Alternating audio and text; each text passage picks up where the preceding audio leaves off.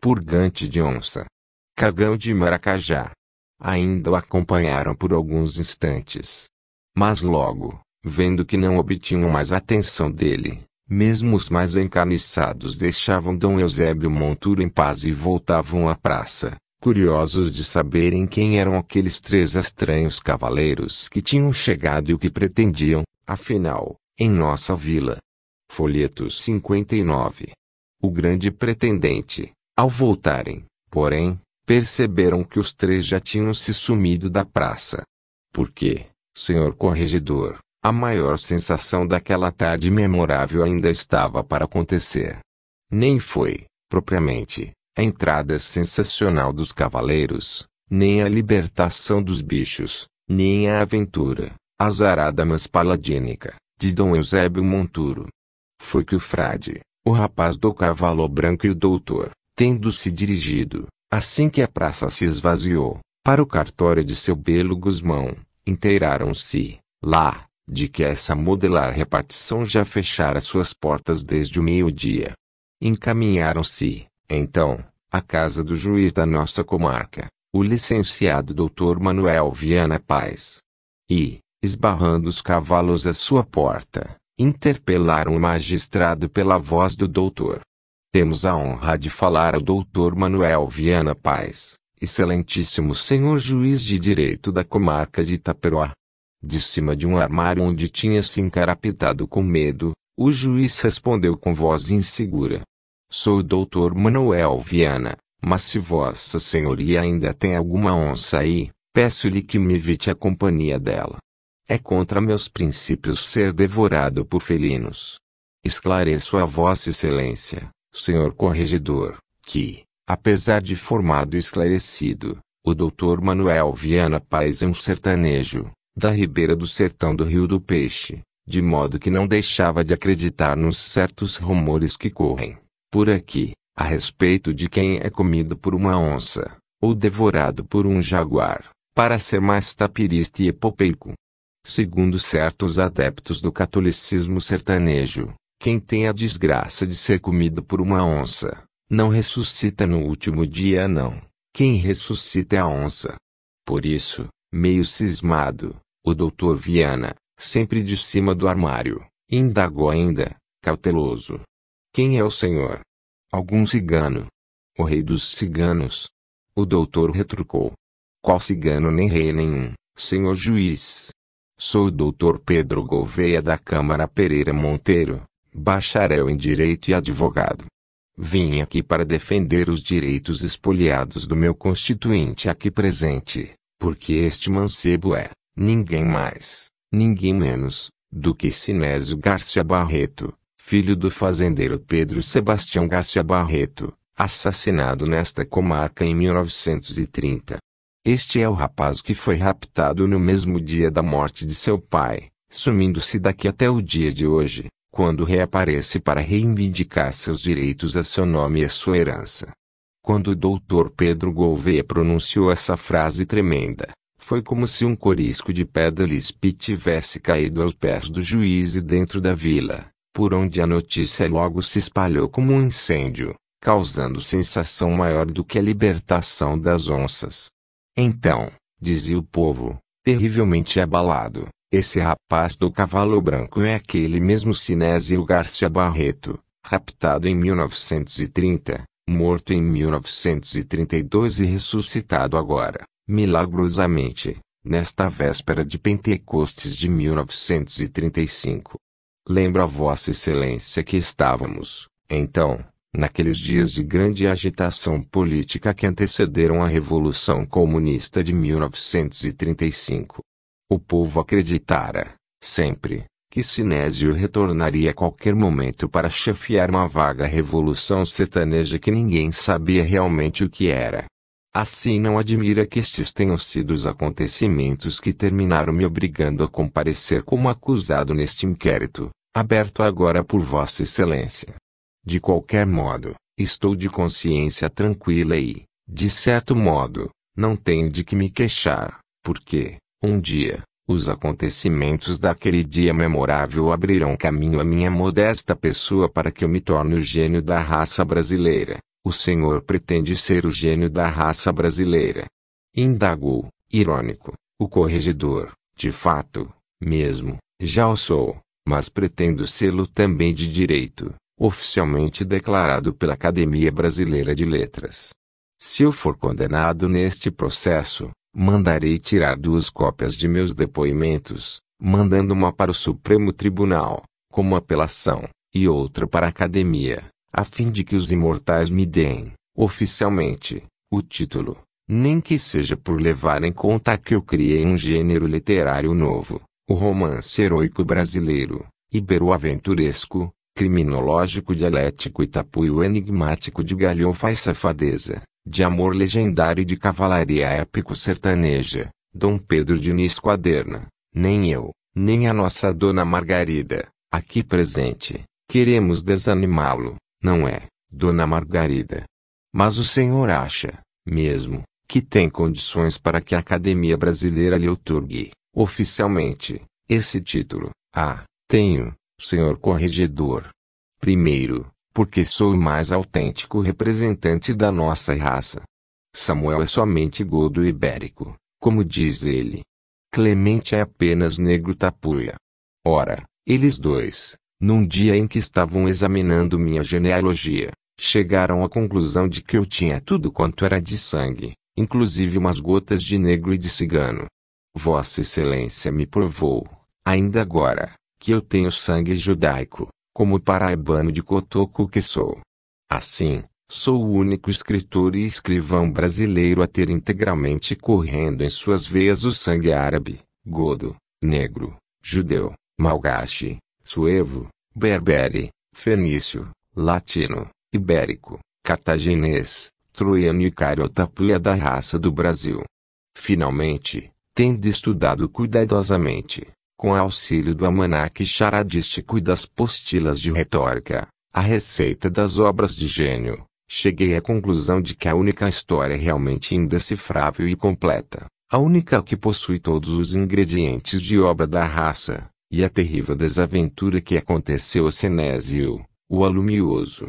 Depois de pronto e devidamente versado, o meu será, portanto, no mundo, o único romance castelado, cangaceiro estradício e cavalariano bandeiroso escrito por um poeta ao mesmo tempo de pacto, de memória, destro, de sangue, de ciência e de planeta. Ora, Sinésio, morto e desaparecido da maneira que lhe disse, mas também ressuscitado naquele dia, nas caatingas e estradas sertanejas, foi uma espécie de João sem direção, personagem guerreiro, principesco e errante do cantador nordestino Natanael de Lima. Por isso, ninguém pode realmente contar a história de Sinésio, ninguém sabe qual foi, mesmo, sua verdadeira direção, seu verdadeiro destino, de modo que ninguém, exceto eu, pode contar-lhe ninguém, portanto, exceto eu, pode vir a ser o verdadeiro gênio da raça do Brasil. Muito bem, acredito. O senhor disse, Aí, que somente o Senhor é quem pode contar a história. Registro e aceito essa declaração. Foi exatamente esse, aliás, o motivo que me levou a intimá-lo. O Senhor, portanto, Dom Pedro Diniz Quaderna, vai me contar essa história, tintim por tintim. Vamos voltar, então, ao inquérito e aos acontecimentos daquele dia 1 de junho de 1935. Vossa Excelência manda. Lá vai tempo, falei, para disfarçar meu terror, que aumentava cada vez mais. E continuei. Folhetos 60. A furna misteriosa, como eu vinha dizendo, estávamos às vésperas da Revolução Comunista de 1935. Ora, Sinésio concentrara em torno dele, durante todos aqueles anos, as esperanças de justiça da ralé sertaneja, como o Senhor chamou há pouco. O povo nunca perdera fé na sua volta, quando ele, ressurreto, realizaria a restauração, ou instauração de não sei que reino, um reino sertanejo no qual os proprietários seriam devorados por dragões e todos os pobres, aleijados, cegos, infelizes e doentes ficariam de repente poderosos, perfeitos, venturosos, belos e imortais. Por isso, naquele sábado, com a chegada epopeica do rapaz do cavalo branco, as duas ideias logo se juntavam num boato só.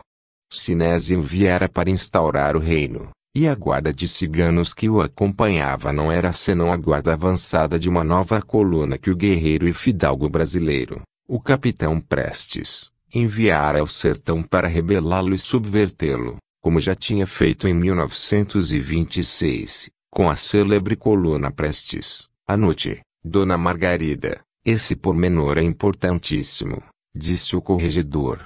Margarida obedeceu e lhe indagou. É verdade que o comandante das tropas revoltadas de Princesa em 1930, Luiz do Triângulo, vinha acompanhando o rapaz do cavalo branco. É, sim senhor, quer dizer que a coluna do rapaz do cavalo branco, no fundo, era uma fusão de remanescentes rebeldes da coluna Prestes e do exército daquele caricato território livre de princesa que, em 1930, ousou levantar-se contra o governo do presidente João Pessoa, chegando aos extremos ridículos de proclamar a independência, forjando hino, bandeira, constituição etc. Senhor corregedor, é difícil dizer isso com segurança, porque, aqui no sertão, depois que esse pessoal sertanejo entra num movimento desses, todo mundo troca de nome, para escapar aos inquéritos e denúncias.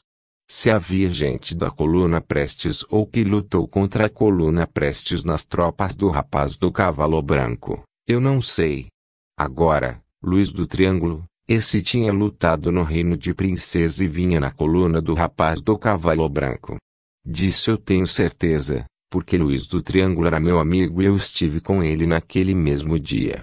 De um modo ou de outro, essas foram as razões pelas quais as pessoas mais ricas de Taperoá imediatamente se trancaram em suas casas, apavoradas, enquanto, pelo contrário, as ruas começavam a fervilhar de novo com aquela multidão de pobres e pedintes que, pouco antes, esperava tranquilamente a cavalhada. Foi então que sucedeu um acontecimento ao mesmo tempo inesperado e importantíssimo. Um acontecimento que Vossa Excelência só poderá entender bem depois que eu lhe der algumas explicações. Eu já disse ao senhor que Dom Pedro Sebastião, rei do Cariri, era o parente mais parente que eu tinha, sendo meu tio, meu cunhado e meu padrinho. Meu pai, que era uma espécie de agregado, conselheiro e astrólogo particular seu, tomou para meu padrinho de batismo, dando-me, por causa disso, o nome de Pedro. O outro nome, o Diniz, me veio de Dom Diniz, o lavrador, rei de Portugal, de quem nós, como todos os nordestinos que se prezam, modéstia à parte descendemos. Ora, com todos estes parentescos, e tendo sido, ainda, Dom Pedro Sebastião, meu protetor e pai de criação, não admira que, durante sua vida, eu tenha feito todos os esforços para aumentar o prestígio e poder que lhe tinha, no Cariri. Disseram ao Senhor que fiz isso com má intenção, mas é mentira. Foi por bondade e devoção quase filial que eu tive a ideia de aproveitar a religiosidade sertaneja e meio fanática de meu padrinho para, fazendo-o desfilar nas procissões, descalço, vestido de sacos de estopa e com a cabeça cheia de cinza, de opa roxa e com cajado de peregrino à mão, impressionar o povo com o espetáculo daquele homem poderoso que, voluntariamente, se humilhava assim, diante de todos. Fui eu, também, que convenci meu padrinho a figurar como imperador do Divino Espírito Santo, entre Natal e Reis, quando nós, com o nosso alto de guerreiros, dançávamos diante dele. Com essas coisas, o povo sertanejo, que já considerava meu padrinho como seu chefe espiritual, passou a ver nele um rei, que impressionava os pobres com as roupagens, mantos e coroas que eu inventava para ele nessas coroações e cerimônias das folias do Divino Espírito Santo. Lá um dia, porém, senhor corregedor, eu comecei a perceber que a imagem de profeta e rei que eu estava, aos poucos, forjando para meu padrinho, com grande desgosto para a aristocracia, os burgueses e os intelectuais da nossa vila, era sempre prejudicada numa parte importante. Para rei, Dom Pedro Sebastião se prestava demais, mas faltava-lhe alguma coisa para profeta. De fato, meu padrinho tinha todas as qualidades imperiais de rei sertanejo, pois era rico, poderoso, barbado, enigmático, imprevisível e cavaleiro. Para profeta, era, ainda, maravilhosamente meio doido, meio fanático e piedoso. Faltava ali, porém, para que fosse um perfeito e acabado profeta sertanejo, a condição de pobre e perseguido pela justiça, pelo governo e pela polícia. Esta última parte ainda veio a ser corrigida, se bem que tarde, quando, em 1929, ele começou a ser hostilizado pelo governo do presidente João Pessoa. Mas pobre, isso ele nunca foi. Percebi imediatamente que, ao primeiro profeta que aparecesse, meio doido e barbudo como ele, mas ainda por cima pobre e perseguido pelos poderosos, a posição de chefe espiritual conseguida por mim para o meu padrinho com tanto esforço poderia ser arrebatada, o que não me interessava de jeito nenhum, porque, sendo seu sobrinho, minha sorte e minha linhagem monárquica se identificavam de certo modo com a monarquia e com a sorte dele. Novamente levado pelo orgulho ia longe demais. Cego, porém, pelas sertanejíssimas divindades gaviônicas, não percebi nada, e continuei, enredando-me cada vez mais nas teias da cegueira, do orgulho do processo. Lembrei-me então, senhor corregedor, de que, num pé de serra situado dentro das terras da onça malhada, morava, há uma porção de anos, uma figura estranha, o velho Nazário Moura, um sujeito que enviuvara, ficando na companhia de sua única filha, uma moça chamada Esmeralda Moura, mas conhecida pelo apelido de Dinamidói. Depois que sua mulher morrera, o velho Nazário ficara paralítico e dera para raizeiro, principalmente nas noites de lua, quando disparatava e dava para visagear e dizer coisas descabeladas. O velho Nazário apareceu-me, logo, como a oportunidade que nós tínhamos de cortar o mal pela raiz. No que se referia à qualidade de profeta de meu tio Dom Pedro Sebastião. Nazário era pobre, raizeiro e meio doido.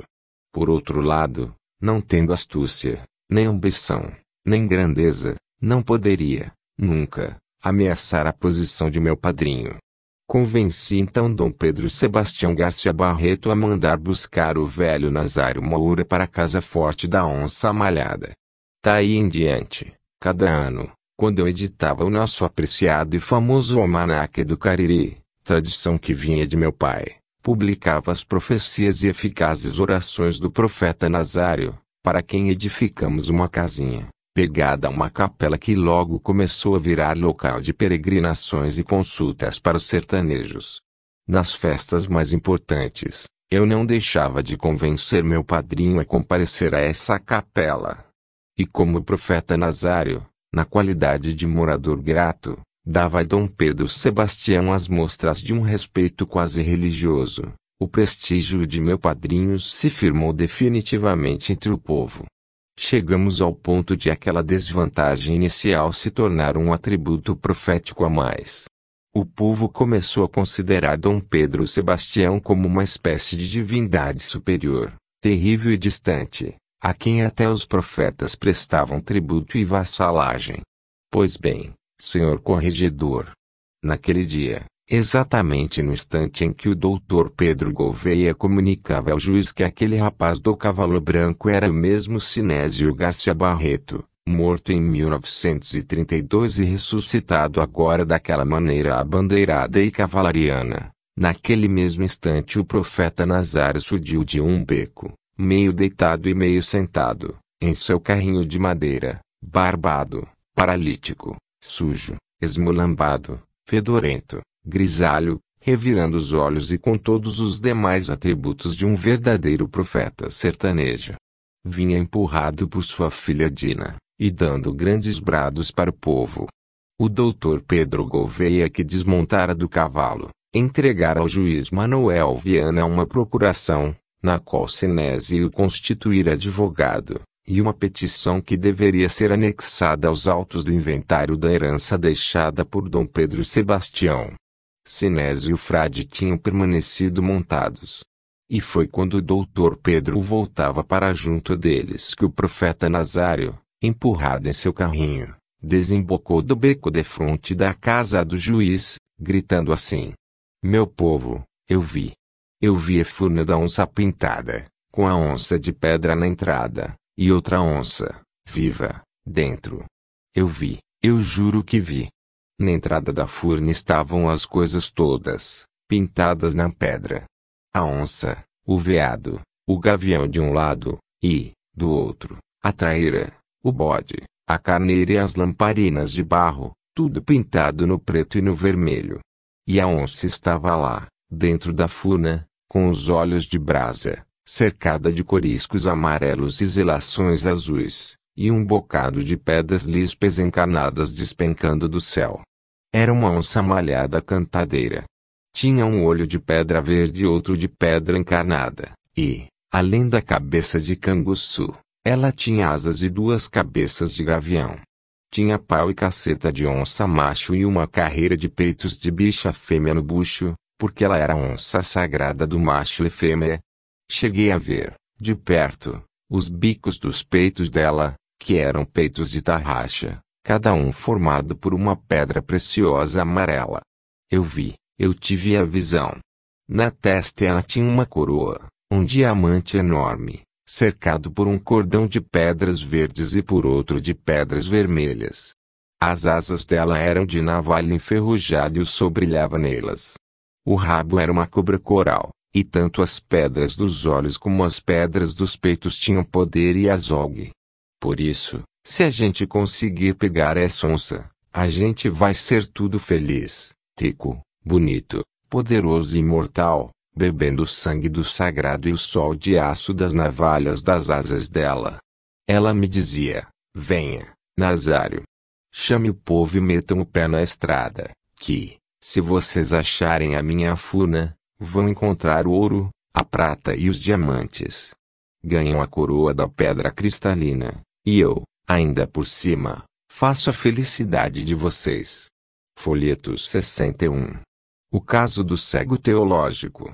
Quando terminei de repetir as palavras do profeta Nazário, o corregedor disse, com evidente má vontade, pelo que o senhor me contou da aparição do tal bicho demoníaco na praia do Rio Grande do Norte, vê-se perfeitamente quem foi que meteu essas ideias e essas palavras na cabeça desse pobre de mente que o senhor não se envergonha de confessar que explorava, aproveitando-se de sua simplicidade de sua loucura e do fato de que ele dependia de seu padrinho. Vê-se, também, quem foi que andou metendo na cabeça do povo essa história da libertação das onças, no momento em que o rapaz do cavalo branco tocava a buzina, pois se o senhor duvida de mim, pergunte aí a Margarida. Margarida, não é verdade que soltaram umas onças aqui, no meio do povo, naquele dia? E não é verdade que Nazário gritou para o pessoal que tinha tido uma visagem de onça. É, senhor juiz, disse Margarida, mais uma vez a contragosto. Agora, se ele falou foi desse jeito, não sei não. Eu, por mim, já ouvi dizer muitas vezes que foi esse homem, aí, que meteu essas coisas na cabeça de Nazário, está vendo? Falou o corregedor, vitorioso. O mais que pode ter acontecido é que Nazaro tenha ficado impressionado com a libertação das onças que ele acabara de presenciar, sendo essa causa dos disparates que disse no momento. Então o senhor, talvez por estilo régio, interpretou tudo a seu modo. Foi essa, também, a opinião de Clemente, senhor corregedor, apesar de que o nosso filósofo não deixou de encontrar, logo, um sentido filosófico etnológico e subversivo para a visagem de Nazário. Mas o povo sertanejo, incapaz dessas sutilezas, começou, logo, foi a ligar a visão da onça cantadeira missão que, segundo já se espalhava entre a ralé, Sinésio viria desempenhar na Guerra do Reino do Sertão. Missão que, segundo o povo, tinha, evidentemente, ligações ocultas e desconhecidas com as onças que ele trouxera nas carretas e mandara a libertar. Por isso, a agitação, que já estava grande, começou a fermentar. E viria a crescer ainda mais com um novo incidente, provocado logo depois da fala do profeta Nazário pelo cego Pedro Adeodato Sobral, aquele mesmo Pedro cego a quem Silvestre servira de guia, durante todos aqueles anos da desaparição de Sinésio. Naquele dia, sem que ninguém tivesse se apercebido dele antes, Pedro cego tinha se introduzido no meio da multidão, de viola tiracolo e conduzido por um rapaz coberto de andrajos que, de modo semelhante a seu patrão, conduzia uma rabeca. Os dois vinham acompanhados por um cachorro sertanejo, magro, arraposado, escorropichado, amarelo e de grandes orelhas meio negras, um cachorro que, como soubemos depois, tinha o nome de Cangati. Vossa Excelência, com certeza, sabe que os cegos sertanejos se agrupam em duas grandes categorias, os insolentes e os teológicos. Os teológicos são humildes, submissos, resignados, religiosos e pedem esmola de joelhos, nas calçadas e portas de igreja, ficando horas e horas ao sol, nessa posição martirizante e profundamente humilde, com um ar de sofrimento milenar, capaz de comover até o coração dos comerciantes. Cantam cestilhas como esta. O homem que pensa bem, sabendo se dirigir, vende a terra e compra o céu.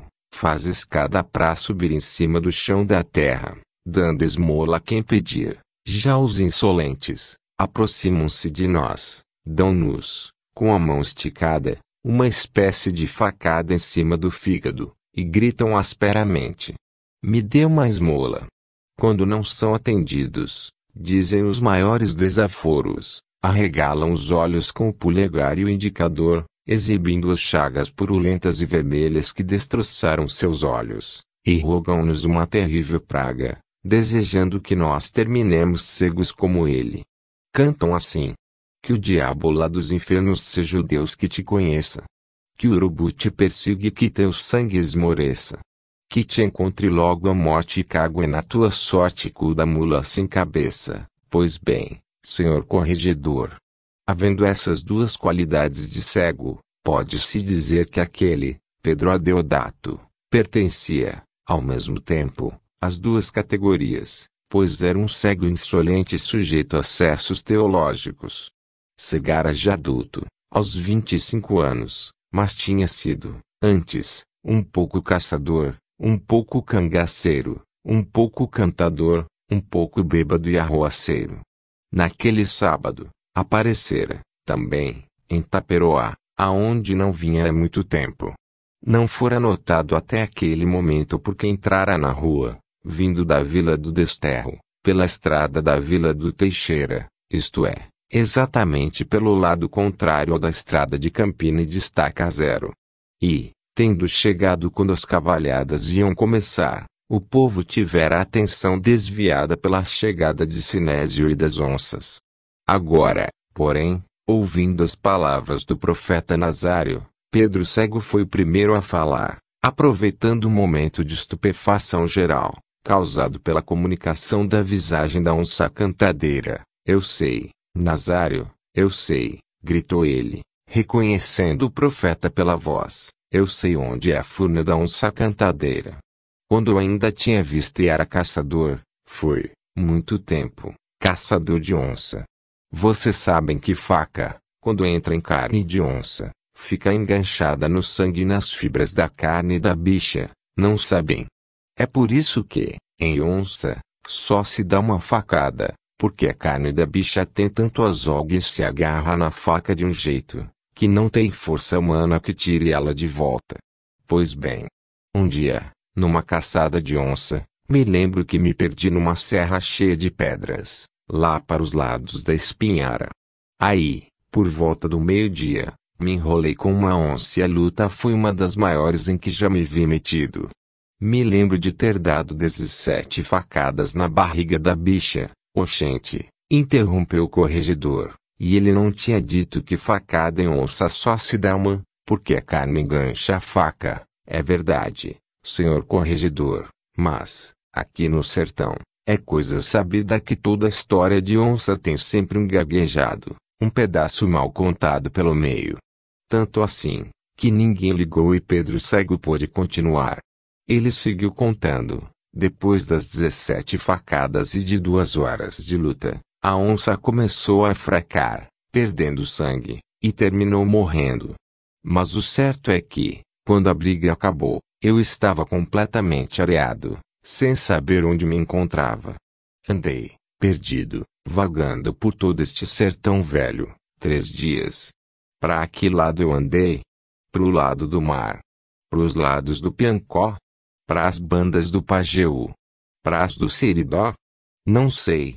O que eu sei é que, ao cabo desses três dias, meu compadre Nazário, eu me achei dentro de uma serra cheia de furnas e lajedos. Pelos sinais que descrevi dela, depois, todo mundo achou que era a tal da Serra da Pintada. Perdido e com sede, vendo a hora de morrer por acolá, terminei desembocando, no Pino do Sol, defronte de uma furna esquisita, com uma espécie de pátio na frente, com o chão de pedra e todo cercado de lajedos. Essas pedras, em roda da furna, eram todas pintadas com figuras de gente e de bicho. Me disseram, depois, que aqueles bichos tinham sido pintados pelos caboclos, o que eu não sei dizer se era verdade ou não. Agora, que tinha os bichos pintados, isso tinha, eu vi com esses olhos que estão cegos e que a terra há de comer. Era tudo quanto era de bicho, e tudo na maior safadeza. Era onça comendo veado, era onça fudendo com onça, era onça fêmea sendo fudida por gavião macho, era onça macho fudendo cabocla fêmea, era onça fêmea sendo trepada por veado macho, era o diabo, e não tinha uma onça de pedra na entrada da furna não, compadre Pedro Cego.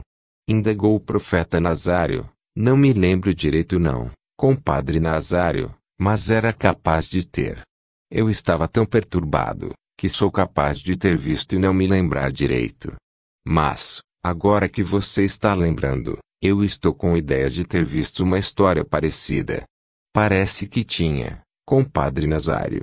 Tinha, era isso mesmo. Tinha, lá, uma onça de pedra, com um chifre amolado e envenenado na cabeça e um par de asas nas costas. Tinha, Ora se tinha. E aí, quando eu fui me chegando para perto da boca da furna, comecei a sentir aquela catinga de onça que todo caçador conhece que não engana ninguém. E que diabo de catinga danada era aquela, que eu fui sentindo, e sentindo, e fui ficando meio doido, meio afogueado, vendo maretas, e aí comecei a ver umas faíscas de fogo faiscando para todo lado, e na mesma hora eu comecei a ouvir a zoada do mar e uma música velha e cega, que parecia tocada por viola, pife rabeca e cantada por mulher com boca fechada.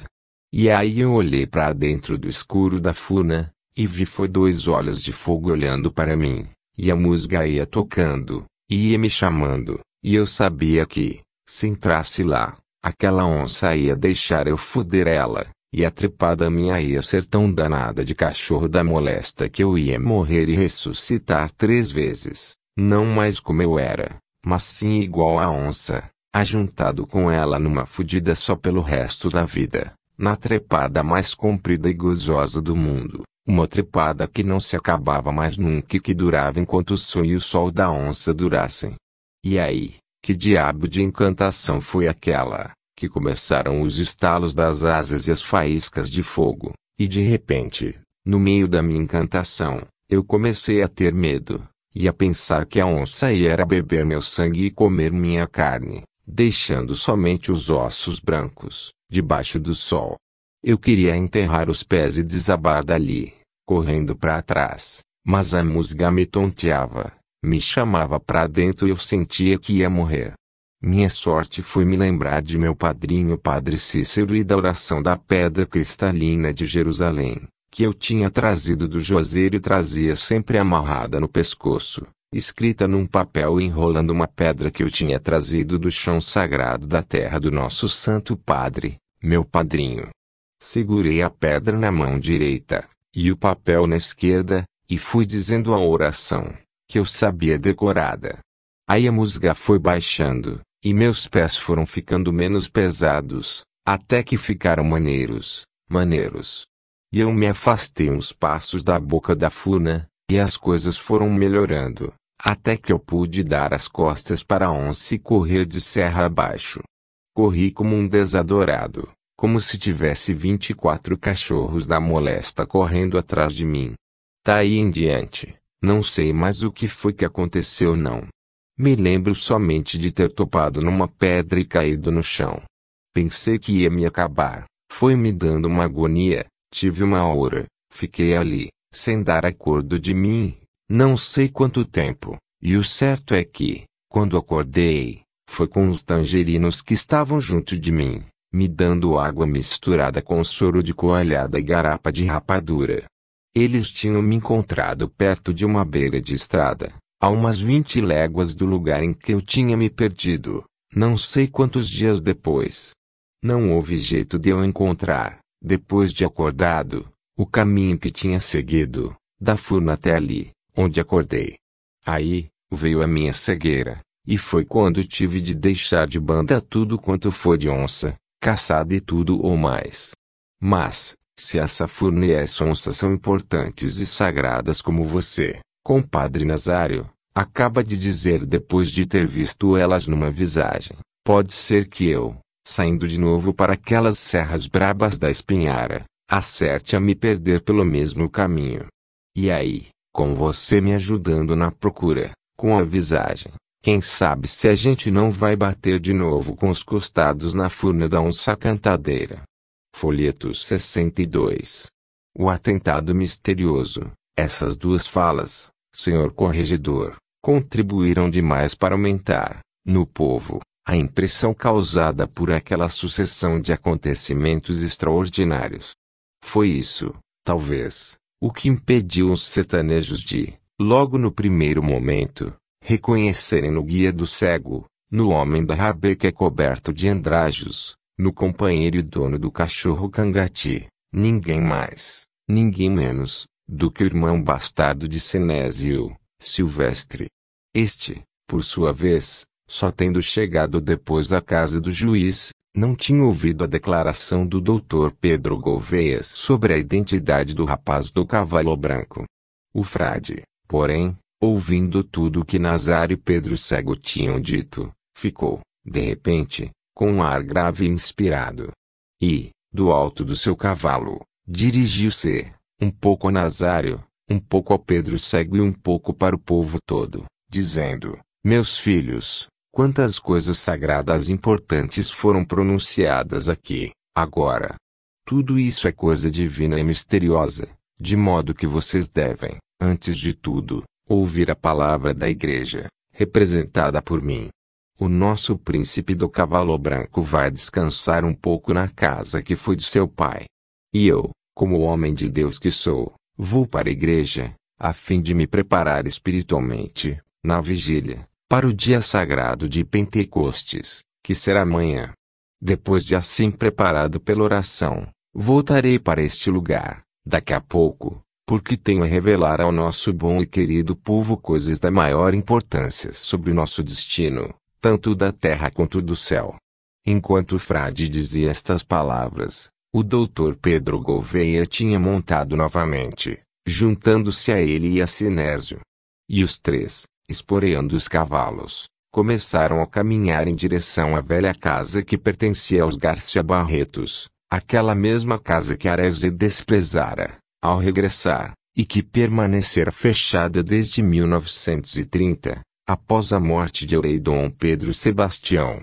Como logo se soube por informação do Dr. Pedro, Sinésio, ao contrário do irmão ruim, e mantendo-se fiel ao sangue de seu pai, fazia questão absoluta de ficar morando na velha casa, atitude que logo predispôs ainda mais o povo em seu favor.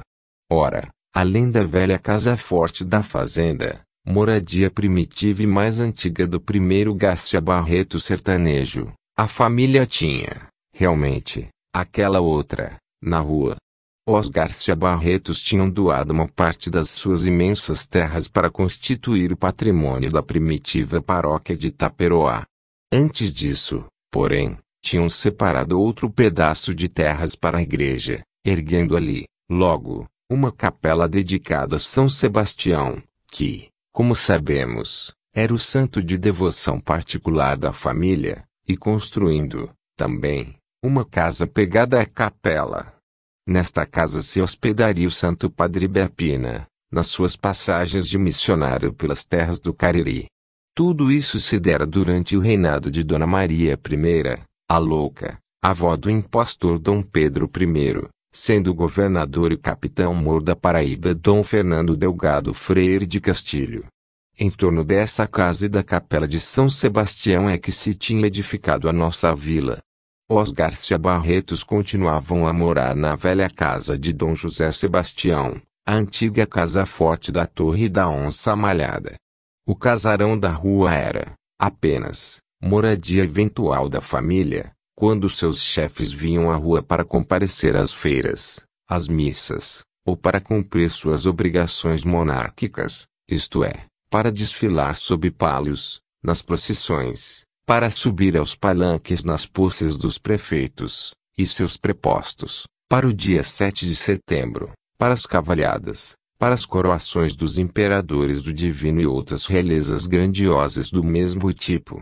Pois era para esse casarão da rua que Sinésio, o frade e o doutor iam se encaminhando naquele momento quando, na rua grande, sob o portal do chamado Casarão das Pinhas, avistaram um mendigo que, sentado na calçada, parecia alheio a tudo o que acontecera, e ali estava, com o rosto quase inteiramente coberto por um grande chapéu de palha de abas largas e caídas, e com o corpo inteiramente envolvido por uma espécie de cobertura manta colorida, que o cobria até os pés, como se ele estivesse com frio adoentado. Sinésio, que fora, ao que parece, o único dos três a dar importância ao mendigo, esbarrou seu belo cavalo branco, que, segundo soubemos depois, tinha o nome terrível de Tremedal, e, junto da calçada, falou com ele, seja o mais preciso que lhe for possível agora. Dom Pedro Diniz Quaderna, falou o corregedor, deixe de lado, um pouco, o estilo régio, porque esse pormenor é importantíssimo para a elucidação do assassinato de Dom Pedro Sebastião, da morte e ressurreição de Sinésio, e de toda essa história da, como é que o senhor chama? Da desaventura novelosa e guerreira da tal Guerra do Reino. Que foi que o rapaz do cavalo branco disse ao mendigo? O assunto era perigoso, de modo que procurei tergiversar e falei vagamente, Excelência, isso tudo aconteceu há três anos, e até hoje ninguém chegou verdadeiramente a um acordo sobre quais teriam sido exatamente as palavras trocadas entre os dois. Uns dizem que Sinésio apenas ofereceu uma esmola, que teria sido recusada pelo mendigo. Outros dizem que ele falou no testamento e no tesouro, ambos deixados por Dom Pedro Sebastião, indagando alguma coisa sobre o roteiro perdido desse tesouro. E, finalmente, a maioria diz que Sinésio teria feito alusões misteriosas ao reino e à sua missão, o que não deixa de ser estranho, diante da aparente insignificância daquele mendigo. E qual é a sua opinião pessoal sobre essas três versões, Excelência? Eu não tenho opinião nenhuma, e, na dúvida, passo a história adiante pelo preço que me venderam. Dizem que as palavras que Sinésio proferiu foram as seguintes: Meu velho, Posso fazer alguma coisa para ajudar você? Vim por causa do crime, da herança e do reino. Você sabe alguma coisa sobre o caminho e o roteiro? Onde é que eu posso falar com Antônio Vilar? Como?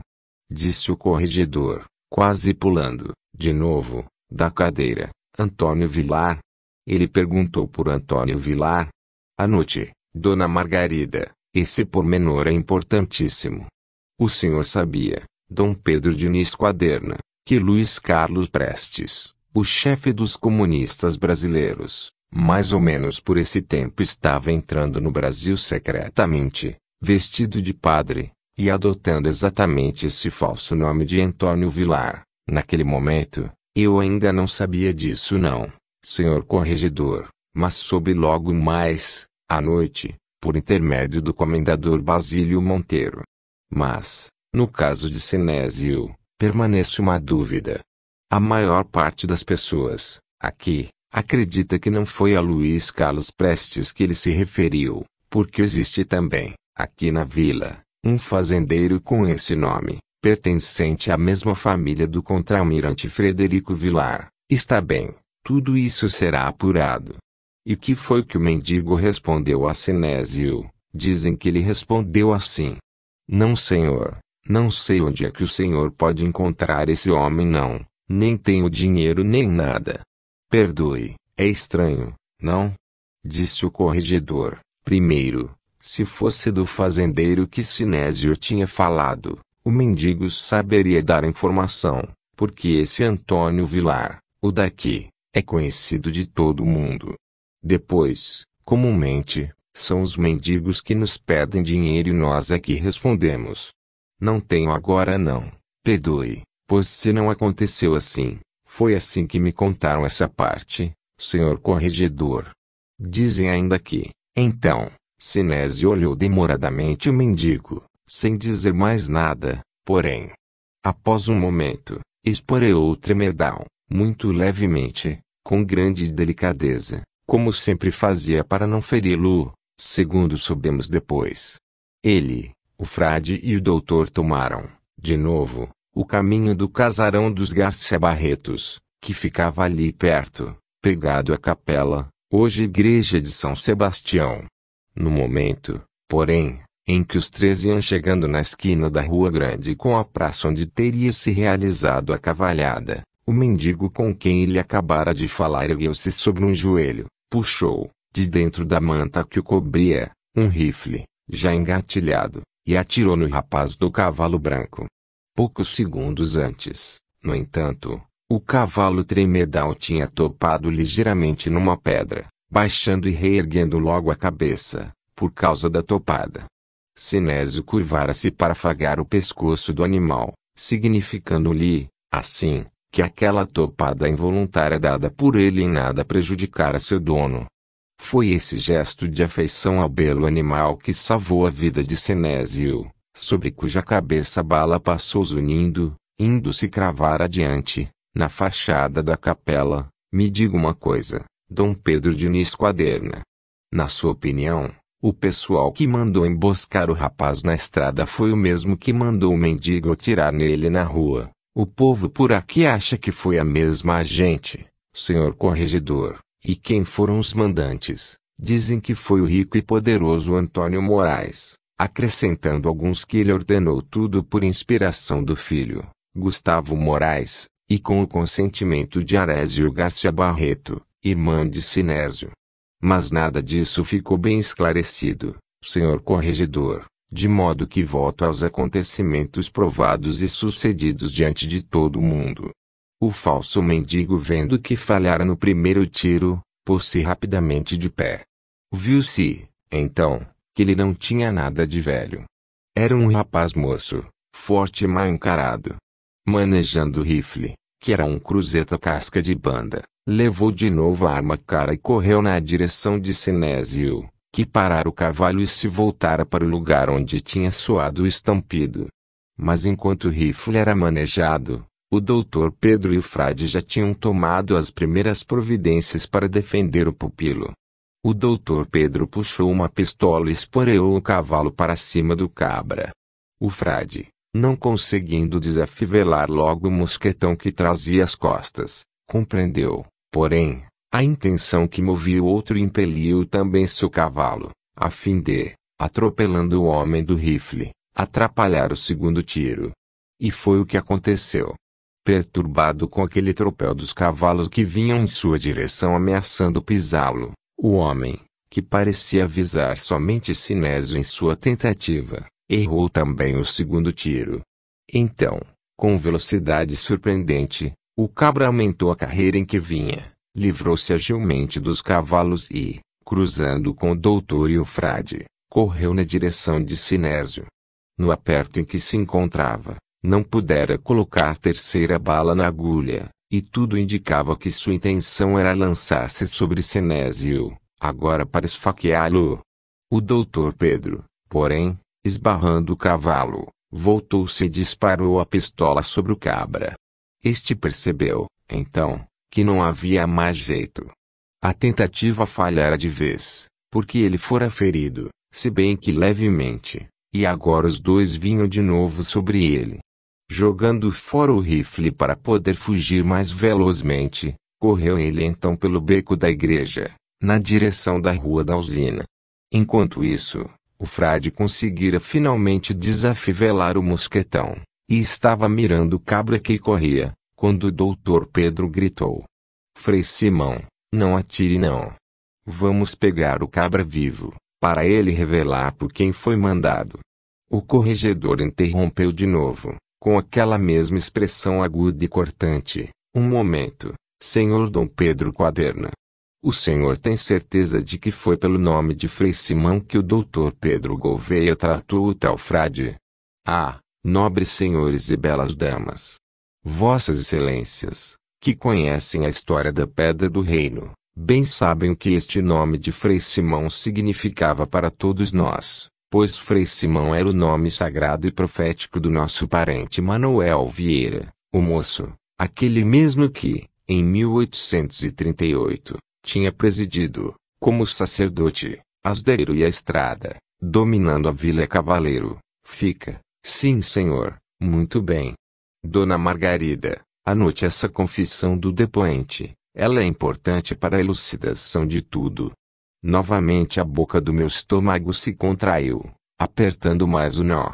Foi com dificuldade que continuei, quando os sinais de sol começaram a se acender e se apagar no meio do tabuleiro. O cabra, que já tinha atingido a rua da usina e parecia ter a intenção de correr para os lados do chafariz, margeando a areia do rio, mudou subitamente de intenção, e, descendo o cais, começou a descer para o leito do rio Taperoá, como se quisesse ir para o tabuleiro, ao encontro da pessoa que manejava o espelho. O doutor Pedro Frei Simão iam chegando já à rua da usina, quando, de repente, o cabra pareceu tropeçar na carreira em que ia e caiu de bruços na areia do rio. Frei Simão e o doutor Pedro apearam-se junto do cais e começaram a descer cautelosamente, com as armas apontadas para o cabra, como se temessem uma cilada de sua parte. Mas, quando chegaram perto, viram que o homem estava em convulsões, com uma perna em que se estirava e se encolhia, enquanto o sangue saía, as golfadas, pelo buraco que uma bala lhe abrira mesmo em cima do fígado. Foi aí que se verificou que a bala do tiro do Dr. Pedro tinha pegado somente o ombro dele, por trás, e o tiro que matou o cabra, tinha vindo de longe. É o que tudo indica, senhor corregedor, porque ninguém ouviu o tiro na rua. Devem ter atirado nele provavelmente com um fuzil munido de luneta, porque o tiro foi acertado com grande precisão.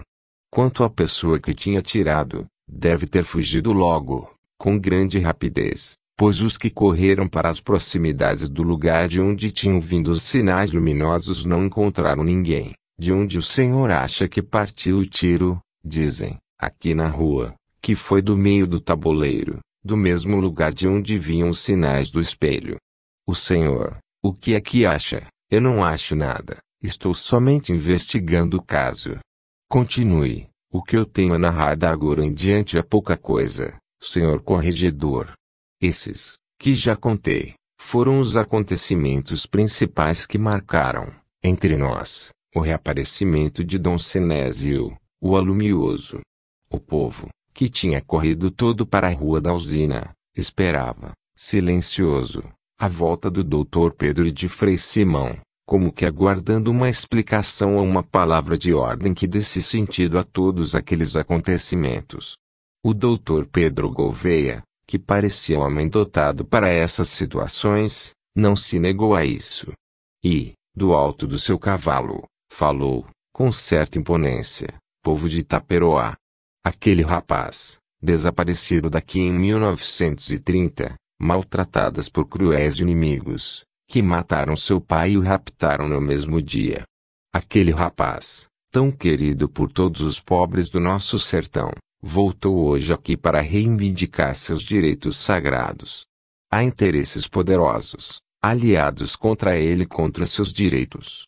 Como vocês viram, Mas ele vai chegando à terra que para ele se tornou sagrada por causa do sangue de seu pai. Tentam matá-lo, para impedir o moço do cavalo branco de fazer a felicidade da pobreza. Sozinho contra todos, raptado, perseguido, encarcerado, maltratado, órfão, agora ameaçado de morte, com quem poderia lhe contar, senão com o povo, esse povo bom, sofredor e pobre, do sertão? Foi sempre ao lado desse povo que ele esteve, foi sempre ao seu lado que ele apareceu, e é isso que os seus inimigos não perdoam. Por isso, eu e Frei Simão, protetores e amigos do rapaz do cavalo branco, pedimos a ajuda do povo sertanejo para Sinésio Garcia Barreto. Folheto 63. O encontro de dois irmãos, sem que ninguém notasse. Senhor corregedor, Sinésio, que se apeara do cavalo junto à igreja, tinha se aproximado e ficara por trás do povo, segurando o tremedal pela rédea, ao mesmo tempo que o abraçava pelo pescoço. O doutor Pedro, que o vira chegar enquanto falava, resolveu então causar efeito sobre o povo. E, ao pronunciar suas últimas palavras, apontou, com um gesto magnífico, sua mão espalmada em direção ao pupilo e protegido. Todo mundo se voltou para o rapaz, e foi enorme a sensação causada pela peroração do doutor. Foi nesse momento que, do meio do povo, surgiu Silvestre, o irmão bastardo de Sinésio, acompanhado por Pedro Cego e Cangati. Ele ouvira, finalmente, a revelação do fato espantoso e, vendo o doutor apontar seu irmão mais moço, precipitou-se para ele, puxando o cego, que o acompanhava como podia, ambos as quedas e tropeções. Sinésio. Indagou ele, esgazeado. O Senhor disse Sinésio, pelo amor de Jesus Cristo e de Nossa Senhora. Você é Sinésio. É Sinésio, mesmo. Eu sou Silvestre. Sou Silvestre, seu irmão. Ao ouvir essas palavras, senhor corregedor, dizem que Sinésio, profundamente emocionado, deu um passo para o irmão, o que foi suficiente para que os dois ficassem face a face. Silvestre parou e sua imobilidade era tanto maior quanto tinham sido grandes os tropeções e carreiras até ali. Dizem que, colocando as duas mãos nos ombros de Silvestre, Sinésio disse algumas palavras em voz baixa e com os lábios trêmulos. O corregedor interrompeu, já ouvi outra versão, segundo a qual esse rapaz do cavalo branco não disse nada nesse momento. Dizem que ele teria ficado imóvel, emocionado, com as mãos nos ombros do outro e olhando seus olhos, isso durante uma boa porção de tempo, até que o tal do Frei Simão interrompeu a cena. É, tem umas pessoas por aí que contam assim, expliquei, mas outras, fidedignas, me contaram que, pelo contrário, Sinésio falou, dizendo: Então, Silvestre, ainda me conhece? Sou Sinésio. Sou eu, meu irmão. E os dois se abraçaram, chorando. É verdade que, logo no dia seguinte, surgiram várias versões do acontecido, dizendo logo os partidários de Arésio que as palavras não tinham sido exatamente essas. Há quem diga, mesmo, que, em vez de Silvestre, o rapaz do cavalo branco teria chamado seu pretenso irmão de Silvério. É, mas muita gente, também, Diz que ele acertou e chamou o irmão foi de Silvestre, mesmo. E mesmo que não tivesse acertado, senhor corregedor, os sofrimentos podem tê-lo perturbado um pouco, causando erro. O senhor pensa que ver o pai assassinado, ser raptado no mesmo dia, ser preso sem culpa nenhuma, ser soterrado, morrer de fome, solidão e desespero, e, ainda por cima, ressuscitar numa estrada sertaneja, é alguma brincadeira? De qualquer modo, sei que Silvestre, abraçado ao pescoço do irmão, dizia: Meu Deus, será verdade mesmo? Será que Sinésio está vivo? Sim, é ele, meu coração me diz que é. Só no outro dia é que começaram a aparecer outras versões. Naquele momento inicial, porém, Ninguém cuidava de saber exatamente o que se dissera ou não. O povo já estava, também, tudo em prantos, conduzido por Frei Simão e pelo doutor Pedro, os quais, assim que tinham visto os dois irmãos se abraçarem, tinham puxado os lenços e, cobrindo o rosto, haviam começado a chorar convulsivamente, numa emoção que imediatamente contagiou todo mundo. É verdade que Frei Simão, ao ouvir o nome de Silvestre, teria dito umas coisas estranhas, que ninguém entendeu direito, mas que tiveram uma repercussão enorme perante o povo. Esfriei de novo, aterrorizado, porque aquilo era, novamente, ligado ao grande segredo da minha vida, minha linhagem real paterna. Pegado de surpresa, fiquei, durante um momento, olhando o corregedor, sem nada responder. Ele insistiu. O que foi que Frei Simão disse? Sim, não, Excelência, falei, tentando escapar. Também não entendi direito aquelas doidices não. Dizem que, depois de ter chorado em quantidade suficiente para emocionar e abalar o povo, Frei Simão conseguiu se dominar. Aí, chegando seu cavalo para junto dos dois irmãos, apeou-se e caminhou para eles. Dizem que Sinésio, tomando o irmão pelo braço, apresentou-o ao frade, dizendo: Frei Simão, este aqui é meu irmão, o segundo, aquele que era pegado comigo e que eu lhe disse que ficaria do nosso lado, de qualquer jeito. É Silvestre. Dando mostras de um espanto visível para todos, Frei Simão arregalou os olhos e gritou: O que? Como foi que você disse? Você disse, aí, Silvestre, foi, Sinésio. Rapaz, você se chama Silvestre. Pergunto por quê, se você se chama, mesmo, Silvestre, o doutor Pedro precisa saber disso imediatamente. E então, excitado, falando alto para que o povo também ouvisse, o gigantesco Frei Simão gritou para o companheiro que se aproximava. Doutor Pedro, chegue aqui pelo amor de Deus.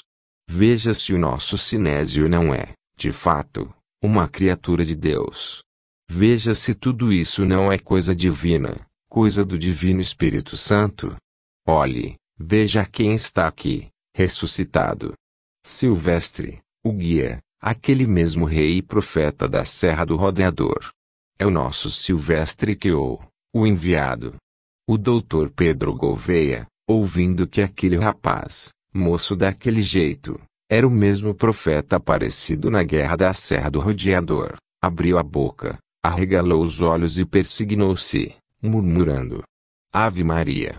Minha Nossa Senhora! É coisa do Divino Espírito Santo, isso não tem pra onde.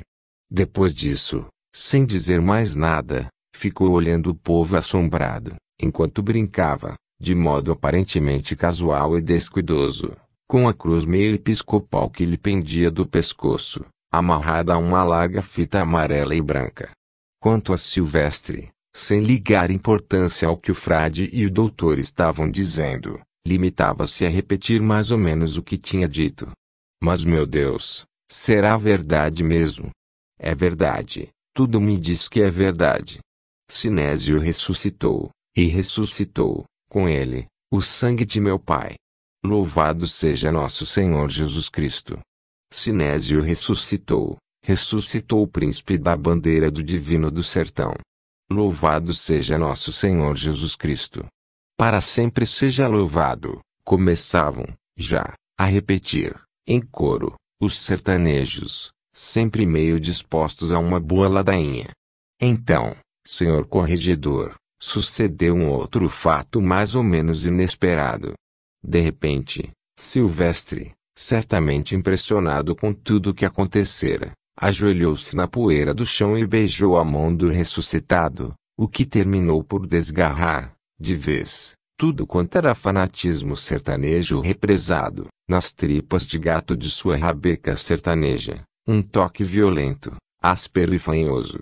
Então, sem que ninguém tivesse previsto, mas também sem espanto nenhum de ninguém, os dois iniciaram, depois de breve confabulação, o desafio de memória em homenagem a Sinésio, o seguinte romance de Loa, em estilo narrativo. Quem quiser ter seu sossego, deixe a minha companhia, pois minha mãe me pariu numa áspera caatinga. armas, rifles e cavalos, serra abaixo, serra acima, e os ciganos me furtaram terras de moraria. Quatrocentos me matavam, quatrocentos defendiam, até que me sepultaram numa cadeia que havia. Um gavião me educou, um servo me salvaria sete anos bebi leite da feroz onça parida, outros sete comi pão, sete, o vinho da bebida. Três vezes sete, vinte e um, e eis que o morto volta à vida. Por sete anos fui preso e ainda lá estaria, não fosse o sangue do rei que me ressuscitaria. Folheto 64.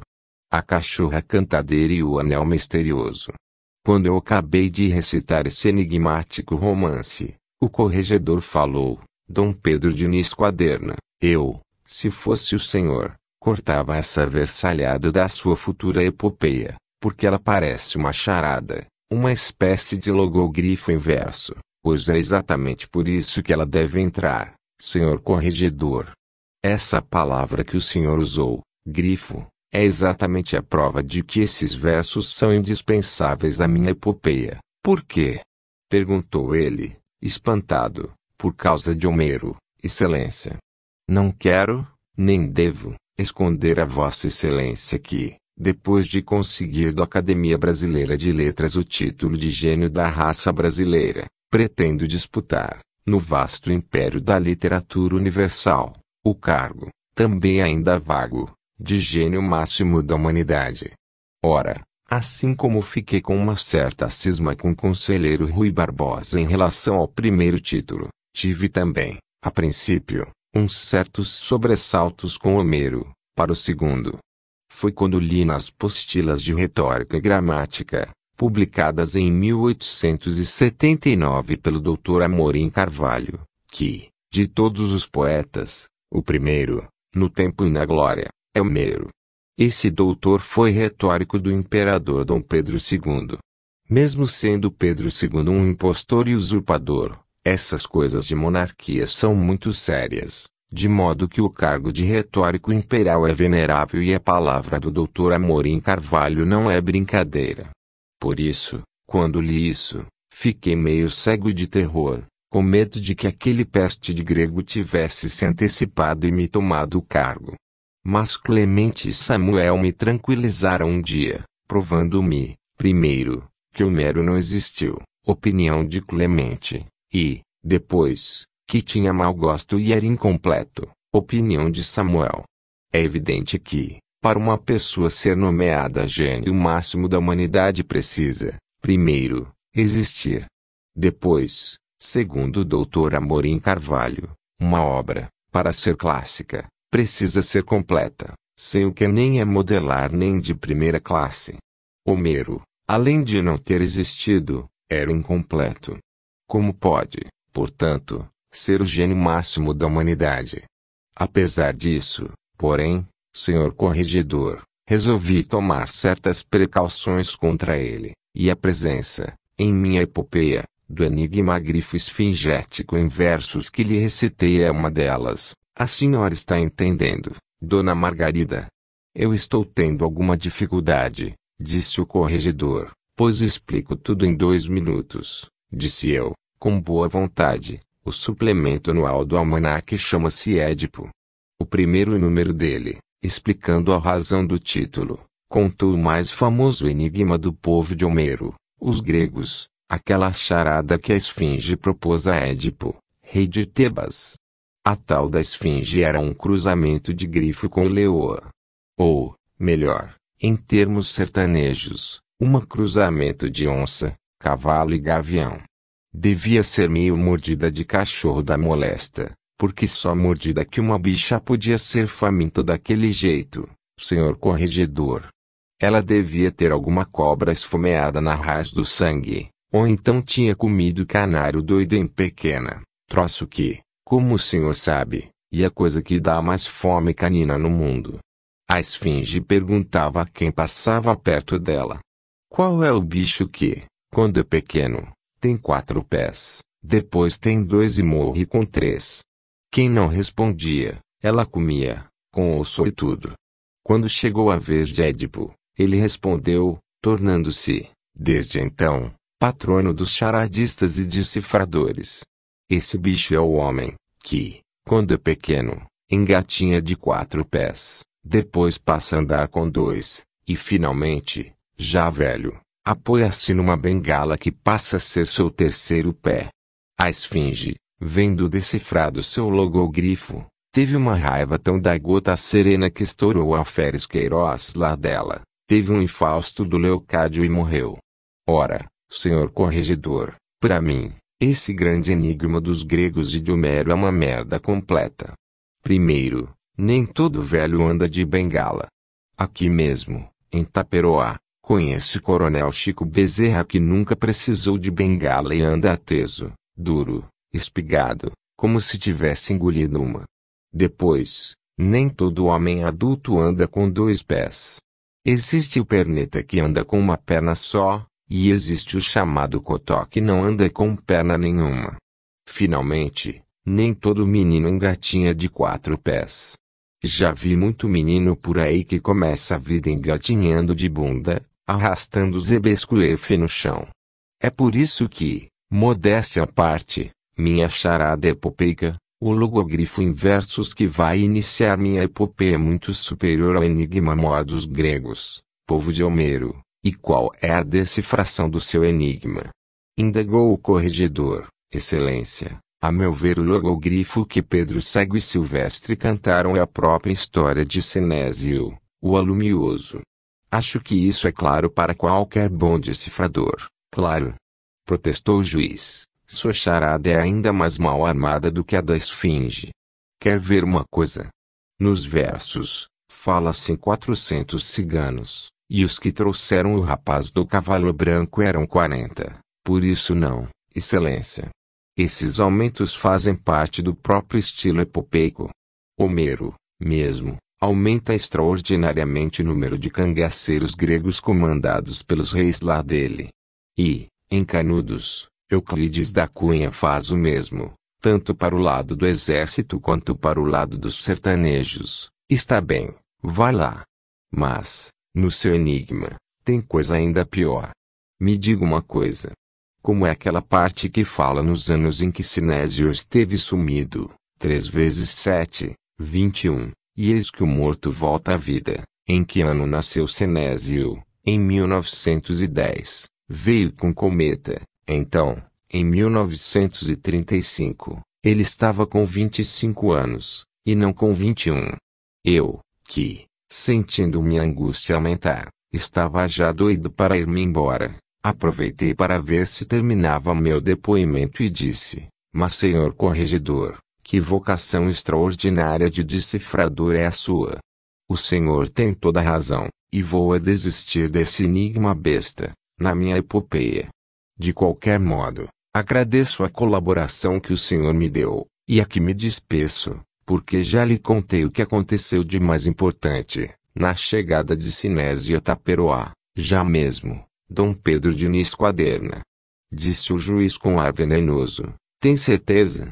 O senhor já contou tudo? Tudo mesmo. Não escondeu nenhum dado fundamental, não senhor.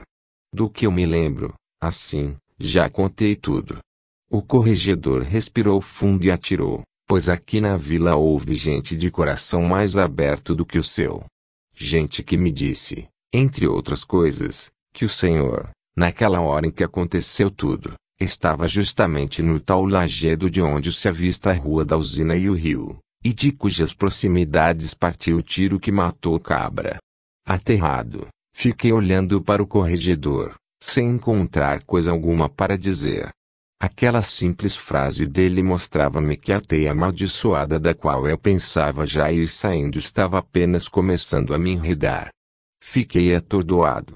Quando, afinal, consegui falar, perguntei com voz insegura: O senhor recebeu alguma denúncia contra mim? Quem tem o direito de fazer perguntas aqui sou eu, e não o senhor.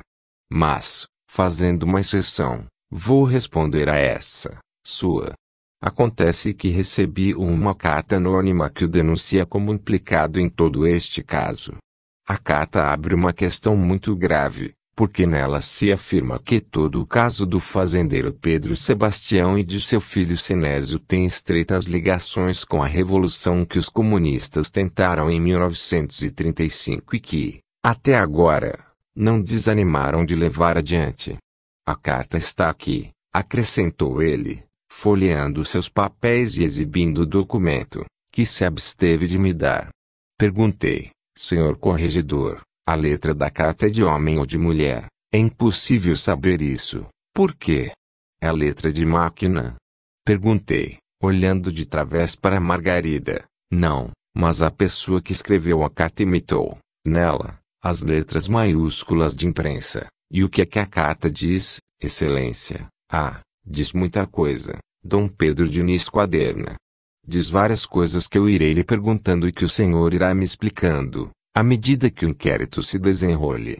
Por enquanto, porém, saiba o senhor que, aqui, lhe fazem quatro acusações graves. Primeiro, dizem que a viagem que o senhor organizou, com o circo, em 1935, depois da chegada de Sinésio aqui, tinha como fim oculto encontrar o tesouro deixado por Dom Pedro Sebastião.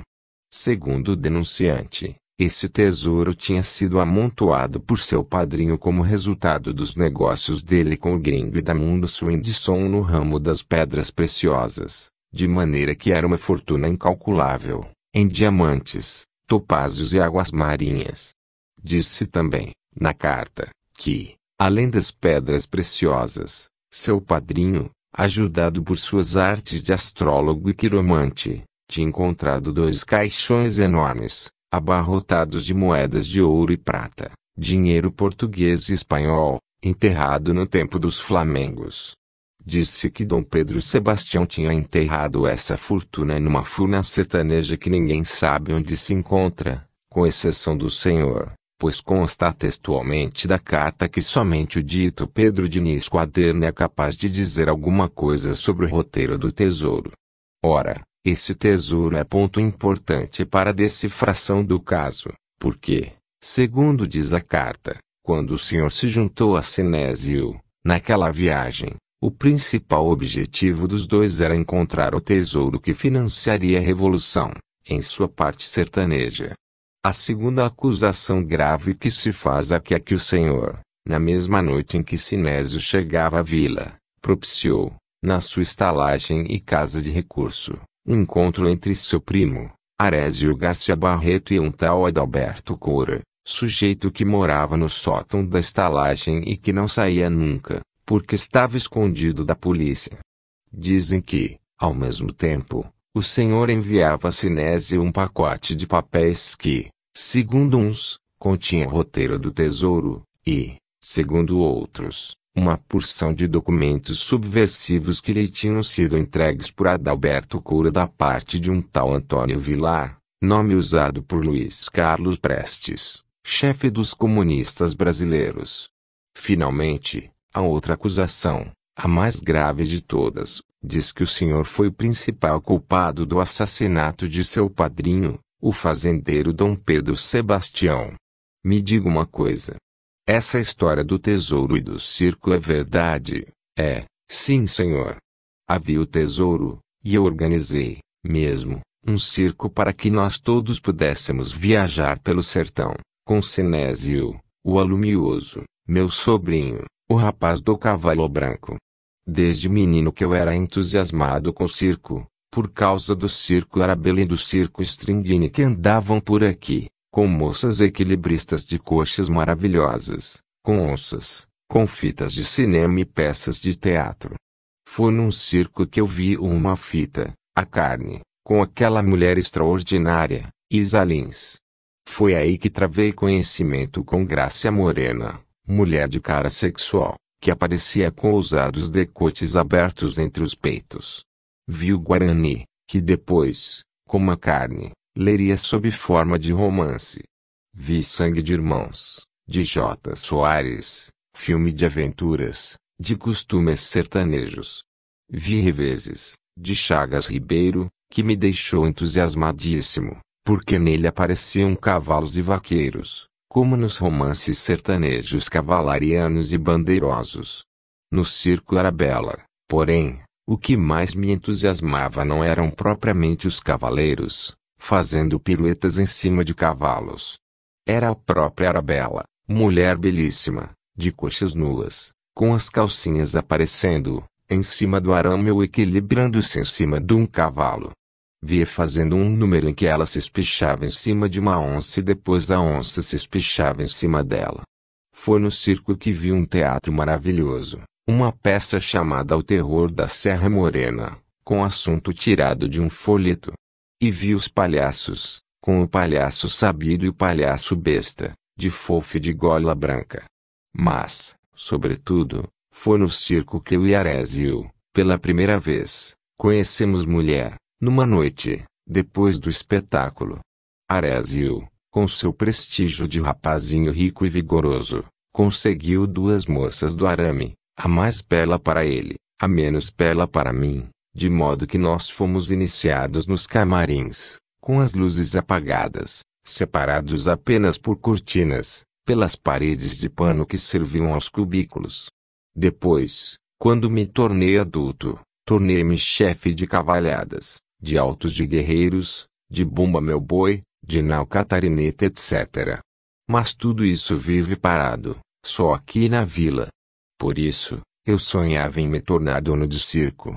O circo era o jeito que eu tinha de transformar toda essa literatura, todo esse teatro de rua em literatura de estrada, isto é, uma literatura cavaleira e epopeica, que nos tornasse, a todos nós, heróis errantes pelas estradas e caatingas do sertão, como o valente Vilela. Por isso, com a chegada dos ciganos que vieram com Sinésio e que sabiam, todos, fazer piruetas em cima dos cavalos, vi que aquela era a minha oportunidade, e foi assim que organizei meu circo, combinando tudo com o Dr. Pedro Gouveia. Quer dizer que o Dr. Pedro também entrou nessa história do circo. Entrou, sim senhor. O interesse dele era encontrar o testamento e o tesouro deixados por meu padrinho. Ora, o senhor sabe que essas coisas custam dinheiro, e Sinésio não tinha dinheiro nenhum. O circo terminou, assim, resolvendo, também, o problema dele, porque nós fazíamos as viagens que eram necessárias à busca do tesouro, e a renda dos espetáculos, além de pagar as despesas, ainda me dava algum lucro. Principalmente porque eu levei com a gente doze mulheres da minha casa de recurso, e organizei com elas um pastório do qual eu era o velho e que foi a nossa principal fonte de renda. Muito bem, Vê-se bem que, assim como sua estalagem é uma casa de recurso, o dono não fica atrás, é homem também de recursos e expedientes de toda natureza. E a história da entrevista de Arésio com Adalberto Coura é verdadeira, também, é, sim senhor, e o pacote de papéis. É verdade que o senhor mandou a Sinésio, na noite de 1 de junho de 1935, um pacote de documentos subversivos. Não, senhor. Eu mandei, mesmo, o pacote, mas não eram documentos subversivos, não. Era uma cópia manuscrita do Caminho Místico, de Santo Antônio, Santo Antônio de Pádua, o português. Não, senhor. Santo Antônio Conselheiro de Canudos, o sertanejo. Eu sou devoto dele de Padre Cícero, na minha qualidade de profeta do catolicismo sertanejo, catolicismo sertanejo, é a minha religião, excelência. Não estando muito satisfeito com o catolicismo romano, fundei essa outra religião para mim e para meus amigos. O pessoal aí da rua, que sempre ouve cantar o galo, mas não sabe onde, ouviu falar neste Antônio, o conselheiro, e pensou que eu estava me referindo ao outro Antônio, o Vilar, pseudônimo de guerra de Luiz Carlos Prestes, criando-se, então, essa história de documentos subversivos. Está bem, vou apurar tudo isso. E a outra acusação? Então o senhor foi um dos assassinos do seu padrinho e pai de criação, de seu benfeitor Pedro Sebastião Garcia Barreto. Eu? Não, senhor. Deus me livre. Então o senhor nega qualquer participação na morte dele. Nego. Sim, senhor. Eu ia, lá, matar meu padrinho, doutor. Meu padrinho foi, para mim, Um segundo pai, veja bem o que responde, porque o Senhor pode se complicar. O Senhor não deixou de me esclarecer nenhum indício importante sobre aquele crime de 1930. Não, Senhor. Faça o favor de levantar a mão esquerda.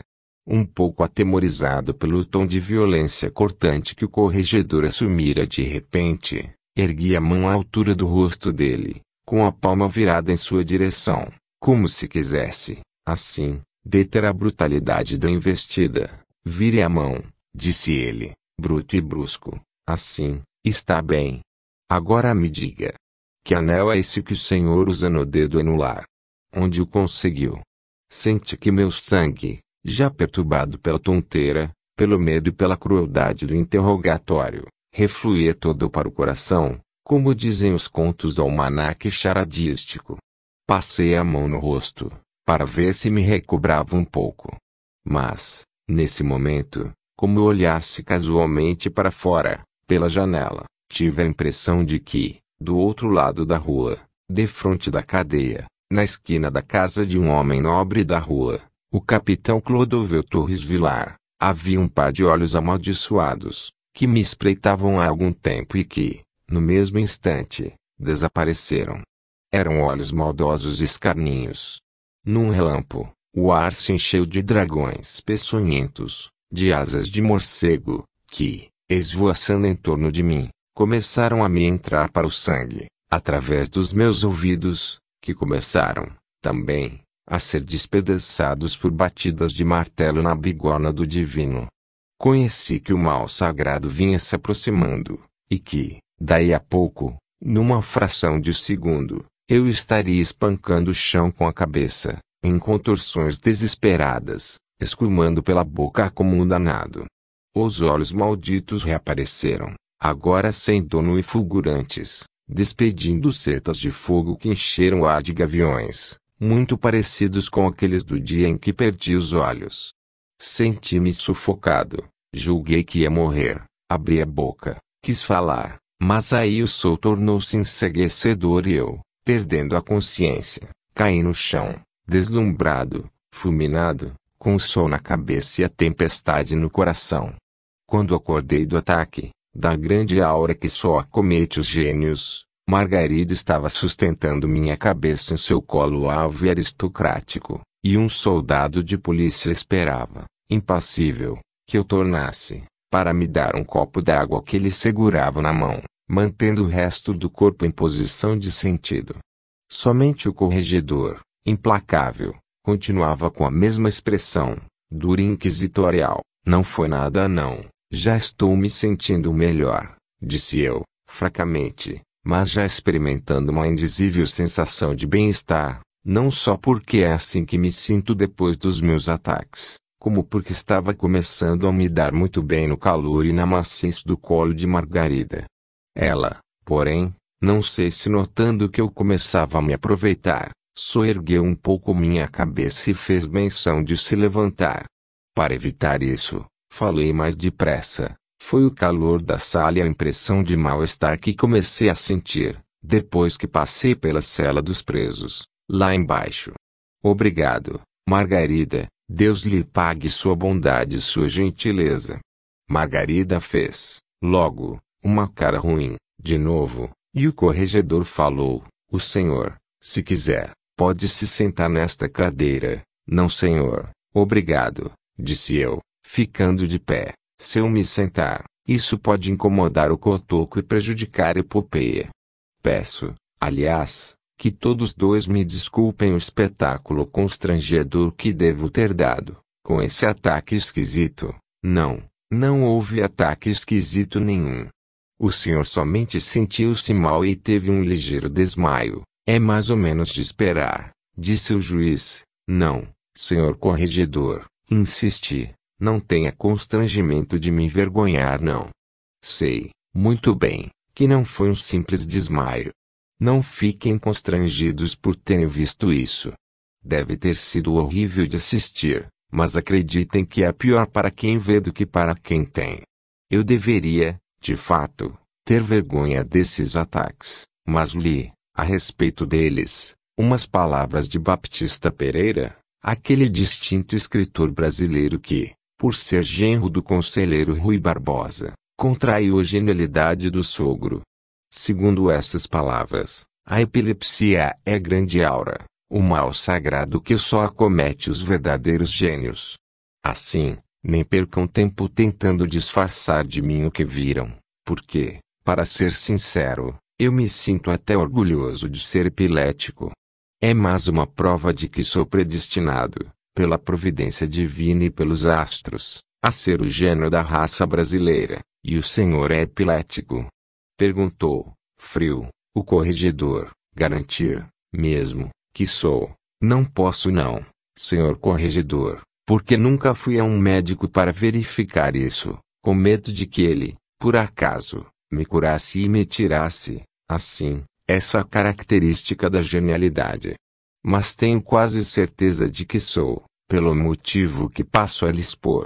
Depois que li aquelas palavras do genial genro de Rui Barbosa, fiz uma promessa a Santo Antônio Conselheiro para ficar epilético e me tornar gênio. Pois bem, daí a três dias, prazo que eu tinha dado ao santo sertanejo, fui para cima do meu lajedo, virei-me para o lado do Pajeú e de Canudos, ajoelhei-me e fiquei assim, uma porção de tempo. De repente, minha cabeça deu um estalo do padre Vieira e tive o meu primeiro ataque. Daí em diante, fiquei assim, de vez em quando, caio no chão, escumando pela boca e mordido de cachorro da molesta. Mas, como já disse, não tenho vergonha por mim, não, porque isso é até motivo de orgulho, uma vez que é o mesmo mal sagrado de um príncipe brasileiro, o impostor Dom Pedro I, e de um poeta genial, Dom Joaquim Maria Machado de Assis, pois Dom Pedro Diniz Quaderna, com todo o seu gênio e a sua fidalguia, Lamento comunicar-lhe que o senhor está em maus lençóis, disse o corregedor, respirando fundo e atirando a flecha envenenada que guardara para o fim. A carta que recebi é extensa e faz cerca de 60 acusações contra o senhor. Entre estas, duas muito importantes. A primeira, diz que o senhor descende daqueles fanáticos execráveis que, na Pedra do Reino, de 1835 a 1838, subverteram o sertão com uma seita sanguinária, degolando mulheres, crianças e cachorros. Diz a carta que o Senhor mesmo se encarregou de lembrar isso à ralé sertaneja daqui, conseguindo, assim, por mais estranho que pareça, assumir uma certa ascendência sobre ela. Dizem que o Senhor fez isso, a princípio, apenas para explorar o povo, inclusive em dinheiro. Mas que, depois, com a chegada de Sinésio, foi por causa disso que pôde aliciar tanta gente para a expedição do tal rapaz do cavalo branco. Segundo a carta, o fato de pertencer àquela família sanguinária e subversiva é motivo da sua ascendência sobre os cangaceiros, cantadores, vaqueiros e mais toda essa ralé sertaneja de fateiras, prostitutas, tangerinos e contrabandistas de cachaça. Finalmente, a carta revela um outro fato, gravíssimo. É que esse anel que o senhor usa, é o mesmo anel que foi retirado do dedo do fazendeiro Dom Pedro Sebastião Garcia Barreto, momentos depois de ter sido ele degolado por seus assassinos. Pronto, nobres senhores e belas damas de peitos macios. Estava descoberto o meu grande crime, aquela culpa que eu vinha procurando ocultar tão cuidadosamente desde que se iniciara o depoimento. Tive a sensação de que há muito tempo eu pressenti uma acusação dessas, na minha vida. Era esse o motivo real das minhas apreensões. Não só das que experimentara há pouco, quando vinha para a cadeia, mas da apreensão geral, muito mais antiga, surgida com o sol do meu sangue, quando, sem motivo palpável nenhum, eu já me sentia culpado sem ninguém me acusar diretamente sem que suspeita nenhuma de juiz nenhum tivesse sido soprada a meu sangue, o qual, porém, já se sentia enfermo, infeccionado por uma culpa que me perseguia e me envenenava. O corregedor, vendo que eu não dizia nada, insistiu. Então, o que é que me diz? As duas afirmações são verdadeiras. São, sim, senhor. Minha descendência da casa real da Pedra do Reino é verdadeira, e é verdade também que eu, no dia 24 de agosto de 1930, tirei o anel do dedo do meu padrinho e fiquei com ele. Alguém viu o senhor tirar o anel? Não, senhor. O senhor não disse que havia outras pessoas com o senhor. Quando acharam o corpo, disse. Quer dizer que o senhor tirou o anel escondido. De certa maneira, foi, porque o senhor fez isso senhor corregedor, foi uma dessas coisas que a gente faz sem nem ao menos saber por quê. Pensei em pedir licença a Arésio, como filho de meu padrinho, para ficar com aquela lembrança. Mas a confusão estava enorme. Tirei o anel e coloquei-o no bolso, pensando em comunicar o fato mais tarde. Mas aí comecei a ficar envergonhado, porque ia parecer que eu tirara de má fé, ia parecer um furto. Aí, Deixei que as coisas ficassem como estavam. O senhor veja que ocultou fatos importantíssimos para a elucidação do caso todo. Por que não disse que estava no lajedo perto do qual dispararam o tiro? Por que não me contou nada sobre as ligações que estabeleceu, no espírito dos sertanejos ignorantes, entre a seita da Pedra do Reino e a expedição sediciosa de seu primo e sobrinho, Sinésio, o alumioso?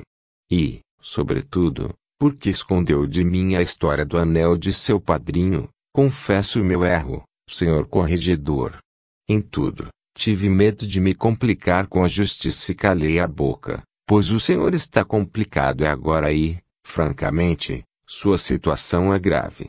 Como é que eu posso, da agora em diante, confiar no senhor? Vou ver se dou um jeito, contando tudo o que sei, desde o começo, tintim por tintim por onde Vossa Excelência quer começar a ouvir, pela história da Pedra do Reino, já que, segundo a denúncia, foi isso que fez os sertanejos ignorantes irem atrás de suas conversas para a expedição de Sinésio. Muito bem então, Excelência. Vou dizer. Escute. Folheto 65. De novo a Pedra do Reino. Comecei então, nobres senhores e belas damas, a épica e famosa Crônica dos Reis da Pedra do Reino, nos seguintes termos. Não tenho dificuldade em contar essa história a Vossa Excelência, porque colecionei cuidadosamente uma porção de textos de geniais escritores paraibanos e pernambucanos sobre ela. Alguns desses textos, devidamente versados, serão incluídos na minha epopeia. Por isso, trago sempre comigo a cópia manuscrita que fiz deles Desde que Gustavo Moraes doou à nossa biblioteca uma coleção da revista do Instituto Arqueológico de Pernambuco e outra da revista do Instituto Histórico Geográfico da Paraíba. Não sei se Vossa Excelência sabe, mas Samuel e Clemente já provaram que a história é da direita e a sociologia é da esquerda. Temos, aliás, uma prova disso, porque o patrono da história brasileira, Varinhagem, é de sangue godo lâmbico do impostor Dom Pedro II, católico e visconde, enquanto o da nossa sociologia, Manuel Bonfim, era católico sertanejo, rebelde socialista. Ora, Gustavo Moraes era integralista e participante, no Recife, do movimento da revista Fronteira, ligado a Manuel Lubambo e ao padre Antônio Fernandes. Foi por isso que, entre nós, reforçou o interesse pela história e pela genealogia, com algumas ideias que tinha bebido no Recife e que terminou difundindo entre nós, nas memoráveis sessões do nosso Instituto Genealógico e Histórico do Sertão do Cariri. Confesso que, até o dia em que li essas revistas e outras obras doadas por ele à biblioteca, eu escondi a minha descendência régia como se fosse um crime e uma mancha. Mas depois, um dia, caiu nas minhas mãos um livro do genial escritor pernambucano, o Dr. Francisco Augusto Pereira da Costa. Foi um deslumbramento para mim, senhor corregedor. Como, certamente, já explicaram a Vossa Excelência na infame carta anônima, a linhagem real dos Quadernas tinha dois ramos principais, o dos Vieira dos Santos e dos Ferreira Quadernas. Mas o rei principal, mesmo, foi meu bisavô, Dom João II, o execrável, Dom João II, o execrável. Que confusão é essa? Não se espante não, excelência. O nome dele, mesmo, era João Ferreira Quaderna, assim como o nome de Dom Pedro I, era Pedro de Alcântara de Bragança. Mas todos os escritores que escrevem sobre a Pedra do Reino só chamam meu bisavô de o execrável João Ferreira. Ora, eu aprendi, pela leitura da história da civilização de Oliveira Lima e da história geral do Brasil, de Varinhagem, que nossos reis e imperadores têm sempre um dom antes do nome e um cognome depois. Reis do Brasil e de Portugal, por exemplo, foram Dom Manuel I, o Venturoso, e Dom Sebastião, o Desejado. No estrangeiro, é a mesma coisa, tirando-se o dom.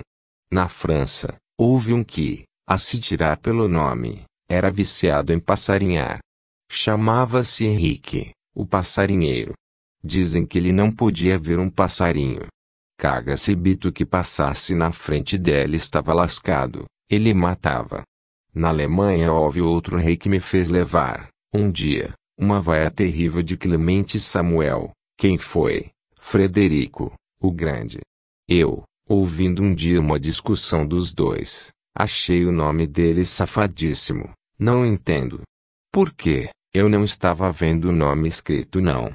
Estava somente ouvindo, de modo que pensei que ele se chamava Frederico Grande. Assim, vendo que ilustres escritores pernambucanos chamavam meu bisavô de o execrável João Ferreira Quaderna, vi logo que aquilo era uma coisa régia grandiosa e que o nome monárquico dele devia ser Dom João II, o execrável. Mas isso é um nome pejorativo, disse o corregedor que, naquele dia, apesar de todas as minhas lições, ainda estava meio cru nessas questões de monarquia. Eu, compadecido dele, expliquei pacientemente, nessas questões de linhagem real, senhor corregedor, essas coisas pejorativas não têm a menor importância. Felipe, o Belo, da França, falsificava dinheiro, motivo pelo qual passou a história com o nome comprido mas bonito de Felipe, o Belo, o moedeiro falso. Ora, eu pensei assim. Se esse rei da França falsificava dinheiro, que aqui tem que meus antepassados, reis do povo brasileiro, degolassem mulheres, meninos e cachorros. Crime por crime, os da minha família foram muito menos chinfrins, porque degolar pessoas é muito mais monárquico do que passar dinheiro falso. Está vendo, Excelência? Esse negócio de rei é assim mesmo. Dom João II, o príncipe perfeito, que foi rei de Portugal, cometeu um desses crimes régios, parecidos com os do meu bisavô. Deu uma facada no cunhado, o duque de Viseu, que, ali mesmo, na hora, esticou a canela, quer dizer que o senhor, além de pertencer, pelo lado materno, à linhagem real sertaneja dos Garcia Barretos, ainda pertence, pelo lado paterno, à linhagem real da Pedra do Reino. Os quadernos são também, na verdade, como diz a carta, de linhagem real, são, sim senhor. E não sou eu, um quaderna, quem diz isso não, é um verdadeiro príncipe da literatura brasileira, o genial Pereira da Costa. Foi por causa do que ele escreveu que eu me convenci, de uma vez por todas, primeiro de que era rei, depois que tinha de ser monarquista da esquerda. Está aqui o texto dele. Ando sempre com o papel em minha pasta. Escute. Li então para o corregedor e Margarida aquelas palavras sacramentais de unção e consagração que tinham exercido papel tão importante em minha vida. Aquelas palavras de Pereira da Costa que começam assim. Foi na Pedra Bonita que se firmou a reunião desses novos sebastianistas, e nos subterrâneos dos seus rochedos foi o templo de seus falsos sacerdotes e o solo real dessa imaginária e caricata monarquia. Quando eu acabei de ler, o corregedor sorriu. Falsos sacerdotes. Monarquia caricata imaginária. E o Senhor recebe isso não só resignado, como até orgulhoso, segundo parece. É isso mesmo, Excelência. Pereira da Costa era um escritor oficial e consagrado, membro do Instituto Arqueológico de Pernambuco, de modo que a palavra dele é palavra de príncipe, não voltaria atrás nem que ele depois, arrependido, quisesse se desdizer. Se ele consagrou meus antepassados como reis do Brasil, mesmo que conceder e caricata nossa monarquia nós estamos consagrados e acabou-se, nem Deus agora dá jeito.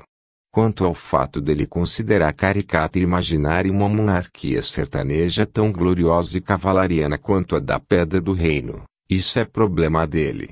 Não tenho culpa de Pereira da Costa, com todo o seu gênio, ser burro desse jeito. Depois, acontece que todas as monarquias são imaginárias e caricatas, e o senhor, mesmo pensando assim, é monarquista. Sou, sim senhor. Sou da esquerda régia, ou, se Vossa Excelência prefere, um monarquista da esquerda, porque essa contradição, porque acho monarquia bonito, com aquelas coroas, tronos, cetros, brasões, desfiles a cavalo, bandeiras, punhais, cavaleiros e princesas, como no folheto de Carlos Magno e os doze pares de França. É por isso que meu parente Dom Silvestre José dos Santos foi rei do Brasil, na Serra do Rodeador, em Pernambuco, com o nome de Dom Silvestre I, o enviado. Na Pedra do Reino, estiveram juntos, reinando, os dois ramos da família, os Vieira dos Santos e os Ferreira Quadernas. Os Vieira dos Santos eram os quatro filhos do velho príncipe Dom Gonçalo José dos Santos. João Antônio, Pedro Antônio, Isabel e Josefa. Ou melhor, Dom João I, o precursor, Dom Pedro I, o astucioso, a princesa Isabel e a rainha Josefa. Do ramo dos Quadernas, estavam lá o velho príncipe Dom José Maria Ferreira Quaderna, meu trisavô e pai do meu bisavô, Dom João Ferreira Quaderna, subido ao trono sertanejo do Brasil com o nome de Dom João II, o execrável. Mas os dois ramos terminaram se unificando, porque meu bisavô casou-se com as duas irmãs, primas dele, a rainha Josefa e a princesa Isabel. Casou-se com as duas irmãs de uma vez, senhor corregedor. Vossa Excelência já deve ter notado que o catolicismo sertanejo tem suas leis e seus mandamentos próprios. A poligamia, o pensamento socialista sertanejo, a devora dos proprietários por cachorros degolados e ressuscitados como dragões eram alguns dos itens do nosso credo da Pedra do Reino. Veja, Dona Margarida, que fim de mundo, disse o corregedor. Eu sabia que aquela gente tinha sido cruel e fanática, mas nunca pensei que fossem, também, tão perigosos e subversivos.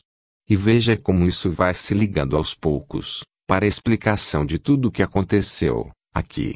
Sinésio, sendo filho de sua irmã, senhor Pedro Diniz Quaderna, era, também, descendente desse pessoal, não era, era, sim senhor. Eu e Sinésio somos descendentes de Dom João II, o execrável e da prima segunda mulher dele, a princesa Isabel, degolada por ordem do marido, no dia 16 de maio de 1838, juntamente com a outra rainha, minha tia bisavó Dona Josefa. Que horror!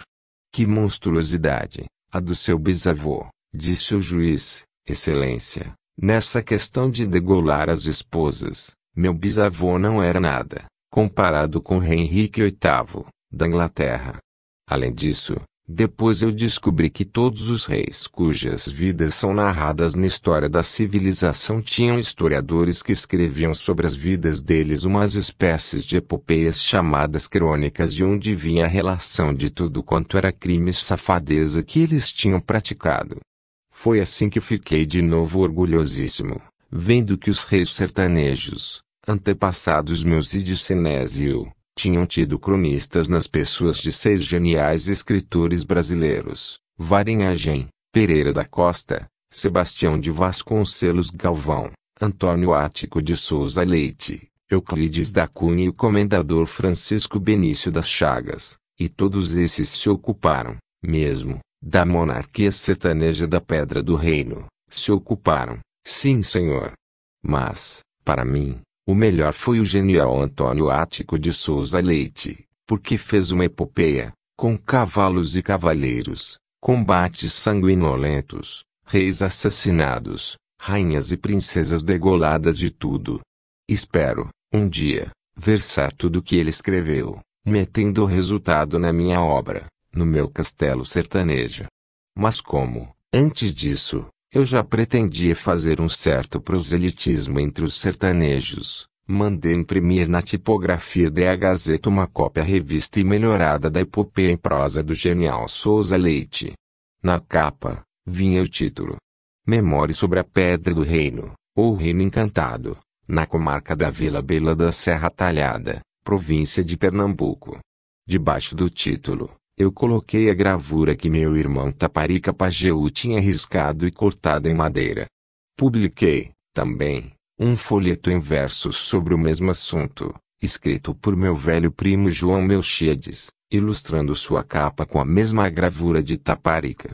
A gravura foi feita de acordo com o desenho que o padre Francisco José Corrêa de Albuquerque fez do lugar sagrado da Pedra do Reino. Vossa Excelência conhece esse desenho? Não, pois procure a revista do Instituto Arqueológico e veja, porque é uma beleza.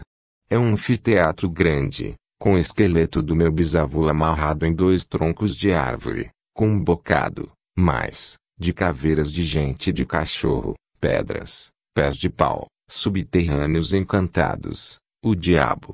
Mas, como no folheto não cabia tudo o que existia no desenho, eu mandei Taparica tirar as coisas mais desonrosas na primeira cópia. O esqueleto de meu bisavô foi uma. Depois, na segunda gravura, ele copiou somente as duas grandes pedras cilíndricas e paralelas que, segundo os reis meus antepassados, eram as duas torres da catedral soterrada encantada dos sertanejos. No meio delas, Taparica colocou um retrato do nosso bisavô, com coroa na cabeça, para impressionar. Olhe, senhor corregedor, eu tenho aqui, na minha pasta, exemplares dos dois folhetos, de modo que posso dar ao senhor uma cópia de cada um, para serem anexadas ao processo. Li então para o corregedor toda aquela história que vossas excelências já conhecem, nobres senhores e belas damas. Quando acabei, entreguei a ele os exemplares dos folhetos, que foram passados a Margarida e anexados ao inquérito. Então o corregedor falou, Dom Pedro Diniz Quaderna, agora tudo começa a se esclarecer. Só não entendo é como, a partir daí, o senhor pode provar que é, mesmo, descendente em linha masculina e direta desse pessoal da Pedra do Reino. É fácil, senhor corregedor. Antônio Ático de Souza Leite não foi muito claro porque só escreveu sobre a Pedra do Reino, deixando de lado o que aconteceu depois.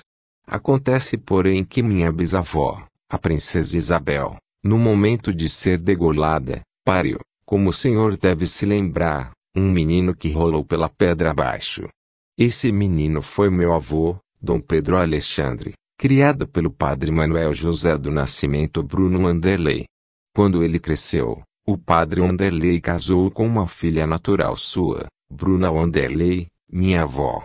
É por isso que os quadernas ora nascem morenos como eu, puxando ao sangue mouro mameluco dos Vieira dos Santos e dos quadernas, ora nascem louros, como era o caso de minha irmã Joana Quaderna, puxando ao sangue gol do Flamengo de minha avó Bruna, filha do padre Onderley. Quer dizer que a linhagem real da Pedra do Reino continuou através de uma filha de padre. É, sim senhor, o que não quer dizer nada, porque a dos Braganças também descende de um filho de bispo.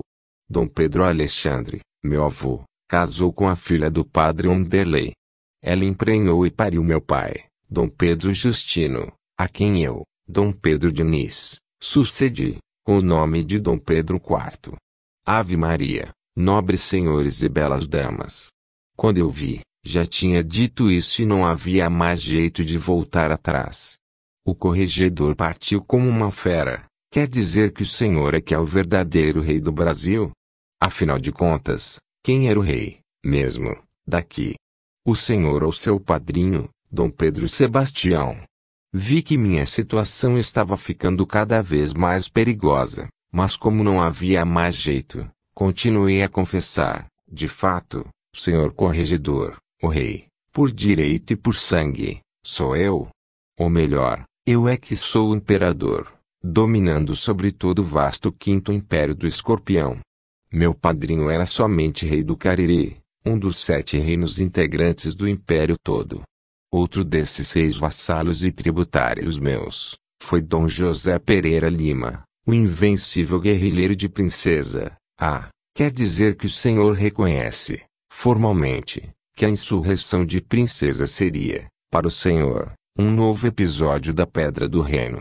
E provavelmente, quando Sinésio apareceu por aqui, montado em seu cavalo branco, era tudo isso que o senhor tinha em mente, procurando unir os sertanejos para nova sedição contra as autoridades. Senhor corregedor, o que eu queria mesmo, confesso, era ser imperador do sertão e do Brasil, para me tornar gênio da raça brasileira.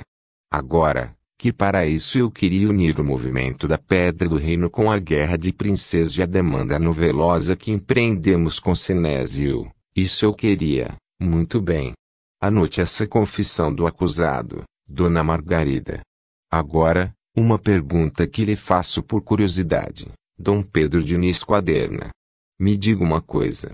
Seus irmãos legítimos não eram, todos, mais velhos do que o senhor. Eram, sim senhor. Então como é que se explica que o senhor tenha sido herdeiro do trono? Eu redigi um papel pelo qual eles abdicavam desse direito, e todos quatro assinaram, sem opor dificuldade sem opor dificuldade.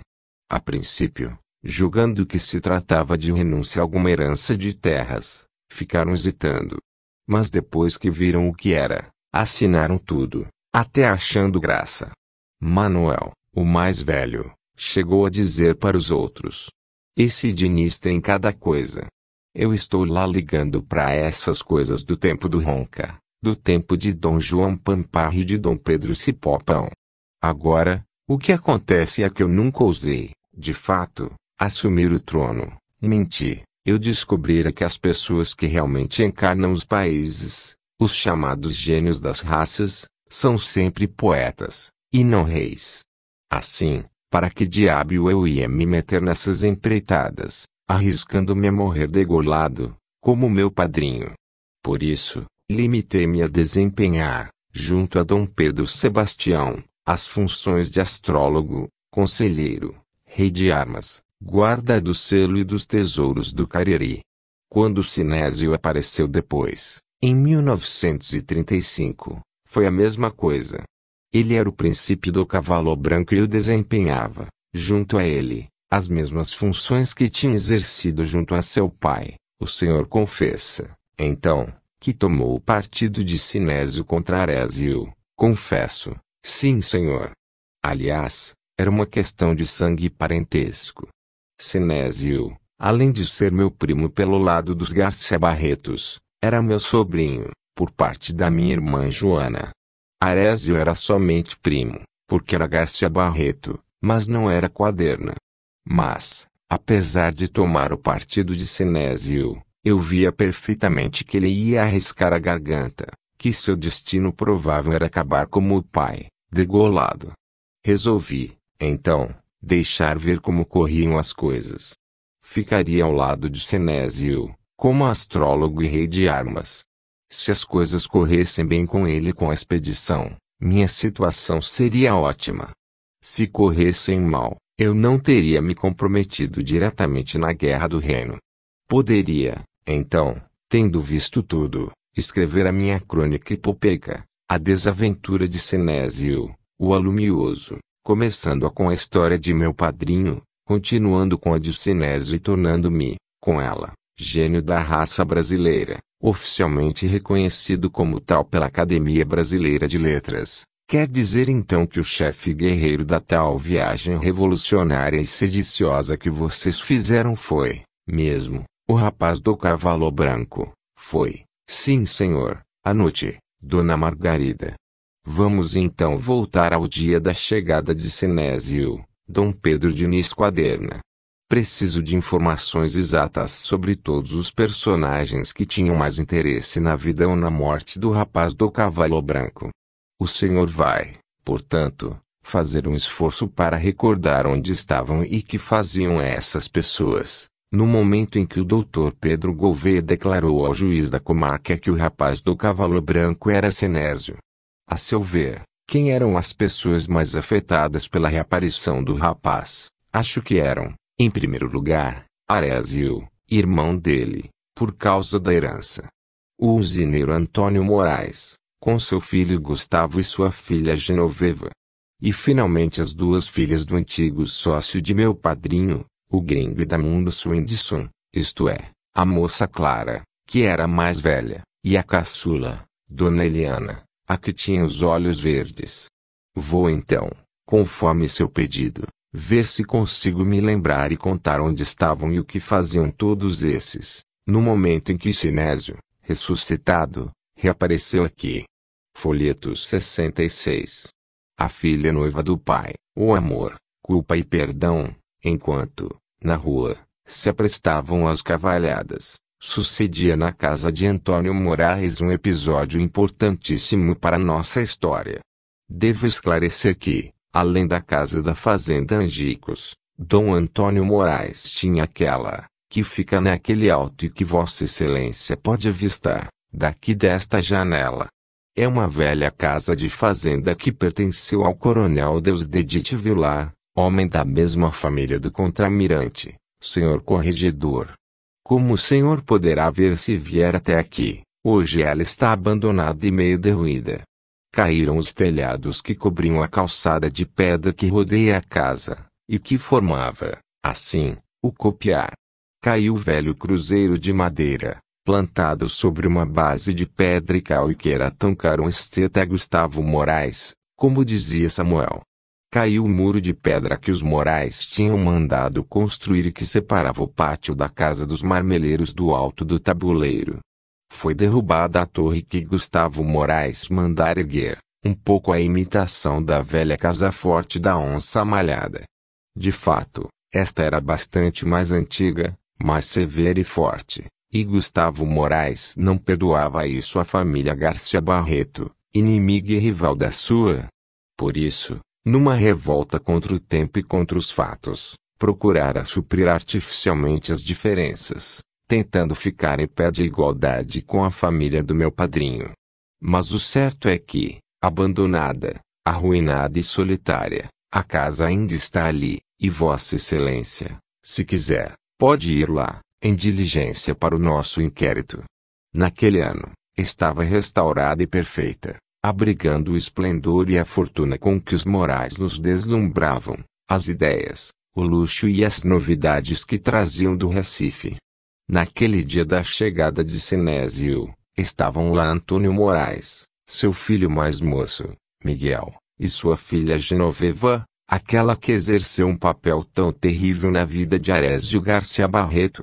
Não estavam, no momento, nem o filho mais velho, Gustavo, nem Arésio que, como já disse, estava morando lá, como hóspede. Arésio, com seu gênio sombrio, estranho e violento, desaparecia às vezes durante dois ou três dias, sem dar explicações a ninguém sobre isso. Aquele era um desses dias.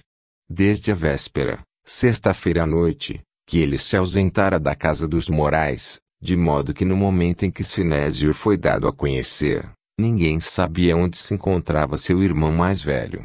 Aliás, senhor corregedor, acho que muita coisa da minha história ficará logo esclarecida, se eu disser a Vossa Excelência que se trata de uma história de casas arruinadas.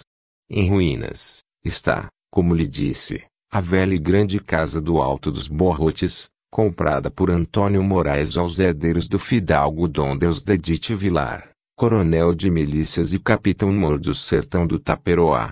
Em ruínas está a velha casa, edificada por Dom Edmundo Swindson, pai de Clara Eliana, perto da fortaleza de Nazaré do Cabo, a cavaleiro sobre a barra do rio Suape, no litoral de Pernambuco. Em ruínas está a casa forte da Onça Malhada, incendiada na noite do dia 24 de agosto de 1930. E finalmente está em ruínas a antiga fortaleza de São Joaquim da Pedra, situada no litoral do Rio Grande do Norte e pertencente, também, ao pai de Clara Eliana, as duas moças que, por um equívoco ao mesmo tempo funesto e lumioso, terminaram efetuando o cruzamento de amor e sangue que encruzilhou e crucificou o destino de Senésio. Mas, como eu vinha dizendo, o primeiro acontecimento importante daquela tarde sucedeu na casa do zineiro e dono de Minas Antônio Moraes. Foi-me comunicado, logo na noite daquele sábado memorável, por um pedreiro, Teodoro Barba de Bode, que era meu discípulo e membro mais ou menos influente da Ordem dos Cavaleiros da Pedra do Reino. Ah, quer dizer que o senhor confessa que fundou essa ordem. Confesso. Sim, senhor. Como Vossa Excelência deve se lembrar pela narração de Antônio Ático de Souza Leite, isso de fundar uma seta para cobrar joias em dinheiro é uma tradição da minha família, e também, aliás, de toda a monarquia que se preza. Pois bem, Teodoro Barba de Bode tinha sido contratado, uns 20 dias antes, para executar os trabalhos de pedreiro na velha casa dos Morais. Gustavo, filho mais velho, dirigir as reformas da casa, introduzindo nela várias modificações ditadas pelas novas ideias que trouxera do Recife. Como nos explicara o Dr. Samuel, Gustavo beber essas ideias junto a um estranho grupo de intelectuais recifenses da direita, grupo congregado em torno de um padre jesuíta mais estranho ainda, o padre Antônio Fernandes. Esse padre era um hindu português de Goa, homem enigmático e político, que adquirira renome no Recife, principalmente depois da acirrada polêmica que mantivera com um filósofo francês. Conseguira reunir, em volta de si, poetas, jornalistas e políticos, jovens e ardorosos. Alguns deles estavam entrando, como eminências pardas, no poder do Estado, em Pernambuco. Outros tinham fundado uma revista de arte e literatura, Fronteira, e fora o contato do grupo esteticista e belamente reacionário de fronteira, como dizia Samuel, que Gustavo Moraes adquirira as ideias com as quais, primeiro nos chocara, e depois nos deslumbrara a todos nós, intelectuais sertanejos de Taperoá. Esse grupo de intelectuais recifenses da direita pusera em modo estilo barroco brasileiro, o despojamento monacal dos mosteiros e das casas de missões jesuíticas. Os espelhos, os cristais, as pratarias. A aristocracia dos engenhos. O catolicismo meio inquisitorial dos ibéricos. O gosto pela arquitetura dos velhos sobrados de azulejos. Das velhas igrejas, com suas esculturas em madeira, seus retábulos e painéis pintados a óleo sobre tábuas de cedro assim como pela arquitetura das velhas fortalezas brasileiras dos séculos XVI, XVII e XVIII, o que sabemos ainda pelo Dr. Samuel Andernes. Assim, de acordo com essas boas e velhas ideias tradicionais, Gustavo Moraes rasgara de aberturas as paredes da casa da família Vilar, comprada por dinheiro muito acima de seu valor, enchendo-a de nichos e santuários nos quais colocara santos de barro cozido ou de madeira, comprados por tudo quanto era de sacristia e igreja velha da Paraíba e de Pernambuco. Ao chegar do Recife para Taperoá, Gustavo mandara procurar, na rua e nas casas de fazenda da nossa vila, mesas velhas, cadeiras, consolos e tudo quanto era de velharia dessa qualidade. Distribuíra tudo isso pela casa, cobrindo as mesas de centro e forrando os oratórios com as coisas mais extravagantes, paramentos sacerdotais franjados de ouro, toalhas de renda, estribos de celas antigas, lavatórios de louça azul e branca e móveis que ninguém usava mais por terem se tornado fora de moda. A casa ficara com tal aspecto que um dia velha do badalo, uma velha doida que existe por aqui que vende coentro de porta em porta, Chegando na sala de visitas dos Morais, julgou que estava numa capela. Ajoelhou-se diante de uma mesa de centro enfeitada de paramentos roxos. Benzeu-se e rezou bom pedaço de um terço, antes que os empregados a detivessem. Pois o contrato dos Morais com o pedreiro Teodoro Barba de Bode referia-se a essa reforma. Naquele dia 1 de junho de 1935 ele fora chamado para abrir umas seteiras nas duas paredes dos oitões da casa. Depois da primeira parte das reformas, Gustavo Moraes percebera que a casa dos Garcia Barretos tinha, a mais, aquele elemento de arcaica rusticidade e beleza, e, inconformado, mandara abrir seteiras na dos Moraes. Chamado ao alto dos borrotes para fazer o trabalho de alvinaria e cantaria, Teodoro Barba de Bode, sabendo da inimizade que reinara outrora entre Antônio Moraes e meu padrinho, Dom Pedro Sebastião, foi me consultar, indagando se devia, ou não, aceitar a incumbência, temeroso que estava de sofrer algum malefício, por trabalhar naquela casa, ocupada por gente que pertencia ao partido do diabo. Vê-se que o Senhor instruiu bem os membros de seu partido subversivo, disse vivamente o corregedor. Eu suspirei, Vossa Excelência já sabe de tudo e assim é melhor que eu confesse tudo de uma vez. De fato, Excelência, sempre achei que guerra é guerra, e, no caso, na luta entre os Moraes e os Garcia Barretos, tratava-se da sobrevivência do meu sangue e da minha coroa. Esse foi o motivo de eu ter explicado a todos os meus amigos que devíamos cerrar fileiras em torno de Dom Pedro Sebastião Garcia Barreto, porque Antônio Moraes era do lado do diabo. Apesar disso, porém, naquele dia eu tranquilizei Teodoro. Disse que ele podia, sem remorso, aceitar a encomenda de Gustavo Moraes, pois era até bom, para nós, que algum dinheiro pertencente ao lado do mal e do diabo passasse para uma pessoa que, como ele, estava do lado do bem e de Deus. Expliquei-lhe que, com a morte do nosso velho rei, Dom Pedro Sebastião, a nossa luta não se acabara, mas tinha assumido uma tática nova. Que, dentro dessa tática, ele devia aceitar aquela oportunidade rara. Nenhum de nós tinha acesso à casa dos Morais. Assim, ele aproveitasse, e entrasse lá, fazendo bem o serviço, mas com os olhos e os ouvidos bem abertos, pois como ninguém dá importância a um pedreiro, talvez lhe aparecesse a sorte de tomar conhecimento de alguma coisa vital, de alguma informação preciosa para o nosso partido. Está ouvindo, Dona Margarida? disse o corregedor, escandalizado. Está vendo como esse pessoal é perigoso e sem escrúpulos. Anote, tudo isso é muito importante. Margarida anotou e eu continuei. Naquele sábado, pois, Teodoro trabalhou a manhã toda, num altíssimo andaime, colocado num quarto situado do lado esquerdo do corredor que ligava a sala de visitas à sala de jantar do casarão. Estava realizando, já, o trabalho de caiação daquele lado, pois já abrira, na parede, as seteiras encomendadas por Gustavo Moraes. Teodoro tensionava, como quase todo mundo na vila, ir para a rua à tarde, para assistir às cavalhadas. Tinha tido, aliás, o cuidado de deixar isso bem claro, na véspera. No sábado, largaria o trabalho ao meio-dia, só voltando ao alto dos borros na segunda-feira pela manhã.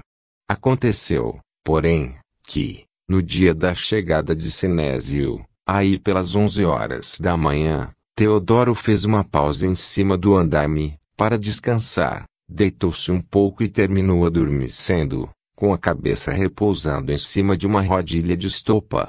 Com o torpor causado pelo cansaço e pela fome que precede a hora do almoço, Dormiu um bocado e ficou lá em cima, esquecido, com o pessoal da casa julgando que lhe tinha alargado o serviço, conforme o ajuste, e se retirado para a vila.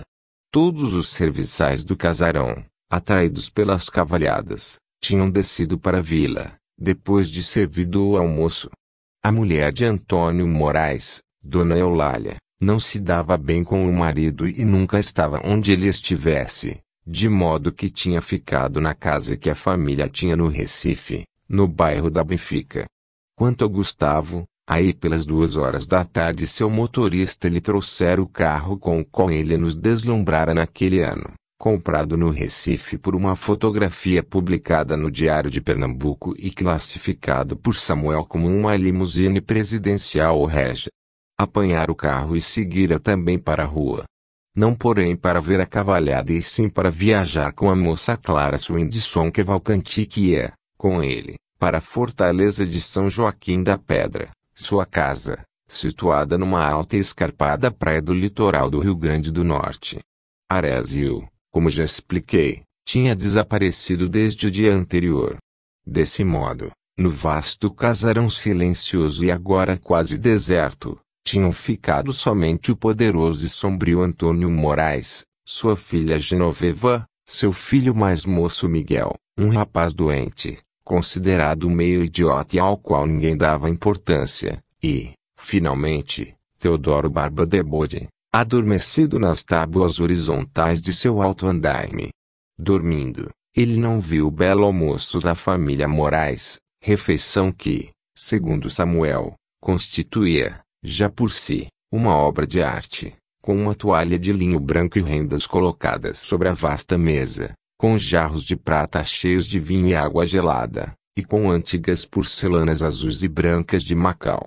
Não viu, também, saírem os domésticos que iam para a cavalhada, nem ouviu a limusine régia de Gustavo arrancar e se dirigir para a rua, guiada pelo motorista vestido de uniforme caque, com boné militar e luvas castanhas de couro.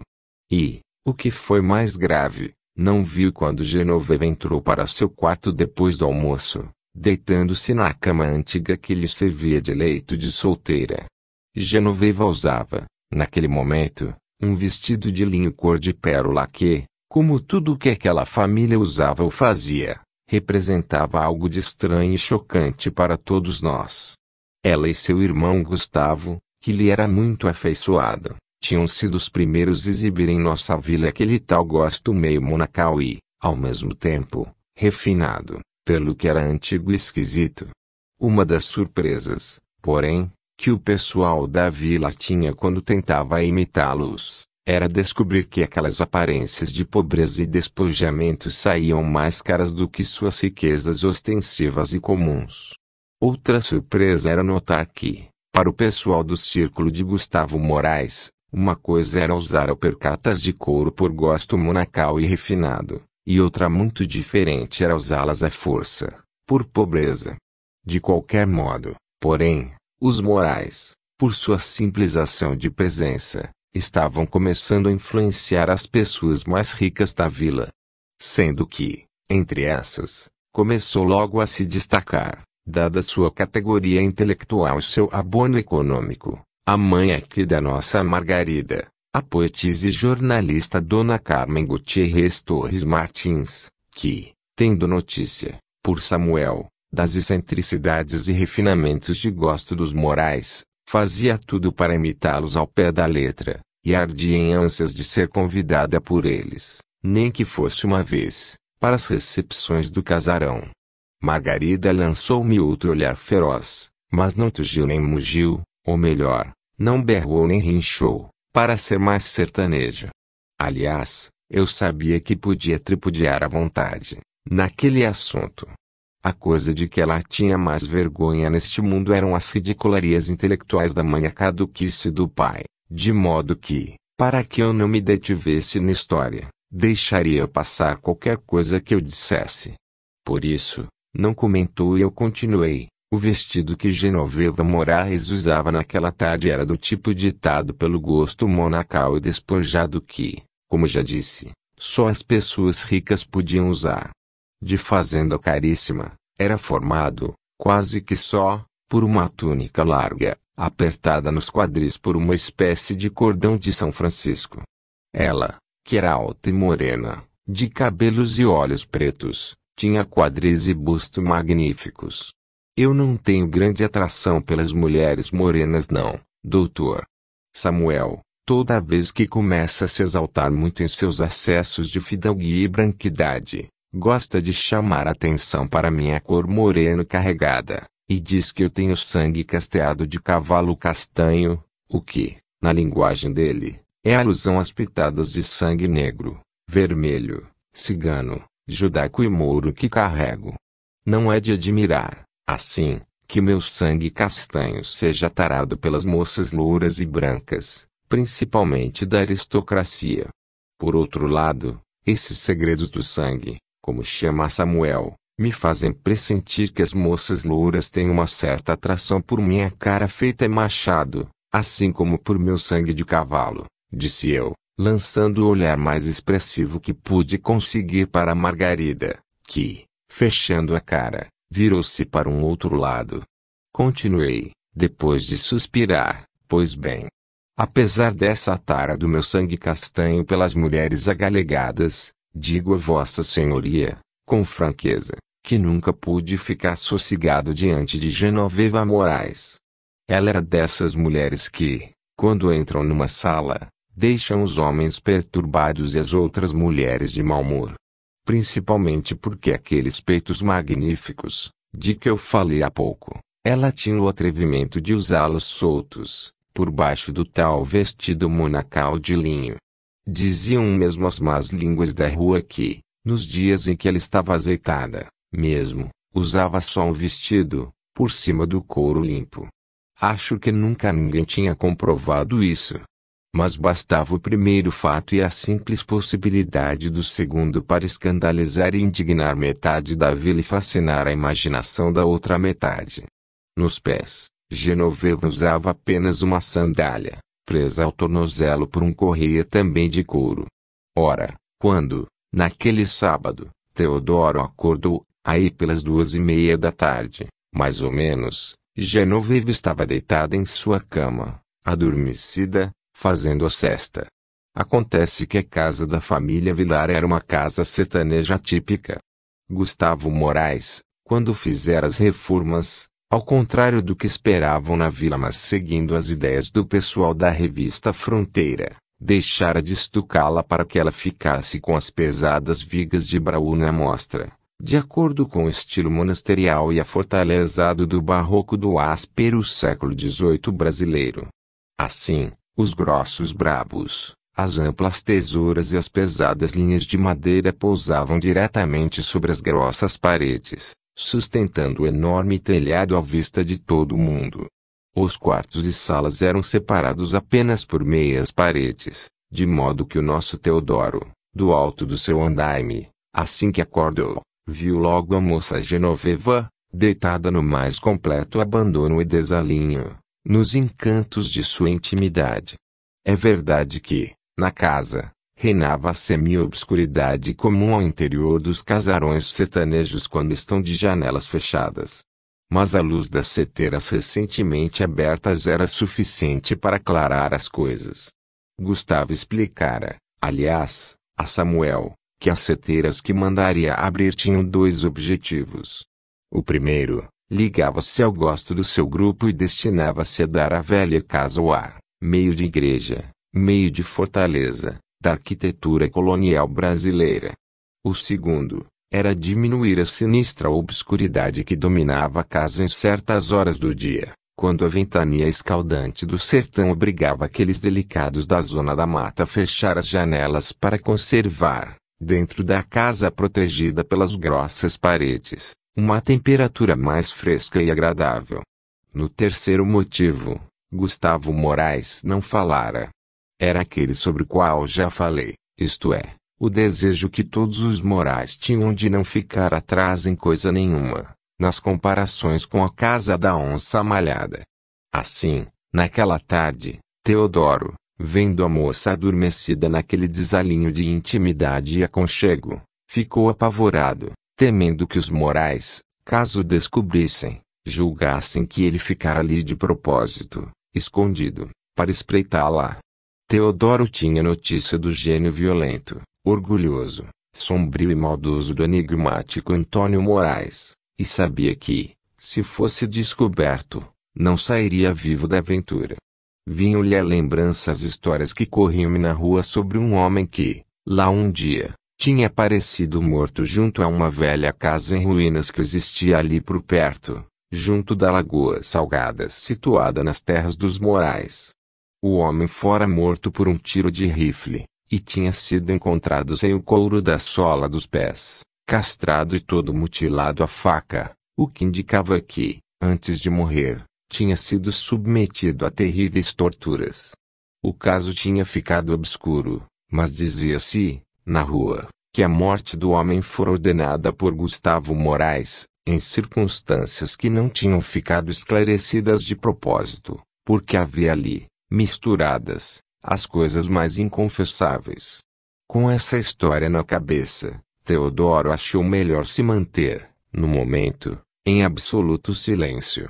Quando Genoveva acordasse e saísse do quarto, ele resolveria o que fazer, de acordo com o rumo que tomassem as coisas.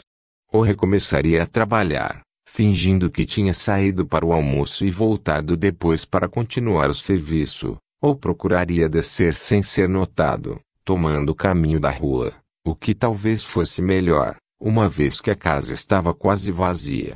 Continuou, portanto, deitado no andame, parado e calado, sem imaginar que, dali de cima, iria ver lá embaixo, daí a pouco, uma cena que iria aumentar mil vezes mais o perigo que sua vida porventura estivesse correndo.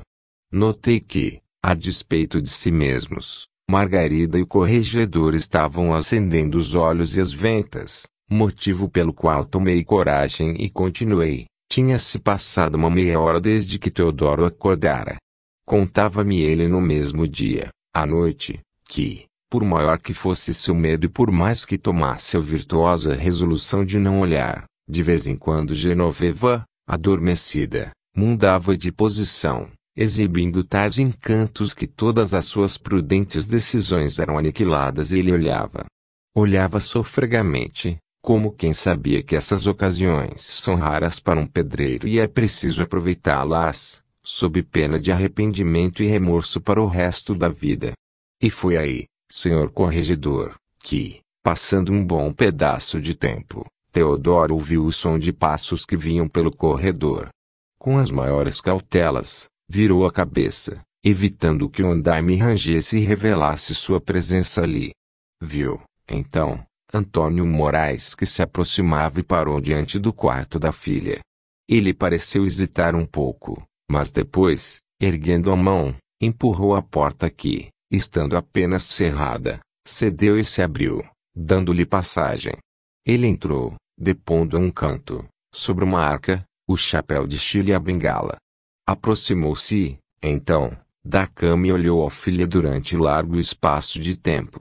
Depois, sentou-se à beira do leito e esboçou um gesto que, a princípio, pareceu Teodoro de simples carinho paternal. O senhor conhece o romance de Dona Silvana, não, minha tia Filipa costumava cantá-lo quando eu era menino. Me lembro dele mais ou menos, e sei que começava assim. Andava Dona Silvana pelo corredor acima, viola de ouro levava, vai cantando uma modinha. Chegou-se para ela o pai a quem o diabo impelia. A cada passo que dava de amores acometia, Silvana, tu não te atreves uma noite a seres minha, fora uma, fora duas, fora, meu pai, cada dia, malas penas do inferno quem por mim las penaria, pená-las e eu, Silvana, que las peno todo dia. Já perto da meia-noite, eis seu pai que a cometia, mas se eu soubesse, Silvana, que estava já corrompida, ó, oh, las penas do inferno por ti não las penaria, mas esta não é Silvana, é a mãe que a paria. Também pariu Dom Alardos, senhor da cavalaria, também pariu a Dom Pedro, príncipe da infantaria etc. Quando parei aí, o corregedor indagou, entre severo e curioso, o senhor está insinuando que o pedreiro viu, naquele dia, entre Antônio Moraes e a filha, uma cena desse tipo, senhor corregedor, foi o que ele me disse. Teodoro julgou, a princípio, que Antônio Moraes estava simplesmente acordando a filha. Assim, a surpresa e o medo que ele teve foram terríveis, quando viu o homem, por cima do vestido, apalpar e acariciar os seios de Genoveva, seios que, segundo ele sabia pelos boatos, deveriam estar desnudos, embaixo. Mas, mesmo assim, parece que, depois de algum tempo, essa carícia por cima do vestido começou a ser insuficiente ao usineiro. Aí, pelo largo decote em forma de barco, ele acariciou o ombro descoberto e logo insinuou a mão para dentro, acariciando já diretamente a pele macia e o bico dos seios. Como Genoveva não acordasse, dizia-me Teodoro, o pecado e a doidice daquele homem do diabo foi crescendo. Ele se deitou ao lado da moça e, sem deixar de acariciar o seio com a mão esquerda, deslizou a direita embaixo, por sobre o vestido que, com isso, se ergueu. Então, o homem montou, deitando-se sobre Genoveva. Que história é essa, senhor Quaderna? Interrompeu o corregedor, asperamente, mas já um pouco azogado. Foi o que me contaram. Defendi-me, e a moça não acordou. Era o que eu ia dizendo, quando o senhor me interrompeu. Teodoro disse que, quando Antônio Moraes se montou mesmo, como um pai d'égua que não distingue a filha das outras potrancas do rebanho, ele teve a impressão de que Genoveva já tinha acordado, pois viu no rosto dela uma expressão estranha, de quem sorria contra gosto. Mas, ao mesmo tempo, ela conservava os olhos meio fechados e a cabeça pendida para trás, de modo que ele não pôde me esclarecer, em sã consciência, se ela estava dormindo ou não, se estava ou não conivente com o que ia se passando. Aliás, explica-se essa dúvida de Teodoro, porque, naquele momento, apavorado com o que já vira, ele se encolheu no andaime e, com os olhos fechados, os dentes cerrados e o coração batendo, ficou, durante o resto da cena, sem olhar mais nada. Mas o resto da cena durou pouco e, se ele não via nada, não fechara os ouvidos, de modo que logo ouviu um gemido surdo, um gemido abafado, de Genoveva. O corregedor, com um ar falso e paternal, voltou-se para Margarida. Dona Margarida, a senhora me perdoe, disse ele. Eu não sabia que o inquérito ia tomar esse rumo, e esse foi o motivo de eu ter aceito seu gentil oferecimento. Se a senhora acha melhor, interromperei o depoimento, e pedirei ao cartório que me mande um escrevente qualquer. Não, não tem importância, disse Margarida, com ar angélico e martirizado de quem, pelas virtuosas damas do cálice sagrado, fazia qualquer sacrifício. Eu desconfiava, porém, de que suas narinas estavam ofegantes não propriamente de indignação. Não era a ânsia de sacrifício dos mártires que a fazia manter-se como secretária do inquérito. Mas o corregedor hesitava ainda e ponderou, é que, pelo que vejo, Terei que investigar certos pormenores sobre o caso e não sei como possa fazer isso. Com a senhora aqui, Vossa Excelência pode continuar. Essas coisas não me atingem, disse Margarida, ficando ainda mais vermelha e agitada do que estava. Eu, então, aceito e agradeço, porque, no caso, preciso de segredo absoluto e um escrevente não seria a mesma coisa que senhora. Muito bem, senhor Quaderna. Vamos então continuar.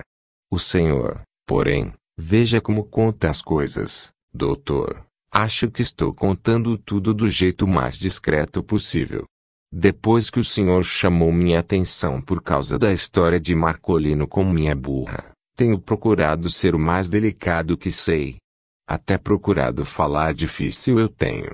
Agora, o que não sei é como contar uma história danada como esta de jeito delicado e discreto.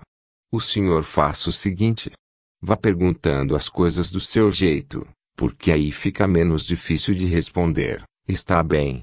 O senhor disse que a moça proferiu um gemido abafado. Na sua opinião, o que foi que houve?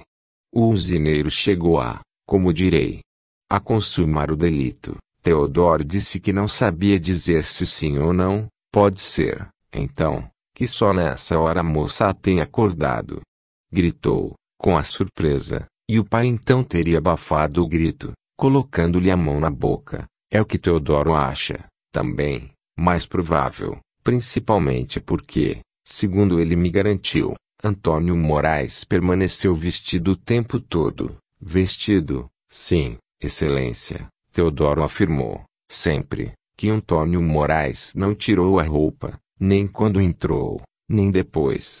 É verdade que isso não garante grande coisa, e Teodoro disse que não podia avançar hipótese nenhuma com segurança, pois somente quando cessaram, embaixo, os ruídos abafados e os murmúrios que se seguiram ao gemido de Genoveva, foi que ele teve coragem de olhar de novo para lá.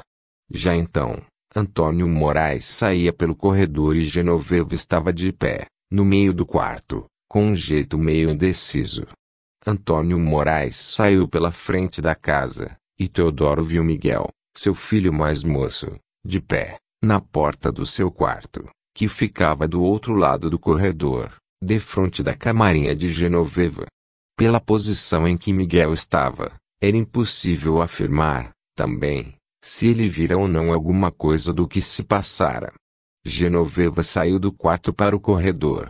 Ao se deparar com o irmão, os dois se olharam um pouco, em silêncio. Depois, Miguel voltou a entrar no quarto, fechando a porta atrás de si, e Genoveva, cabisbaixa, saiu para os lados da sala de visitas, a da frente.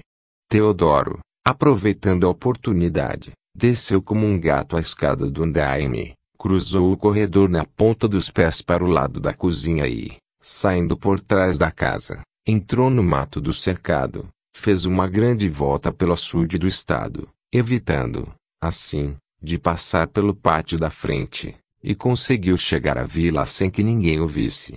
À noite, passados já os acontecimentos terríveis que se desencadearam com a chegada de Sinésio, foi me procurar na tábua redonda para me contar a história e pedir instruções. Eu o aconselhei a calar a boca, porque, de fato, se a história se espalhasse, os Moraes eram gente para acabar com a vida dele em poucas horas. Garanti-lhe silêncio da minha parte e despedi-o, porque tinha muita coisa a pensar e decidir, naquela noite terrível, decisiva para todos nós. Assim, senhor corregedor, esta é a primeira vez que conto esta cena diante de terceiros. Fiz isso em atenção ao senhor e atendendo a sua ordem de contar tudo, tintim por tintim. Muito bem, disse o corregedor, novamente impenetrável. E as outras pessoas que o senhor considerou afetadas pela chegada do rapaz? Folheto 67. O emissário era um rapaz esbelto, de estatura pouco acima da mediana.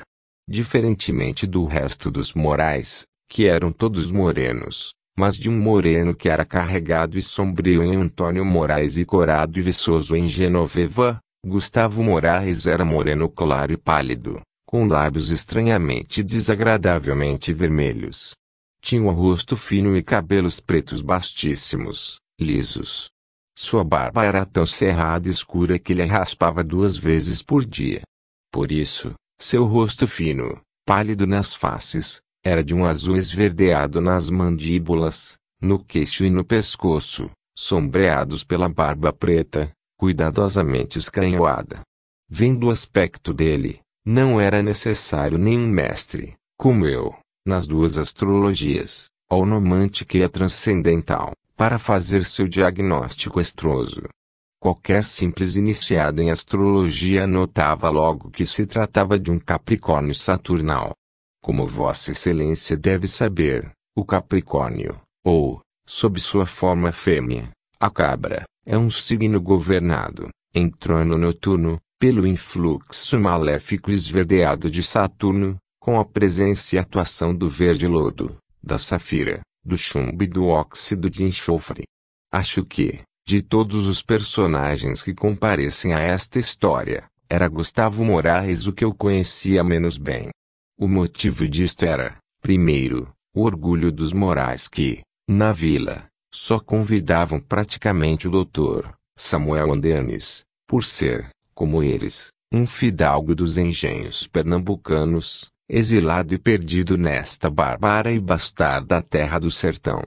O segundo motivo era o ódio mortal que existia entre a Les e a família de meu padrinho, Dom Pedro Sebastião. Os Moraes eram uma família muito rica, de usineiros pernambucanos, Estabeleceram-se em Taperoá principalmente em busca do gordão e dos minérios sertanejos, que estavam começando a ser explorados naquele tempo. Só se entendia a presença, em nosso fim de mundo, do sombrio e orgulhoso Antônio Moraes pelo fato de ele ter se tornado sócio testa de ouro de uma empresa estrangeira. De fato, já naquele ano, como Clemente e Samuel nos explicaram, a Sambria Anderson Clayton, firmas anglo-americanas e judaicas, tinham começado a disputa dos nossos mercados de algodão, e outros grupos enigmáticos, a serviço deles, estavam se apossando dos minérios de cobre e tungstênio da Paraíba. Segundo Clemente, essa era a origem escusa de toda aquela escusa fortuna de Antônio Moraes, a quem, por causa dessas interpretações, eu hesitava e hesito ainda em outorgar o tratamento de dom. Logo que viera se estabelecer entre nós, Antônio Moraes comprara uma grande propriedade, os Angicos. Segundo dizia Samuel, chegara à conclusão de que a indústria açucareira de Pernambuco estava ultrapassada e encaminhava-se para a falência. Por isso, resolvera mudar de atividade e os minérios do Cariri eram fundamentais para isso.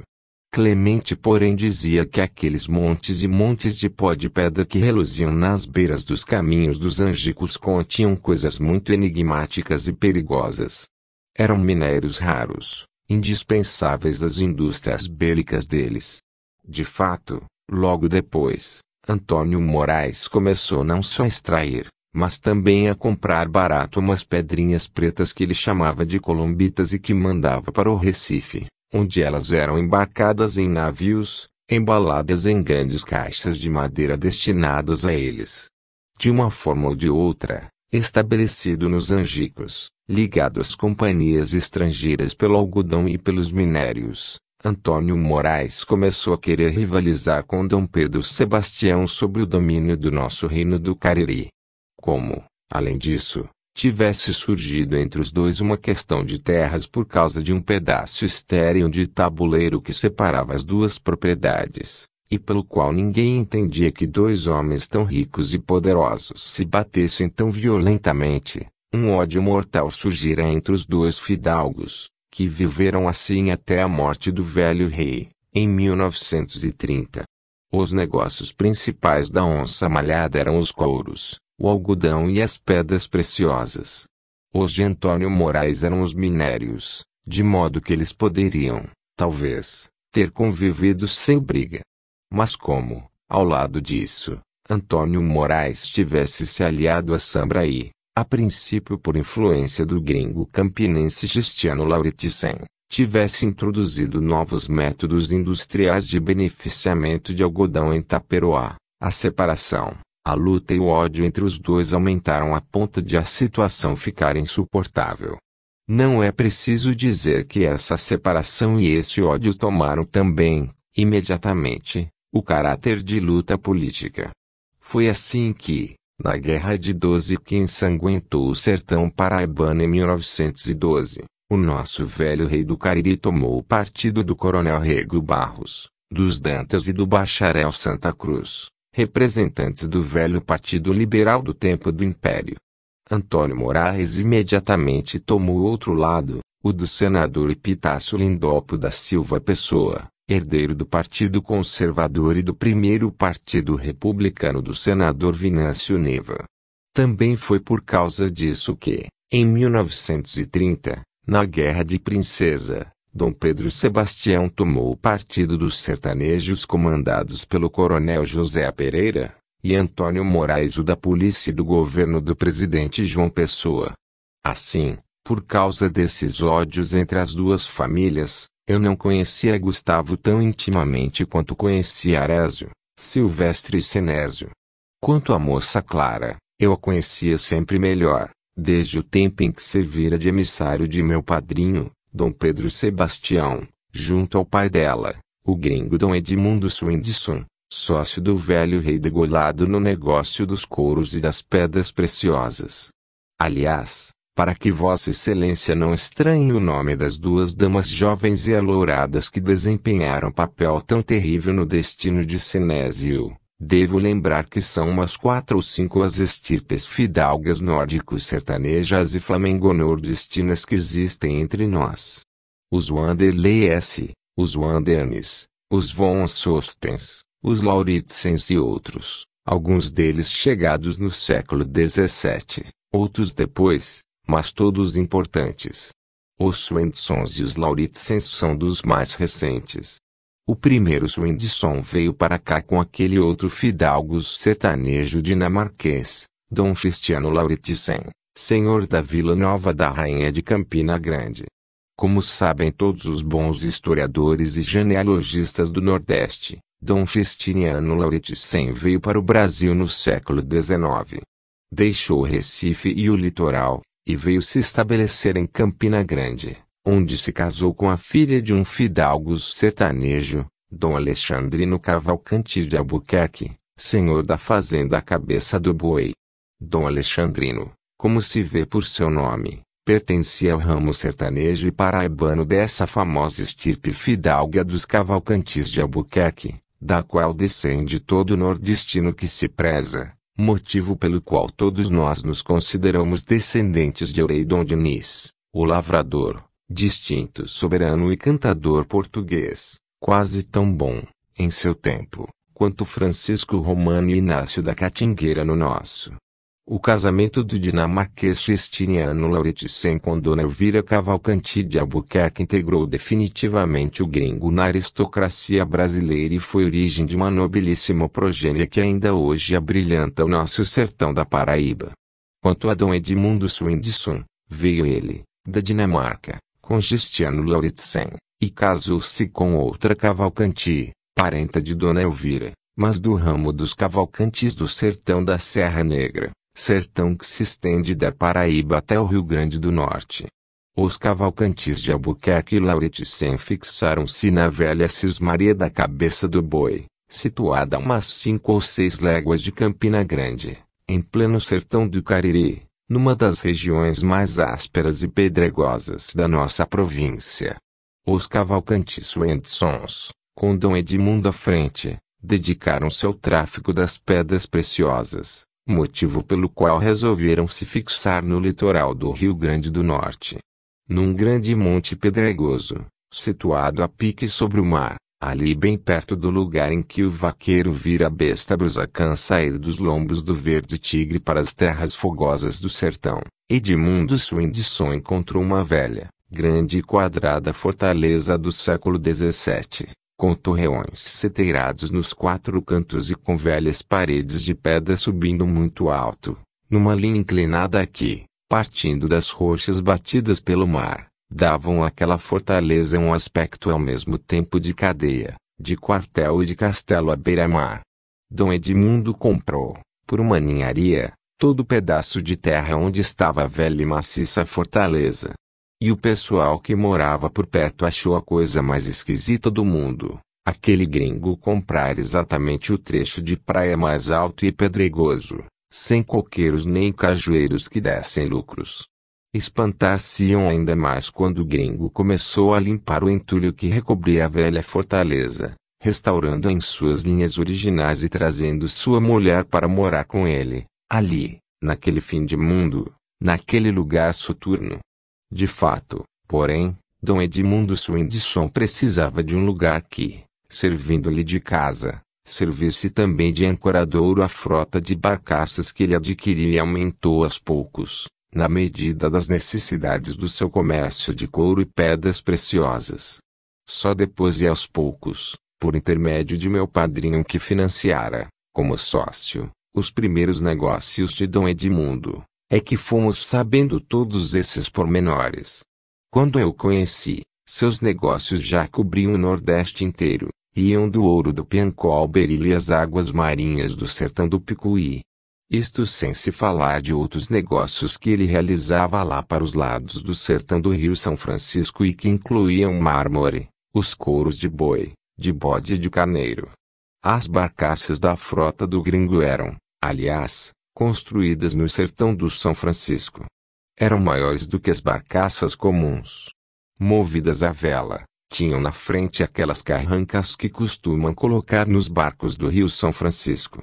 No nosso litoral, as barcaças, além de menores, não têm carrancas, de modo que os barcos do gringo foram encarados como novo fator de estranheza para o pessoal da praia. Como dizia Samuel, esses barcos com as figuras rostrais esculpidas na proa pareciam verdadeiros e antigos navios de madeira, o que, aliás, tivemos oportunidade de verificar na viagem que fizemos neles e que marcaria um dos episódios mais importantes da Odisseia Marítima de Senésio, o Alumioso. Essas barcaças de Dom Edmundo subiam e desciam o rio São Francisco. As maiores iam somente do mar até Penedo, onde pegavam a carga deixada pelas menores, que desciam até ali desde o sertão das piranhas. De Penedo então voltavam as maiores, subindo pelo mar para o norte e fazendo escala em Maceió, em Barra do Camaragibe, em Tamandaré e São José da Coroa Grande, até chegarem à Barra do Rio Suape, em Pernambuco, lugar onde Dom Edmundo Swindson tinha outra casa, perto da fortaleza de Nazaré do Cabo. Daí, com outras escalas em Itamaracá e na Baía da Traição, da Paraíba, chegavam até a antiga fortaleza de São Joaquim da Pedra, o Castelo Rochoso, situado à beira-mar, no litoral do Rio Grande do Norte, até a fortaleza da qual eu vinha falando. For assim, senhor corregedor, o fidalgo nórdico sertanejo Dom Cristiano Lauritzen quem pusera seu compatriota Edmundo em contato com Dom Pedro Sebastião, rei do Cariri.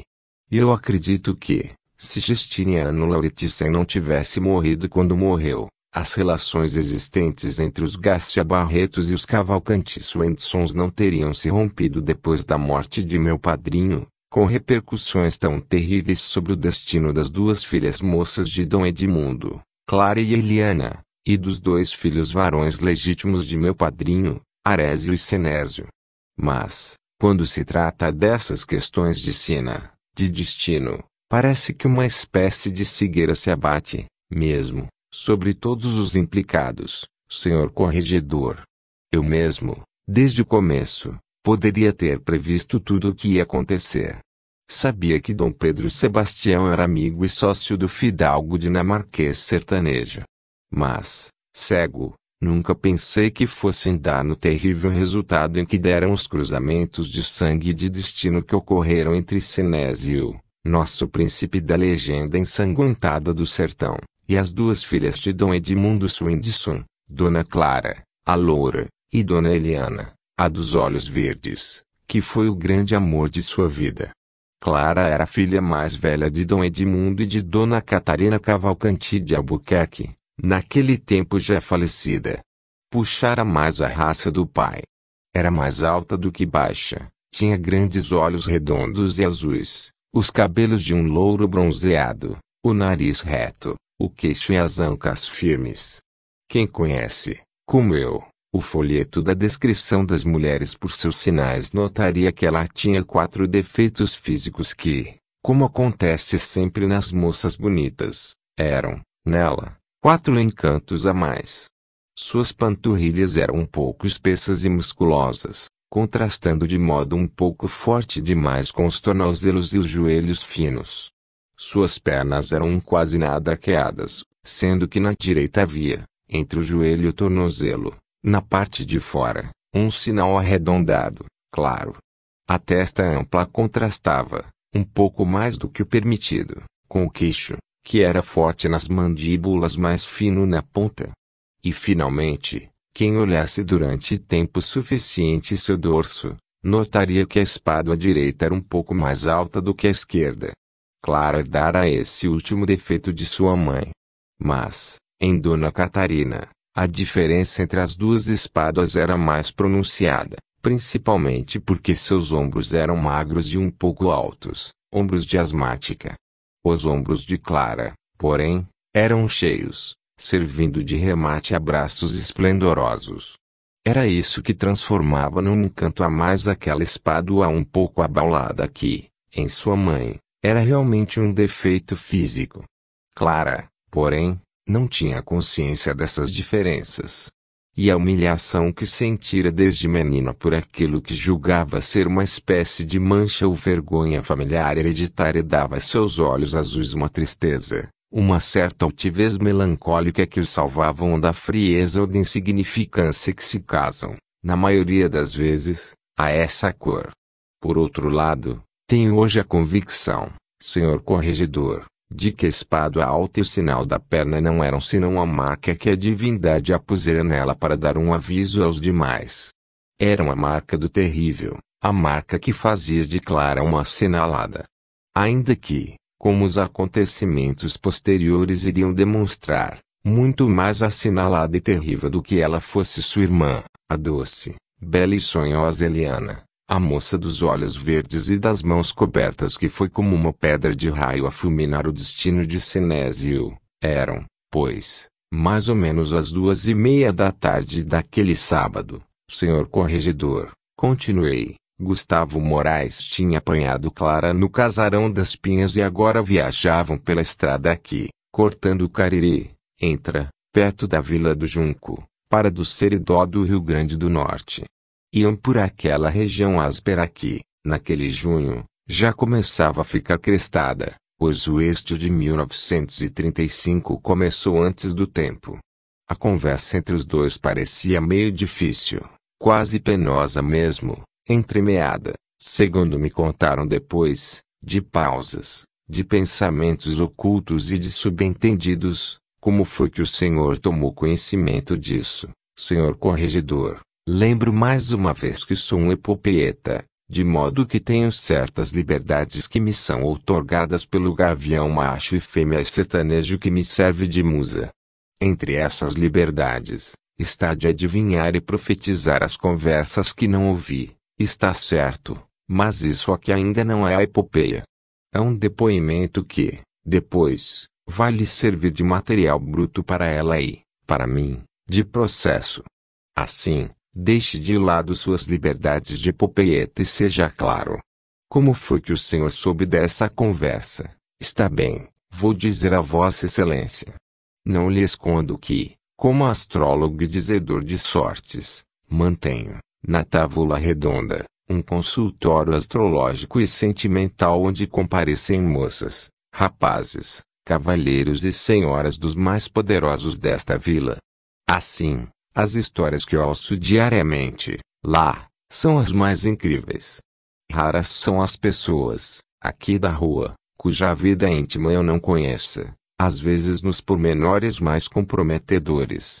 Olhe, senhor corregedor, eu estou com 41 anos de idade, e ainda fico espantado com a facilidade que as pessoas têm de contar certas coisas e de conversar na frente dos outros sobre os assuntos mais íntimos. Isso acontece muito quando o terceiro é uma pessoa colocada abaixo dos que conversam. Parece que eles julgam essas pessoas cegas ou surdas, incapazes de entender qualquer coisa. Pois foi o que aconteceu naquele dia com Gustavo e Clara. Eles conversavam, no carro, na presença do motorista e da velha parenta que, dentro dos nossos costumes sertanejos, servia de companhia à moça em sua viagem. Daí os subentendidos e alusões secretas da conversa. Acontece, porém, que aquela senhora idosa, que lhes pareciam julgar cega, e surda, muda e burra como uma porta, tinha me tomado, há muito tempo, como confidente e consultor astrológico. Ao contrário do que julgavam, tinha uma maldade cortante, uma má ideia sistemática sobre as pessoas, o que lhe dava um faro de cachorro para descobrir os segredos e as maldades dos outros. Foi ela quem me contou tudo, e com uma argúcia, uma penetração que teriam deixado Gustavo assombrado, caso tivesse tido conhecimento de nossa conversa. Aliás, senhor corregedor, tendo-se em vista que a chegada de Sinésio se daria cerca de uma hora depois, a conversa de Clara com Gustavo parecia comunicada de alguma coisa de profético ou de pressentimento. Gustavo vestia calças de uma fazenda meio aveludada, de cor vinho castanha. O paletó era de linho branco, desses que a gente chama aqui de lonado. A camisa era azul. Os sapatos, pardos, e as meias azuis, da mesma cor da camisa. Estava com gravata verde clara e trazia bengala de castão de prata, que segurava com as duas mãos, apoiada verticalmente no chão do carro. De vez em quando, nos momentos de maior reflexão, apoiava o queixo sobre o castão da bengala, baixando a cabeça e entrecerrando os olhos, num gesto que lhe era habitual e que estava sendo imitado por tudo quanto era de intelectual da nossa vila. Conto todos esses pormenores para dar a Vossa Excelência uma ideia da impressão, do espanto que ele vinha causando na rua, com aquelas elegâncias tão diferentes das nossas. Até a data de sua chegada recente do Recife, O homem elegante que nos surpreendia e esmagava a cada instante com sua superioridade e sua originalidade nesse campo, era o Dr. Samuel Andernes. Quando, porém, Gustavo Moraes apareceu entre nós, depois de tantos anos de ausência, desbancou em dois tempos o nosso promotor que, sem outra alternativa para se sair bem do cotejo, escondeu sua humilhação e seu despeito atrás de furiosas comparações entre sua própria sobriedade e a pretensão, o espalhafato de mau gosto das roupas de Gustavo Moraes. Isso não o impediu, porém, mesmo cobrindo o rival de remoques, primeiro de invejá-lo e depois de imitá-lo furiosamente, quase morrendo de alegria e orgulho depois que passou a ser convidado para a casa dos Morais. Quanto a Clara, vestia, naquele momento, um vestido preto, meio transparente, com ramagens lilazes, que se casava maravilhosamente com seus cabelos louros. As meias cor de creme, finíssimas, ajustavam-se perfeitamente às pernas, cobertas pelo vestido até pouco abaixo do joelho corretamente sentada no banco traseiro do carro, tendo juntos os pés calçados de sóbrios sapatos pretos, repousava ambas as mãos sobre os joelhos que elas ajudavam a se manter unidos. Ouvia Gustavo com uma expressão indefinida, entre atenta e sonhadora. E Gustavo falava, falava sem cessar, como era, aliás, seu hábito. Tudo o que ele dizia, tinha sempre bom gosto, elegância e originalidade, um bom gosto e uma inteligência até excessivos, como notou Samuel a princípio, uma originalidade meio artificial que terminava causando uma sensação de mal-estar. Uma frieza e uma agudeza meio assustadoras, que afastavam toda a possibilidade de haver alguma coisa de vivo e de bondoso naquela alma. Mas isso eram sutilezas de Samuel, no tempo em que ainda não fora recebido pelos morais. Nós todos, sem nos importar com suas análises, nas raras ocasiões em que tínhamos oportunidade de ver e ouvir Gustavo, ficávamos seduzidos e embasbacados pela inteligência e pela novidade de tudo que ele dizia. Naquela tarde, pois, Gustavo dava conta clara da viagem que fizera dois ou três dias antes, por aquela mesma estrada, para a fortaleza de São Joaquim da Pedra onde fora se entender com o pai dela sobre vários assuntos, sendo um deles a viagem que agora fazia, levando Clara de volta para casa. Gustavo dizia Clara, cheguei lá na fortaleza na terça-feira, pelas cinco horas da tarde, Clara. Confesso a você que não esperava encontrar aquela casa maravilhosa que encontrei. É verdade que você já tinha me falado nela, eu já sabia que seu pai tinha tido o bom gosto de restaurar uma velha fortaleza, situada à beira-mar, para se instalar nela. Mas, não sei porquê, talvez por causa da fortaleza de Santa Catarina que é situada, aqui na Paraíba, numa praia rasa, em Cabedelo, eu não esperava aquela fortaleza enorme, acastelada em cima de pedras altíssimas, batidas pelo mar. Olhe, Clara, dos séculos XVI, XVII e XVIII, foi isso que de melhor nos ficou, em arquitetura. Mesmo a arquitetura dos sobrados e casarões é menos bela do que a arquitetura despojada e monacal das igrejas, mosteiros e casas de missões, e do que a arquitetura nobre, maciça, militar e acastelada das fortalezas do tipo de São Joaquim da Pedra.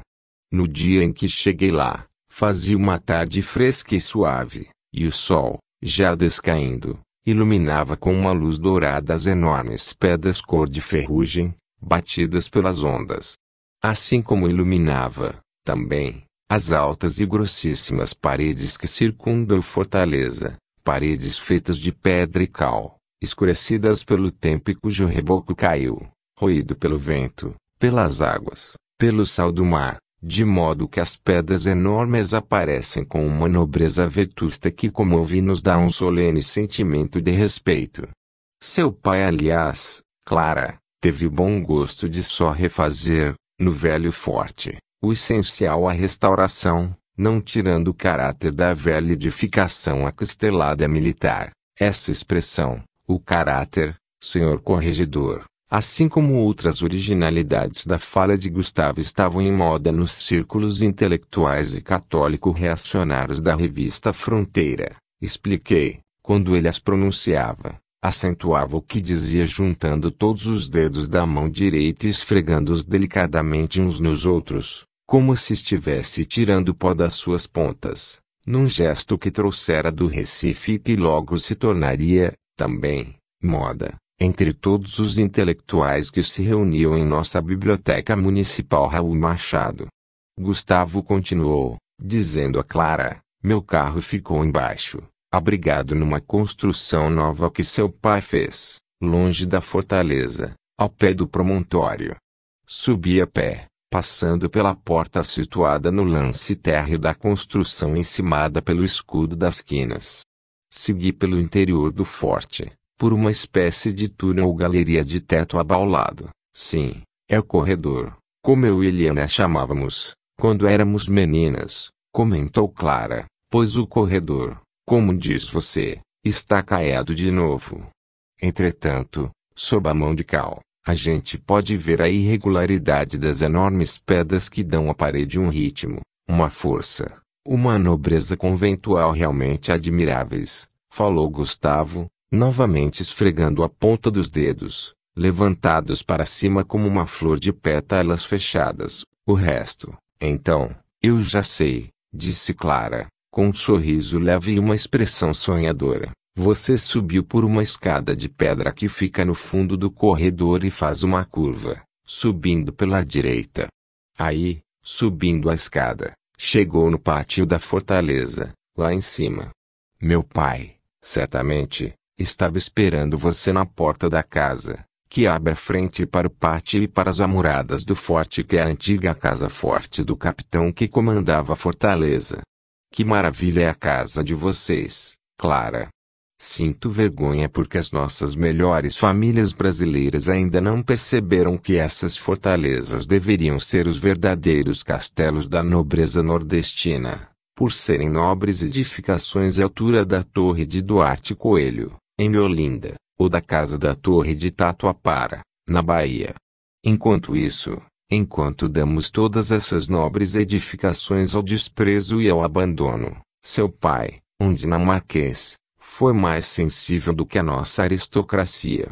Mais atento ao que existe de verdadeiramente grande e forte, como expressão do fundo épico da nossa raça. Conversei muito com ele, Clara. É um homem, um homem dos meus, um forte, um daqueles que nós deveríamos mandar trazer para aqui escarradas, da Europa, para equilibrar, com um bom contingente godo e nórdico, o caldeamento racial ibérico brasileiro. Os fidalgos portugueses e espanhóis como contingente inicial dos nossos melhores e maiores, está muito bem, minha aspiração é exatamente confirmar e exalçar em nosso sangue o sangue cavalheiresco e católico dos conquistadores ibéricos. Infelizmente, com o que houve depois, com a mistura de negros e índios nos contingentes raciais do povo brasileiro, precisamos de uma raça nórdica, marinheira e empreendedora, para o sangue do Brasil com que sonhamos, disse ele, com uma expressão estranha e um entusiasmo meio doente, isto sem se falar em que nossa própria aristocracia só teria a ganhar, cruzando o velho sangue ibérico com o nórdico, unindo-se, num tipo só, as qualidades senhoriais das duas raças, o que, aliás, sucede com sua família. Aqui na Paraíba, há três famílias onde se deu esse feliz caldeamento racial. Os Lauritsens, os von Sostens e vocês, os Swendissons. Os von Sostens, como bons vikings que são em um grande rasgo de fidelidade ao ímpeto épico e marítimo de sua raça, estão se dedicando à pesca da baleia, perto de Cabedelo, na costinha, no litoral da Paraíba.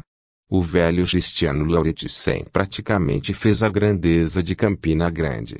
Agora, é seu pai, com esse belo tráfico de pedras preciosas e sua frota de barcaças, Infelizmente, três famílias dessas ainda é muito pouco.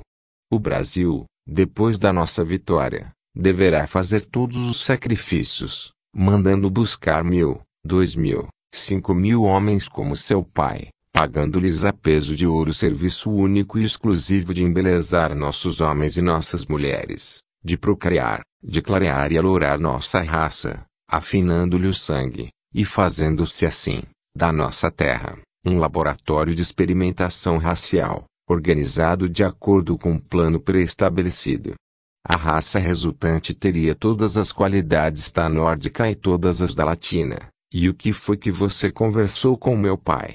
Perguntou Clara, mudando de conversa e sorrindo um pouco do entusiasmo de Gustavo. Falamos de tudo aquilo que você sabe.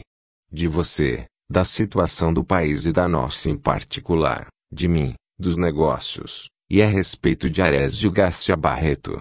Você falou na possibilidade do casamento dele com sua irmã Genoveva? Sim, falamos disso, é claro, dada a amizade que havia entre seu pai e o de Arésio. Seu pai acha que, se Arésio quer, e Genoveva também, essa é a solução ideal para a situação que se criou.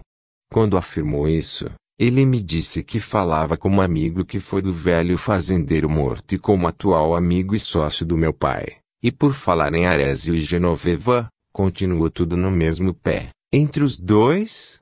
Perguntou Clara, curiosa. Continua, disse Gustavo, pelo menos, é a minha opinião, não sei nada por intermédio deles. Você sabe Genoveva como é. Não fala nada sobre essas coisas, retraída e orgulhosa como sempre foi. Quanto a Arésio, é o selvagem do qual você já tem notícia, apesar de nunca tê-lo visto, não é isso. Não digo assim por antipatia a ele. Pelo contrário. Para falar a verdade, tenho admiração e orgulho por aquilo que, em Arésio, mostra a força e a violência ancestral dos senhores e cavaleiros que foram os troncos da nossa aristocracia. Por mim, o casamento dele com minha irmã se fará, concluiu ele com uma expressão que fez Clara erguer para ele e logo abaixar de novo seus olhos azuis. E o testamento do pai de Arésio? Indagou ela, depois de uma pausa, e já novamente com os olhos baixos. Meu pai falou alguma coisa sobre isso. Seu pai, como eu esperava, não sabe nada sobre esse pretenso e misterioso testamento. Diz que, em todo caso, se é que ele existe mesmo, ninguém sabe mais nenhuma notícia a seu respeito. O problema não seria nada se o velho fazendeiro degolado não tivesse se casado com a primeira mulher, mãe de Arésio, com separação de bens, e, com a mãe do outro, com comunhão de bens. Houve ainda, ao que dizem, algumas doações, feitas em vida do velho, ao rapaz que desapareceu. Agora, porém, no pé em que estão as coisas, se o juiz julgar tudo como nós esperamos, o rapaz será declarado ausente, e tudo será resolvido da melhor maneira. Ausente é a mesma coisa que morto. Indagou Clara, sem levantar os olhos, para o caso da herança. Acho que sim, respondeu Gustavo, olhando-a fixamente, com uma expressão inquiridora. Quer dizer que, quanto a mais, não é a mesma coisa. Insistiu Clara, com a mesma expressão e ainda de olhos baixos. O que é que você quer dizer com isso? Perguntou Gustavo com voz surda. Eu, não quero dizer nada. No entanto, veja que você mesmo, quando falou dele ainda há pouco, não disse o rapaz que morreu, e sim o rapaz que desapareceu. Tanto faz uma coisa como outra, e era o rapaz que morreu que eu queria dizer. Porque não há mais dúvida de que Sinésio morreu mesmo, disse Gustavo, pronunciando com dificuldade o nome do desaparecido. De qualquer modo, se ele um dia aparecesse, você ainda se consideraria noiva dele? Não sei, falou Clara, como se o assunto também lhe fosse penoso e sempre sem levantar os olhos. Aliás, segundo você me disse, insinuou Gustavo, numa meia pergunta, não houve propriamente um noivado comum e firme, entre vocês dois, porque o pedido foi feito a seu pai de modo inteiramente inesperado. Aliás, foi o pai dele quem pediu. E foi seu pai quem concordou. Não foi isso mesmo, foi, assentiu Clara, e, caso ele aparecesse, você se acharia na obrigação de manter a ele essa palavra, dada por seu pai, Cinco anos atrás. Não sei, repetiu Clara. Qual é a opinião de meu pai? Você falou com ele a respeito disso. Falei muito por alto. Por quê? Por culpa sua, Clara. Eu não tinha uma atitude definitiva na qual me basear para falar com ele sem descrição de minha parte, disse Gustavo. E como Clara deixasse passar sem comentário aquelas palavras, por culpa sua, que lhe acentuara de propósito, continuou, falei com seu pai somente por alto. Ele me contou que você tinha noivado com esse Sinésio com o consentimento dele atendendo a um pedido, feito por carta, do pai do rapaz. Naquele tempo, o pai de Sinésio só eram sócios e amigos, de modo que o consentimento era quase obrigatório. Seu pai me deu a entender, porém, que, com a morte do pai, a desaparição do filho, e as modificações havidas nas relações entre as duas famílias, ele se considerava desobrigado em relação a esse noivado. Mas falou somente quanto à parte pessoal dele, é claro. Disse que, Quanto a você, só você mesmo poderia decidir, concluiu ele. E, vendo que Clara se mantinha em silêncio, um lampejo de fria cólera passou por seus olhos. Mas ele logo se dominou, graças à sua boa educação. Depois de uma pausa, falou de novo, perguntando: Você já se decidiu? O que disse forçando sua natureza e seus hábitos de perfeito cavalheiro, uma vez que, formulando essa pergunta, não deixava de incorrer numa intromissão na vida íntima de Clara. Mas a moça fugiu, de novo, a uma resposta direta, não sei, disse ela, lentamente. E acrescentou, pesando as palavras, de qualquer modo, esteja Sinésio vivo ou morto, fique eu noiva dele ou não, casasse ele comigo ou não, isso não significaria nada diante do juramento que eu e você fizemos, não é mesmo? Parece, senhor corregedor, que havia qualquer coisa de envenenado nas últimas palavras de Clara. Gustavo empalideceu muito além do que já era, ficando com um ar de sonâmbulo. Seus lábios, normalmente vermelhos daquela maneira desagradável a que já me referi, estavam inteiramente descorados, e foi assim que lhe falou, o nosso juramento. Você o manteria, de qualquer modo. Sim, estou disposta a mantê-lo de qualquer maneira. E você, também. Sou capaz de repetir as palavras agora, diante de você, como uma renovação de votos. É o sagrado juramento coríntio da nossa Ordem da Esmeralda do Graal, o juramento dos nobres, dos raros e dos poucos. Então, senhor corregedor, depois dessas palavras estranhas, sempre com um ar meio esquisito de possesso do mal sagrado, Gustavo tirou um pequeno evangelho ou missal do bolso interno do paletó e recitou as seguintes palavras, que, instruído pela velha parenta, localizei e copiei. O corpo não é para a fornicação, mas para o Senhor, e o Senhor é para o corpo. Fugi da fornicação. Todos os outros pecados que o homem cometer, são cometidos fora do corpo. Mas aquele que comete fornicação, peca contra seu próprio corpo. Digo que seria bom para o homem não tocar em mulher alguma. Porque eu quero que todos vós sejais como eu mesmo, que não toco em mulher. Digo também aos solteiros e às viúvas que é bom para eles permanecerem assim, castos, como eu. O homem que está sem mulher, está cuidadoso das coisas que são do Senhor, de como há de agradar a Deus. Mas o homem que está com mulher, está cuidadoso das coisas que são do mundo, de como há de causar prazer à sua mulher. E, assim, anda dividido. E a mulher solteira e virgem, cuida nas coisas que são do Senhor, para ser santa no corpo e no espírito. Mas a mulher que é casada, cuida nas coisas que são do mundo e de como dará prazer a seu marido. Assim, Aquele que casa sua filha virgem, faz bem. Mas aquele que não a casa, faz melhor. Quando Gustavo acabou de dizer essas palavras, senhor corregedor, Clara estava olhando para ele com uma expressão também estranha e enigmática. Ninguém poderia dizer o que estava se passando exatamente por trás daqueles belos olhos azuis, naquele momento mais frios do que de costume, se zombaria, se uma fria aversão, ou se amor. Talvez fosse uma mistura de tudo isso. Entretanto, ela não fez nenhum comentário sobre o que ouvira. Como se lhe tivessem ocorrido outras lembranças, situadas numa outra ordem de ideias, perguntou, e minha irmã Eliana, que é que tem Eliana? Indagou Gustavo, um pouco surpreso com a mudança de rumo da conversa. Você esteve com ela? Insistiu a moça. Não, não estive propriamente com ela.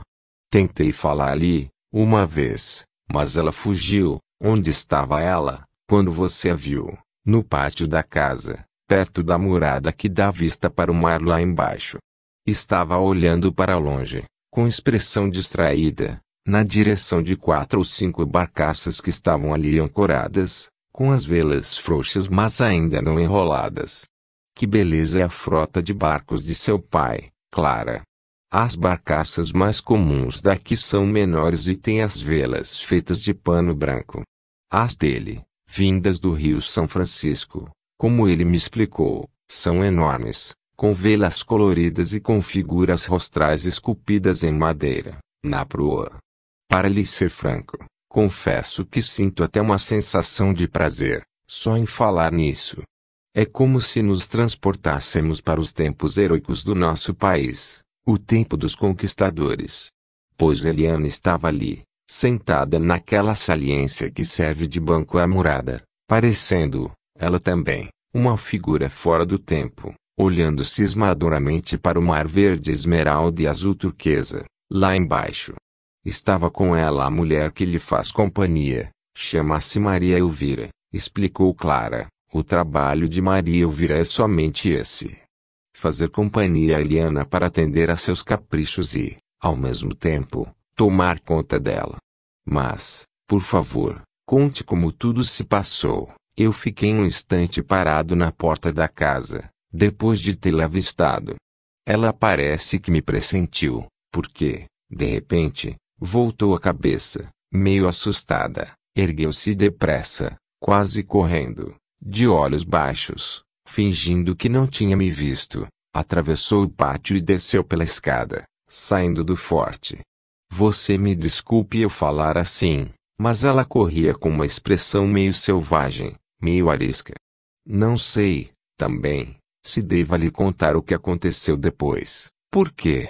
Indagou Clara, franzindo o senho, mas deixando transparecer, a contragosto, uma certa inquietude. Você me conhece e sabe que estou lhe falando com o coração nas mãos, de maneira que entenderá, também, que só falo disso porque é você. Acredite, Clara. Sinto até uma sensação de culpa por ter seguido sua irmã, apesar de ter feito isso quase inconscientemente, no impulso. Foi um gesto quase instintivo, de minha parte, aquele de procurar quem parecia fugir de mim. Outra coisa que posso alegar em meu favor é que eu não tinha a menor ideia do que se ia passar. Depois, Pensando naquilo que tinha feito, outra coisa que me intrigava era o fato de eu ter evitado que Eliana visse que estava sendo seguida por mim. Por que fiz isso? Tenho me perguntado muitas vezes de quarta-feira para cá. Encontrei duas causas para esse comportamento, tão estranho a meus modos. Primeiro, logo no começo, foi o temor de que Eliana, vendo-me, fugisse de novo, antes que eu pudesse falar com ela, e eu queria muito saber como era a única irmã que você tem. Depois, do meio para o fim, foi a obscura consciência, que começava a me inquietar, da indiscrição que eu estava cometendo. Daí em diante, eu já ficaria era profundamente envergonhado, se fosse surpreendido espreitando Eliana, que defendia sua solidão de modo tão evidente e selvagem. Foi aí que me escondi para que, quando ela se afastasse mais, eu pudesse voltar à fortaleza sem ser visto por ela. Infelizmente, porém, foi esse também o instante em que Eliana tinha chegado ao lugar que talvez buscava, de modo que ela parou, com Maria Elvira, e eu fiquei encurralado por trás das moitas em que tinha me escondido. Obrigado, já, agora, a cometer até o fim a indiscrição da qual há pouco queria fugir. As duas pararam junto a uma espécie de monte de pedras, pedras de tamanho médio, escuras, entulhadas umas por cima das outras, numa encosta situada não muito longe do mar. Eliana estava com alguma coisa nas mãos. Interrompeu Clara, erguendo os olhos e quase ansiosa, ao ouvir a referência de Gustavo ao monte de pedras. Não, respondeu Gustavo, mas a mulher, Maria Elvira, tinha, no caminho da fortaleza até ali, tirado um pequeno galho de mato, do qual tirara as folhas com um canivete, arrepiando-lhe a casca em tiras, com a lâmina, perto da ponta da varinha. Então, já sei o que aconteceu daí em diante, disse Clara, parecendo mais aliviada. Isso que você viu Maria Elvira fazer é um isope, como a gente chamava, quando éramos pequenas. Vou lhe dizer como tudo se passou, quer ver? Quando elas chegaram junto das pedras, começaram a procurar casas de abelhas, enxus que por ali sempre se encontram, na louca de alguma pedra maior ou nos buracos formados por duas ou três das menores, amontoadas. Foi isso mesmo, concordou Gustavo, surpreendido ao ver Clara adivinhar tudo. Elas acharam as abelhas. Perguntou Clara. Acharam? Sim. Então vou dizer o que houve depois. Maria Elvira deve ter acendido fogo para fazer o fumaça espantar as abelhas. É verdade, confirmou Gustavo, o cheiro bom das folhas e madeiras mal queimadas chegava até o lugar em que eu estava escondido. Mas será que você sabe até o que aconteceu depois? Daí em diante, é fácil adivinhar, disse Clara. Agora segura. Depois de darem bastante tempo às abelhas para que saíssem, tonteadas pela fumaça, Eliana enfiou a varinha no enxu, e as cascas arrepiadas saíram, todas, molhadas de mel. Ela costuma fazer isso desde menina. É louca por mel de abelha, que ela dizia ter gosto misturado de flor e de sol. E você sabe o que é que ela faz com o mel, depois de tirá-lo assim? O que ela faz? Perguntou Clara, perplexa. Bem, pelo menos o que ela fez. Não sei nem como lhe contar isso. Eu não devia ter falado. Não, conte, falou Clara, agora entregando-se ao desânimo e à inquietude. Lá em casa, nós já estamos todos habituados com as estranhezas de Eliana. Não é que eu tenha vergonha nenhuma dela. Não acho nada de censurável no que ela faz, mesmo quando os outros acham que aquilo é mais do que esquisitice. Vá, diga. O que foi que Eliana fez? Então, desabotou o vestido, disse Gustavo com uma expressão falsa e desmentindo, com ela, a resistência que afirmara sentir em contar tudo, depois de desabotoá-lo, abriu no peito e começou a passar o mel no busto. Nos seios. Para ser mais preciso, nos bicos dos seios, acrescentou ele com um sorriso forçado, desagradável. Ela ficou assim, passando o mel nas areolas, devagar, uma porção de tempo, parecendo distraída e sonhadora. Não sei se era por efeito da luz, mas, do lugar em que eu estava, ela me parecia pálida, com os cabelos compridos soltos nos ombros, finos, estirados e levemente agitados pelo vento que soprava do mar. De que cor é o cabelo dela? Clara, castanho claro e, como você pressentiu de longe, muito fino e leve. Mas ela não é propriamente pálida, é alva como eu, se bem que não seja loura, explicou Clara aliviada por poder desviar o assunto. Foi a impressão que eu tive, pelo menos assim como pude vê lá, de passagem e de longe, disse Gustavo, mas os olhos dela são da cor dos seus. Não, são verdes. Ou melhor, são azuis verdeados. Verde azulados. Afinal, como é que se diz? Disse Clara, tentando sorrir. E acrescentou, com tristeza, eu lhe peço desculpas, por ela, desculpá-la, eu. Não, de modo nenhum. Eu sou quem deve lhe pedir desculpa. Aliás, só estou lhe contando isso para, de certa forma, me explicar e me desculpar perante sua família. Eu nunca poderia desconfiar de que iria ver alguma coisa desse gênero. Eu sei, concordou Clara. Nós já temos passado por outras situações semelhantes. Todas constrangedoras. Eliana sempre foi meio estranha e selvagem, desde menina. Eu me acostumei, e posso dizer que, de certa forma, já posso aceitá-la como ela é. Meu pai, coitado, é que só falta morrer de desgosto. Acredito que, diferentemente do que você pensou, não foi por espírito de conquistador ou por fidelidade racial que ele foi morar em São Joaquim, não. É por causa de Eliana que ele prefere viver isolado, naquela fortaleza afastada, longe de todo mundo. É por causa dessas coisas que, de vez em quando, ele manda Eliana, somente com Maria Elvira como companhia, para Nazaré do Cabo, em Pernambuco, para Penedo, em Alagoas, ou mesmo para o sertão das Piranhas, onde nós temos uma fazenda. No Cabo, em Pernambuco, existe uma fortaleza parecida com a nossa, lá, de São Joaquim da Pedra. Meu pai tentou comprá-la também, para fazer dela outra das nossas moradias. Era conveniente porque ela fica em cima, mesmo, das pedras da barra do rio Suape, onde nossas barcaças têm porto e fazem escala. Mas ele não conseguiu comprar a terra da fortaleza, de modo que ela ficou lá, arruinada, sem restauração. Então meu pai comprou um terreno alto, perto do forte, e, defronte da velha fortaleza, construiu uma casa sobradada. Às vezes, nós passamos tempos nessa casa do litoral de Pernambuco, principalmente quando meu pai precisa controlar melhor as viagens e as cargas das barcaças. Eu evito sempre de ir para lá, já me basta o isolamento de São Joaquim. Mas Eliana adora essas viagens, e meu pai aproveita esse gosto dela para distraí-la e, ao mesmo tempo, para evitar que ela passe muito tempo num lugar só. Porque, quando acontece isto, Eliana termina sempre fazendo alguma coisa do gênero do que você viu, disse Clara, com alguma tristeza. Seu pai prefere você a Eliana. Não é verdade. Não sei. Talvez. Pelo menos, é o que todos parecem pensar. Foi o que concluí, pelo que observei e também por certas palavras que ele deixou escapar. Talvez não seja propriamente uma preferência. É que eu sou mais razoável e também muito mais parecida com ele. Notei isso. É estranho, disse Gustavo, olhando Clara diretamente nos olhos. Você se parece terrivelmente com seu pai. Terrivelmente?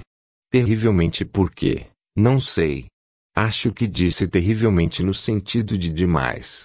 De qualquer modo, foi como elogio que falei, porque, para mim, dizer que você parece com seu pai é um elogio, para mim, também. Já Eliana, todo mundo diz que ela parece mais com minha mãe quando era moça, se bem que todos dizem, também, que minha mãe era muito menos bonita.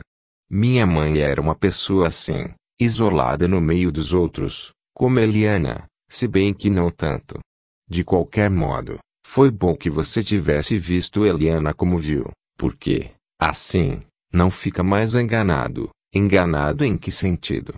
Perguntou Gustavo, empalidecendo novamente e contraindo tanto as mãos que agarravam a bengala que os dedos embranqueceram. O que é que você quer dizer com isso? Você poderá assim, de olhos abertos, pesar os prós e os contras da sua amizade comigo. Ninguém pesa os prós e os contras de uma amizade, Clara, disse Gustavo com a voz meio estrangulada. Agora, se você dissesse amor, aí seria diferente, amor. Disse Clara, quase com ironia. Eu fiz o juramento dos raros, dos nobres e dos poucos de modo que sou proibida de tocar em todas essas coisas. Além disso, não sei se sou noiva ou não, porque esse Sinésio que eu só vi uma vez, há cinco anos, e com quem meu pai contratou meu casamento, muita gente acredita que ele ainda está vivo. Você, Clara, quando quer, sabe dizer as maiores crueldades, disse Gustavo pondo-se ainda mais lívido. Você também. Acho mesmo que foi com você que aprendi isso e muitas outras coisas mais, retrucou Clara no mesmo tom. De qualquer maneira, para mim e para você, e até para Sinésio, caso ele volte um dia, será a mesma coisa. Tanto faz que eu seja noiva ou não. casada ou solteira, casada com Sinésio ou com qualquer outro, eu só daria, a ele ou a esse outro, o amor coríntio, que é puro e casto e que, portanto, pode ser dividido, sem magoar ou ferir ninguém. Gustavo olhou para Clara sem dizer nada. Senhor corregedor. Estava ainda muito pálido e a mão que conduzia a bengala continuava contraída como uma garra, sobre o castão de prata. Ele inclinou a cabeça, como num assentimento, mas não disse mais nada. Ficou com o rosto voltado para fora, olhando a desolada e áspera paisagem do Seridó, coberta de pedras, galhos secos e cardos. A paisagem corria ante seus olhos, com a velocidade do automóvel. E, naquele mesmo instante, Sinésio entrava na rua, montado em seu cavalo branco. Folhetos 68 o caso do cachorro mal comportado. Quando acabei de contar isso, o corregedor estava me ouvindo com uma cara meio dura. Perguntou, Dom Pedro Diniz Quaderna, isso tudo que o senhor contou agora é verdade, mesmo, ou é estilo régio? Bem, senhor corregedor, como eu já disse, soube de todas essas histórias por intermédio de terceiros, e, como dizia a vaca quando começou a correr atrás de mestre Alfredo, quem conta um conto aumenta um ponto. Assim, não seria nada demais que eu, por minha vez, aumentasse meu ponto, pois é, mesmo, uma característica das epopeias essa de seu fogo vir sempre coberto de fumaça. Mas, como não há fumaça sem fogo, o senhor tenha paciência, compre cinco tostões de espero e, no fim, com a argúcia jurídica e gaviônica que todos lhe reconhecem, poderá decifrar, com os elementos que estou lhe fornecendo, a estranha desaventura de Sinésio, o alumioso, e Quaderna, o decifrador, na demanda novelosa do reino do sertão. Uma explicação, porém, preciso lhe dar. Já lhe contei que meu pai me transmitiu sua enorme admiração por José de Alencar. Foi exatamente quando eu começava a aprender com meu padrinho, João Melchiades, a arte da poesia. Eu já estava furiosamente entregue à leitura dos folhetos, quando li o Guarani. Por isso, entendi logo que, na história de José de Alencar, havia um rei, Dom Antônio de Maris, acastelado no seu solar do Paquequer. Uma princesa loura chamada Ceci. Outra morena, chamada Isabel. Havia um escudeiro e uma guarda de doze pares de França do cordão azul, comandada por Álvaro de Sá. Havia um príncipe mouro vermelho, Peri, e os tapuias aimorés eram uma espécie de cavaleiros descalços e arqueiros, pertencentes ao cordão encanado. Depois, instruído por Clemente Samuel, vi Joaquim Nabuco escrever sobre José de Alencar, dizendo: Cecília é um tipo mal esboçado, uma criança que devia fechar melhor a janela à noite, para não estar atraindo a sensualidade brutal de Loredano com seus encantos. Ninguém sabe se ela amou, ou não, Álvaro de Sá, nem porque amou Peri. Esse anjo está muito perto de ser um monstro, apesar de seus grandes olhos azuis. Cecília tinha 18 anos quando se resolveu acompanhar o tapuia de tez de cobre para viver com ele no deserto. Todos querem saber o que vai ser da filha de fidalgos que se abandona assim a um selvagem, apesar de todo o rubor que lhe tinge de uns longes cor-de-rosas linhas puras do colo acetinado. Sua prima Isabel tem mais pudor, talvez, mas é de uma sensualidade desenfreada. Mesmo quando ela tinha somente na fisionomia a alma do amor, era já de uma sensibilidade tal que o leve roçar da espiguilha no seu colo aveludado, o da outra era acetinado, causava-lhe sensações voluptuosas. Isabel é uma bacante. O senhor José de Alencar só pensou, ao criar essas duas, em formar esse eterno contraste de suas heroínas, as morenas e as louras. Joaquim Nabuco dizia, ainda, que na obra inteira de José de Alencar só se via essa eterna e cansativa oposição, o corpo com seus instintos de fera, e a alma, com sua castidade. O jumento e o anjo alternam-se a cada instante, as duas naturezas, a animal e a divina. Depois que li tudo isso, senhor corregedor, tive uma iluminação. Vi que, na história de Sinésio, havia uma princesa loura como Ceci, que era Clara, e outra morena como Isabel, que era Genoveva Moraes. E tomei conhecimento da outra princesa cuja biografia é narrada também por José de Alencar. É a Lúcia, ou Lucila. O maior encanto, o maior enigma dessa mulher é que ela tem duas naturezas separadas, a de anjo casto e a de jumenta no cio. Quando se revelava, nela, a natureza de anjo, diz José de Alencar que tudo era branco e resplandecente como sua fronte serena.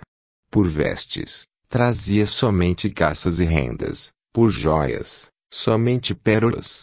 Nenhuma fita, nenhum aro dourado manchava essa nítida e cândida imagem. Mas, quando aparecia a natureza de jumenta no cio, tudo era diferente. O narrador de sua história, que a possuía uma vez, fala disso assim. O penteador de veludo voou pelos ares, as tranças luxuriosas dos cabelos negros rolaram pelos ombros, arrufando-se ao contato da pele veludosa, e eu vi aparecer aos meus olhos pasmos, nadando em ondas de luz, no esplendor de sua completa nudez, a mais formosa bacante que esmagara outrora com o pé lascivo, as uvas de Corinto. A posse foi delírio, convulsão de prazer tão vivo que, através do imenso deleite, traspassava-me uma sensação dolorosa, como se eu me revolvesse no meio de um sono opiado sobre um leito de espinhos. O prazer a extorcia em câimbras pungentes. Todo o vinho tinha-lhe passado pelos lábios, agitando as longas tranças negras, retraiu os rins num requebro sensual, imitando os mistérios de Lesbos e o rito afrodisíaco das virgens de Pafos. Mas seu amor era como certas plantas vorazes, a urze das paixões, o cacto selvagem dos nossos campos. Está vendo, senhor corregedor? Além disso, José de Alencar esclarece que, quando estava assim, como a asna selvagem no cio, as roupas de Lucila eram inteiramente diferentes da caça virginal e branca. Usava ela um vestido escarlate, com largos folhos de renda preta, bastante decotado para deixar ver as suas belas espáduas. Júbilo satânico dava a essa estranha criatura ares fantásticos entre as roupas de negro e escarlate. Ora, apesar de toda a genialidade de José de Alencar, Joaquim Nabuco descobriu nele um grave defeito diz Nabucco, a respeito dessa contradição de Lucila, que José de Alencar não tinha o direito de dar uma vida independente, florescente de sensualidade, ao corpo, e uma outra, de virgindade e pureza, à alma. Foi aí que eu vi que podia ganhar minha luta com José de Alencar, porque, com a história de Senésio, eu poderia ser muito mais completo do que ele, por causa de Eliana. Clara era como Cecília, Genoveva como Isabel. Uma, loura e angélica, a outra, morena, ardente no cio. Mas Eliana juntava tudo isso, não em contradição e separadamente, senhor corregedor, e sim em unidade, unindo a verbena, a urze, a urtiga, o vinho, o mel das abelhas, o amor felino da onça jovem e fêmea, isto é, o negro escarlate da paixão e a caça da pureza, ambas ardentes. De fato, pelo que pude ver e adivinhar de seu amor por Sinésio, assim era Eliana. E eu, tendo conhecido Eliana como menina e moça e, depois, como moça e mulher, poderia dizer dela tudo que José de Alencar disse de tantas outras, sempre separando em muitas o que, em Eliana, era espanto e unidade, fogo e canto do sangue. É que, quando eu e Sinésio vimos pela primeira vez aquela que seria dama e princesa de sua vida, ela estava com 12 anos, a mesma idade da irmã de Lucila. Era um fruto verde, como a Emília de Diva. Depois, aveludada pela pubescência, despertava nela a mulher, na atitude da coça arisca, assim como Gustavo pôde vê-la naquele dia, perto do mar. O cabelo dela, era como se tivesse sido formado somando-se o louro de Ceci Clara com o escuro de Lucila Isabel, para dar um cabelo castanho claro, fino, mácio, dourado. Seu amor, era o vinho, fruto e chamas embebidas em mel, e era daí que se originava também a penugem macia e rara que lhe dourava as coxas alvas mas amorenadas pelo sol. Assim, tudo o que lhe disse é verdade e pode ficar documentado em seu inquérito. Mas é, também, estilo régio, e vai me servir, na minha epopeia, para eu ser mais completo, modelário de primeira classe do que José de Alencar. Muito bem. Vá, então, adiante, a respeito dos outros acontecimentos importantes daquele dia. Continuei. Bom, para contar o que aconteceu ainda de mais importante naquela véspera de Pentecostes de 1935. Devo agora seguir os passos de Arésio desde o momento em que ele soube da chegada de seu irmão Sinésio na vila. Como já disse, Arésio, desde a noite de sexta-feira, estava desaparecido, ausente da casa dos Morais, onde se hospedara. Ninguém sabia onde ele se encontrava, o que, aliás, era comum suceder, de modo que ninguém estranhou isso, a princípio.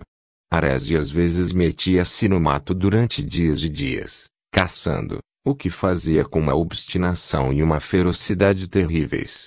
Às vezes, viajava repentinamente, a cavalo, ou então de carro ou na carruagem que fora de seu pai e que ele, estranhamente, conservava em uso, quando já ninguém andava mais assim, aqui na vila.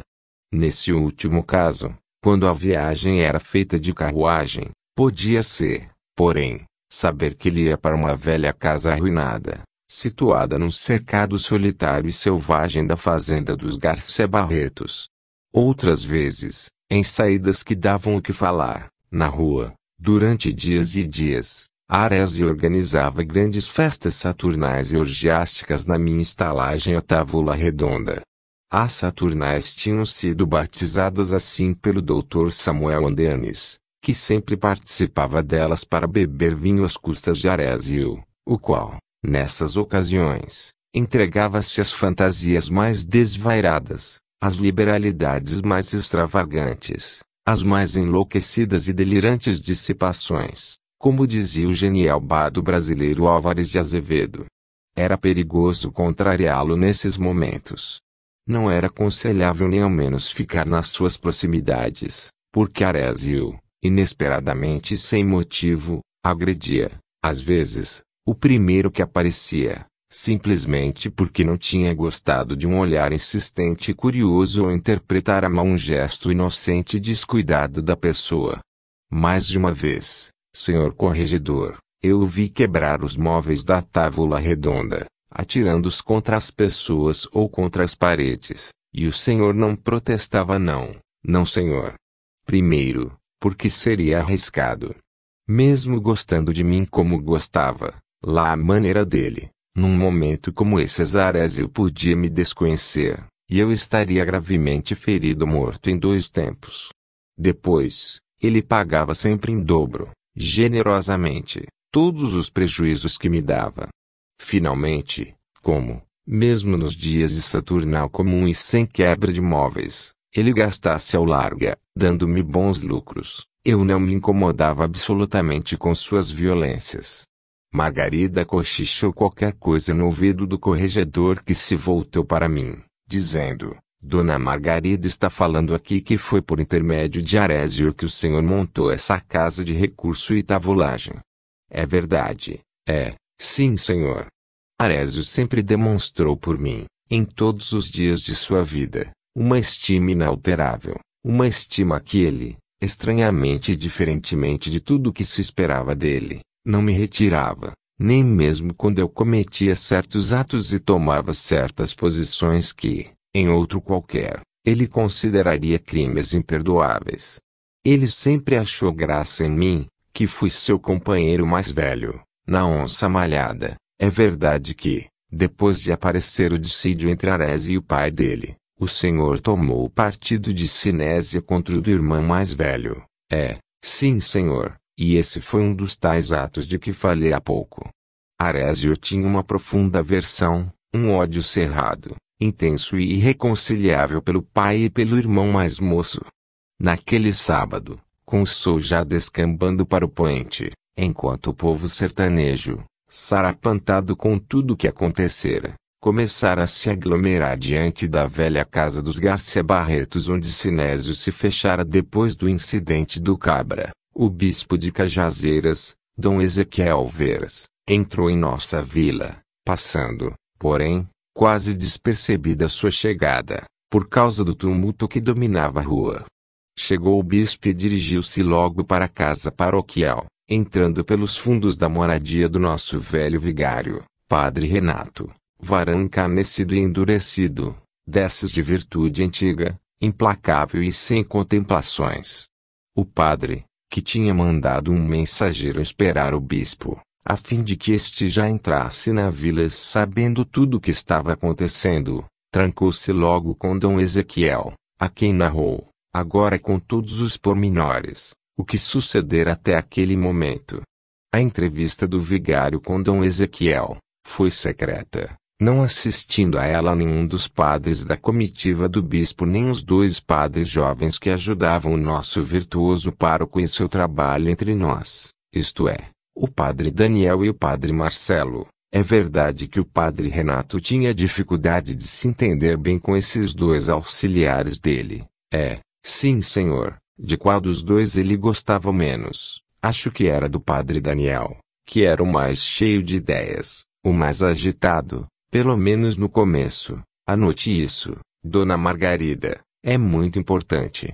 Pode continuar, Dom Pedro, disse o corregedor, já denotando uma familiaridade que me desagradou por um lado, mas que por outro me mostrou como o Dom já se tornara corriqueiro para ele, ligado ao meu nome. Continuei, a conselho do padre Renato, Combinou-se então que só fossem avisadas da chegada de Dom Ezequiel as pessoas ricas, mais esclarecidas e mais responsáveis, da vila.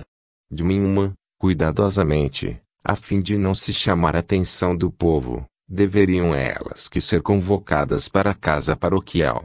Foram logo encarregados dessa missão delicada ao sacristão, José Deda, e Cia Maria Cabocla, uma mulher que, por seu agarrado com os padres da nossa vila, era chamada zombeteiramente, hora de apadreca, hora de sacristã. Passando da maneira menos notada que fosse possível, o sacristão e a padreca deveriam ir às casas escolhidas e determinadas por Padre Renato, recomendando às pessoas convocadas que viessem de uma em uma, pelos lados da Rua de São José e da Praça da Feira, de modo a evitar as proximidades da rua Álvaro Machado e da Praça das Cavalhadas onde se encontrava Sinésio. Como o senhor pode imaginar, para a aristocracia e a burguesia urbana taperoenses a chegada de Dom Ezequiel foi um desafogo. Todos, agora, sentiam-se meio protegidos, e a sensação geral de alívio foi resumida e expressa pelo comendador Basílio Monteiro com a frase de que o barco, com bom timoneiro à proa, significava meio caminho andado, principalmente agora, quando todos pressentiam que havia, já, quem velasse nas trevas e indicasse, pela antiga lanterna da autoridade, a entrada segura para o porto. Assim, senhor corregedor, com as maiores cautelas, escondidas do povo, foram se reunindo na casa paroquial as pessoas mais poderosas da nossa terra, chegou o comendador Basílio Monteiro, que tirara suas vestes suntuosas de presidente da Irmandade das Almas para ser menos notado. Chegou a nossa querida Dona Carmen Gutierrez Torres Martins, ainda com as roupas de presidenta perpétua da vida casta, acompanhada por seu marido, o velhinho Severo Torres Martins, e aqui por nossa cara secretária, Margarida, filha dela, que bem pode contar essa parte da reunião. O corregedor voltou-se para Margarida e indagou: É verdade, isso? A senhora compareceu, mesmo, a essa reunião. Compareci, doutor, disse Margarida, baixando os olhos e pondo-se vermelha, pois já sabia que eu ia contar ao corregedor tudo o que se passara com o pai e a mãe dela na casa paroquial. O corregedor voltou-se de novo para mim, Está bem. Mas, mesmo Dona Margarida tendo ido lá, continue contando, você mesmo. Quero saber de tudo através de suas versões e opiniões. Depois, Se eu achar necessário, vou acareá-lo com as outras pessoas implicadas ou citadas no inquérito. Respondi, seguro, quem não deve, não teme, senhor corregedor. O que eu estou lhe contando é a pura expressão da verdade, e, desta vez, nem Margarida pode me desmentir nem duvidar do que digo, porque foi a mãe dela quem me contou tudo. Mas, como eu vinha dizendo, chegou o coronel Francisco Bezerra, homem pertencente a uma das mais antigas e fidalgas linhagens do sertão do Seridó do Rio Grande do Norte. Chegou o coronel Francisco Fernandes Pimenta, homem pertencente a outra poderosa e grande família, espalhada pelos sertões do Sabugi e do Cariri.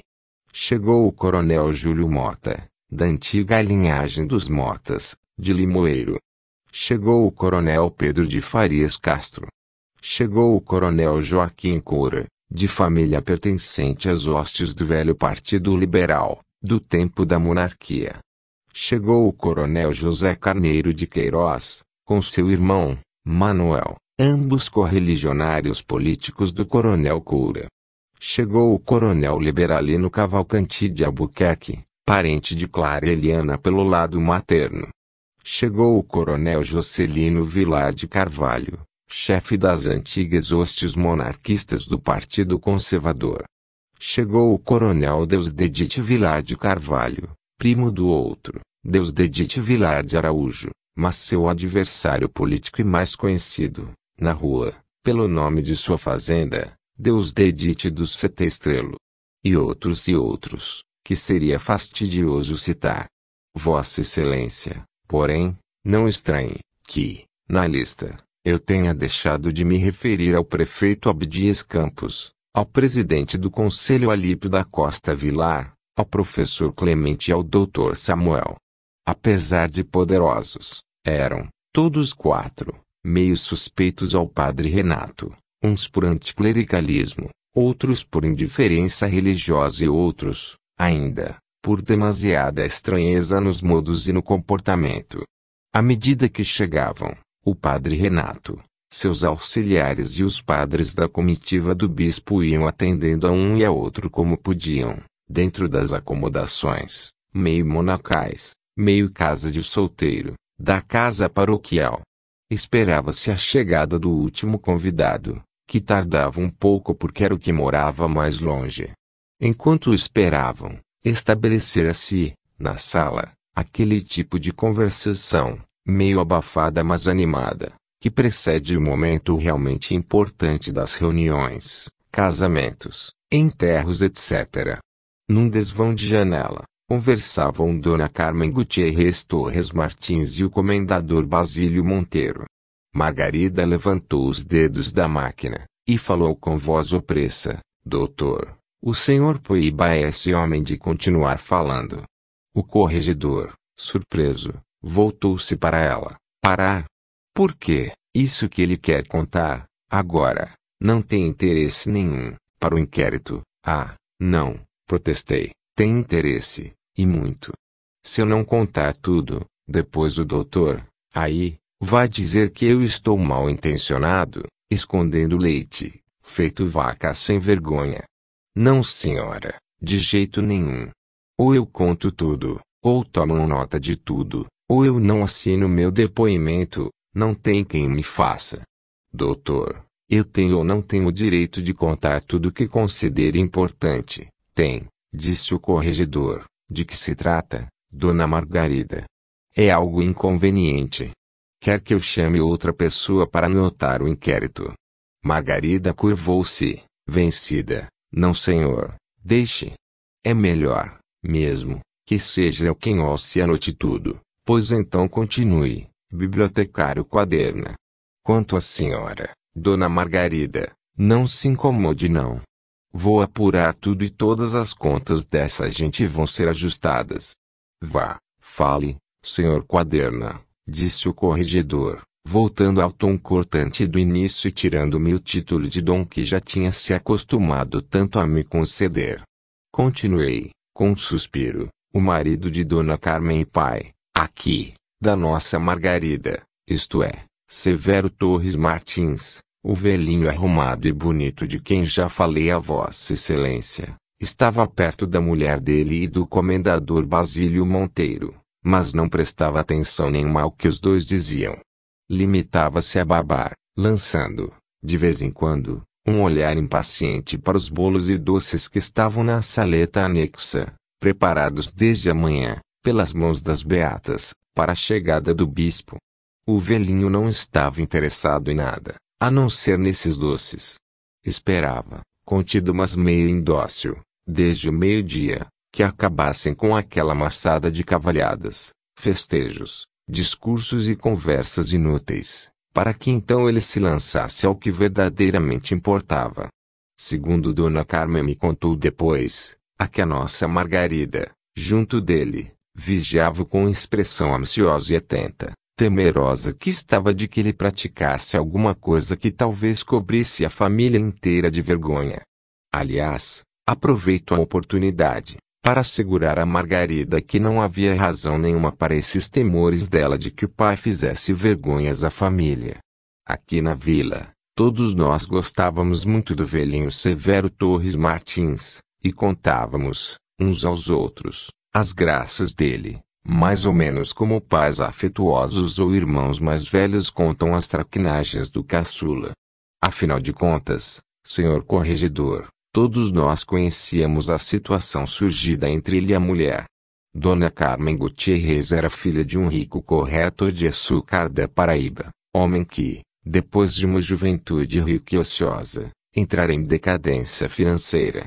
O casamento de Dona Carmen com o rico fazendeiro sertanejo Severo Torres Martins, naquele tempo com 45 anos e 30 anos mais velho do que ela, tinha sido a única solução encontrada para a ruína familiar dos Gutierrez. Dona Carmen, agora, em 1935, era mulher de 40 anos. Usava, ainda, as modas e os atavios do tempo em que fora moça. Era magra, de pernas finas e arqueadas. Usava uma franja que lhe vinha até os olhos. O resto dos cabelos, pretos e estirados, cortados a nazarena, ladeavam-lhe o rosto formando dois arcos negros que, partindo do alto da cabeça, onde se repartiam por uma risca, vinham até o meio das bochechas. Tinha o rosto e todo o corpo finos e magros, os olhos grandes, pretos e meio aboticados. E, como os braços eram, também, finos e arqueados, ladeando o busto magro, Dom Eusébio Monturo, homem de língua solta e reverente, Dizia que o enorme medalhão que Dona Carmen fazia pender sempre do pescoço de uma longa corrente de prata destinava-se a indicar às pessoas se ela estava de frente ou de costas. Eusébio costumava acrescentar. Aquela mulher é toda entre parênteses. Tem a cara entre parênteses, por causa do cabelo. Tem o corpo entre parênteses, por causa dos braços de macaco raquítico. E, por causa das pernas finas, cabeludas e meio arqueadas para dentro, tem, até, a perseguida entre parênteses. O corregedor deu um salto da cadeira e, meio estuporado, sem saber bem o que dizia, gritou para Margarida, para a cadeia. Preso. Está preso. Margarida assombrou-se um pouco, pensando que aquilo era com ela. Perguntou, cautelosa, para a cadeia. Preso. Quem? Ele. É claro, rugiu o corregedor. Ele, o Dom, está preso. Vá chamar os soldados, Dona Margarida. Apesar dessas palavras ameaçadoras do corregedor, eu estava tranquilo. Sabia que Margarida não suportava a mãe, motivo pelo qual não ficaria verdadeiramente ofendida pelo que eu dissera. Por outro lado, quanto ao pai, ela quereria evitar escândalos maiores. Eu calcular exatamente até onde podia ir, e, de fato, não me enganei. Sem demonstrar aversão maior nem menor do que aquela que tinha comumente por mim, ela interveio. Deixe isso para lá, doutor. Se esse homem for preso, vai haver escândalo. E, mesmo, como eu já disse, essas coisas não me atingem. O que eu quero saber é se isso que ele disse interessa para o inquérito ou não. Se eu anoto ou não, anote, anote.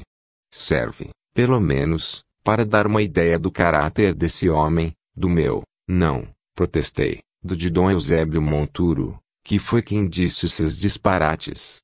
Eu, por mim, nunca falei mal de Dona Carmen, que era minha amiga e também nossa companheira, nas reuniões e cavaqueiras literárias da biblioteca, assim como colaboradora da página literária e charadística que eu mantenho na Gazeta de Taperoá. É verdade, isso, Dona Margarida. Perguntou o corregedor. Isso, o quê? Isso de sua mãe ser intelectual e colaboradora do jornal desse sujeito. É, doutor juiz. Minha mãe tinha essas manias literárias, que trouxe da Paraíba, e alguns espíritos perversos daqui exploravam essa fraqueza dela. O depoente era um desses, era o chefe, disse Margarida com ar feroz. Não se incomode não, que o café dele está se coando, falou o corregedor com ar de quem assumiu um compromisso sagrado. E apesar do ditado que deixar escapar, pode continuar, senhor Pedro Diniz Quaderna. Muito bem, excelência. Como eu ia dizendo. Apesar desses atributos físicos a que já me referi, Dona Carmen usava aquele tipo de saia curta e blusa folgada na cintura e apertada nos quadris, ao modo de 1920.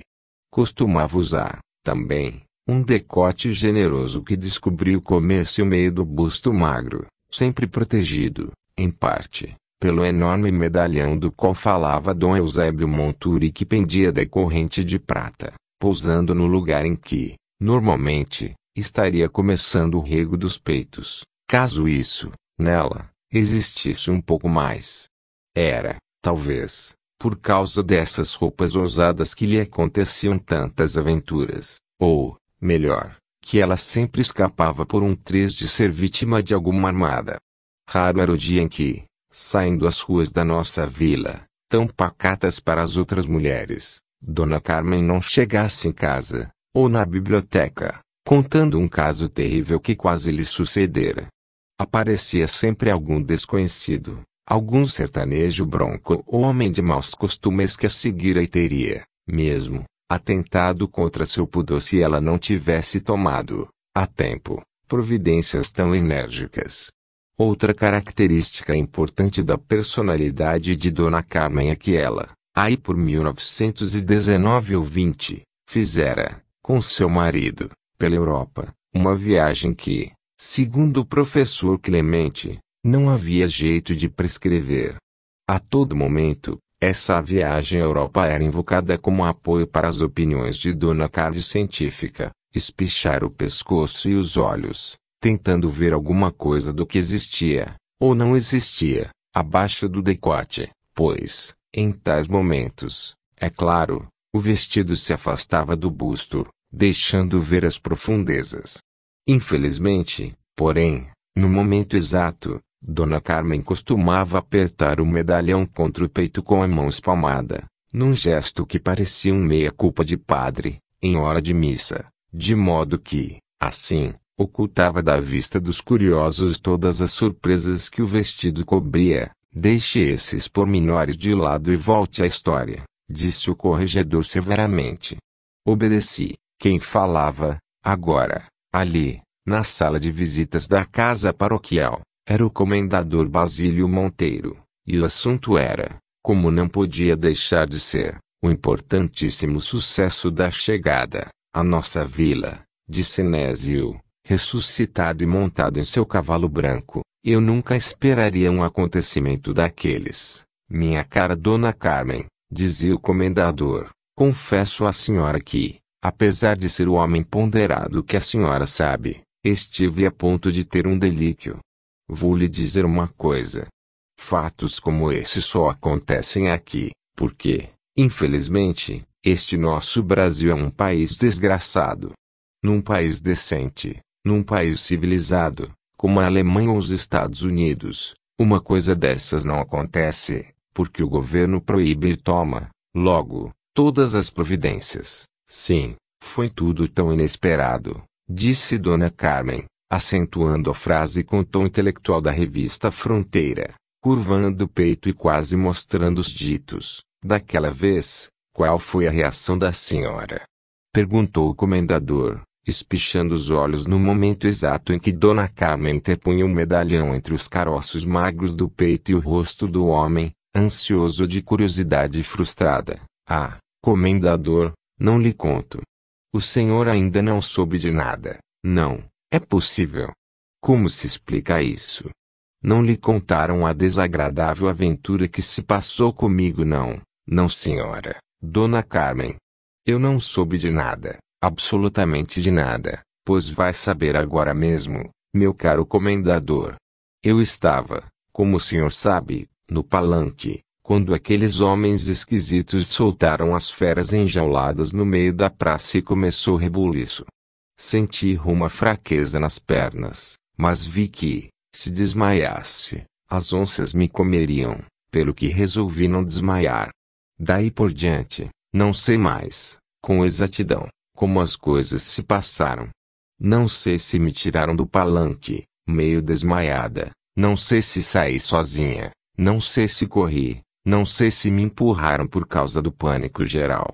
O que eu sei é que, quando dei acordo de mim, estava no beco que sai da praça, parada, perturbada, imobilizada pelo terror, como acontece nos pesadelos, e sem saber que providência tomasse para escapar do perigo.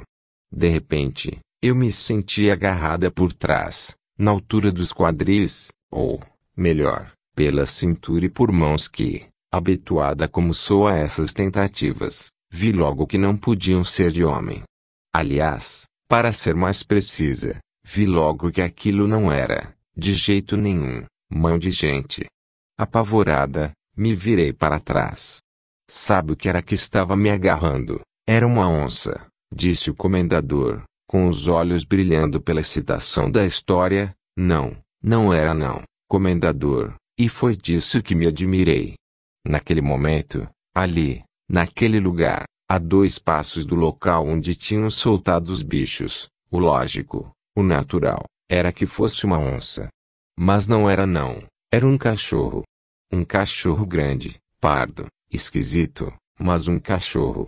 Fiquei apavorado e não sei, mesmo, se acharei palavras para lhe contar o que se passou daí em diante. Não, conte. Fiquei à vontade, dona Carmen. O que foi que aconteceu? O cachorro tentou morder lá? Não, ele não tentou me morder. Foi tudo muito esquisito, uma coisa aí muito estranha. Quando eu me virei, o cachorro tinha se agarrado em minha cintura com as patas dianteiras. As patas traseiras estavam no chão, e o senhor não imagina a situação embaraçosa em que fiquei quando, de repente, ele começou a fazer, com as ancas, uns movimentos estranhos em direção às minhas pernas e aos meus quadris.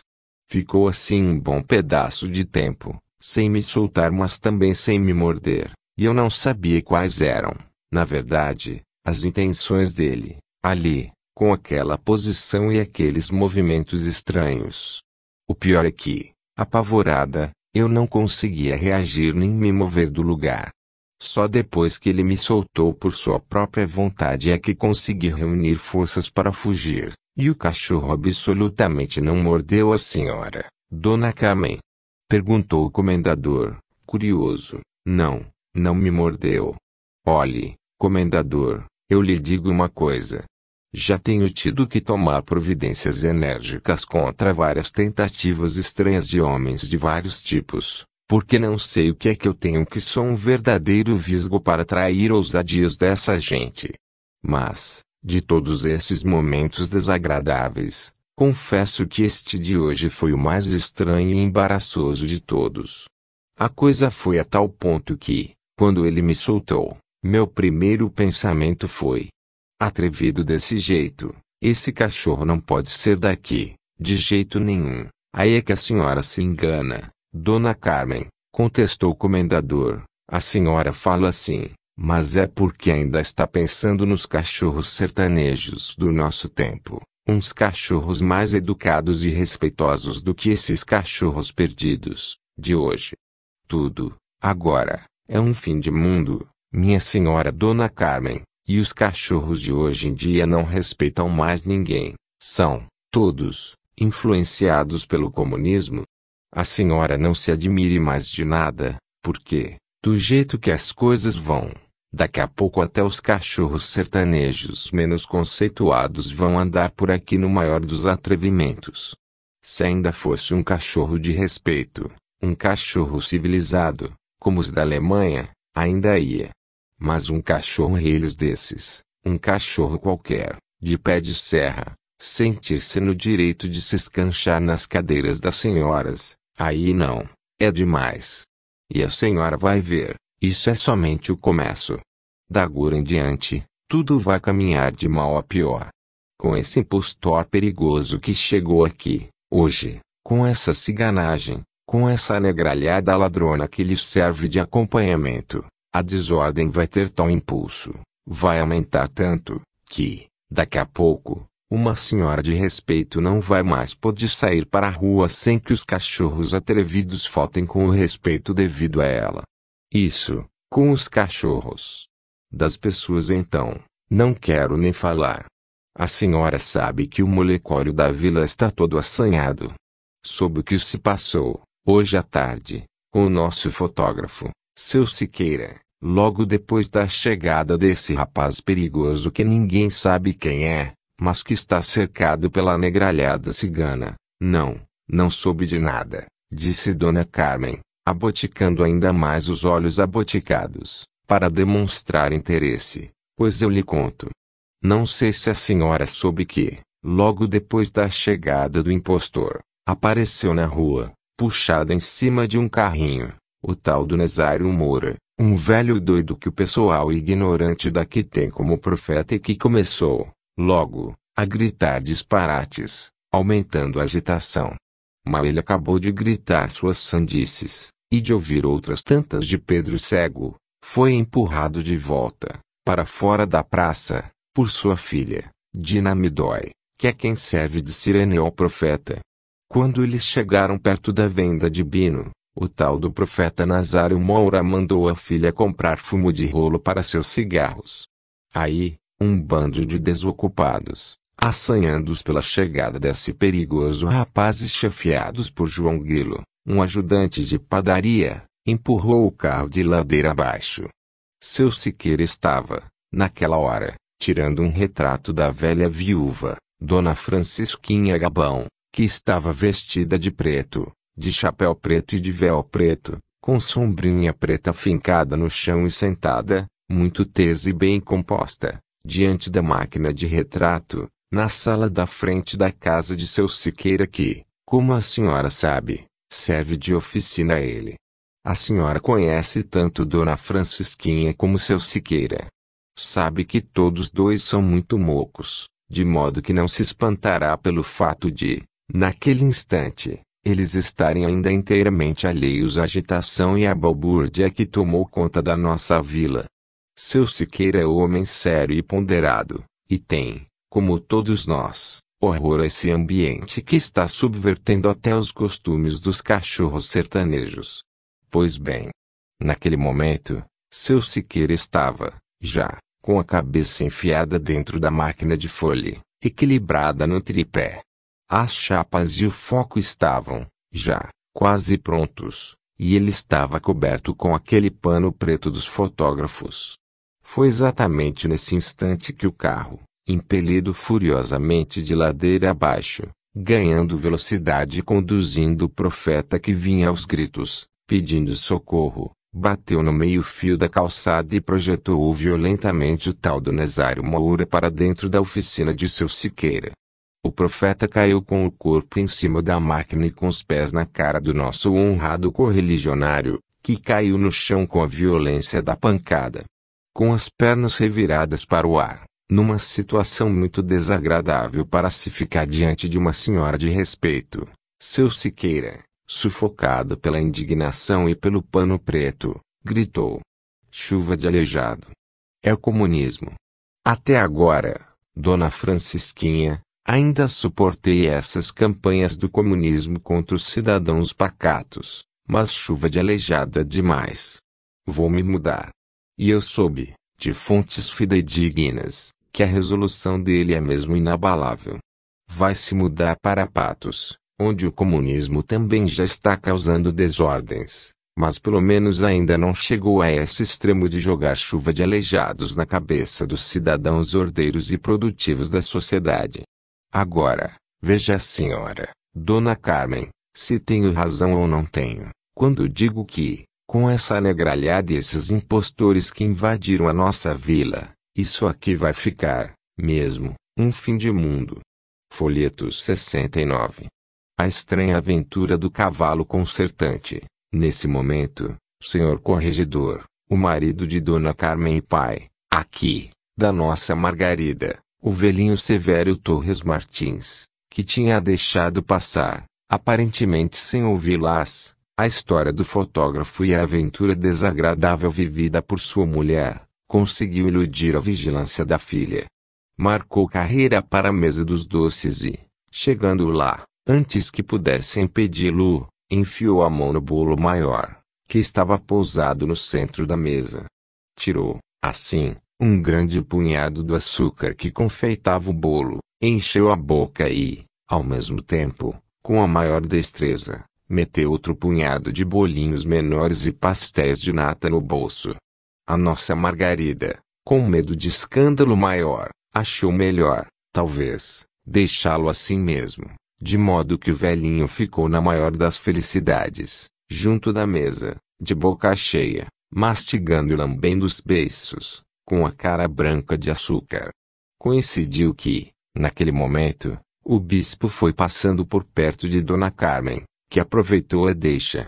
Outra das fraquezas dela era apresentar sempre o marido elogiando-a por uma lucidez perfeita em que ele se encontrava, nos seus setenta anos fortes e espigados.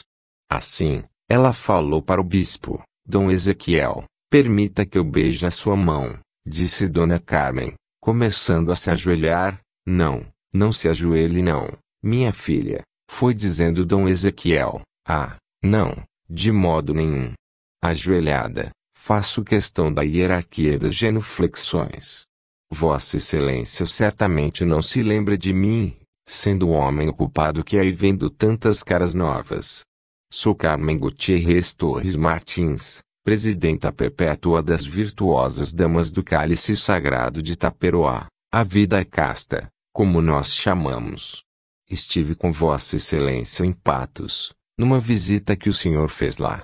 Fui a Patos naquela ocasião, chefiando a ala feminina da comitiva de Taperoá, que lhe foi prestar as devidas homenagens. Assim, lembro-me perfeitamente da visita a Patos, disse o bispo, sem desmentir Dona Carmen, mas também sem se comprometer. Como vai a senhora? Vou muito bem, excelência, e agradeço a vossa excelência o seu interesse, e a gentileza de se lembrar, Lembrou-se de mim nas suas orações, como lhe pedi. Não, não responda. É uma indiscrição minha perguntar isso, só agora percebo. Mas Vossa Excelência não conhece meu marido, Severo Torres Martins. Olhe, é este aqui. É um homem admirável, Dom Ezequiel. Permita que eu tenha corujice de falar assim. Severo está com 70 anos, mas faz gosto. Aprumado, duro, forte que é uma beleza. E, o que é mais importante, inteiramente lúcido. Severo, filhinho, fale aqui com Dom Ezequiel. Ezequiel? Conheço. Não é o vaqueiro de Antônio Vilar? Disse o velhinho, aproximando-se, lambendo os beiços sujos de açúcar e com os bolsos atulhandos de siquilhos. Filhinho, esse aqui é Dom Ezequiel. Dom Ezequiel, este é meu marido, Severo Torres Martins, disse Dona Carmen, procurando não tomar conhecimento do equívoco do marido. Muito prazer. Seu criado, disse Severo estendendo educadamente a mão ao bispo, de modo correto, se bem que um tanto ensinado. Severo, beija a mão de Dom Ezequiel, disse Dona Carmen, tornando-se mais animada à medida que via o marido se sair bem. Eu. Beijar mão desse vulto, por quê? Beijo nada, falou Severo, com um tom displicente mas firme, inteiramente inesperado ante os modos do comércio. E acrescentou: Meu pai já morreu. Por que é que eu iria, agora, beijar mão de barbado? Só beijo se ele me der um doce, concluiu ele, querendo logo aproveitar a oportunidade de aumentar sua provisão de sequilhos e pastéis. O bispo, senhor corregedor, que já estava começando a ficar meio intrigado, riu aliviado, julgando que Severo estava gracejando com o ditado popular: Não faço isso nem que você me dê um doce. Dona Carmen, ou se iludiu também, ou quis aproveitar o engano do bispo para disfarçar e bater em retirada. Ah, Severo, disse ela, já está você com suas brincadeiras, filhinho. Severo é assim, Dom Ezequiel, não repare os modos dele não. Nos primeiros momentos de cerimônia, ele fica calado, mas depois, principalmente se simpatiza com a pessoa a quem está sendo apresentado, não se cala. Foi pior, senhor corregedor. Severo, pensando de novo nos bolos, deixara de prestar atenção ao sentido, de modo que só ouvia, agora, o zumbido das palavras da mulher. As duas últimas soaram em seus ouvidos como uma palavra só, se cala, uma palavra que, tocando em certas coisas, despertou, nele, uma porção de recordações misturadas, umas do sertão, mas a maioria ligada à célebre viagem que ele e Dona Carmen tinham feito à Europa. Se cala. Indagou ele, pondo-se novamente alerta e vivo. Conheci, era um cavalo. Se cala era o cavalo de sela do coronel Queiroga, de Pombal. E o que eu achei mais esquisito era ele ser, ao mesmo tempo, um cavalo e um teatro. Digo isso porque depois, quando a gente viajou para a Europa, eu e Carminha, a gente passou numa cidade da Itália, e o cavalo do coronel Queiroga estava lá, com o nome de Cicala de Milão. Eu não me lembro direito como era não, porque, ali na Europa, a confusão é grande. Mas me lembro que era uma coisa assim. Ou era o cavalo que tinha se virado num teatro, ou era o teatro que era um cavalo que cantava. Sim não, a misturada era grande. Mas eu me lembro bem que Cicala estava lá. Não me lembro se tinha cabeça e rabo, mas tinha frente e fundo, isso tinha. O pessoal entrava pela frente e saía pelo fundo do cavalo, e eu só me admirava era de que um homem sério e sisudo, como o coronel Queiroga, de Pombal, deixasse aquele pessoal estrangeiro tomar essas liberdades com o cavalo de sela dele. Digo isso, porque, comigo, a coisa é outra. Por fundo de cavalo meu, eu não deixo nem entrar nem sair galego de qualidade nenhuma. Filhinho, que brincadeiras disparatadas são essas? Disse Dona Carmen, aflita, já arrependida de ter mexido naquela casa de maribondos. Você, tão respeitoso, tão sério, tão lúcido, vir com essas conversas para o nosso bispo, bicho? Perguntou Severo intrigado. E esse vulto preto, aí, é um bicho. Que bicho é esse, Carminha?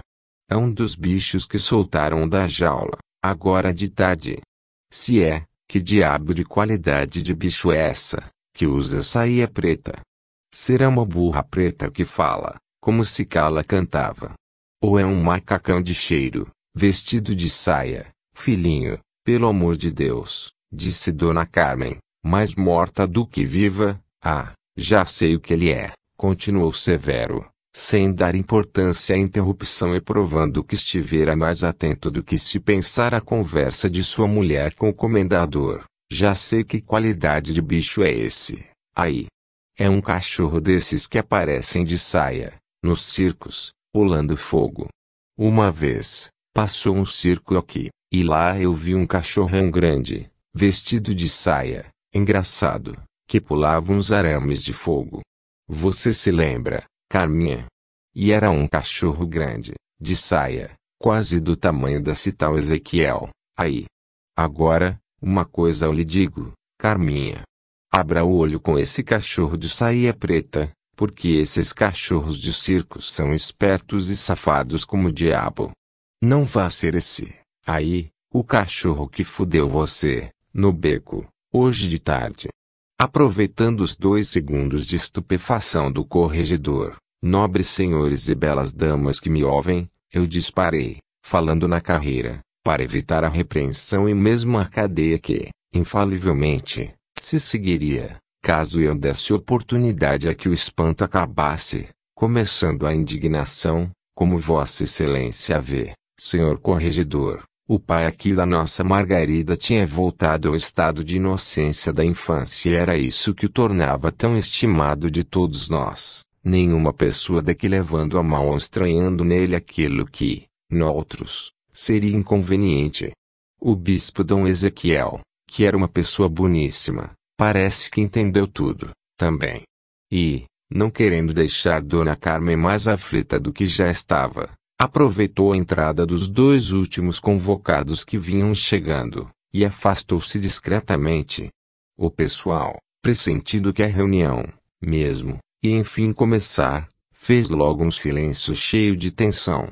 O bispo colocou-se na cabeceira da grande mesa oval que servia para as reuniões da Irmandade, tendo, à direita, o padre Renato e o padre Marcelo, e, à esquerda, o padre Daniel e o comendador Basílio Monteiro que, na qualidade de presidente da Irmandade das Almas, tinha o privilégio de iniciar, junto aos padres, o grupo dos leigos. Aliás, como presidente da Irmandade, o comendador estava se sentindo ali como uma espécie de anfitrião. Foi explicando isso que começou suas palavras nos seguintes termos: Excelentíssimo e Reverendíssimo Senhor Bispo, Reverendos Padres, Minhas Senhoras, Meus Senhores. Na qualidade de presidente da Irmandade das Almas e como filho natural da nossa vila, sinto-me no dever de iniciar a reunião como pessoa humilde que recebe, em sua casa, pessoas ilustres e importantes. Acontecimentos da mais alta gravidade sucederam e estão acontecendo ainda, em nossa vila. E, parece que por um decreto emanado das profundezas insondáveis da providência divina, acontece tudo isso, por sorte nossa, no mesmo dia em que devia chegar aqui essa figura de pastor e prelado que é o bispo Dom Ezequiel, figura exemplar de antistite paraibano. Não preciso dizer a todos que a situação do nosso país é gravíssima. O comunismo, lobo disfarçado de ovelha, prepara seu assalto às instituições, e somente os cegos é que não viram, ainda, o perigo que nos cerca por todos os lados, ameaçando retirar Deus dos altares a pátria do convívio das nações e a família de sua posição inabalável de centro da sociedade.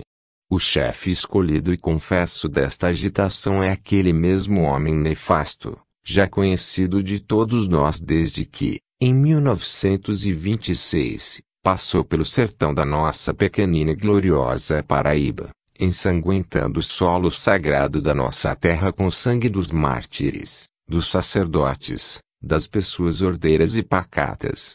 Que o diga ao sangue do padre Aristides Ferreira Leite, degolado em Piancó pela coluna Prestes, juntamente com outros heróicos defensores da honra sertaneja.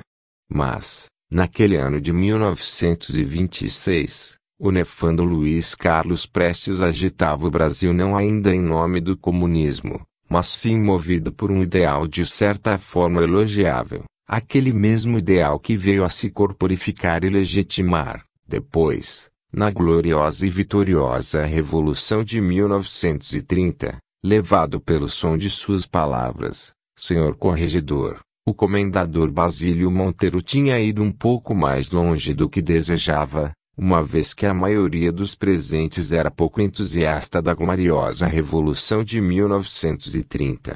Mas o fogo sagrado de ideal e de eloquência se apossara, mesmo, do comendador, de modo que ele continuou no mesmo tom. Depois, porém, Luiz Carlos Prestes abandonou, pelo comunismo, a trilha que tinha seguido até ali. A bandeira que ele sustentava e conduzia caiu-lhe das mãos e veio recair nos braços do grande herói paraibano que, hoje, passados cinco anos de sua morte, todos nós ainda choramos o presidente João Pessoa, o maior dos brasileiros, o incrível João Pessoa, para usar a expressão do genial escritor Ademar Vidal, o mártir que ungiu com seu sangue as liberdades republicanas do Brasil. Muito bem, disseram fracamente duas ou três vozes discretas, um pouco discretamente demais para o que esperava e desejava o orador, o qual, Começando a se aperceber de que devia abandonar aquele terreno polêmico, voltou ao assunto principal, meus senhores. Todo mundo sabe que Luiz Carlos Prestes, exilado do Brasil desde 1927, foi procurado pelos revolucionários, nas vésperas de 1930, para se colocar novamente à frente da insurreição que se preparava. Mas ele repeliu aqueles que o convidavam, porque, segundo suas próprias palavras, se convertera ao credo vermelho e só acreditava, daí por diante, numa revolução inspirada pelo comunismo ateu, regime que ele faria tudo para implantar em nossa pátria. Prestes não teve escrúpulos, então, de se apropriar de vultosa quantia em dinheiro que os revoltosos de 1930 lhe tinham entregue. E, desde aquela data, não houve um só dia em que ele não conspirasse e não tramasse o assalto ao poder. Todo mundo sabe que ele, vestido de padre e com um passaporte falso, entrou novamente no Brasil, sob o nome de Antônio Vilar. Todo mundo sabe que ele e seus companheiros estão conspirando na sombra, preparando uma revolução para, talvez ainda neste nosso ano de 1935, tomar o poder e instaurar uma república soviética em nossa pátria. O fantasma vermelho do comunismo ameaça-nos por todos os lados. Os cidadãos pacatos não podem mais trabalhar, porque os comunistas e revoltados de toda natureza inventam, a toda hora, greves, picuinhas, agressões e atentados de todos os tipos, para perturbar o progresso e o trabalho produtivo e ordeiro. Hoje, mesmo, o honrado fotógrafo de nossa vila, homem remediado e de boa família, sofreu um desses atentados. O mesmo, quase, pode-se dizer de uma das damas mais ilustres da nossa sociedade. E por que se atrevem a tanto, os agitadores? Pergunto. Porque estamos invadidos e ameaçados, com os nossos campos talados e nossa vila assaltada pela agitação. Sim, meus caros conterrâneos, Hoje entrou aqui, na nossa querida vila de Taperoá, um grupo armado, que introduziu em nossa terra a desordem e o morticínio, ameaçando a vida dos pais de família e a honra de suas filhas e esposas. Segundo os primeiros boatos, trata-se de uma tribo de ciganos. Mas serão ciganos, mesmo? Como se explica, então, o atrevimento com que se comportaram diante das autoridades? Os ciganos são gente matreira e sem confiança. Mas são, também, subservientes, procurando sempre tratar bem as autoridades a fim de não serem compelidos a abandonar sua vida de vagabundagem e ladroeira. E, caso a versão seja verdadeira, todo mundo sabe que o cigano Praxedes é o homem perigoso, que já andou envolvido em mais de um caso misterioso, em mais de um crime, em mais de um atentado à bala. Digamos que são ciganos. Como se explica, então, que viesse com eles um sacerdote, um frade, um homem de Deus, quando todos nós sabemos que não se pode confiar na religião dos ciganos? E além disso, todo esse pessoal que chefia a tribo é, perdoem-me o vigor da expressão, estranho e suspeito. Quem será esse tal doutor Pedro Gouveia? Quem será esse Frei Simão, ou melhor, quem é o lobo vestido de ovelha que se esconde por trás desse nome, quando todos nós sabemos que não é o hábito que faz o monge? E chego ao ponto nevrálgico da questão. Quem será, na verdade, este rapaz que se apresenta hoje, aqui, com o nome daquele moço infortunado que morreu há três anos, em 1932, coroando sua morte, a série de infortúnios e tragédias que se abateu sobre a ilustre família Garcia Barreto. Quem terá sido o homem que atirou nesse rapaz, morrendo logo em seguida, a tiro, de maneira tão misteriosa? A meu ver, esse atentado, ou melhor, esse simulacro de atentado, não passou de uma outra farsa, com a qual os comunistas pretendem jogar areia e uma cortina de fumaça diante dos olhos das pessoas respeitáveis. A situação é grave, meus senhores. Nosso país está dividido entre dois extremismos. A meu ver e salvo o melhor juízo, um deles é mais perigoso, de modo que, apesar do conhecido equilíbrio das minhas posições, chego quase a dar razão aos que seguram na defesa de Deus, da pátria e da família.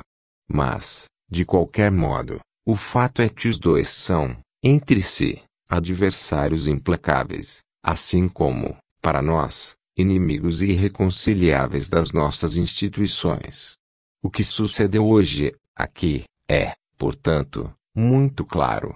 Quem quiser formar sobre os acontecimentos de hoje uma ideia segura, basta verificar de que lado ficou, logo, a ralé, esse povo indisciplinado, mal educado e analfabeto que é a mancha vergonhosa da face do nosso Brasil.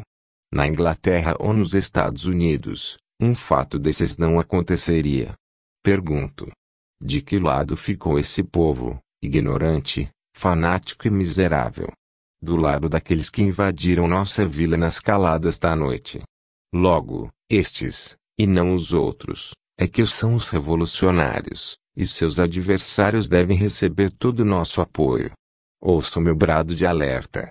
Sim, porque o pior aqui, hoje, é a cegueira daqueles que, entre nós, deveriam ser as colunas, os sustentáculos da sociedade. Ninguém quer ver o perigo. A continuar assim, quando cuidarmos, estaremos com o inimigo dentro das nossas muralhas, com os cidadãos mais conspícuos da pátria sendo fuzilados. Certamente acham que eu exagero. Mas pergunto e repito.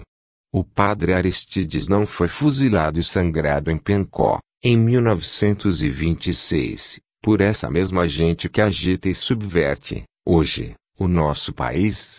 Assim, ninguém tenha dúvida. O que aconteceu hoje, aqui, é algo de muito grave. A coluna suspeita que entrou em nossa vila é um grupo comunista armado, e o atentado cometido contra aquele que parece ser o chefe deles só pode ter duas explicações ou foi cometido por grupos extremistas adversários, ou, o que me parece mais provável, foi somente uma farsa, destinada a mascarar alguma dissensão interna, alguma condenação imposta por algum secreto tribunal revolucionário ao homem que morreu. É preciso colocar de sobreaviso os olhos que não querem ver e os ouvidos que não querem ouvir.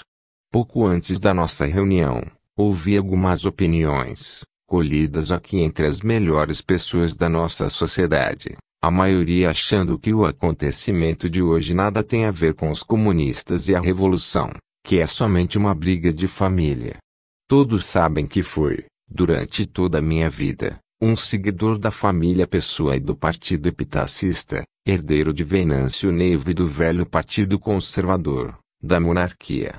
Assim, Fui sempre adversário da nobre família Garcia Barreto. Mas adversário leal e sincero. Nada tenho a ver com os dramas que perseguiram essa ilustre família. O que me preocupa, portanto, nos acontecimentos de hoje, é tudo que está oculto por trás deles. Dizem que a coluna rebelde que invadiu hoje a nossa vila nada tem a ver com a revolução preparada pelos comunistas. Dizem isso baseados no fato de que ela vem acompanhada por um frade. Respondo, em contrapartida. Assim como Luiz Carlos Prestes entrou no Brasil vestido de padre e com o nome de Antônio Vilar, um dos seus homens de confiança pode ter vindo para o sertão da Paraíba, vestido de frade com o nome de Frei Simão do Coração de Jesus. Além disso, mesmo que esse frade fosse um verdadeiro sacerdote, ungido e consagrado, de que garantia pode isso nos servir, num tempo em que o próprio clero está infiltrado de revolucionários, principalmente entre os padres jovens? Aqui, senhor corregedor, o comendador Basílio Monteiro lançou um olhar fuzilante denunciador contra o padre Marcelo e o padre Daniel. Segundo Dona Carmen me disse depois, notava-se seu desejo de que esse olhar fosse anotado e sublinhado pelo bispo. Dom Ezequiel, porém, era homem prudente e conciliador. Ficou impassível, por não entender, por não ouvir, ou então por achar que a denúncia não era tão grave quanto o comendador julgava. Este continuou, pergunto, ainda, o seguinte: Os senhores não acham estranho que o rapaz, chefe dessa coluna que nos invadiu hoje, tenha indagado ao homem do atentado onde é que poderia encontrar Antônio Vilar. Objetam-me que, aqui em Taperoá, na sua pacata fazenda Panati, existe um fazendeiro com este mesmo nome, o nosso honrado Antônio Dantas Vilar que, por sua posição social e por suas tradições de família, está acima de qualquer suspeita de comunismo. Mas o nosso, o Antônio Vilar que todos nós conhecemos, qualquer pessoa poderia tê-lo indicado ao rapaz do cavalo branco. Assim, não se explica que o homem que morreu tenha respondido que não sabia onde o tal Antônio Vilar se encontrava. Indagam, ainda, os incrédulos, que interesse existe, para os comunistas, em invadir e ocupar uma vilazinha perdida e isolada no sertão da Paraíba. Respondo, em primeiro lugar, que nossa vila não é tão perdida assim, e nem o será nunca, a não ser que os comunistas a botem a perder, de vez. Em segundo lugar, pergunto, que interesse havia, para Luiz Carlos Prestes, em atacar Piancó, em 1926. Piancó é uma vila mais longínqua, mais isolada e menos importante ainda, do ponto de vista estratégico, do que a nossa gloriosa vila de Taperoá. Lembre-se de que o nosso Cariri paraibano está situado a meio caminho, numa posição central e portanto estratégica, em relação aos dois maiores e mais importantes focos comunistas do nosso Brasil, isto é, Natal, capital do Rio Grande do Norte, e Recife, capital do progressista estado de Pernambuco. Em Natal e no Recife, o exército está minado pela revolução. Ao contrário, todos sabem que o batalhão sediado na capital da Paraíba, o nosso glorioso invicto 22º Batalhão de Caçadores, é legalista e tradicionalmente fiel às instituições. Eis aí, então, o verdadeiro motivo de os comunistas procurarem apoio, não na capital paraibana, e sim no sertão do nosso estado. Dir-me-ão que, neste caso, seria mais lógico que eles escolhessem, para invadir, a cidade de Campina Grande, a rainha da Serra da Borborema, a mais progressista e importante do sertão. Mas eu explico também, facilmente, o motivo de não terem, eles, agido assim. É que, havendo em Campina um quartel e um batalhão da polícia paraibana, a repressão seria imediata e violenta. Assim, era muito melhor fazer o que eles fizeram, atacando e invadindo uma cidade menor, que provavelmente se entregaria sem luta, como de fato se entregou, podendo, agora, servir de base para o ataque, a Campina Grande primeiro, e a capital depois. Não foi assim que agiu, em 1912, a coluna revolucionária dos chefes sertanejos, o Dr. Dantas e o bacharel Santa Cruz. Está ainda em nossa memória a lembrança das cenas de saque, de sangue, de violência contra a vida e a propriedade, de assaltos à honra e ao pudor, cenas levadas a cabo aqui, em nossa vila, pela coluna dos revoltosos daquele ano, comandados pelo negro Vicente, por seu hino, por Germano, Severino Mãezinha e outros chefetes de grupo, a mando de dois chefes sertanejos que não se envergonharam de manchar seus títulos de raça e ilustração, assaltando e tomando seis cidades sertanejas. Lembre-se de que esses dois chefes levantaram 800 homens de armas, assaltando e tomando Monteiro, São Tomé, Taperoá, Patos, Soledade e Santa Luzia do Sabugi. Assaltaram, ainda, a sétima, a Vila Real de São João do Cariri, preparando, assim, a tomada de Campina Grande, quando o exército interveio e os revolucionários de 1912 foram desbaratados. Lembre-se de que essas coisas não são episódios isolados, pois, na Guerra de 12, fazia sua estreia nas lutas e insurreições sertanejas, o filho de um dos chefes, João Duarte Dantas, Aquele mesmo que depois, em 1930, mataria o presidente João Pessoa, cometendo o magnicídio que deflagrou a Revolução de 1930.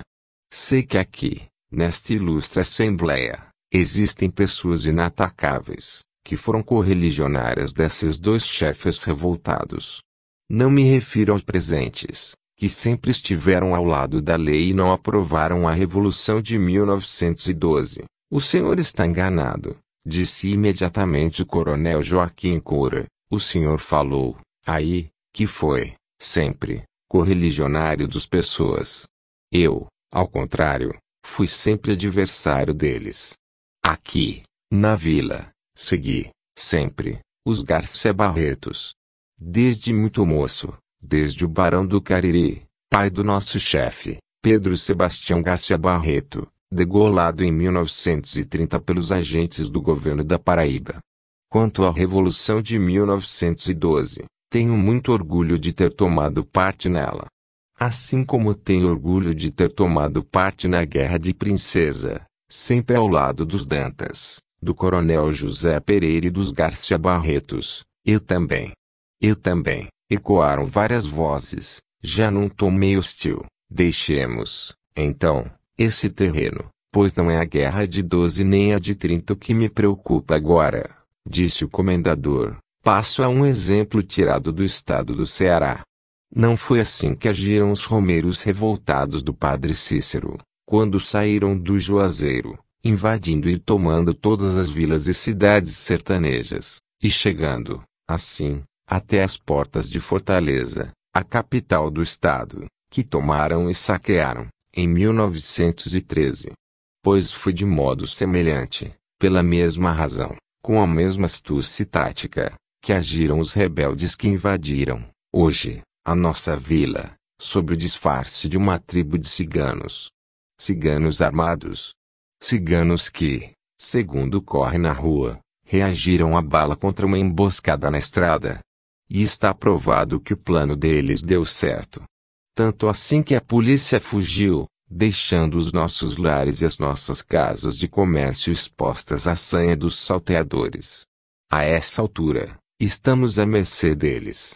Não existem mais autoridades constituídas, não existe mais prefeito, não existe mais delegado, não existe mais polícia, não existe mais juiz de direito, não existe mais nada. O nosso prefeito, agora, é Luiz do Triângulo. O delegado, é o cigano Prachetes. O juiz de direito, é o doutor Pedro Gouveia. A nossa lei, e a do Trabuco dos Cangaceiros, uma república comunista está instaurada em Taperoá. E eu diria, mesmo, que o nosso pastor agora Frei Simão, se não nos restasse, aqui, a figura do nosso bispo, que, como um raio de luz ferindo as trevas, chegou no momento exato, apontando ao nosso barco o caminho do porto, que nos servirá de abrigo seguro. Este é o motivo da nossa reunião. Esperamos, agora, a palavra de Sua Excelência Reverendíssima, para seguir cegamente a sua orientação, o roteiro que ele tem a nos oferecer e cujas linhas certamente já concebeu nos escaninhos de seu privilegiado espírito e no escrínio do seu coração paternal. Folhetos 70. O carneiro cabeludo, o comendador sentou-se, senhor corregedor, e, sob expectativa geral, Dom Ezequiel ergueu-se para nos apontar o caminho do porto. Infelizmente, porém, se ele tinha mesmo, como dissera o comendador, um roteiro seguro, concebido nos escaninhos do espírito e no escrino do seu coração paternal, nunca nós viemos a saber qual era.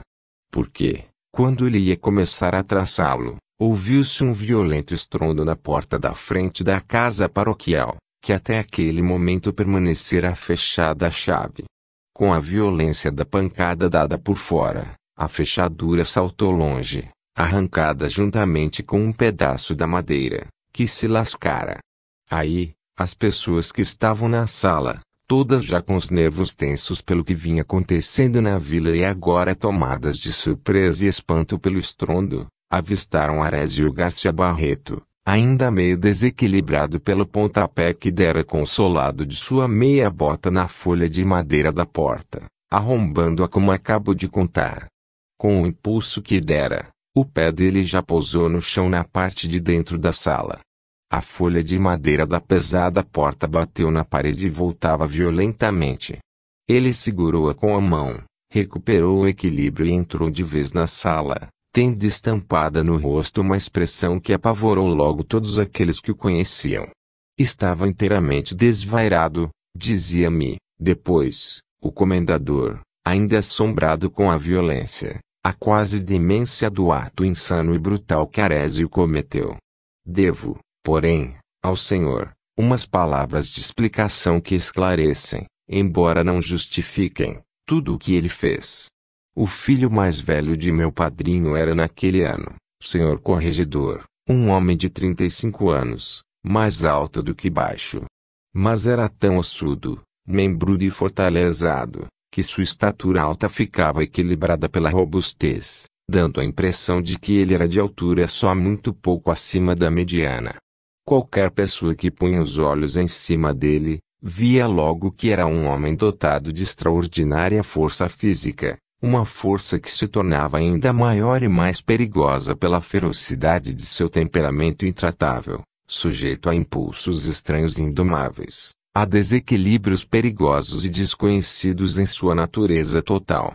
Era moreno e carrancudo, de cabelos bastos, negros e encaracolados. Tinha barba negra e cerrada.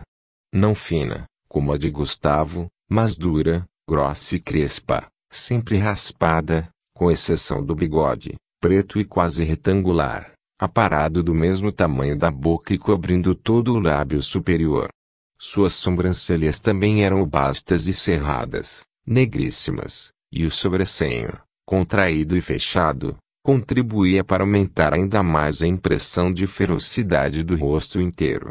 Vestia naquele instante uma roupa de casimira cinzenta, e, sob os punhos limpíssimos da camisa branca, viam-se seus pulsos grossos, peludos e nodosos, terminando pela mão quadrada e grande, de dorso também coberto de pelos, larga e grossa.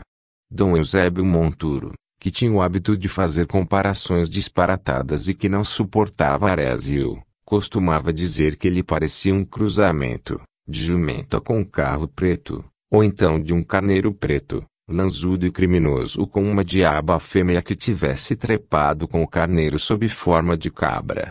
Apesar dos exageros e da língua solta de Dom Eusébio Monturo, um mestre em astrologia como eu, saberia logo que, ao dizer isso, ele estava mais perto da verdade do que os outros talvez pensassem. De fato, Arésio, nascido a 22 de março de 1900, tinha recebido, ao nascer, os influxos malfazejos do planeta Marte, e pertencia, exatamente, ao signo do carneiro, o que talvez explicasse a expressão de cruzamento de carneiro com diaba fêmea que Dom Eusébio usava em relação a ele. Vossa Excelência deve saber, Marte, planeta ubicado no quinto céu, é astro ardente, seco, do fogo, noturno e de caráter masculino. Os nascidos sob seu influxo têm estatura média ou alta, cabelos negros ou vermelhos, às vezes lisos, às vezes encaracolados, mas sempre curtos, duros e com aparência de escova, segundo nos ensina o lunário perpétuo. O corpo dos marcianos acusa brutalidade. A cabeça é forte, o tronco é quadrado e peludo, os olhos são penetrantes e de expressão fixa. A voz é forte e metálica. São sempre corajosos, mas rudes e agressivos, com tendência à irascibilidade, ao ódio e à crueldade. Impõem seu comando e são impelidos, pelo sangue de seu planeta, a satisfazer as exigências de seus sentidos violentos e implacáveis, isto de modo brutal em tudo, no jogo, nos prazeres do amor, nas bebidas e, Eventualmente, nas orgias a que se entregam. A comida preferida deles é a carne sangrenta e meio crua, principalmente a carne de caça, assim como todos os demais pratos preparados com condimentos fortes. Nos casos benéficos, saem do contingente marciano da humanidade os grandes guerreiros, os soldados e, aqui no sertão, os grandes cangaceiros. Nos casos em que o influxo de Marte pega uma alma pequena e uma complexão mesquinha surgida de outras circunstâncias, nascem os ferreiros e os açougueiros, que vão satisfazer, no exercício destas profissões, o gosto marciano pelo sangue, pelos metais e pelos instrumentos cortantes. Por outro lado, senhor corregedor, no caso de Arésio, o influxo de Marte se agravava, porque o signo em que ele é mais poderoso é exatamente o do carneiro, cujo elemento é o fogo, cuja pedra é o rubi, pedra vermelha e cálida, cujos metais são o ferro, o ímã, o azougue e o aço, e cuja cor é o vermelho sangue. Assim, quem combina o signo do carneiro com alguma conjunção maligna de planetas hostis, tem disposições incontroláveis para a violência, o egoísmo, os perigos, a sensualidade e a lascívia, para as rixas violentas e para as orgias, podendo praticar os maiores excessos, e chegar até os crimes de sangue. É que o signo do carneiro impressiona o fel, o sangue, os rins e as partes genitais, sendo sua influência sobretudo violenta dentro da primeira década e crítica quando se dá em trono exaltação de Marte, o que sucede, exatamente, a 22 de março, dia do nascimento astroso e fatídico de meu primo Dom Arésio Garcia Barreto, o príncipe cáprico desta minha fatídica e astrosa epopeia, foi somente, pois, por não serem mestres em astrologia que as pessoas da sala ficaram espantadas com a brutalidade do gesto, para eles inesperado e absurdo, de Arésio. Todos os que estavam na reunião eram favoráveis, ou, pelo menos, manifestavam uma indiferença benevolente a ele, no seu conflito com o pai e com o irmão mais moço por causa da herança da onça malhada. Por outro lado, o bispo Dom Ezequiel, ancião de caráter tranquilo e bondoso, entrado suavemente numa velhice compreensiva e cheia de mansidão, era estimado no sertão inteiro, como um modelo de virtude. Pois foi exatamente para o bispo que Arese marchou depois de entrar na sala, com os olhos meio alheados, como se não visse mais ninguém. Os olhares de todos, esses estavam fixados nele e somente nele, como não poderia deixar de ser.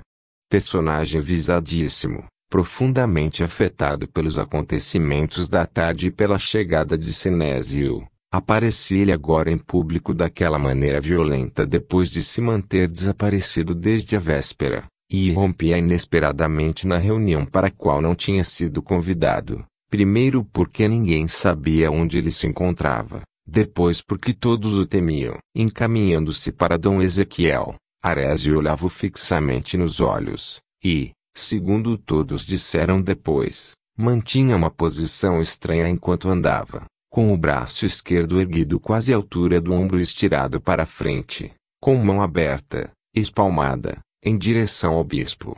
Quando ele chegou junto de Dom Ezequiel, este estendeu-lhe a mão, como para dar a beijar o anel episcopal, isto apesar de que a mão com que Arésio parecia lhe solicitar isso fosse a esquerda, e não a direita, como manda o protocolo. E foi aí que tudo se precipitou. Quando Dom Ezequiel estendeu benevolamente a mão direita para ele, Arésio segurou-a com a mão esquerda e deu um puxão no bispo que, perdendo o equilíbrio, foi como que caindo em sua direção. Mas Arésio, em vez de ampará-lo, soltou-lhe a mão, e, com o punho direito cerrado, deu-lhe um violento soco no rosto. Dom Ezequiel rolou no chão, com o rosto banhado em sangue, saído do nariz e de um corte que se abrira embaixo de seu olho. Todos ficaram imóveis, boquiabertos, paralisados pela violência e pelo inesperado do gesto insensato. Os padres, primeiros a sair do estupor, correram para o bispo e começaram a lhe prestar o primeiro socorro. Quanto a Arésio, olhou um momento a cena, como se não tivesse nada a ver com aquilo. Depois deu meia volta, e, sem trocar palavra com ninguém, sem dar nenhuma explicação sobre o que fizera, tomou de novo o caminho da porta e saiu da sala, perdendo-se na meia escuridão que já tinha começado a cobrir a vila naquele momento. Folheto 71 O caso do jaguar sarnento.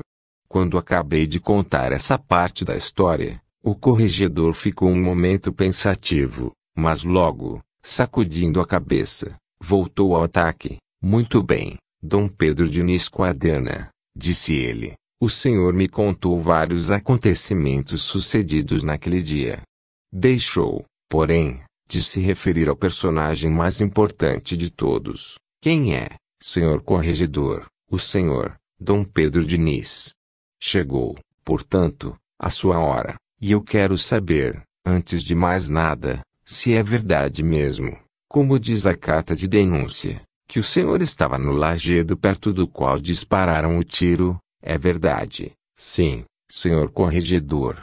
Enquanto, aqui na rua, se desenrolavam esses acontecimentos espantosos, eu, o profeta e astrólogo épico que os previra e que os tinha esperado, confiantemente, durante os cinco anos que se tinham passado entre a morte de meu padrinho e a ressurreição de Sinésio, estava ausente, alheio a tudo.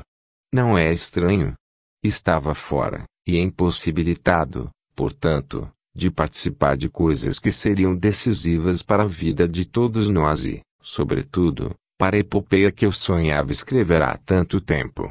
O Senhor perguntará: Por que você estava fora? A resposta é simples.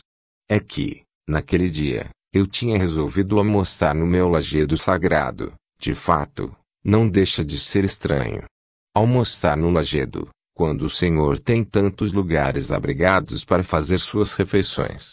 Qual foi o motivo dessa decisão sua? De vez em quando, sinto vontade disso, Senhor Corregedor. É sempre como numa espécie de pressentimento. Vem-me aquela vontade e eu digo para mim mesmo: Hoje, preciso almoçar no meu lajedo. Naquele dia, aconteceu isso, não sei porquê. Comecei com aquela vontade, aquela vontade, e de repente senti que não devia ficar na vila. De manhã, saí com Samuel e Clemente, para visitar uma capela e a gruta do olho d'água do Pedro. Nós nos perdemos na Caatinga, na volta. Mas depois, ajudados pelo velho João Melchiades Ferreira, achamos de novo o caminho.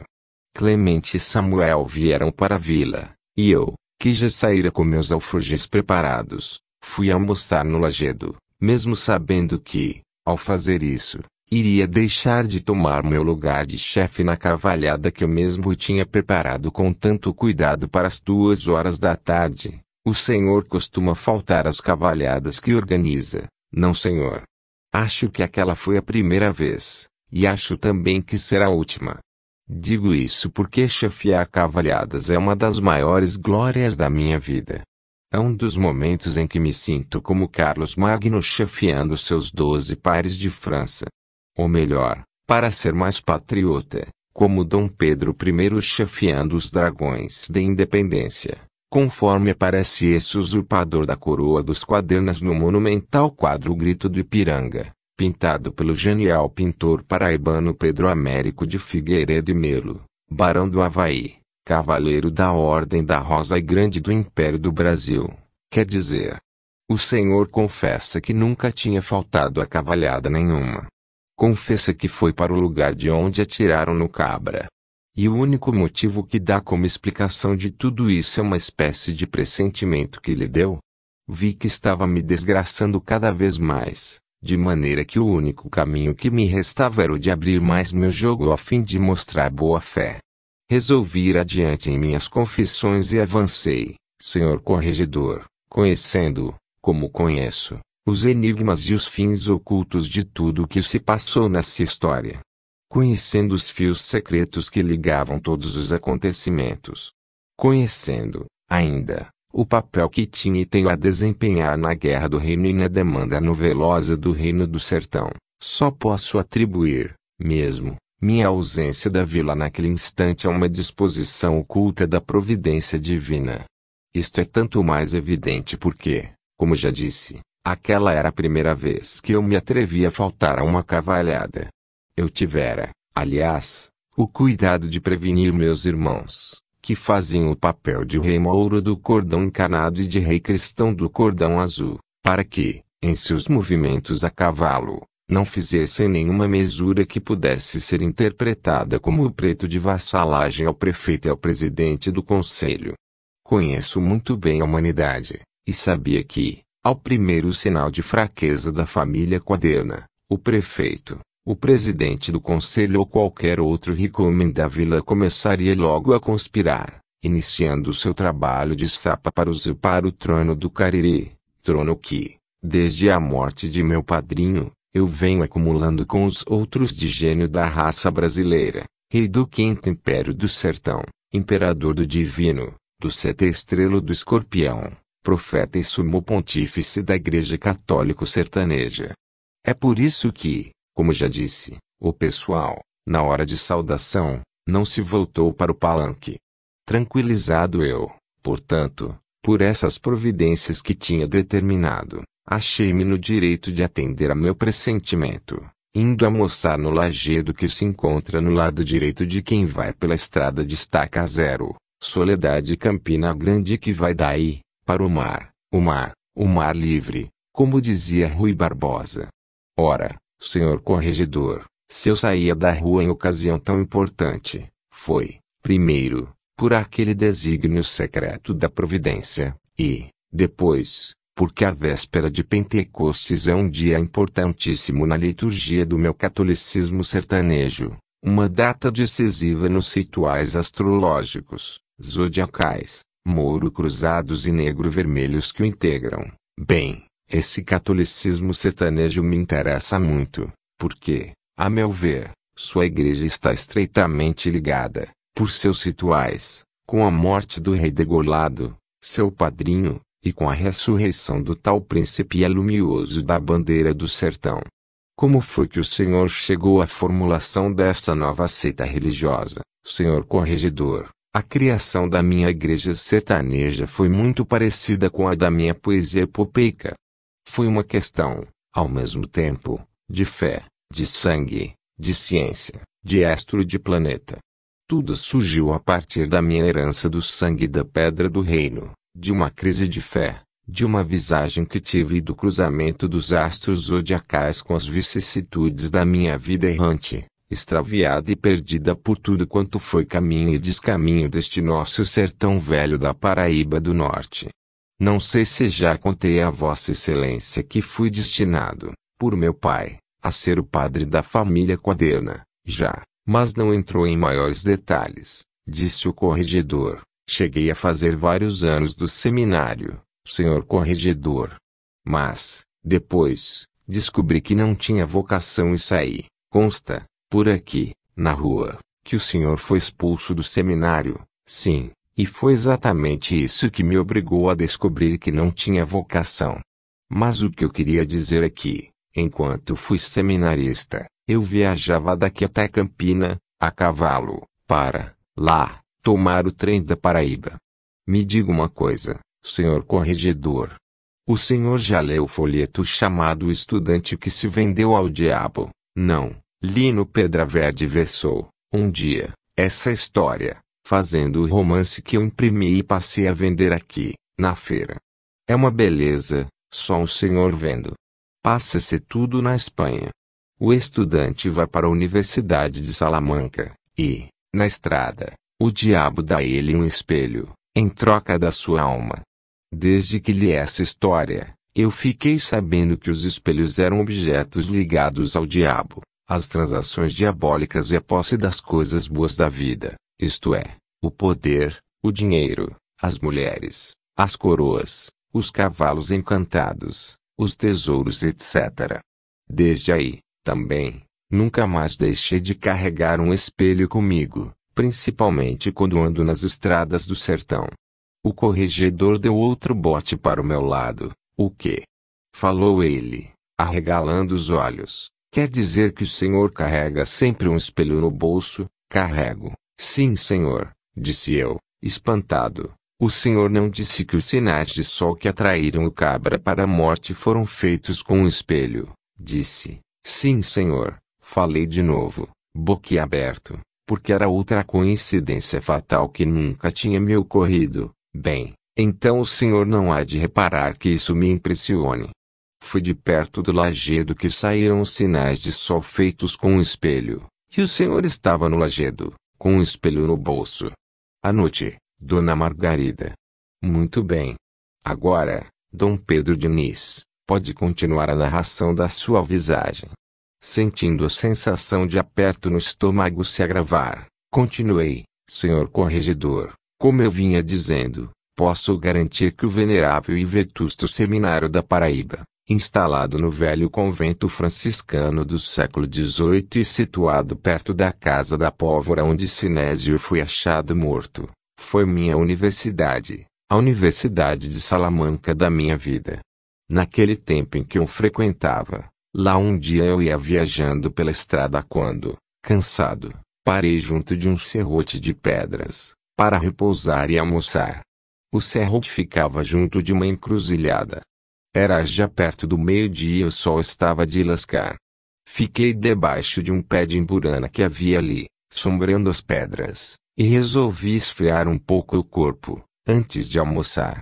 Momentos antes, quando estava tirando a sela do meu cavalo, eu tinha ouvido um tinido de metal dentro do bolso da carona. Meti a mão ali, e vi, então, que o pacote em que eu conduzia meus materiais de fazer a barba tinha se aberto. Tirei para fora esses materiais, sentei-me perto do tronco da imburana, encostei o espelho nele e, enquanto esfriava o corpo, peguei a navalha e comecei a afiá-la no afiador de couro que é o meu. Aí, senhor corregedor, por azar e fatalidade, juntaram-se quatro coisas perigosas e invocativas. Encruzilhada de estrada sertaneja, metal de navalha, espelho de aço e cristal e, finalmente, couro com esmeril.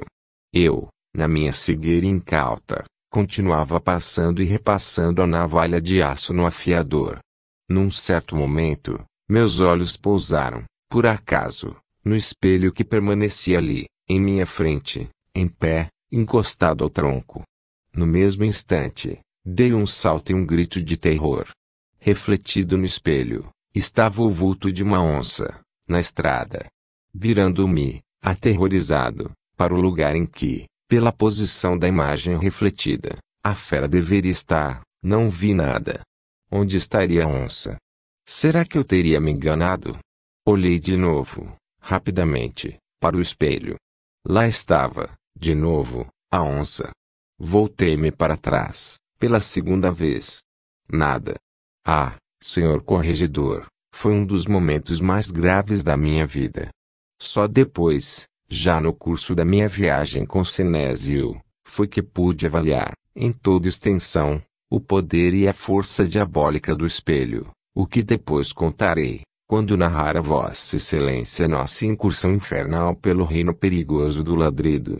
Naquele dia, porém, vi logo que a onça que eu avistava era uma típica visagem de espelho, parecida com aquela que o diabo tinha proporcionado ao estudante de Salamanca nas estradas poeirentas da Castela Espanhola. Fiz das tripas coração, tomei coragem, resolvi desafiar o destino e examinar a visagem. Iria me arrepender amargamente desta resolução. Olhei de novo a onça, agora com cuidado. O que mais me aterrorizava é que ela não tinha um contorno preciso das onças comuns. Não era, de modo nenhum, uma onça que vagasse pela estrada ou pelas veredas, entre as pedras, as caatingas e os espinhos do sertão. O que acontecia era o seguinte. Ou a onça crescera e se tornara imprecisa no intervalo que decorreu entre a minha primeira olhada e a outra, ou então ela já era imprecisa, mesmo, e eu não me apercebera no primeiro momento. O fato, porém, é que, agora, eu via que a onça era mesmo formada pelas pedras, o mato, as estradas, o sol, de modo que, refletia pequeno, alguém lhe contou a história do bicho-homem e do bicho-mundo. Não, tia Filipa me contou, várias vezes. Dizem que, no começo, quando Deus tinha acabado de fazê-lo, o bicho-homem vinha por uma estrada, quando encontrou o bicho-mundo e atreveu-se a enfrentá-lo, no meio do combate foi que ele percebeu que, de fato, o bicho era fêmea, o que tornava a luta perigosa e desigual para o homem. Mas era tarde. Com os poderes de encantação fêmea que tinha, a bicha envolveu o homem, encantou-o, diminuiu ele de tamanho até transformá-lo num homem e então, quando ele estava do tamanho de um piolho em relação a ela, soltou entre seus pelos, para ele viver ali agarrado, como um carrapato. É por isso que todos nós, agora, vivemos assim, agarrados, chupando o sangue do mundo e errando por entre seus pelos. Contei essa história a meu padrinho de crisma, o cantador João Melchiades, e ele escreveu sobre isso uns versos que diziam assim. Foi no começo da tinha, da peste, ao combate louco. Deus foi, distraiu-se um pouco, perdeu o fio da linha. O homem, divino, vinha na estrada do sol do mundo. Na luz do sol moribundo bateu-se com a bicha estranha, e a feiticeira castanho encantou, no profundo. Agora, encantado ao fundo, erra entre os pelos da sonsa que é fêmea, que é parda, é onça, que ele não vê porque é baixo e que, julgando que é macho, ungiu com o nome de mundo, a propósito de que, essa versalhada. Indagou o corregedor, ora, senhor corregedor, é claro. É que, ali na estrada, era isso que eu estava vendo pela primeira vez, graças ao aço e ao azogue diabólico do espelho. Só agora eu vi aqui, de fato, eu não passava de um piolho, de um carrapato chupa-sangue pardo, errante entre os pelos da onça. O pior, porém, é que não se tratava nem de uma onça digna, uma onça malhada como aquela que o profeta Nazário e Pedro Cego tinham visto. Era uma onça enorme mal definida, leprosa, desdentada, sarnenta e escarninha, uma entidade malfazeja que, ao mesmo tempo que me envolvia e tragava, era tragada, também, aos poucos, por um buraco perigoso, oco e vazio, cheio de cinza. Enquanto era devorada pelo buraco, ela erguia o rosto cego e maldoso contra a face do tempo, que a cristava cada vez mais, encarquilhando e desfazendo em pó, em cinza e em sarna, o que ainda lhe restava de sua vida de mente sem grandeza. Por entre os pelos e chagas sarnentas dessa onça parda, eu não via agora, mas sabia, com certeza, que errava a raça piolhosa dos homens, raça também sarnenta e sem grandeza, coçando-se idiotamente como um bando de macacos diante da ventania crestadora, enquanto espera a morte a qual está, de véspera, condenada. Eu já tinha terminado a narração da minha visagem. Mas o corregedor, parece que esperava alguma coisa de sensacional, para o fim, porque perguntou, e então, foi só isso, confessei, só, bem, se eu quisesse impressionar o Senhor, poderia inventar um final mais grandioso, mas não estou aqui para lhe mentir, de modo que devo confessar que não sucedeu mais nada. Nem sequer desmaiei, como Pedro cego, quando viu a visagem dele. Acho mesmo que, prosaicamente, cochilei um pouco, pois tinha me espichado no chão para meditar sobre o que vira, o sono veio e adormeci. Mas, de qualquer forma, foi um acontecimento decisivo para mim porque, a partir daí, nunca mais a imagem da onça parda se desligou, para mim, da imagem do mundo. A cara da onça, mesmo, eu nunca mais vi, como naquele dia.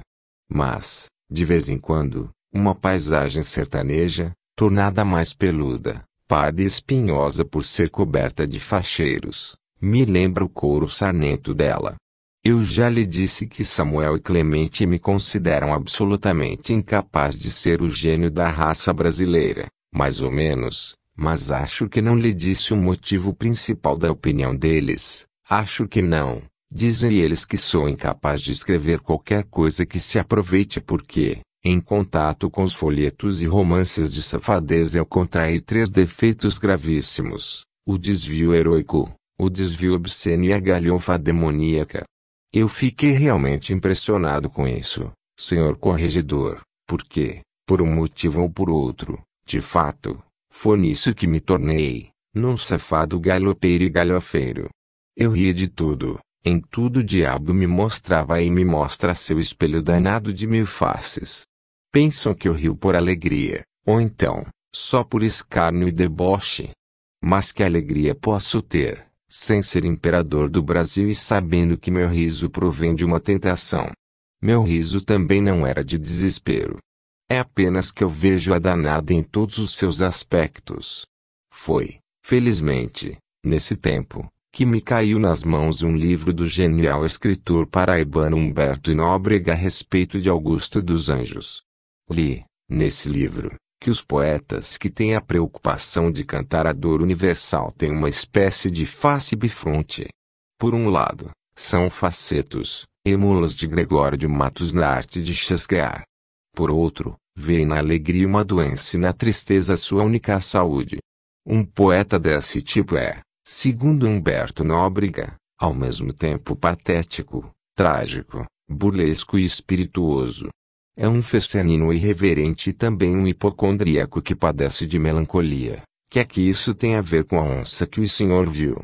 Perguntou o corregedor. É que, mesmo tendo eu tomado precauções, nunca mais permitindo que se juntassem perto de mim aqueles quatro elementos diabólicos, aquela visagem me jogou, de uma vez para sempre, no buraco cheio de cinza, na descoberta de que o mundo era um bicho sarnento e os homens os piolhos e carrapatos chupa-sangue que erram por entre seus pelos pardos, sobre o seu couro chagado, escarificado e feridento, marcado de cicatrizes e peladuras, e queimado a fogo lento pelo sol calcinante e pela ventania abrasadora do sertão.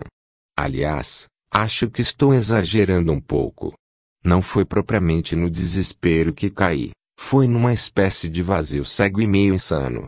Naquele dia, quando acordei do meu cochilo dormido embaixo da emburana, fiquei um momento me coçando, olhando em torno e procurando sentir com as ideias aquilo que já pensara com o sangue. Sentia que algo de decisivo me acontecera. Sabia que, por mais que eu tentasse me distrair daí para frente, eu mesmo estava, como a onça, sendo calcinado por aquela ventania de inferno. Tudo aquilo que eu possuía de sangue e de vida, estava, aos poucos, sendo queimado, calcinado, transformado em cinza, em sarna e em pó.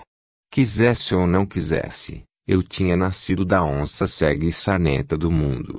Assim, não admirava que meu destino e meu sangue estivessem ligados ao sangue e ao destino dela, daquela onça que procurava, penosamente, indignamente, se manter de pé, com as quatro patas em cima da terra dura e seca do mundo, exposta à ventania de fogo e cinza quente que a crestava, atraindo-a para o centro do buraco cego de onde era soprada.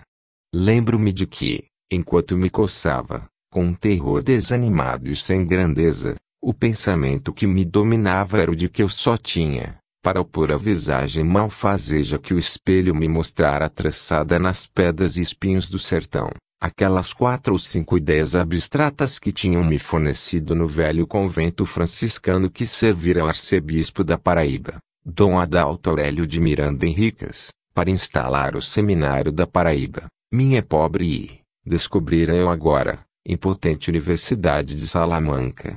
Só uma voz eu ouvira, lá, e que tinha força para, talvez, se contrapor ao buraco cego e vazio da visagem, soprada pelo vento seco e quente da morte. Era a voz daqueles cantadores que, como os nossos, do deserto do sertão, tinham cantado, no deserto judaico, chefiados pela voz rouca e cheia de brasas de Isaías e Ezequiel.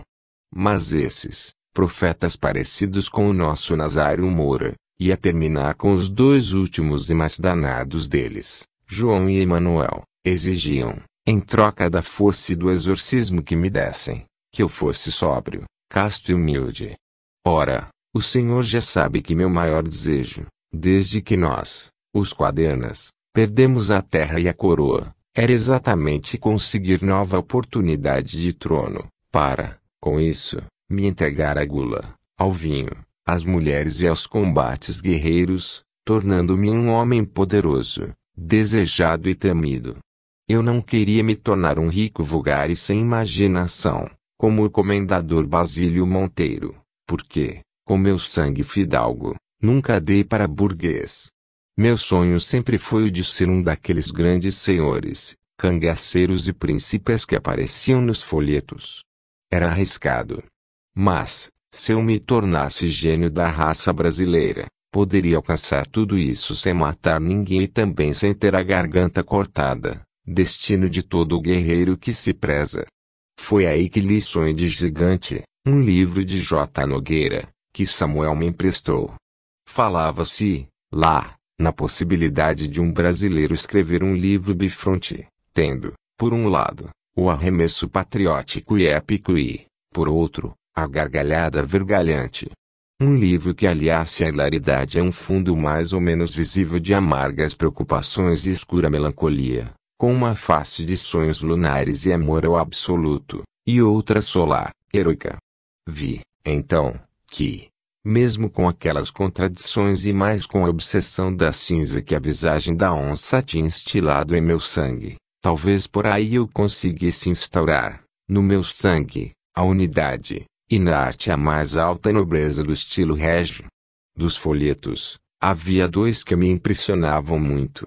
Eram a história de Carlos Magno e os doze pares de Francio Rei orgulhoso na hora da refeição. Pela leitura deles, eu via que os heróis parece que só faziam três coisas, na vida.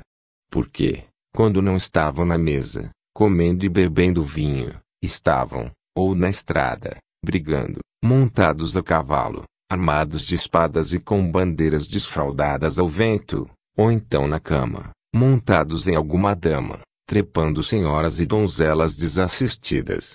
Vida era aquela, a vida dos cangaceiros medievais como Roberto do Diabo, ou dos guerreiros sertanejos como Jesuíno Brilhante, homens vestidos de armaduras de couro, armados de espadas compradas em Damasco ou no Pajeú, bebendo vinho de Jurema e Manacá, vencendo mil batalhas e sempre aptos a possuir mil mulheres. Estas, mesmo quando não gostavam disso no começo, terminavam gostando no fim. Primeiro, por causa da fama deles.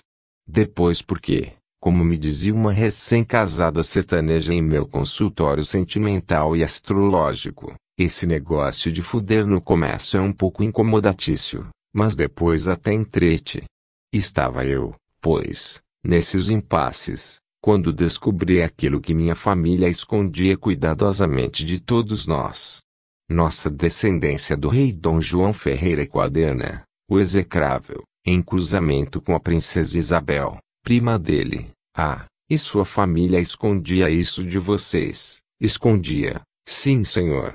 Aquele meu bisavô de sangue godo, o padre Wanderley, pai da minha avó, Bruna Wanderley, cortara do nosso nome o Ferreira e só deixar o quaderna, que meu bisavô, o execrável, usava pouco e ficara praticamente desconhecido.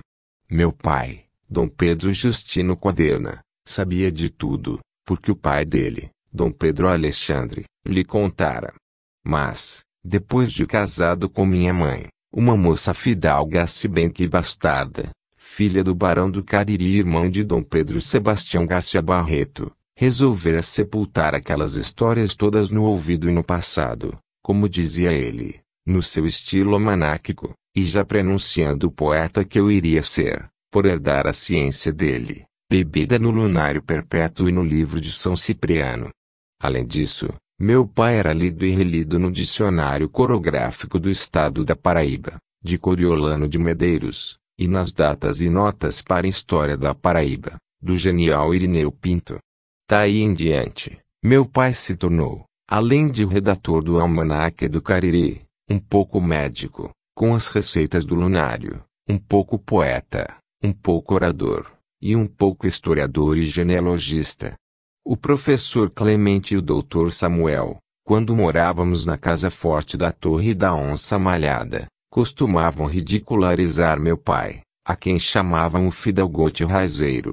Raizeiro, por causa das receitas do lunário dos chás de ervas, e fidalgote porque meu pai, não sei como, descobrira que nós, quadernas, éramos descendentes do rei Dom Diniz, o lavrador. Esse foi, aliás, o motivo de meu nome. Lendo, não sei onde, que um bisneto, por linha bastarda, de Eurei Dom João II, de Portugal, tinha recebido o nome de Dom Pedro Diniz de Lencastre, resolveu seguir também essa tradição da família e me botar o nome de Dom Pedro Diniz Quaderna. O que foi, de fato, para mim, um traçado régia dos astros. Primeiro, por causa do nome Pedro, Pedra e Dom Pedro I, e depois porque Dom Diniz era, como eu, ao mesmo tempo rei e cantador, o que indicava coisas muito sérias na minha pretensão de ser rei e gênio da raça, isto é, poeta decifrador e cantador nacional do Brasil. Apesar, porém, de todas as precauções de meu pai, meu padrinho de crisma, João Melchiades Ferreira, o cantador da Borborema, me revelou tudo sobre a Pedra do Reino, a história das degoulas, o vinho encantado, as noivas que meu bisavô dispensava na noite de núpcias e antes dos maridos etc. Vi que meu bisavô fora rei, mas fora, também, profeta de um catolicismo que Pereira da Costa chamava de particular, sertanejo. Vi também que aquele era o catolicismo que me convinha, uma religião que, a um só tempo, me permitia ser rei e profeta, e ter tantas mulheres quantas pudesse. Comer as carnes que quisesse em qualquer dia da semana e beber tanto vinho quanto me desse na veneta, incluindo-se entre estes o vinho sagrado da Pedra do Reino, que nos mostrava o tesouro antes mesmo que lhe fosse desencantado e descoberto. Era, em suma, uma religião que me salvava a alma e, ao mesmo tempo, permitia que eu mantivesse meu bom comer, meu bom beber e meu bom fuder, coisas com as quais afastava a tentação da visagem da onça e da cinza. Ao mesmo tempo, eu tomava, por caminhos de acaso, conhecimento dos escritos deixados pelo profeta e santo peregrino do sertão, o regente do império do Belo Monte de Canudos, Santo Antônio Conselheiro. Na astrologia, eu já fui iniciado por meu pai que, como redator do Almanaque do Cariri, era mestre nos arcanos do tarô e dono da chave da cabala. Assim que tomei conhecimento dessas coisas, fundi num fogo só esses elementos dispersos, e descobri imediatamente que a nova religião fundada por mim, o catolicismo sertanejo, estava em harmonia absoluta com o programa da minha vida, influenciada, como sempre e em tudo, por Samuel e Clemente. Como o catolicismo era uma religião bastante monárquica, cruzada ibérica para satisfazer o primeiro. E como sertaneja, era suficientemente popular e negro tapuia para ser considerada com simpatia pelo segundo. Posso, então, concluir, dizendo a Vossa Excelência que foram esses os acontecimentos que me trouxeram à minha atual condição de profeta da Igreja Católica Sertaneja e príncipe de sangue do trono do sertão do Brasil. Entendo, disse o corregedor. Então, já pode entender também porque a véspera de Pentecostes era, naquele ano de 1935, tão importante para mim, a ponto de me tirar da vila no momento em que ia se realizar uma cavalhada. Do ponto de vista litúrgico, político e guerreiro, começaria, no dia seguinte, o tempo do fogo pentecostal. Por outro lado, do ponto de vista astrológico e zodiacal, naquele ano o tempo de Pentecostes coincidia com a força total do signo de Gêmeos que é o meu. Por isso, naquela manhã, antes de sair a cavalo com Clemente e Samuel, fui para minha estalagem Otávula Redonda. Os vinte e quatro cavaleiros que iam tomar parte na cavalhada esperavam, lá, por mim, para receber ordens, incluindo-se entre eles, é claro, meus irmãos que iam ser cavaleiros e reis. À tarde, entreguei a todos as roupas, os mantos, as celas, as lanças e demais arreios e apetrechos de boniteza para a festa. Dei ordem para que fosse servido a eles, na tábua redonda, um almoço que eu extorquira, e pago a peso de ouro, da prefeitura. Dei a meus irmãos as últimas instruções. Ensinei como deviam se portar com as bandeiras e estandartes, diante do palanque, para não mostrar nem vassalagem nem subserviência diante daquelas autoridades da República. Lamentava não poder presidir ao almoço daqueles cavaleiros da tábua redonda, mas tinha minhas obrigações litúrgicas no outro ponto. Comecei, por minha vez, a fazer meus preparativos para almoçar no lajedo, onde iria cumprir alguns rituais altamente importantes e eficazes da Igreja Católica Sertaneja. Para isso, teria de cumprir certas obrigações litúrgicas, vestindo-me de modo especial. Calce camisa gondola caques, alpercatas de rabicho e chapéu de couro estrelado de metal à cabeça, com signo de Salomão e tudo. Tinha, ainda, o manto, é verdade. Mas este, eu coloquei, dobrado, no bolso direito da carona de Pedralispe, primeiro porque ia sair acompanhado de meus dois mestres, e depois porque eu só tenho coragem de vesti-lo na estrada, já longe dos olhares dos indiscretos da vila. Maria Safira, amante minha, tinha saído. Mas, antes de sair, ordenara a Dinamidói, a filha do profeta Nazário, que morava conosco na távola redonda, que me preparasse um farnel com paçoca, rapadura e queijo de coalho. Havia, ainda, um chagueiro de couro, cheio da água bem fria, e um pichel, também de couro de bode, cheio, até o gargalo de madeira, com meu famoso vinho tinto da malhada. Tomando tudo isso, e mais umas cajaranas que Lino Pedra Verde tinha me mandado de estaca zero, coloquei comidas e bebidas no bolso esquerdo da carona, Voltei ao interior da távola redonda, fui ao meu quarto e, abrindo meu cofre de segredo, peguei meu anel de pedra amarela, de topázio, meu anel de pedra verde, de esmeralda e meu anel de pedra vermelha, de rubi, assim como meu lenço de cambraia, perfumado ao benjoim e capim sandalo. Peguei também o manuscrito do caminho místico do peregrino do sertão, e o caderno de anotações astrológicas e genealógicas que tinha sido de meu pai. Fechei o cofre, voltei à rua, desamarrei Pedralispe do pé de tambor, e montado, fui me juntar a meus dois mestres, com quem saí para Caatinga. Como já disse, perdemos-nos no mato, mas terminamos encontrando o caminho da volta, já ao meio-dia, graças a meu padrinho, João Melchedes, que nos guiou até a estrada real. Aí, Clemente e Samuel seguiram com ele para a rua.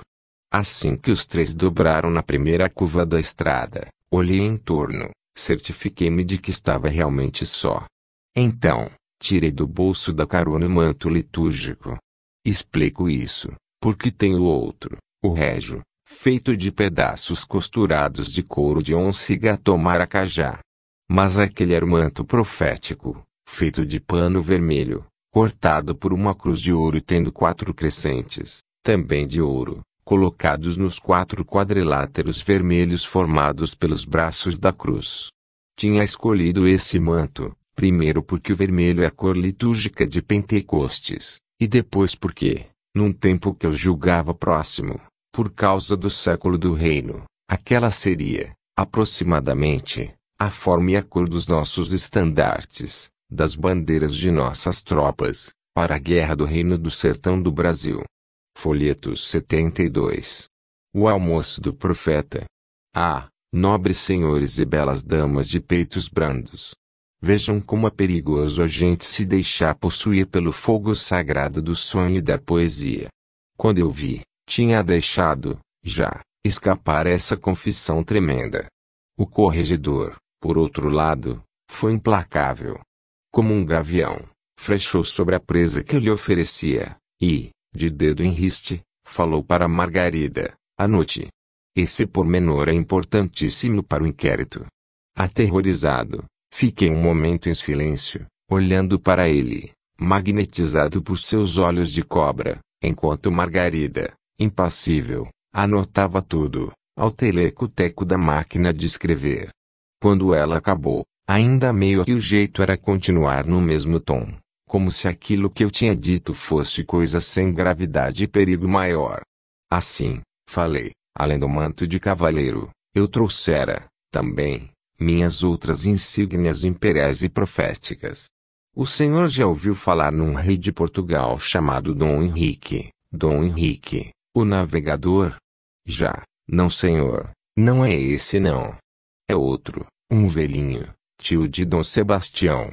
Ele era cardeal, e, quando Dom Sebastião morreu na Batalha de Alcácer Quibir, o velhinho subiu ao trono. Ora, além dele ser cardeal, estava velho e senil que era uma coisa demais. Portugal precisava de um herdeiro para o trono que, sem isso, iria cair nas mãos de Filipe II, da Espanha, que era, também, tio de Dom Sebastião. Aí, o velhinho se animou. Conseguiu uma licença da Santa Sé para gerar um herdeiro para a dinastia. Acontece, porém, Que se a Santa Sé podia dar a licença não podia fazer o milagre que tornaria a licença eficaz. Pois bem, o velhinho já estava tão senil e caduco que meteram várias ideias na cabeça dele. Uma dessas foi de mamar nos peitos de uma ama jovem para ver se, assim, recuperaria a virilidade, gerando um filho para o trono.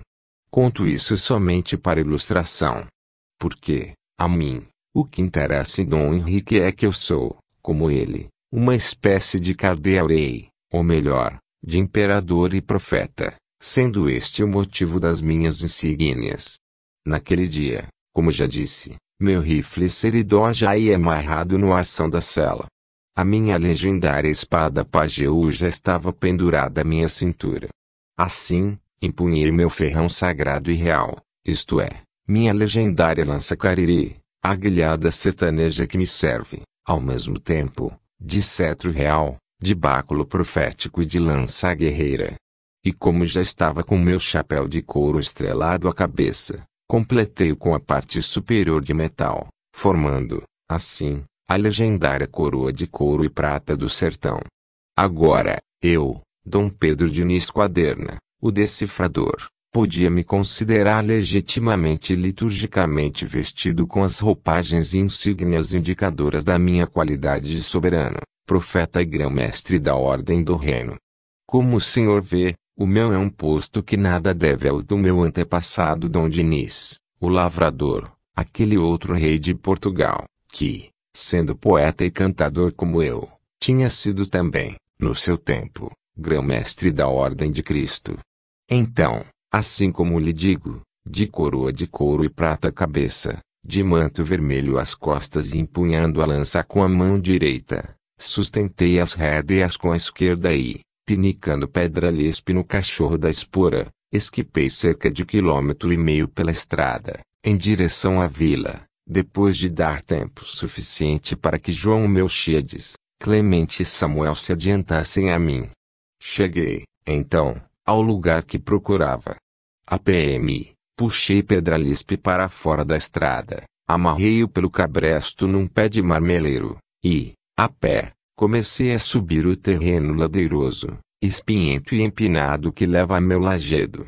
O cheiro do mato, ali, era, agora, um cheiro de folhas de marmeleiro machucadas, cheiro que se misturava a outro, mais longínquo, de madeiras resinosas mal queimadas. Não muito longe, alguém devia estar queimando alguma coivar e era o cheiro dela que se misturava ao das folhas de marmeleiro pisadas e acumuladas na sombra. Desde que eu era menino, senhor corregedor, aquele lugar era sagrado para mim. Uma vez, errando por ali ao acaso e aventura, eu encontrara um ninho de juriti, pousado numa forquilha de marmeleiro. Havia, nele, dois ovos pequenos, lindos, brancos, puros, reluzindo sobre a penugem fofa e ainda quentes do calor da fêmea que voara, espantada por meus passos.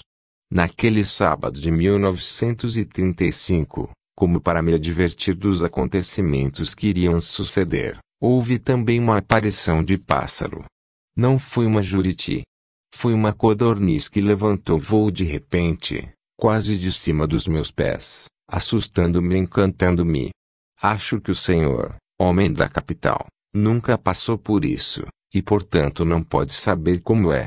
A gente vai andando no mato, e, de repente, um tejo enterra os pés de bem perto, fazendo um estrupício danado. O coração da gente fica batendo com susto e excitação, principalmente quando se traz, por acaso, a espingarda. Mas, o melhor de tudo, é ouvir, Logo depois que o bicho correu eu voo e tudo está calmo de novo, o silêncio e os barulhos normais do mato. Pois bem, naquele dia, a providência e os astros enviaram a codorniz para me avisar, e eu, homem cego e pecador, não entendi logo a advertência. Pelo contrário, como se aquele fosse um dia normal de lajedo, comecei a subir o serrote que leva a minha pedra de ara picando-me nos espinhos dos cactos e queimando-me nos acúleos cáusticos das favelas e das folhas de urtiga. Quando cheguei ao pé do lajedo, Já tinha levado uma furada de espinho de mandacaru um pouco acima do joelho e uma queimadura de urtiga na mão. Isso, porém, não poderia ser considerado aviso especial da providência, pois estava dentro do cabedal de acontecimentos normais daquela excursão. Mas o que veio logo depois, isso foi aviso, e é aviso claro. A subida do lajedo é facilitada por alguns blocos que tinham se destacado de cima, lascados pelo calor ou pelos raios, assim como por saliências, furnas e outras lascas menores, o que formava uma espécie de escada irregular e complicada, até o topo da pedra grande. Comecei a subir. Quando já estava perto da parte de cima, numa última volta que a subida dava, senti, de repente, uma dor terrível no pescoço, como se algum demônio tivesse me picado com uma agulha envenenada. Um maribondo caboclo, cuja casa eu tinha assanhando sem ver, dera-me uma ferroada. Novamente a providência me dava um aviso, e eu insisti em continuar, inteiramente cego aos recados divinos. Cheguei à parte de cima da grande e alta pedra. Ia respirando fundo, coberto de suor e meio tonto, tanto pela dor como pelo veneno cáustico do terrível maribondo vermelho, de duas polegadas de tamanho. À medida, porém, que a dor ia aliviando um pouco mais, o suor e o calor começaram a se dissipar, ante a ventania que soprava ali, no alto, ainda fresca e pura por estarmos no mês de junho, o mais agradável aqui do sertão. Fiquei então sentado uma porção de tempo, recuperando-me ali, em cima da pedra, ao abrigo da folhagem de três árvores grandes que cercam o meu lajedo e cujas frondes ficam situadas acima do seu topo, uma braúna, um angico e um pé de tambor. A dor ia desaparecendo aos poucos, pelo menos em sua primeira fase. É verdade que, provavelmente, daí a pouco, eu começaria a sentir frio, febre e dor de cabeça, com os gânglios do pescoço e dos sovacos inchados. Mas como, Felizmente, esses sintomas ainda não tinham aparecido. Fiquei ali um bom pedaço de tempo sem fazer nada, a não ser devanear e sonhar, olhando a maçaranduba do tempo e vendo, por entre os galhos do pé de tambor, os telhados das casas da vila, que podem ser avistados dali. Não todos, mas os da Rua da Usina e os da Rua do Chafariz, os telhados castanhos, batidos de sol, a rua da usina é a rua da qual o cabra baixou para o leito seco do rio Taperoá, sendo morto então. Não é isso, é, sim senhor. Mas isso não tem grande importância. O que interessa é que estava chegando a hora do almoço e eu precisava cumprir meus rituais da Ordem da Pedra do Reino. O que, homem? Disse o corregedor, com uma expressão cheia de segundas intenções. Os rituais da Pedra do Reino, não me diga que você degulou algum cachorro ou mesmo algum menino. Não, senhor. O que fiz foi coisa muito mais importante do que isso. Ergui-me da ponta de pedra em que estava sentado, tirei o chapéu de couro, que coloquei a um lado. Forrei uma saliência chata do lajedo, que me servia de altar, com o lenço de cambraia. Pendurei no pescoço, por uma corrente longa, o anel amarelo de topázio, Coloquei no anular esquerdo, o anel de rubi vermelho, e, no direito, o anel verde de esmeralda. Assim preparado, num dos lados do altar de pedra, abri o caminho místico, do santo peregrino do sertão, isto é, Santo Antônio Conselheiro de Canudos. Do outro, abri o caderno astrológico que meu pai me ligara, copiado cuidadosamente pelo próprio punho dele, com tinta negra e vermelha, Herança inestimável para minha carreira de poeta de sangue, de ciência e de planeta, de decifrador e mestre dos arcanos do tarô. Coloquei também sobre o altar o pichel de vinho, o farnel com paçoca e queijo de coalho, e então comecei a cerimônia. Sim, senhor corregedor, a cerimônia. Porque na igreja católico sertaneja, o almoço não é somente uma refeição. É um nobre litúrgico ritual, cuidadosamente planejado para servir ao mesmo tempo ao prazer, ao espírito e ao sangue dos nossos fiéis. Modéstia à parte, não existe, no mundo, religião mais completa do que a minha. Nela, o almoço, principalmente quando organizado à base de paçoca com carne de soja e queijo de coalho, e também a bebida de vinho e a posse das mulheres, tudo isso é colocado ao serviço da edificação da alma dos meus adeptos e seguidores. Veja o Senhor.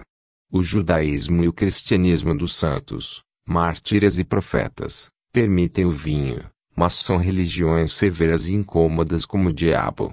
O maometanismo é uma religião deleitosa. Permite que a gente mate os inimigos e tenha muitas mulheres. Em compensação, proíbe o vinho, a Igreja Católica Sertaneja é a única religião do mundo que é bastante judaica e cristã para levar ao céu e, ao mesmo tempo, bastante moura para nos permitir, aqui logo, os maiores e melhores prazeres que podemos gozar nesse mundo velho de meu Deus. Aliás, Vossa Excelência já deve ter notado isso, quando ouviu, há pouco, a história da pedra do reino que eu li para o Senhor porque tudo aquilo que aconteceu por lá eram os rituais executados por meus antepassados em sua extraordinária desaventura trágico-epopeica. A carne de sol, o queijo de cabra, o vinho, as sobremesas de rapadura do Ceará ou de goiabada de Acoverde, as mulheres, tudo isso faz parte dos rituais religiosos com que prestamos nosso culto à divindade sertaneja, divindade sertaneja. E existe uma, especial, quem é?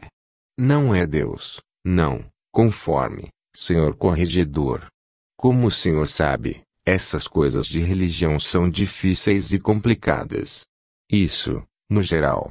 No que se refere ao catolicismo sertanejo, ele é, muito mais do que o romano, povoado de coisas astrosas e fatídicas que o Senhor só irá entendendo melhor aos poucos. Por enquanto, Basta que eu lhe diga que a nossa divindade sertaneja é o mesmo Deus mouro, judaico e católico, se bem que seja mais parecido com aquele Deus do deserto do que com o Deus que o Padre Renato nos apresenta na missa. O nosso Deus é mais parecido com aquele que queimava a boca dos profetas com uma brasa e que aparecia no sertão da Judéia vestido de coivara, vestido de coivara. Disse o corregedor, intrigado. Eu digo desse jeito por patriotismo sertanejo e brasileiro. Mas, se o senhor prefere, pode dizer de um jeito mais estrangeiro. Nesse caso, o senhor se referirá ao Deus que aparecia no deserto judaico sob a forma de uma sarça ardente.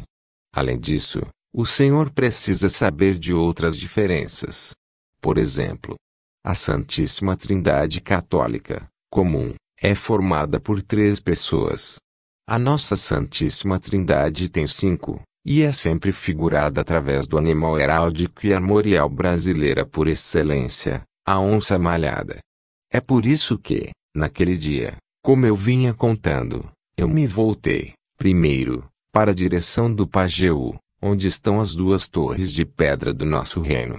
E, abrindo o livro escrito pelo peregrino do sertão, comecei a recitar, em tom de salmodia, minha primeira invocação a Adonai, a terrível divindade sertaneja oncística que atende, também, pelo nome de Auredugo, pelo nome de quê? Perguntou o corregedor, novamente espantado, de Aureadugo, excelência. Adugo é o nome tapuio da onça malhada. Aureadugo é o nome formado pela contração do artigo áureo, isto é, de ouro, parte tapirista de Deus, com a preposição adugo, o aureadugo é, portanto, a onça malhada de ouro do divino. É o mesmo Adonai judaico e esses são os nomes mais terríveis do deus sertanejo do deserto da Judeia. Por isso, naquele dia, voltando-me na direção do Pajeú, falei assim. Ó oh Adonai! Ó oh meu Deus judaico tapuir mouro sertanejo! Considerai que qualquer coisa é bastante para me tirar a vida. Uma gota de salmoura que desça ao coração entupindo uma artéria, uma veia importante que se rompa em meu peito, uma sufocação de tosse, uma forte opressão interna, um fluxo impetuoso do meu sangue, uma cobra coral que me morda, uma febre, uma picada, uma corisco de pedra lispa incendiada, um raio, uma pedrinha de areia nos rins, um inimigo audacioso, uma pedra que se despenca de um serrote, Tudo isso e qualquer coisa pode me cortar o nó do sangue, roubando-me a vida em dois tempos. Por isso, Senhor, não leveis a mal que, enquanto estou aqui no mundo, capaz de gozar esta vida que vós mesmo engendrastes, juntando o barro da terra sertaneja com o e o furor dos vossos lombos, eu vos preste as homenagens deleitosas que devo à divindade que as inicia bebendo uma boa lapada do meu vinho tinto e sertanejo da onça malhada. Dizendo estas palavras, senhor corregedor, peguei o pichel de couro de bode, tirei-lhe a tampa de madeira e, levando o gargalo à boca, ergui cara para o céu e tomei a primeira grande lapada de vinho. Um doce calor e um suave formigamento começaram logo a me percorrer o sangue, aliviando mais a dor da ferroada do maribondo e convidando-me logo a me espichar em cima do lajedo, para cochilar. Mas, nessas coisas de religião, eu sou duro e fiel. Havia, ainda, várias partes do ritual a cumprir, de modo que reagi e não me deitei. Eu ler estas palavras que acabo de ler para o Senhor, no livro do Peregrino do Sertão. Voltei a página, molhando o dedo na língua, Exatamente como vi o padre Renato fazer com o missal, nas missas dos domingos. Aí, li de novo, em voz alta. Ó Adonai, ó Adugo, ó jaguar sertanejo do terrível. Considerai que sou um picador, eu, bocado de terra parda sertaneja amassada no sangue e no sol. Por isso, em terra brevemente me vou de novo a converter. Lembrai-vos de quantas vezes, contra minha vontade, já me vi metido nas correrias, guerras e emboscadas do sertão. Posso, de novo sem querer, me ver metido no altar e ser assassinado, com meu corpo deixado ao sol, na estrada empoeirada, para ser comido pelos carcaras. E mesmo que eu tenha a sorte de morrer na cama, ainda assim nada muda. Serei sepultado na terra dura, quente e seca do sertão, para ser pasto de animais cegos e salamandras de fogo de pele luzidia. Sim, porque o general Dantas Barreto já adverte todos nós de que, no chão sertanejo, os raios do sol candente batem em cheio, com intensidade destruidora, e o solo abre as entranhas por grandes fendas em que se precipitam répteis famintos, à procura de alimentos que não encontram a superfície de fogo. Assim, este corpo, que agora me dá tantos estremeços de prazer como Maria Safira, há de apodrecer. Minha cara, minha boca, meus cabelos, hão de cair aos pedaços. Meus olhos vão ser comidos pelos gaviões. Meu corpo se tornará um esqueleto, a princípio fétido e medonho. Depois, embranquecidos pelo sol, meus ossos hão de separar-se uns dos outros. Minha cabeça há de se apartar do tronco, como aconteceu com a de meu bisavô na Pedra do Reino. Assim, já que vou ser comido pelos gaviões e carcarás, pelos urubus e cachorros do mato errantes no sertão, ó Senhor, não leveis a mal que agora, enquanto estou vivo, eu me deleite comendo a carne dos bichos que cacei e matei principalmente esta carne de paçoca e estes nacos de carne de sol assada, tirados do lombo e do patim do bode que sangrei ontem em vossa homenagem. Voltei então as costas para meu altar, senhor corregedor, e, numa trempe de pedras que já havia lá, suja de cinza por outros rituais semelhantes que eu celebrara no outros dias, acendi fogo. Usei, para isso, folhas secas e gravetos, que incendiei tirando faíscas com uma placa de aço, na pedra do meu corrimboque. Tirando uma panela, que escondera, há muito tempo, numa pequena loca da pedra, coloquei e esquentei nela minha cheirosa e gostosa carne de sol com paçoca que a endemoniada Maria Safira tinha preparado. Essa parte de comer carne assada, é, aliás, senhor corregedor, um dos rituais que eu cumpro com mais prazer e gosto no meu catolicismo sertanejo. Principalmente quando, como naquele dia, a paçoca está enriquecida com ovos cozidos, cebolas e toicinho de torreiro, tudo bem torrado, bem adubado e bem salgado. Comecei então, como vinha dizendo, a comer ritualmente os nacos de carne de sol, misturando-os com a paçoca e evitando os entalos e engasgos da comida seca e salgada, gostosíssima, com deliciosos e grandes goles do meu vinho sertanejo da malhada. Quando me fartei de carne assada e paçoca, terminando outra parte do ritual, voltei ao altar, folheei o livro do peregrino do sertão e o almanaque astrológico, zodiacal e genealógico do Cariri, salmodiando de novo, nos seguintes termos. Ó Adonai! Ó onça tapuia, negra e malhada do divino do sertão! Esta república dominada por burgueses gordos é, sem dúvida, um grande mal para o império do sertão do Brasil. Ela pretende minar e desmoralizar o povo da onça castanha e o nosso catolicismo sertanejo, esta obra-prima de Deus, religião mais perfeita e mais antiga do que o catolicismo romano. Este, tem somente vinte séculos, enquanto a nossa sagrada religião da Pedra do Reino foi fundada no deserto sertanejo da Judeia, junto às pedras do reino do Sinai e do Tabor. O presidente da República, seus cupinchas e os gordos ricos, entendem que podem governar, trair e vender o império do Brasil a seu bel prazer. No entanto, o Brasil está predestinado para o monarca castanho do povo, aquele que foi legitimamente constituído por Deus para fazer o bem e a grandeza do povo brasileiro. Quanto à injustiça nós, católicos sertanejos, contemplamos amargurados. O poder do presidente não é legítimo, a república não é legítima. Todo poder legítimo é uma emanação da onipotência eterna do Deus sertanejo através do povo, e portanto está sujeito à regra divina da nossa Santa Igreja da Pedra do Reino tanto na ordem temporal como na espiritual. Todos os brasileiros deveriam estar obedecendo a quaderna, pontífice, rei e profeta, porque, obedecendo a ele, e a Deus que todos obedecem. É evidente, para todas as pessoas de bem, que esta república permanece sob um princípio falso e só traz o mal, para o povo brasileiro.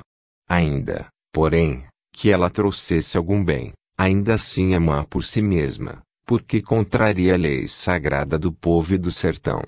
Quem não sabe que o digno príncipe, o senhor Dom Pedro Diniz Quaderna, deveria, logo, ser coroado como Dom Pedro IV, o decifrador, rei do sertão, imperador do Brasil e sumo pontífice da Igreja Católica Sertaneja, sendo, como tal, reconhecido pelas nações.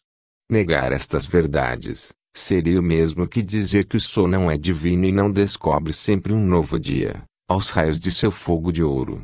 É erro, e erro grave, dizer que a família real dos quadernas não deve mais governar o Brasil, como fez há um século, na pedra do reino do sertão do Brasil. Uma coisa é o sertão, outra é o mundo. Se o mundo fosse divino, ainda se poderia duvidar. Mas o sertão é que é divino, e o sertão só jura e pune pelo sangue real dos quadernas. Por isso, esta república de iniquidade cairá por terra e, mais cedo ou mais tarde, Deus fará a devida justiça. A república se acaba a breve. É princípio de espinhos. O príncipe é o verdadeiro dono do Brasil. Das ondas do mar, Dom Sinésio Sebastião sairá com todo o seu exército. Tira todos, no fio da espada, desce papel da República, e o sangue há de rir até junta grossa. Quem for republicano, mude-se para os Estados Unidos. O tempo está chegando, o século vem vindo.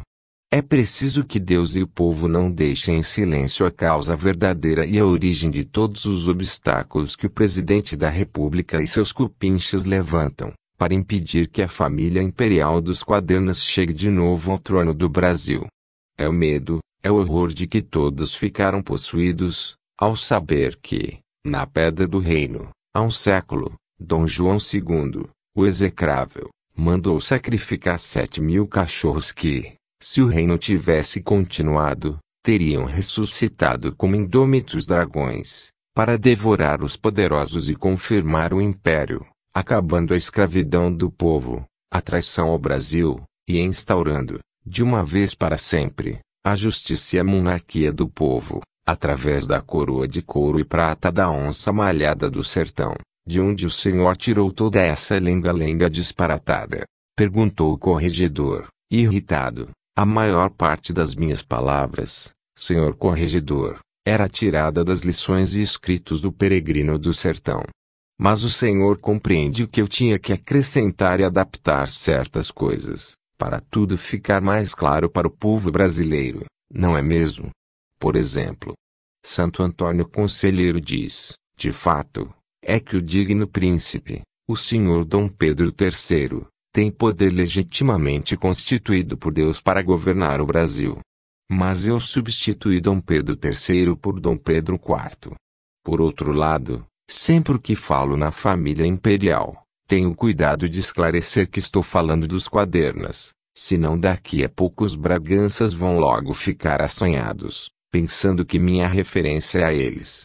Eu estava, senhor corregedor, vivendo um tempo de grandes esperanças. Minha família tinha reinado sobre o Brasil exatamente de 1835 a 1838, de modo que o século do reino vinha chegando, e era tudo isso que se refletia nas minhas preces e invocações, no lajedo.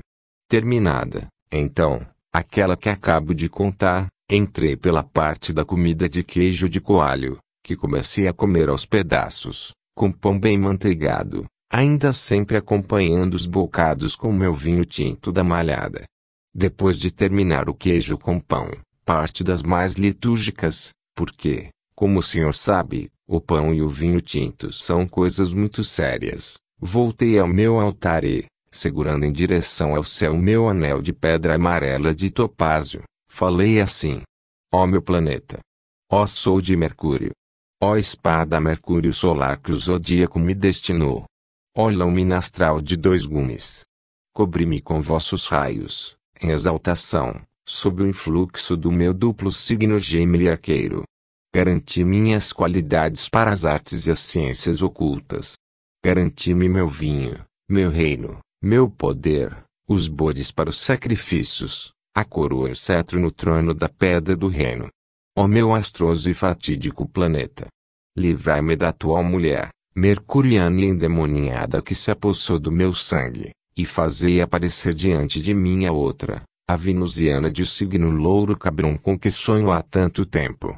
Dá-me aquela que em seu planeta, regando o órgão feminino da geração, coloque, no centro mesmo do seu corpo um ponto sagrado de reino e sangue, firme e seguro para mim, tanto na esfera espiritual como na esfera sexual. Ao recitar essa parte, não deixei de lançar um rabo de olho para Margarida, para ver se ela tinha entendido meu apelo oculto. Mas Margarida, revelando, mais uma vez, sua natureza cruel e indiferente, não me deu a menor importância, nobres senhores e belas damas de peitos brandos. Então, dando um suspiro, voltei-me novamente para o corregedor e continuei a narração. Terminada essa reza forte, e acabado o queijo de coalho com pão, fui a carona, que levara comigo para o alto da pedra, a fim de retirar, do seu bolso, uns umbus e cajaranas que tinha trazido, assim como o pacote com os tacos de rapadura que seria minha sobremesa naquele dia, no momento em que, enfiando a mão, tinha pegado tudo e já ia retirá-la, senti de novo uma violentíssima picada na ponta do dedo médio da mão direita.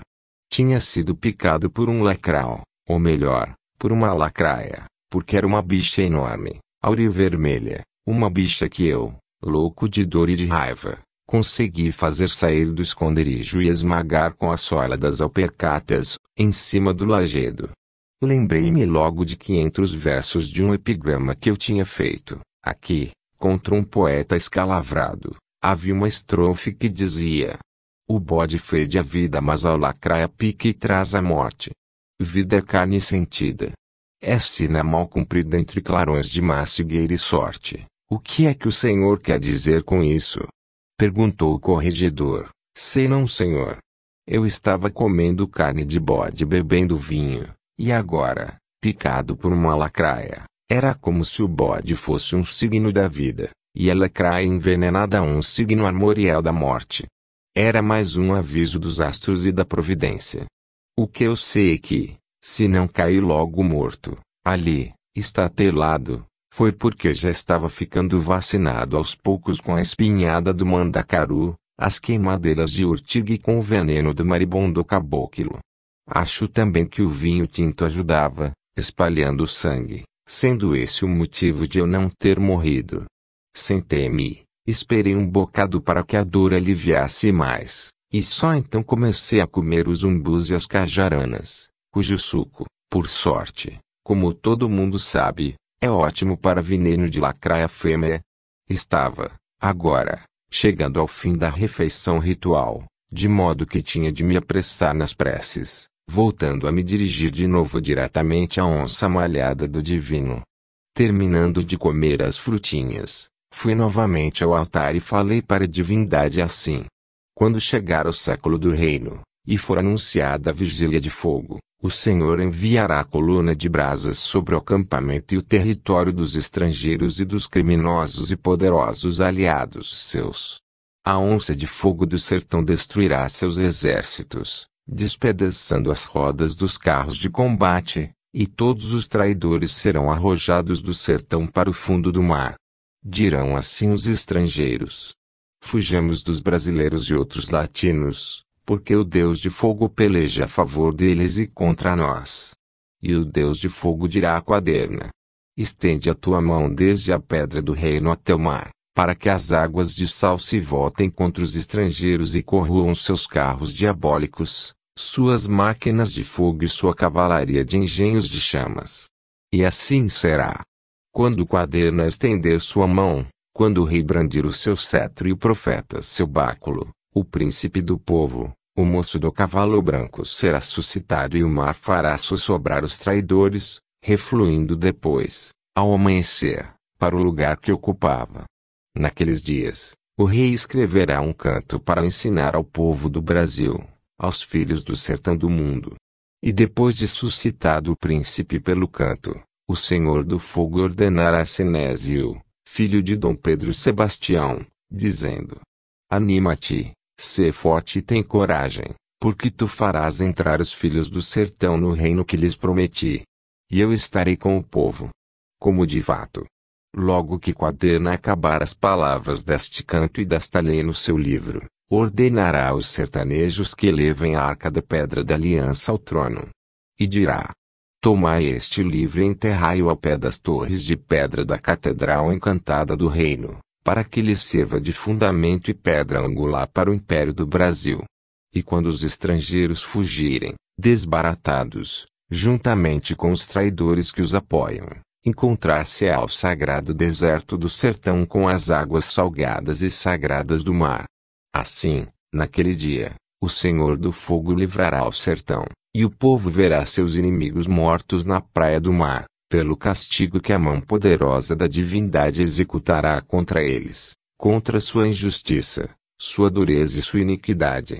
Então Quaderna, subindo a sua pedra, entoará com o povo o sagrado canto que o mesmo Quaderna fez, dizendo: Cantemos ao Deus de fogo do sertão, porque ele manifestou gloriosamente seu poder, precipitando no mar as máquinas e as empresas, os engenhos infernais dos estrangeiros e traidores, castigando a força e opróbrio dos poderosos que nos oprimiam e exaltando o sertão, com sua coragem, suas pedras, seus espinhos, seus cavalos e seus cavaleiros. Persignando-me então, senhor corregedor, dei as costas ao altar pela última vez, e comecei a comer tacos e tacos de rapadura, sendo que, agora, não os acompanhava mais com vinho e sim com gostosos goles d'água, bebidos no gargalo do meu chagueiro de couro. Este, deixando rever um pouco de umidade, tinha esfriado a água de dentro que, derretendo a rapadura dentro da boca, chegava mesmo na hora e estava uma delícia, principalmente com a sede que tinham me deixado o sol, o sal da carne e o vinho do pixel. E, chegando ao fim dessa parte, foi erguendo água sacrificial para Deus que lhe dirigi minha última súplica, dizendo: meu Deus sertanejo. Minha onça malhada, meu divino jaguar de sangue, fogo e pedras preciosas. Eu não creio em nada. Vim de inflamar meu sangue com aquele dom de fogo chamado a fé, mesmo que vossa fé venha me queimar com a ventania deste meu reino sagrado e sangrado, o espinhara, o sertão incendiário e abrasador. Esta ventania de fogo queima e maltrata, mas cura e cicatriza, e é, portanto, o começo da salvação.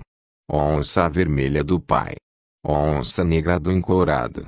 Ó onça parda e castanha do Filho. Ó corça branca. Ó gavião de ouro do sol do Espírito Santo. É preciso que a onça do mundo, sarnenta, chagada e purulenta, se transfigure na onça de ouro malhado, assentada, não mais sobre o buraco vazio, devorador e cego da cinza, mas sim sobre o lajedo firme e forte do divino.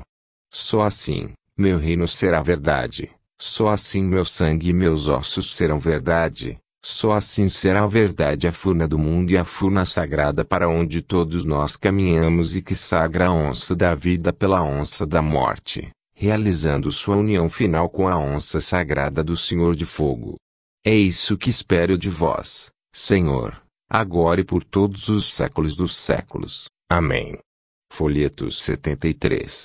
Cavalhadas de São João na Judeia, saciado da fome que vinha sentindo desde que tinha me perdido na Caatinga, Senhor Corregedor, e religiosamente descedentado da sede espiritual do deserto sertanejo, espichei-me então à sombra do pé de braúna que ficava à direita do lajedo.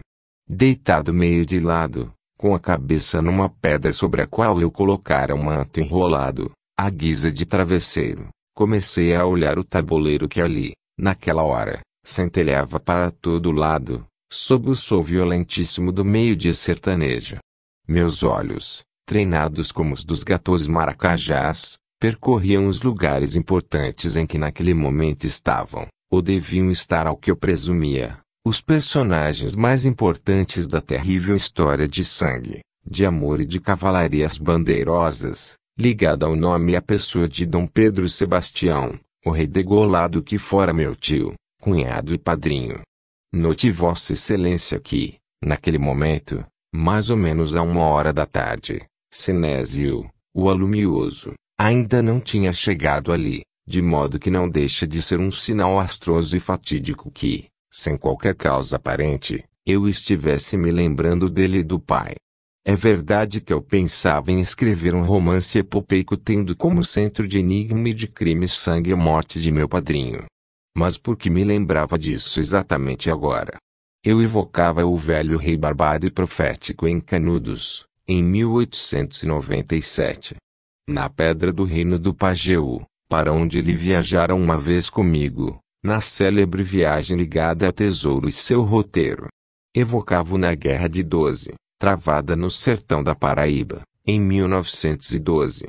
Também em 1930, quando ele, vestindo seu famoso gibão medalhado de guerra, lutara contra o famoso batalhão provisório do presidente João Pessoa. Via ao lado de seu filho predileto, o mais moço, Sinésio, nas coroações de imperador do Divino Espírito Santo.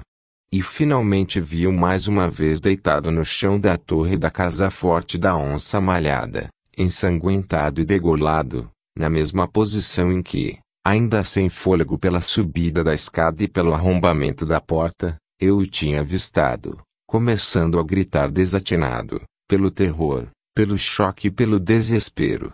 Agora, deitado ali sobre meu lajedo, eu estava começando a sentir mais os efeitos do vinho, dos signos e dos rituais astrológicos da Igreja Católica Sertaneja. A grande vantagem dos zodíacos, cartas de baralho, bandeiras, brasões, mantos com cruzes e crescentes, estrelas de prata, lanças e outras insígnias régias da minha igreja e da minha monarquia, era que, com eles, eu enchia o buraco cego e vazio do mundo e o deserto assírio da minha alma. Sentindo o meu sangue pulsar com violência, não havia mais como duvidar de mim. Meu sangue me garantia a existência do meu corpo, e o corpo, a da minha alma. Por sua vez, o mundo tomava outro aspecto. Além de, agora, divinamente embriagado, ter certeza de que eu mesmo existia, olhava para o lugar onde, pouco antes, tinha visto o par do mundo, onça sarnenta, assentada sobre o abismo da cinza, e não via mais esse animal tinhoso, e sim uma onça malhada, bela, reluzente e gloriosa, gigantesca, de pelo cor de ouro e malhas pardo-avermelhadas. Essa piolhosa dos homens e os lacraus peçonhentos que eram os animais, apareciam a mim, agora, como uma cavalgada muito bem organizada, realizada por reis, valetes, rainhas, damas e bispos, montados a cavalo, uma cavalgada bela, gloriosa, cheia de espadas e bandeiras. Sua caminhada pela tez de fera do mundo não me parecia mais uma agitação covarde e mesquinha, como uma tentativa ignominiosa e inútil de fuga realizada por inapeláveis condenados à morte, mas sim uma cavalhada como as que eu fazia aqui na rua e que eram, também, rituais do meu catolicismo, as minhas procissões. Essa cavalhada do mundo, da qual Deus era o chefe rei mouro e cruzado, como eu era das minhas, não se arrastava mais, acovardado e feia, em direção do reino de cinza da morte, mas se galopava valentemente em direção ao sol divino, ao sol do terrível. Por isso, o mundo não me aparecia mais como um animal doente e leproso, como um lugar sarnento e pardo, nascido do acaso, mas sim como um sertão glorioso, fundado na pedra, ao mesmo tempo harmonioso e ardente. Do mesmo modo, a parte deste mundo que me fora dada, o sertão, não era mais somente o sertão que tanta gente via, mas o reino com o qual eu sonhava, cheio de cavalos e cavaleiros, de frutas vermelhas de mandacaru reluzentes como estrelas, bicadas pelas flechas aurinegras dos concreses e respondendo às cintilações prateadas de outras estrelas, as estrelas dos peitos das damas, as estrelas negro-vermelhas dos sexos femininos, as estrelas de metal ostentadas nos estandartes das cavalhadas ou nos chapéus de couro usados pelos tangerinos, vaqueiros e cangaceiros, os fidalgos da minha casa real, com suas coroas de couro de barão. O próprio Deus não era mais aquele sopro tênue das outras religiões. Aparecia-me como a Santíssima Trindade sertaneja, um sol ardente e glorioso, formado por cinco animais num só. Era a onça malhada do divino, integrada por cinco bichos. A onça vermelha, a onça negra, a onça parda, a corça branca e o gavião de ouro, ou seja, o Pai, o Incolorado, o Filho, a Compadecida e o Espírito Santo, Dom Pedro Diniz Quaderna, já notei, duas vezes, que, na sua religião, o encorado faz parte da Santíssima Trindade e o Espírito Santo é sempre representado por um gavião. Por que isso? Perguntou o corregedor. Bem, Excelência, tudo isso aparece aí, primeiro, porque é verdade, depois por causa da influência de Samuel, de Clemente e, de certa forma, do padre Daniel. O encolorado é um revoltoso do Partido Negro-Vermelho, e portanto precisa ser reabilitado e integrado na divindade. Depois, no meu catolicismo, os bichos que servem de insígnia ao divino são todos rigorosamente brasileiros e sertanejos. Por exemplo, na minha linguagem, nunca entram leões ou águias, bichos estrangeiros, mas sim onças e gaviões. Ora, além dessa fidelidade brasileira e sertaneja, Sempre achei essa história de representar o Espírito Santo por uma pombinha meio inapropriada. Fique logo claro que o Espírito Santo não tem nada com isso. A culpa é de quem inventou.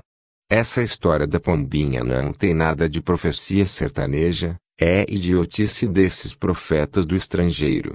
É por isso que, no meu catolicismo sertanejo, o Espírito Santo é um gavião, bicho macho e sangrador. E não é essa pombinha que sempre me pareceu meio sem graça. Segundo nossas crenças, senhor corregedor, foi a onça malhada do sol divino que nos fez, a mim e ao mundo, segundo sua própria imagem.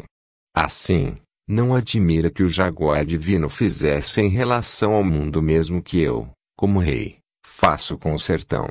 Por isso é que Deus pegou o campo azul e incendiado da bandeira do céu, dispondo nele as peças de ouro e prata de seu brasão, coruscante de sóis e estrelas, com o cruzeiro, o sonho e o escorpião. Até mesmo a morte, senhor corregedor, era, agora, para mim, uma sagração bela e heráldica, armorial. Aparecia-me como uma gigantesca cobra coral, enroscada no céu à nossa espreita.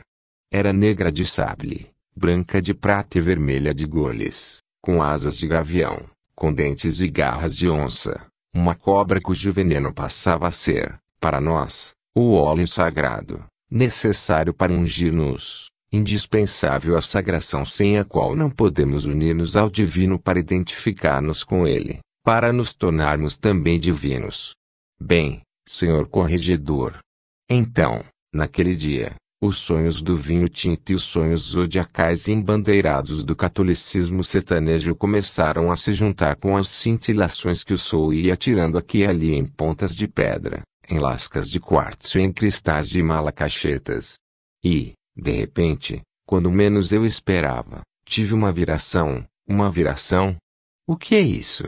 De que viração o senhor está falando? É, por acaso, a brisa sertaneja que o Senhor quer se referir. Não, Senhor. Aliás, não lhe faltando com respeito, o Senhor está revelando pouco conhecimento dessa questão das ventanias sertanejas.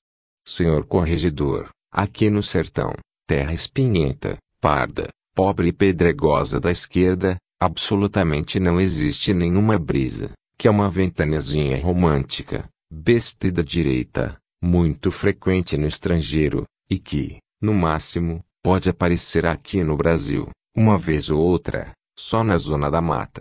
O vento daqui do sertão, ou é o cariri noturno, ou o espinhara, o vento abrasador do meio-dia e das tardes da caatinga. Quando eu digo viração, refiro-me a outra coisa muito diferente. As virações são os acessos apocalípticos que me assaltam de vez em quando, Atacado que sou do mal sagrado dos vates, dos poetas escumejantes e dos profetas. Sofriam disso, também, Dom Pedro I, Machado de Assis e dois profetas sertanejos que viveram no deserto judaico. Quem eram? Antônio Conselheiro e seu bisavô, não senhor, o profeta Ezequiel e o profeta João de Pátimos, mais conhecido como São João, o evangelista, assim como meu bisavô era conhecido por Dom João, o execrável. Ezequiel era sujeito a virações. Digo isso porque o padre Renato, aqui, um dia, numa missa, leu um trecho da crônica hipopeica que ele escreveu. O profeta conta, nesse trecho, que, estando um dia olhando um deserto cheio de ossos, que deviam ser esses esqueletos, caveiras e costelas de boi que a gente encontra aqui, as dúzias, no sertão, teve, de repente, uma visagem. Os ossos se juntavam aos poucos, iam se reunindo até completarem os esqueletos, e lá vinha uma ventania de fogo, e os esqueletos dançando, e começavam a aparecer umas grandes pedras preciosas se incendiando em cima daquilo tudo, e surgia uma safira enorme, e um crisólito, tudo incendiado pela luz do fogo, e carros de chamas, e querubins armados de espadas reluzentes, com asas de ouro e prata, e o anjo, e o touro com asas, e a onça e o gavião. Era um negócio terrível, excelência, um verso mortuário, cheio de ossamentas e, ao mesmo tempo, glorioso, prateado, cheio de cravações de pedras estreladas. Não sei se já disse a Vossa Excelência que eu, Samuel e Clemente temos, todos três, nossos jogos políticos e de partido. Não, não disse não. Jogos políticos. Isso me interessa muito. O que é que o senhor chama de jogos políticos? São as tramas que tecem para conseguir seus objetivos. Não, senhor. São os jogos. Os jogos mesmo.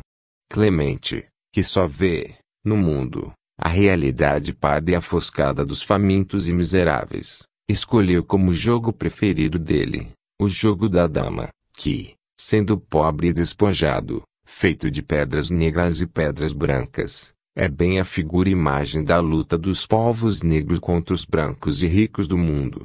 Samuel, que só vê a parte sonhadora e brazonada do mundo, com seus fidalgos, escudos e bandeiras, escolheu o jogo do xadrez, por ser povoado de reis, rainhas e bispos, que governam os peões, montados em cavalos e protegidos por torres fidalgas e guerreiras de combate. Eu, sem ter mais o que escolher, resolvi, como sempre, unir as duas ideias opostas deles num jogo só, o do baralho, conciliando os naipes aurinegros do povo, isto é, paus e espadas, com os naipes aurivermelhos da fidalguia brasileira, copas e ouro.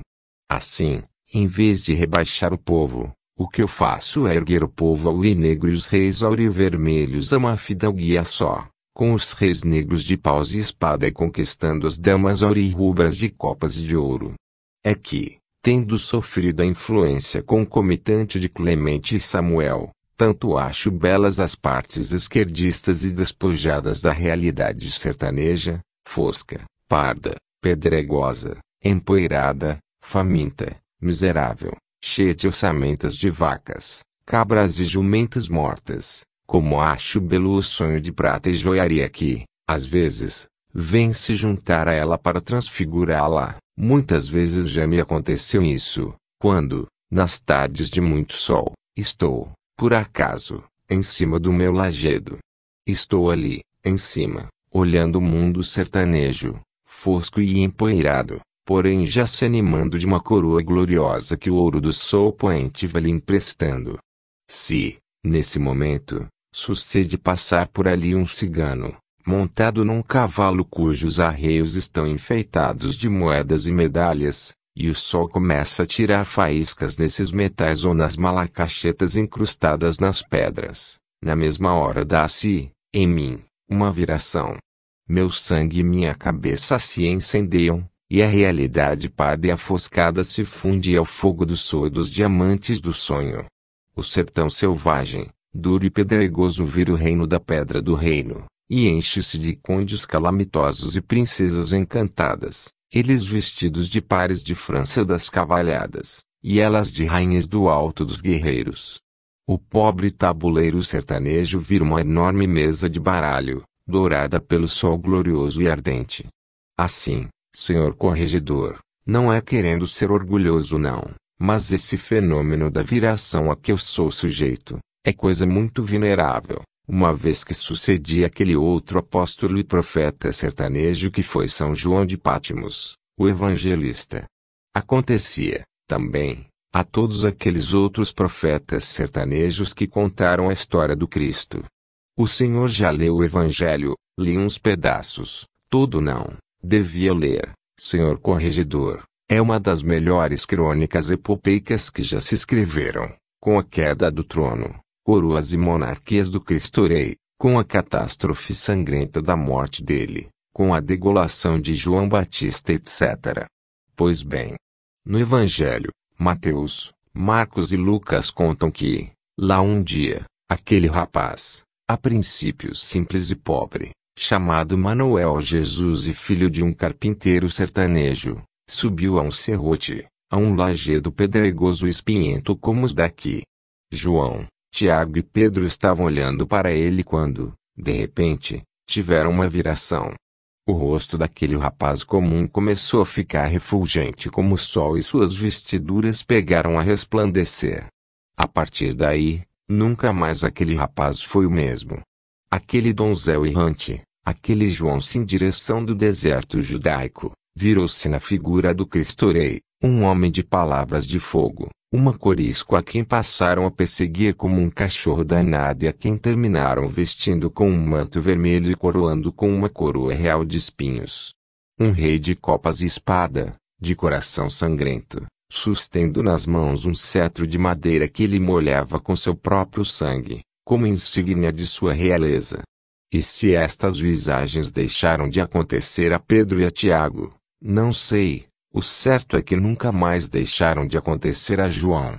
Tanto assim que, numa de suas visões, ou visagens, que a mesma coisa, ele estava, um dia, olhando quatro cavaleiros judaicos sertanejos que passavam, montados em cavalos magros, feios e comuns, quando, de repente, cavalos e cavaleiros se viraram em cavalos e homens de cavalhadas, sonhosos, heroicos e medalhados, como é?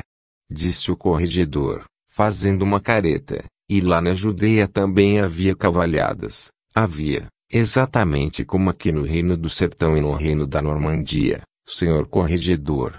Ah, quanto a isso não tem a menor dúvida, porque está lá, contado no livro consagrado. João conta que viu o cordeiro abrir quatro selos e de cada selo sair um cavalo, um branco, um vermelho, um preto e um amarelo, todos montados por cavaleiros que traziam arcos na mão e coroas na cabeça, do mesmo jeito que, aqui nas cavalhadas sertanejas, trazem lanças e capacetes.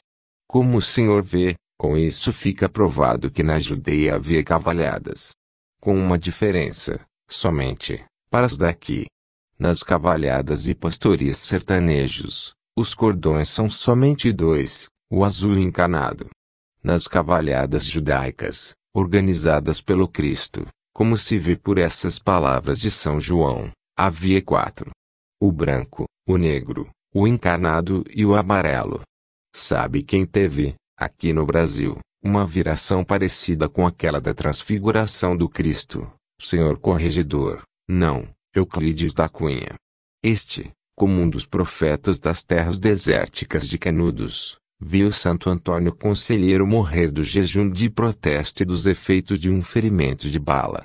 Como visionário e profeta que era, viu, esticado no chão, o santo e profeta de todos nós, sertanejos.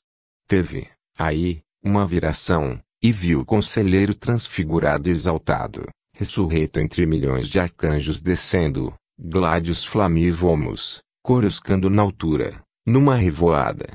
É por tudo isso, senhor corregedor, que eu digo que Ezequiel e João eram os conselheiros judaicos.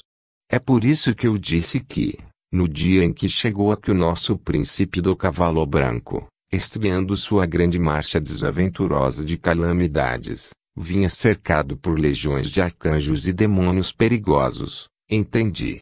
Pode continuar. Tudo aquilo era muito importante para mim, senhor corregedor. Primeiro, por causa da aventura da visagem da onça, que já lhe contei. Depois por causa de outra, a aventura da visão do lajedo que me sucedeu e que passo a lhe contar. Até hoje eu não sei direito como foi aquilo.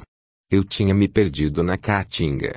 Não sei se me sentei em dado momento, tendo adormecido e acordado depois. Acho que foi o que aconteceu, porque de repente dei comigo deitado, todo coberto de gafeiras, apodrecendo como um Lázaro, ao pé de um enorme lajedo, alto e inacessível. Aparecia-me a figura da morte quetana com sua cobra coral e seus gaviões. Sem falar, só olhando para mim, ela me fazia saber que unicamente escalando aquele rochedo, erguido verticalmente cheio de urtigas, é que eu cicatrizaria minhas gafas feridentas, unindo-me ao divino. Eu deveria subir como num sonho, num pesadelo. Cortando-me ferindo-me nas lascas, com a sola dos pés caindo ao contato com a pedra fumegante, conseguia chegar ao cimo. E aí, milagre dos milagres, eu descobria, afinal, ou melhor, eu sentia com meu sangue, que tudo era divino. A vida e a morte, o sexo e a secura desértica, a podridão e o sangue. O lajedo parecia com a pedra do reino, a do chuvisco prateado, e eu sabia, com sangue, que, se conseguisse escalá-lo, experimentaria, no alto, de uma vez só, o gozo do amor, o poder do reino, a fruição da beleza e a união com a divindade, os quatro êxtases que lembram ao homem que, nesta terra desértica, neste sertão assírio e judaico, ele tem que se sobrepor esmeralda verde lodo da terrestre ao rubi vermelho e sangrento da paixão, para atingir, assim, o topázio de ouro da Hierosólima.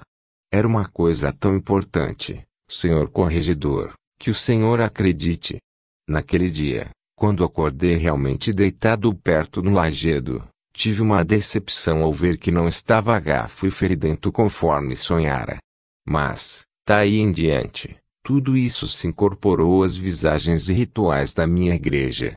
Agora, ali, bêbado de vinho e de sonhos, meu lajedo começou, também, a se povoar, mas não de cavalos, e sim de mulheres, que logo começaram a me acariciar da maneira mais excitante que o Senhor possa imaginar. Enquanto elas faziam isso, outra mulher, nua, espichava-se deitada, em cima da pedra, ao meu lado, chamando-me para cima dela. Embaixo, no tabuleiro pedregoso do xadrez sertanejo, é que estavam, mesmo, as damas, cavaleiros e peões do meu reino, com castelos para todo canto, rios de prata serpeando para todo lado, e punhais e diamantes cintilando no ar, com tropéis de cavalos e bandeiras amarelas e vermelhas desfraldadas ao vento. De certo modo, é explicável que eu visse aquilo, porque, tendo sido criado por meu pai, eu herdara dele a condição de mestre nos arcanos das três astrologias. De fato, o que me aparecia agora, ali, era uma visagem de todo o império do sete estrelo do escorpião, com seus sete pontos cardeais e seus doze lugares sagrados, seis do mar e seis do sertão, governados pelos sete planetas e pelos doze signos do zodíaco. Essa foi, aliás, a minha última visagem, enquanto acordado porque, imediatamente depois dela, amodorrado na madurna da saciedade, da embriaguez, do mormaço e da sombra, peguei no sono. A viração, porém, continuou, agora gravada por todas essas coisas de mentes que o sonho costuma nos trazer. Não havia, mais, aquela oposição entre a mulher nua, que me tentava em cima do lajedo, e o reino do sertão que se agitava e me deslumbrava lá embaixo. Agora, tudo era uma coisa só, pois o reino me aparecia, ao mesmo tempo, como uma cena de batalha bandeirosa e como uma bela mulher nua, estendida e deitada sobre a grande cascata de ouro de seus próprios cabelos, com o corpo perfeito também dourado pelo sol. Por esse reino da princesa da pedra fina que era ela, por essa terra encantada, povoada de grutas e colinas, errava eu, também encantado e enfeitiçado descobrindo, acariciando, tocando, descerrando, e logo assolando, invadindo, bebendo, penetrando, mordendo, despedaçando, espichado sobre fontes umbrosas e regatos, em cujo musgo e a cujo remanso, na sombra esverdeada e fresca, reluziam frutas entreabertas e corolas, as corolas encarnadas das rosas vermelhas, as macias e brancas da flor do jasmim cambraia, todas brilhando entre lianas coleantes que envolviam meu tronco e meu pescoço, acariciando-me as costas e buscando também avidamente o que morder e apertar. E foi chegando o momento em que tudo aquilo começou a se reunir numa sensação de tanto gozo e glória, que os cascos do cavalo começaram a galopar em meu peito e nas minhas têmporas, pulsando e estremecendo ao ritmo do meu sangue.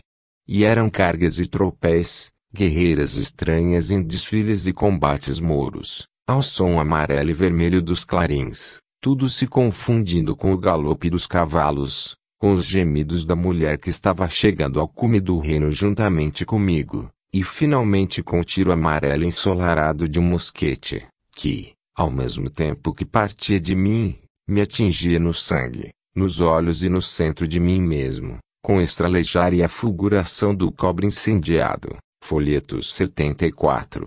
A astrosa desaventura dos gaviões sugadores. Creio, senhor corregedor, que umas duas horas tinham se passado.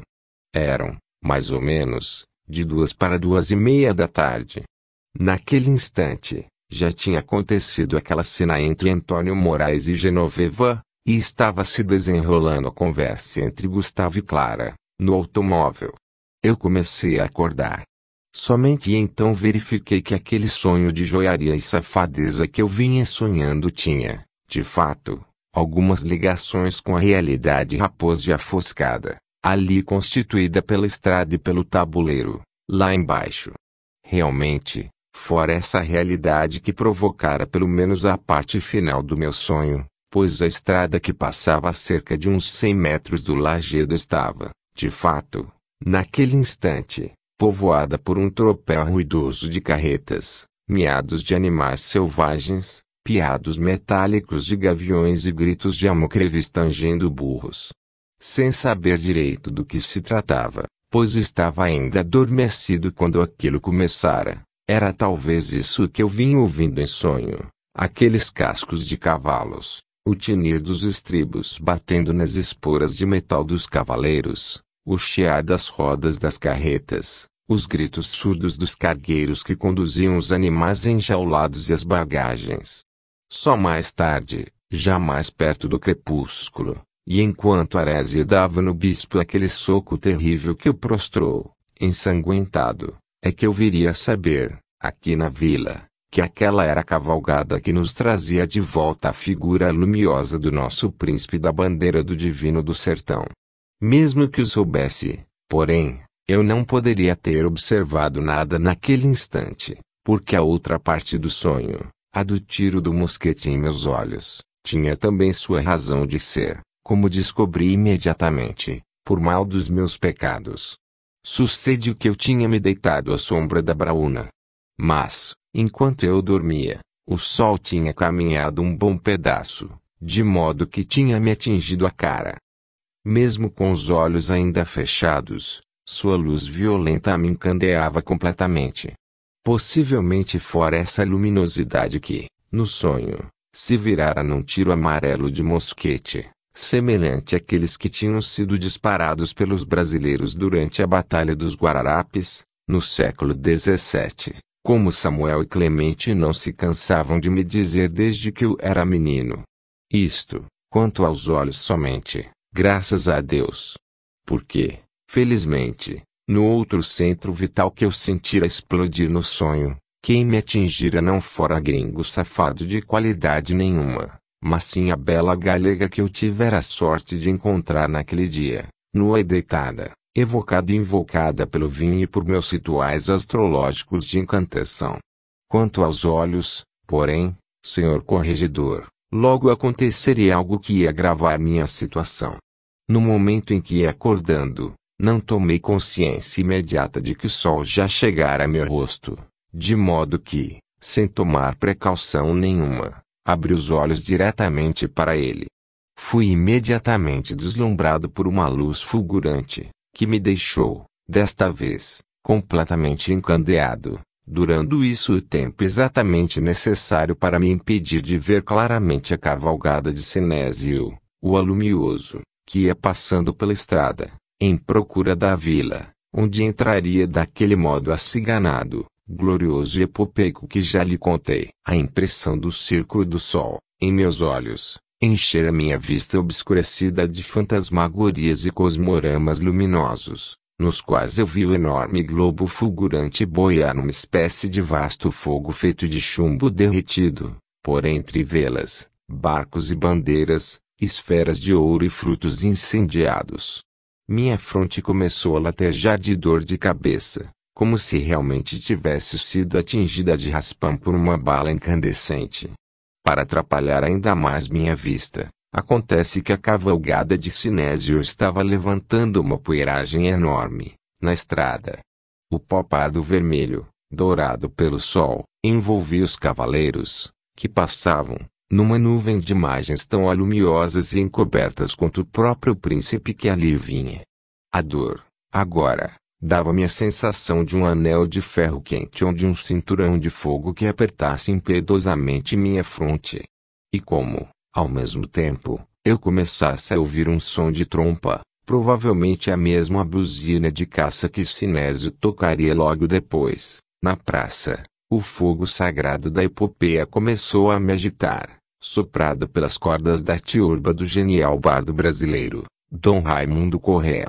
Involuntariamente, começaram a se agitar e estremecer dentro de mim, queimando-me o sangue e a cabeça, aqueles seus versos proféticos, nos quais, já prevendo a chegada de Dom Sinésio Sebastião, o alumioso, ao reino pedregoso do sertão, acompanhado de fidalgos cangaceiros e aciganados pela estrada, Raimundo corria a cantar assim, uns quarenta anos antes do fato. O sol requeima a solitária estrada. Silêncio. Mas, além, já chega o bando. O tron dos cascos vem se aproximando do galopar da estranha cavalgada. São ciganos, fiéis da onça parda. Castanhos encantados, vão passando. E as trompas, a suar, vão agitando o ouro da tarde ensolarada. E a caatinga se queima e se estremece. dá cavalgado estrépito que aumenta cega-se algumas pedras desta serra. O silêncio, outra vez, fogoso, desce. O sol sagra, do rei, a voz poenta, e o alumioso ao sol dos mortos erra. Assim, senhor corregedor, encandeado como estou lhe dizendo evocando os versos de Raimundo Corrêa, ouvi o tropel que passava e se afastava cada vez mais. Não tinha visto, claramente, nada, e julgava, em minha momentânea cegueira profética, que fosse algum circo ou tribo comum de ciganos que se dirigia para a feira, aqui na vila, permanecia ali, ainda algum tempo, em cima do lajedo, de costas para a rua e com o rosto voltado para a estrada, com as mãos colocadas sobre os olhos para fechar luz, protegê-los e para ver se assim o encandeamento melhorava mais depressa e eu recuperava a claridade da vista. Mas não havia jeito.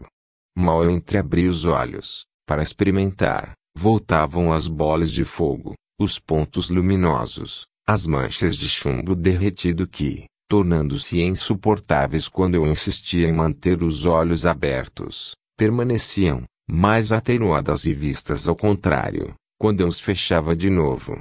Deve ter sido enquanto eu fiquei ali, tentando melhorar meus olhos, que a cavalgada de Sinésio entrou na vila, soltando os animais enjaulados e provocando todos aqueles acontecimentos que contei, incluindo-se entre eles a visagem do profeta Nazária de Pedro Cego. Uma pergunta, Dom Pedro Diniz Quaderna, Noto que essas visagens do profeta Nazário e de Pedro Cego têm estreita correlação com seu catolicismo sertanejo. Eles eram seus discípulos, de certo modo eram, senhor corregedor. Ouviam, todo ano, a leitura do Almanaque do Cariri, que eu continuava a publicar depois da morte de meu pai, e conheciam todos os folhetos que eu imprimia e vendia na feira, principalmente o da Pedra do Reino porque da divulgação dele eu fazia questão, por ser isso muito importante para o proselitismo da minha seita. Anote isso, Dona Margarida. É um pormenor importantíssimo para a solução do caso. Pode continuar, Dom Pedro Quaderna. O fato, senhor corregedor, é que, como eu vinha dizendo, foi mais ou menos na mesma hora da libertação das onças que eu recuperei a claridade dos olhos. Mais do que isso, aliás, como um dom sagrado mais passageiro que eu tivesse recebido e que desejasse se despedir, mais forte, no último instante em que morava em mim, minha visão não voltou, simplesmente normal, como era antes, exceto nos momentos de viração. De repente, fiquei dotado de uma vidência visageira fora do comum, uma vidência profética e astrológica como nunca eu tinha tido. Ai de mim, senhor corregedor. Mal sabia eu, naquele momento, que essa evidência régia zodiacal me fora dada por um instante apenas, só para que eu, imediatamente, caísse, de uma vez para sempre, nas intermitências de uma cegueira cruel, profética também, mas dura e terrível de suportar, uma cegueira. E o senhor cegou? Está cego, estou, sim senhor. Além de epilético, cego. Já viu que coisa mais dolorosa para um pobre popeieta. O que me consola nessa tragédia é que isso de ser cego fica muito bem para um gênio da raça como eu.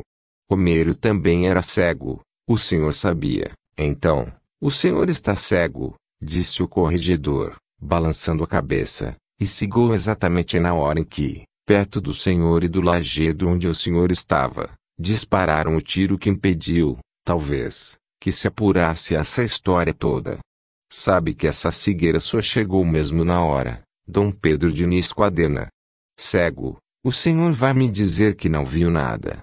Cego, o senhor torna-se objeto de compaixão. Cego, o senhor não poderá identificar os assassinos, nem mesmo que nós venhamos a descobri-los. Olhe, senhor Quaderna, não quero ser indelicado não, mas não deixa de ser estranho que o Senhor tenha escolhido exatamente essa hora, para cegar. E, depois, que cegueira mais estranha essa sua?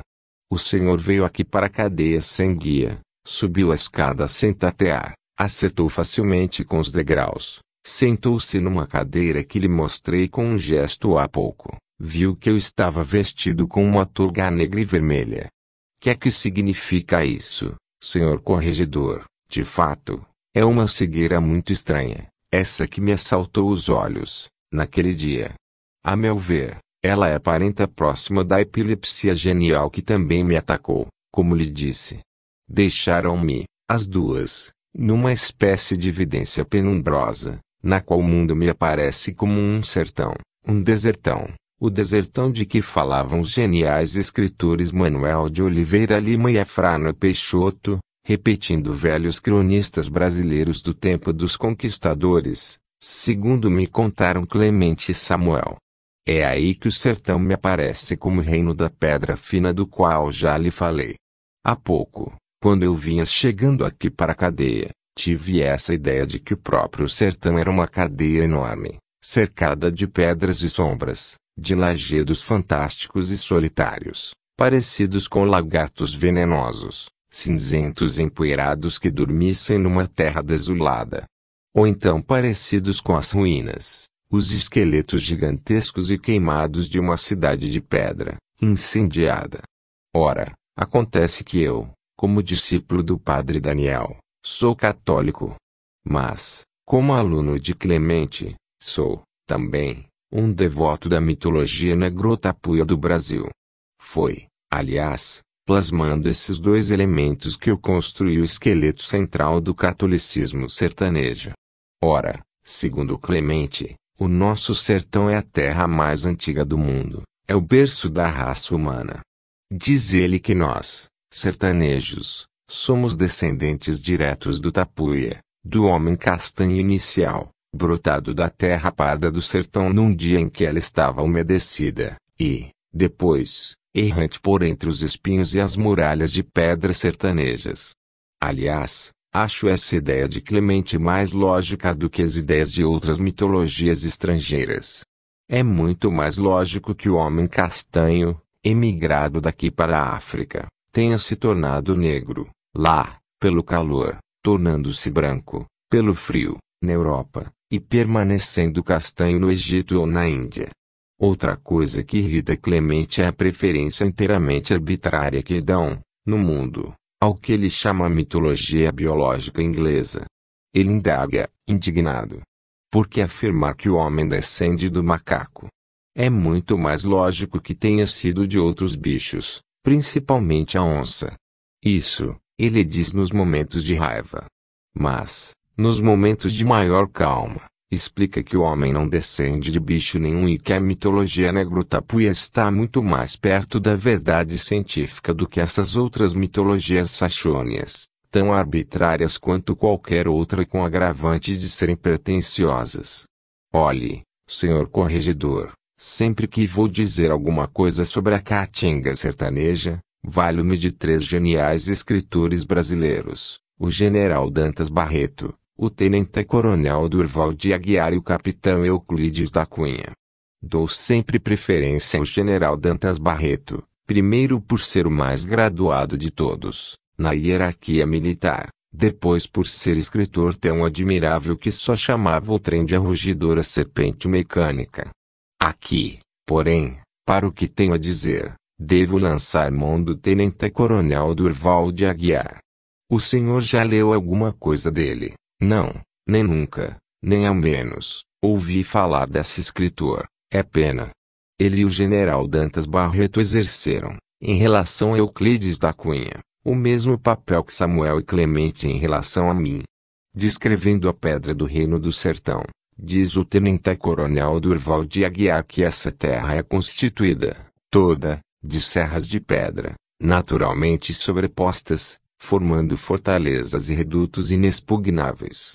Euclides da Cunha, plagiando o tenente-coronel, descreve também o sertão e fala em alinhamentos de penedias, caprichosamente repartidos, que semelham, de fato, grandes cidades mortas, cidades ante as quais o sertanejo passa sem desfitar a espora dos ilhais do cavalo em disparada, imaginando lá dentro uma população silenciosa e trágica de almas do outro mundo. E é aí que eu vejo que Euclides da Cunha absolutamente não pode ter sido gênio da raça brasileira. Veja que leviandade, a dele. Imaginando. Imaginando. Uma porra. Tem, mesmo. Essa população de almas do outro mundo, existe, mesmo, aqui, em nossas pedras, de noite, de dia no pino do meio-dia. Bastariam as onças, os gaviões, os cacarás, os veados, os bures, as cobras e os morcegos sertanejos, para provar que o nosso reino amuralhado de pedras está povoado de deuses e demônios, de anjos e divindades. Como me explicou Clemente, senhor corregedor, foi das trepadas das divindades solares entre si que nasceram a terra e a água, mijada por eles. Depois, daí em diante, o mais foi fácil. Pingos de gala de deuses machos ou pingos de boi de deusas fêmeas que caíam no barro da terra, fazem nascer ou bichos ou plantas. Se um deus qualquer, depois daí, trepa com uma veada, ou se uma deusa se deixa cobrir por um gavião, nasce um homem ou uma mulher, conforme o caso. Foi, portanto, dessas trepadas das divindades tapuias com as onças, os gaviões, os bures, as cabras, os veados e outros bichos, que nasceram os tapuios castanhos, antepassados diretos dos sertanejos e indiretos de todos os outros homens. É por isso que o sertão, nos meus momentos de maior cegueira profética, me aparece como esse reino pedregoso de que lhe falei.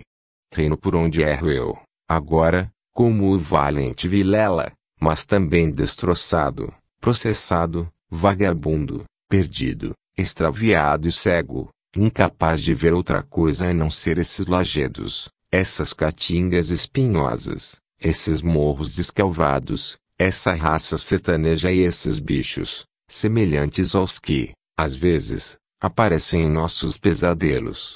Minha sorte, porém, é que a cegueira que me assaltou os olhos é intermitente.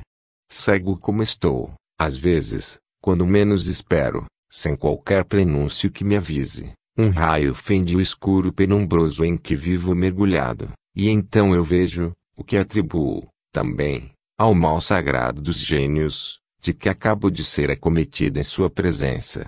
Aí, nesses momentos, eu vejo mesmo, vejo para valer.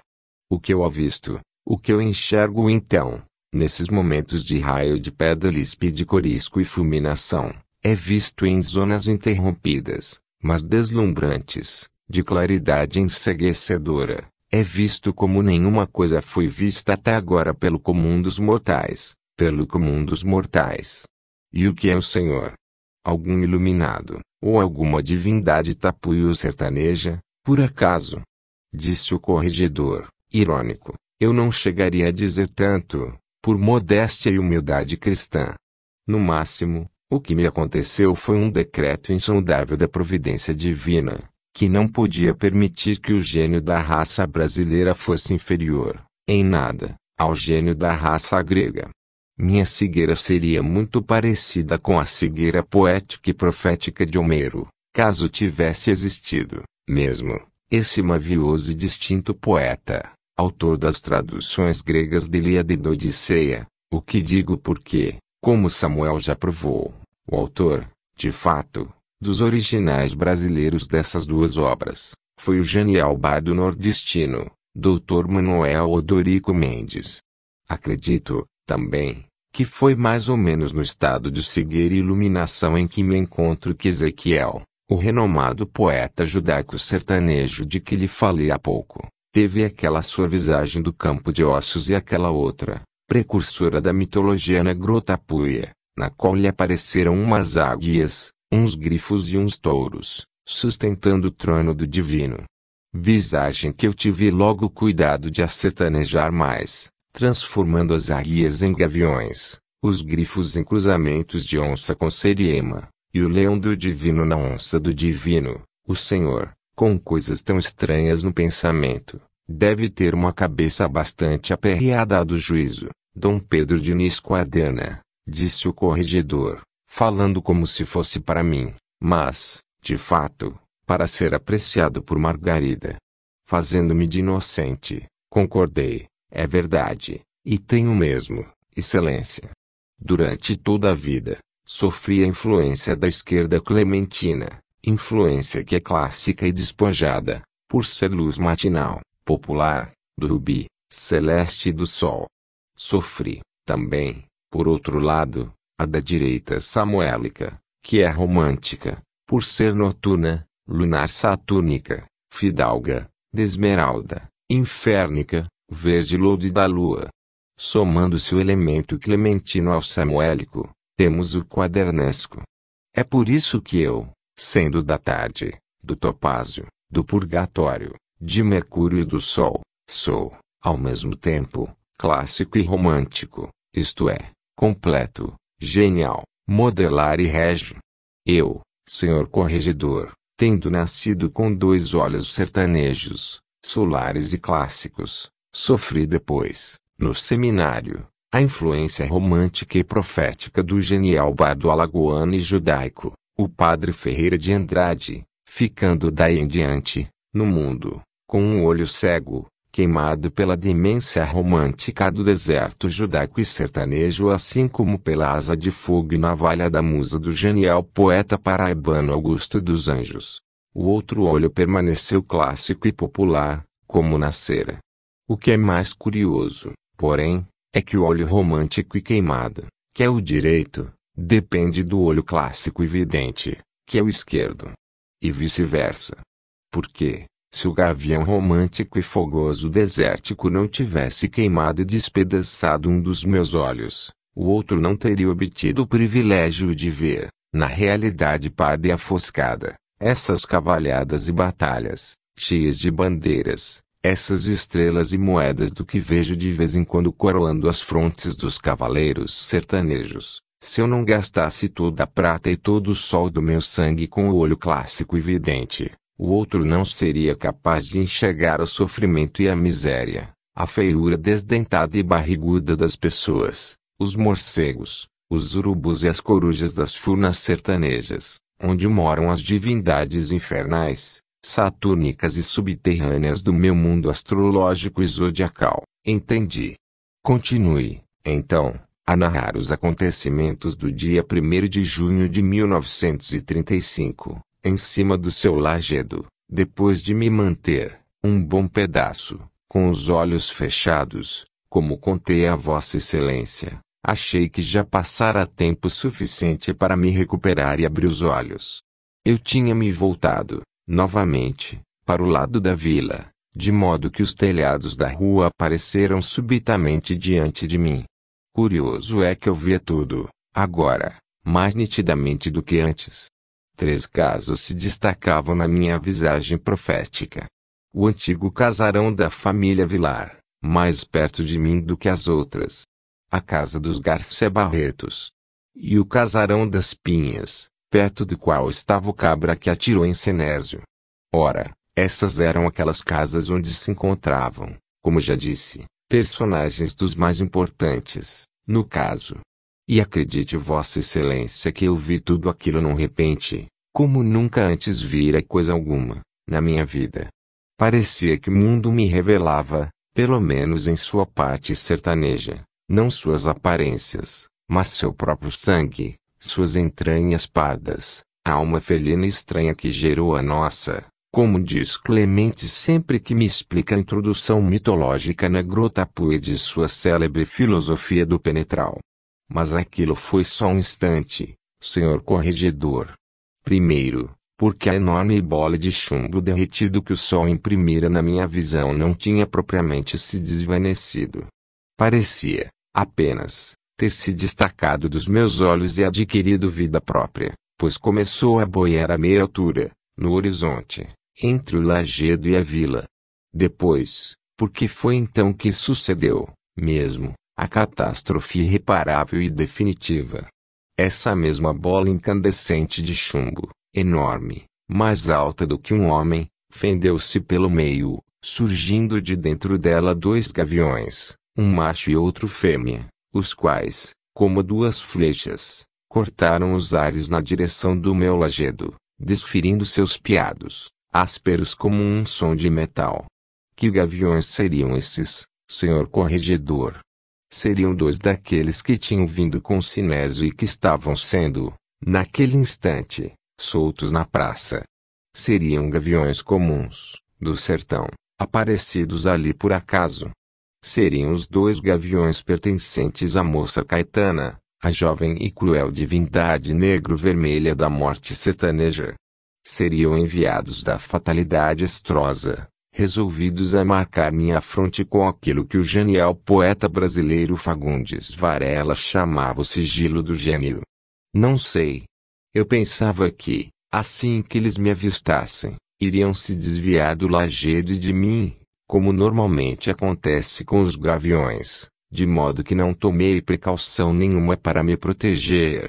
E foi isso que me desgraçou, Excelência, porque foram eles que me cegaram, despedaçando e ferindo meus olhos para sempre. Dom Pedro Diniz Quaderna. Não vou discutir se o senhor está cego ou não. Mas uma coisa eu garanto, porque estou vendo. Seus olhos não estão despedaçados não, estão aí, inteiros e limpos que fazem gosto, pode ser, senhor corregedor. Para falar com exatidão, não sei, realmente, como foi que os gaviões agiram.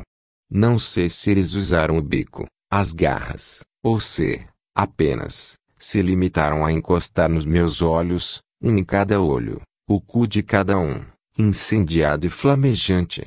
O que eu sei, porque ainda cheguei a ver isso, é que eles fenderam os ares em minha direção e, aproximando-se com terrível rapidez, logo chegavam junto à minha cabeça, em torno da qual começaram a esvoejar, como sempre acontece nos meus ataques do mal sagrado. Apavorado, ouvi os estalos, os golpes secos das suas asas que me arrodeavam a cabeça, cada vez girando com mais velocidade.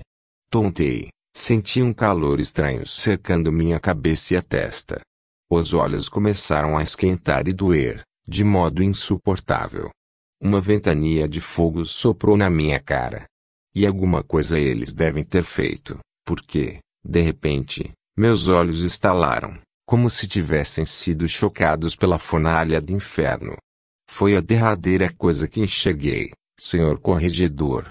Ceguei imediatamente, com o sangue e as lágrimas escorrendo, misturadas ao humor salgado e vital dos meus olhos despedaçados. Folheto 75.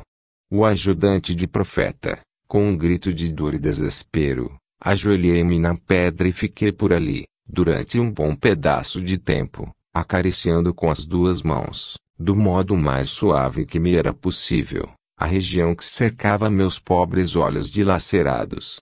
Minha sensação era de desespero total, convencido como estava de que meus olhos estavam irremediavelmente cegos. E a influência dos poetas brasileiros, principalmente a dos acadêmicos, é tão poderosa em mim que, na minha desgraça, as palavras que me ocorriam para nomeá-la eram aqueles célebres versos do genial pernambucano Eustáquio Gomes, que dizem: A cegueira é o inquilino dos olhos, como a ignorância é o locatário de todas as paixões malévolas. Bonito, disse o corregedor. Também acho, concordei, mas, mesmo assim, minha preocupação era terrível. Seria que, cego, iria me tornar um ignorante, com a ignorância, locatária das paixões malévolas, tornada a inquilina da minha cabeça através dos olhos inúteis. Será que isso não iria me impossibilitar, burrificando-me, de ver realizado o grande sonho da minha vida, o de me tornar gênio da raça brasileira?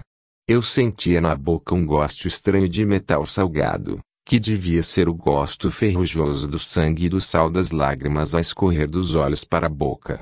Esse gosto fazia-me entender, agora, o motivo pelo qual os olhos dos cegos sempre me tinham parecido, até então, como que feitos de prata cigada ao sol. É que eu sentia agora, em minha própria face cega, que meus olhos tinham sido transformados, pela ave de rapina do sol sagrado, em dois globos de prata derretida, globos que logo se endureceriam, tornando-se opacos para sempre. Eu sabia, Agora, que aquela bola de chumbo derretido que povoara meus últimos instantes de visão e que acompanhava minha cegueira singular, nunca mais me abandonaria, permanecendo comigo até o fim da minha vida. E o senhor ficou no lajedo até a noite. Não, senhor. Enfim, ficar ali aqui não resolveria meu problema. Melhor seria tentar regressar aqui à vila, para procurar um médico. Assim tateando e arrastando-me, queimando-me de novo nas urtigas e ferindo-me nas arestas da minha pedra sagrada, comecei a descer o lajedo, a fim de empreender meu primeiro caminho de cego, de volta para casa. Arranhando-me, magoando-me de todas as maneiras imagináveis, gemendo, imprecando em brados enfurecidos contra a catástrofe divina e diabólica que desabara sobre mim, consegui, finalmente, descer a pedra, cruzar o pedaço de tabuleiro ladeiroso que fica entre ela e a estrada, e chegar, depois, ao lugar onde se encontrava meu fiel cavalo Pedra Lispe. Assaltava-me uma terrível sensação de insegurança, agora que conseguira descer do lajedo, mas estava ali, inerme, no tabuleiro. Era como se todos os perigos do mato sertanejo me rondassem. Tinha medo de encontrar uma onça. Uma cobra que me engolisse como engoliu Pedro Ventania. Algum novilho desgarrado, selvagem e enfurecido que despedaçasse minhas tripas com as pontas aceradas de suas aspas. Ou alguma cobra coral que, picando meu tornozelo, conseguisse injetar o sangue da moça Caetana na corrente do meu sangue real, através da figura, também real e mortal, dos cristais de seu veneno. Ouvi, então, Pedralispe dar o ligeiro nitrido com que eu sempre saúdo a minha aproximação. Seguindo a direção do som, consegui chegar até ele, abraçando-me então com o nobre animal, em cujo pescoço, chorando, encostei a testa escaldante, ainda fumegosa do fogo gaviônico que me cigara. Aí, senhor corregedor, minha divindade sertaneja deu-me um sinal, indicando que começava a se amecear de mim. Ouvi uma voz que se aproximava, cantando pela estrada, como quem vinha da vila de Estaca Zero para a ribeira do Taperoá. A voz era fanhosa, pouco áspera, e pareceu-me logo familiar. O que mais me impressionou, porém, foi que ela vinha acompanhada pelos toques prateados de uma viola. Foram, novamente, os cegos sertanejos que vieram à minha imaginação, senhor corregedor. Agora, eu sabia, não por fora, mas de dentro mesmo do sangue, porque é que a voz e a viola das pessoas que são cegas sempre me pareciam mais de prata do que as dos cantadores comuns. Aí, já próxima, a voz deu um grito de guerra, dizendo: Corre, meu povo. Corre que o alumioso chegou e a guerra do reino vai começar. E então entoou uma estrofe corrida, que não me deixou mais nenhuma dúvida sobre quem era o cantador que vinha chegando. Os versos eram os seguintes: Eu sou Lino Pedra Verde, sou besouro de ferrão, eu sou a tirana boia, perigo deste sertão. Para abrigar no ferro frio, não servo, não presto não. Mas, solto aqui nesta terra, com uma viola na mão, eu sou onça comedeira, tigre e rei do meu brasão, sou punhal, bala de prata, sangue de cobre leão. Muito bem, Dom Pedro Diniz Quaderna, comentou o corregedor, de todas as suas charadas em verso, esta é mais fácil de decifrar, pelo menos para nós, não é, Dona Margarida? Pelos versos, entendo que o cantador que vinha chegando era ali no Pedra Verde. Não é isso, é isso mesmo, Excelência, e dou ao Senhor os meus parabéns pela familiaridade que está começando a ter com meu estilo régio. O Senhor sabe que, segundo todo mundo fala aqui na rua, esse Lino Pedra Verde, além de intermediário seu em vários negócios escusos, é o elemento de ligação entre o Senhor e os fanáticos, tolos e ignorantes que o Senhor conseguiu aliciar para tal ordem da pedra do reino. Sabe disso? Sei sim, Senhor. E o Senhor, sabendo disso, confessa que teve um encontro com ali no Pedra Verde na mesma hora em que mataram cabra, a dois passos do lugar de onde partiu o tiro, confesso. Sim, Senhor, porque é a pura verdade e eu sou incapaz de mentir. Mesmo que isso me prejudique, o encontro do Senhor com ele foi, mesmo, casual, como você deu a entender. Ou será que houve alguma combinação prévia entre o senhor e Lino? O encontro foi casual, senhor corregedor, foi mesmo. Me diga uma coisa.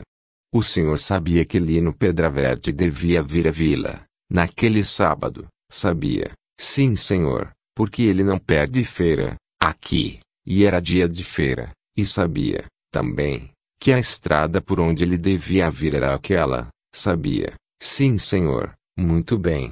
Anote tudo isso, dona Margarida. É outro dado fundamental para a decifração do caso. Pode continuar, Dom Pedro Diniz Quaderna. Os passos de Lino se aproximaram, senhor corregedor. Eu não via nada, extraviado na cigueira. Aí, Lino parou, o que sei porque seus passos pararam, e houve um momento de silêncio, durante o qual imagino que ele ficou me olhando estupefato aterrorizado pelo aspecto, na certa terrivelmente impressionador, do meu rosto manchado pelo sangue e pelos humores que escorriam dos meus olhos dilacerados. Então, após esse momento de silêncio e espanto, Lino Pedraverde falou, Dom Pedro Diniz Quaderna, meu rei e meu senhor. Que é que você está fazendo aí, sozinho, parado no meio da estrada? Estás querendo dar parte de doido, Diniz, Senhor Quaderna, quando fizer a sua epopeia, tenha cuidado com os tratamentos. Agora mesmo, aí na frase de Lino, o Senhor usou um tratamento todo solene no começo, depois passou para você e finalmente para tu. Cuidado, porque isso é um descuido grave, não é não senhor, não foi descuido não, o senhor está enganado. Os tratamentos que venho empregando são escolhidos com todo cuidado, para que o Senhor entenda bem certas particularidades que Lino usava no seu tratamento para comigo, é preciso que eu lhe explique certas coisas. Primeiro, eu tinha procurado ensinar aos cavaleiros da Ordem da Pedra do Reino algumas fórmulas cerimoniosas tiradas dos romances de José de Alencar e de Zeferino Galvão, este um genial escritor pernambucano e sertanejo, da vila de Pesqueira, autor de O Mosteiro de Ani com acento circunflexo Mese de Heloísa Darlemonte. Aquele Dom Pedro Diniz Quaderna, meu rei e meu senhor que Lino me dera no começo vinha daí. Mas, ao mesmo tempo, meus familiares me tratavam por Diniz. Ora, Lino tinha sido meu companheiro na onça malhada e meu colega na escola de cantoria de João Melchiades, de modo que, ora usava o tom cerimonioso e régio, ora o familiar. Aliás, essa mistura de tratamentos era a tradição da nossa casa. Na Pedra do Reino, os súditos de meu bisavô Dom João II, o execrável, ora o tratavam de rei e majestade, ora o chamavam simplesmente de Joca, segundo está escrito na crônica hipopeica de Antônio Ático de Souza Leite. Assim, quando Lino se dirigiu a mim daquele modo, perguntando se eu estava doido, Absolutamente não estranhei a familiaridade dele. Limitei-me a responder: Você pergunta o que eu estou fazendo aqui, só, parado na estrada. Estou aqui, me arrastando como posso, Lino, tentando voltar para casa. É Lino, mesmo, que está aí, não é? É ele mesmo, Dom Pedro Diniz Quadena, disse Lino, convicto. Estou indo aqui, em demanda do Taperoá porque vai haver lá a maior confusão. Vai se abrir um boi de fogo danado, lá, agora, e eu quero estar na rua para entrar de cu de boi adentro. Quero logo lhe avisar que estou com a gota serena, ouviu? Com a gota serena. Estranhou o corregedor, é verdade, senhor corregedor, e, para falar a verdade, não teria sido necessário que ele dissesse isso, para eu saber pelo acento delirante e arrebatado de sua voz, eu já tinha conhecido, desde a chegada dele, que Lino tinha tomado uma ou duas lapadas do vinho encantado e sagrado da Pedra do Reino. Assim, o que me espantava, não era ele estar com a gota serena e com a molesta dos cachorros, pois é assim que o vinho sagrado nos deixa sempre. O que me admirava era ele não demonstrar nenhuma estranheza por me ver ali, cego, com o rosto todo ensanguentado. Resolvi então chamar a atenção dele para isso. Você deve estar espantado, Lino, por me ver assim, com o rosto cheio de sangue, disse: Você, Diniz? Que nada. Sua cara está limpa como o sol. O que, Lino? Estranhei, espantado. Que é que você está me dizendo? Eu é que pergunto o que você está me dizendo, Dom Pedro Diniz. Você parece que tomou também umas lapadas do nosso vinho. Ou foi a aparição da pantarma do príncipe que endoidou você? Aí, na sua cara, não tem sangue de qualidade nenhuma, Diniz, e meus olhos, Lino? Não está saindo sangue deles. Não, está nada, meu senhor Dom Diniz. Por que você pergunta isso? É que estou cego, Lino. Ceguei dos dois olhos de uma vez. Coitado do rei.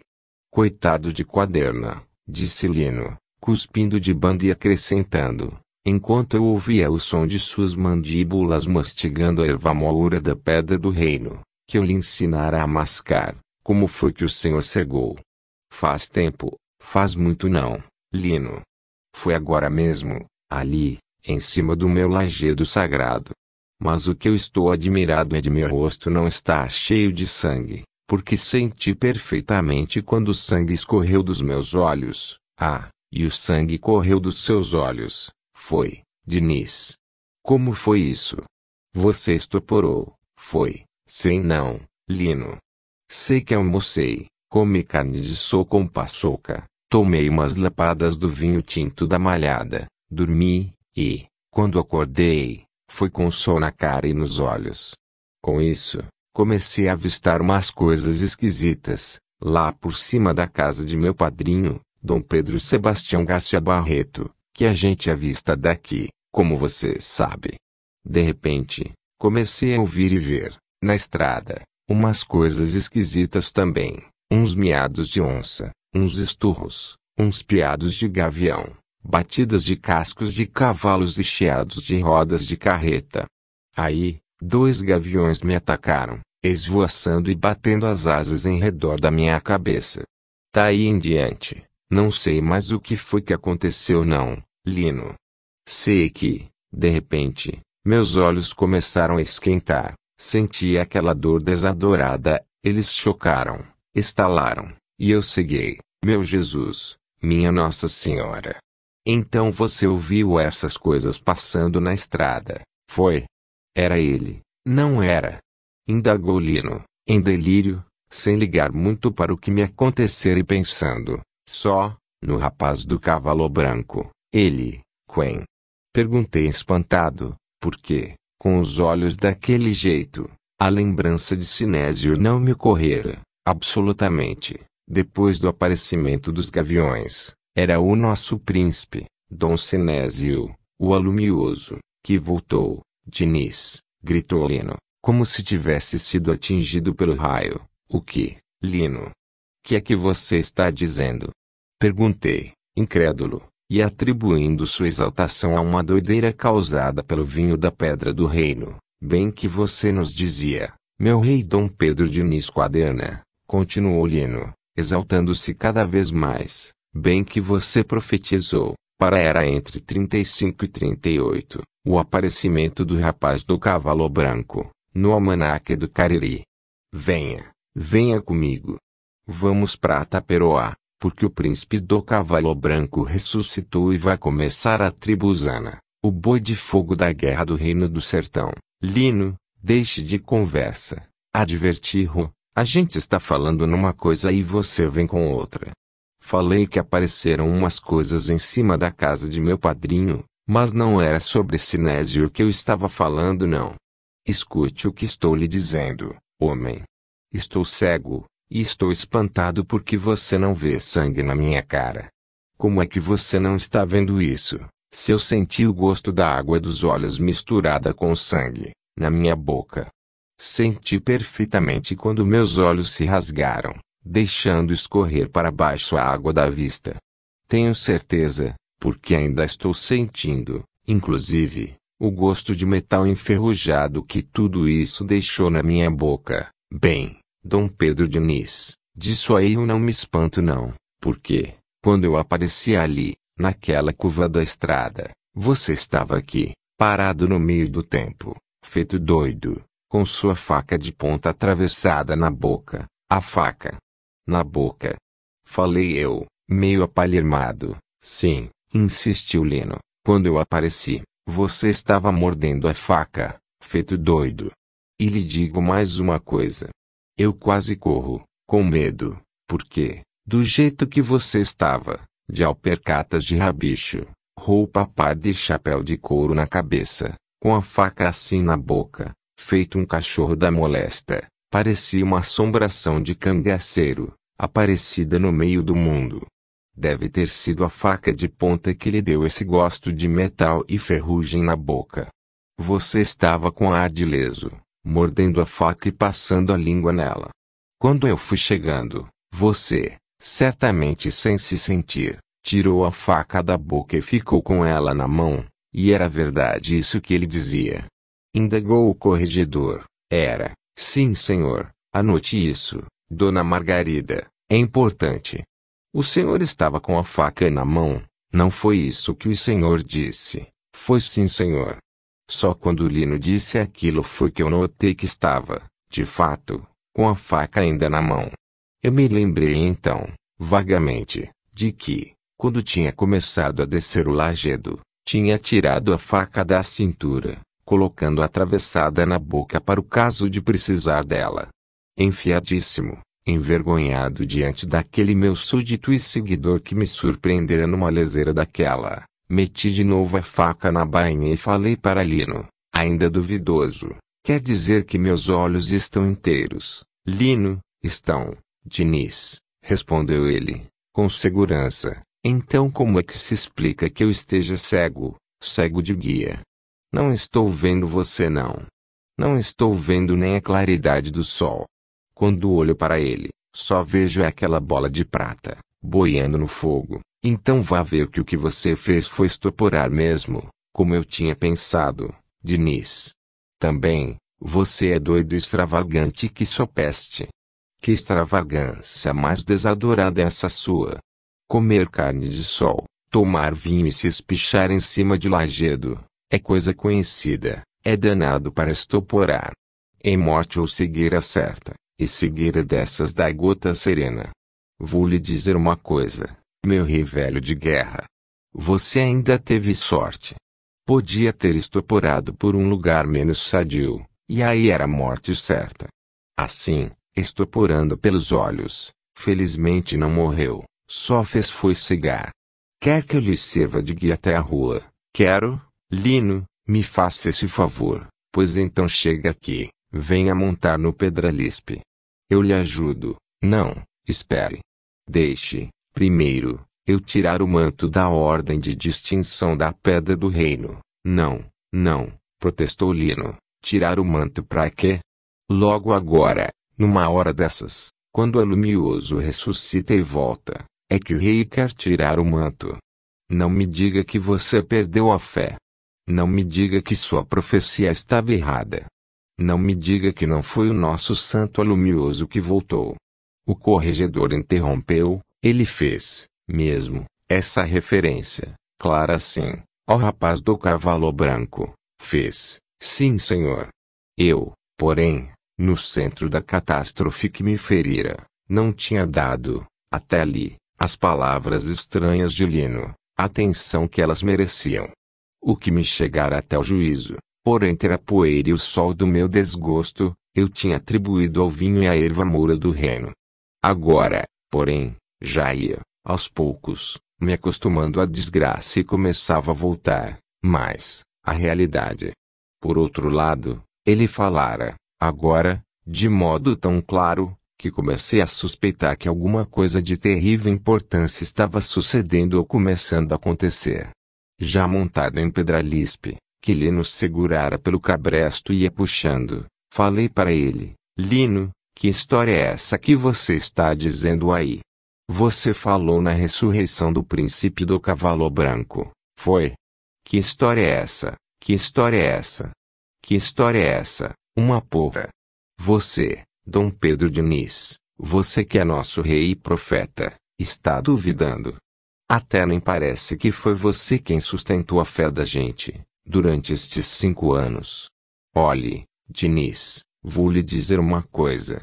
Aconteceu hoje, aqui na estrada, ainda agora, a coisa mais sagrada que podia nos acontecer. Eu estava em estaca zero. Saí para um roçado, e tive uma visagem, no caminho, uma coisa horrorosa, um cavaleiro do inferno que depois lhe conto. Voltei para a rua, e encontrei lá o maior cu de boi que se possa imaginar.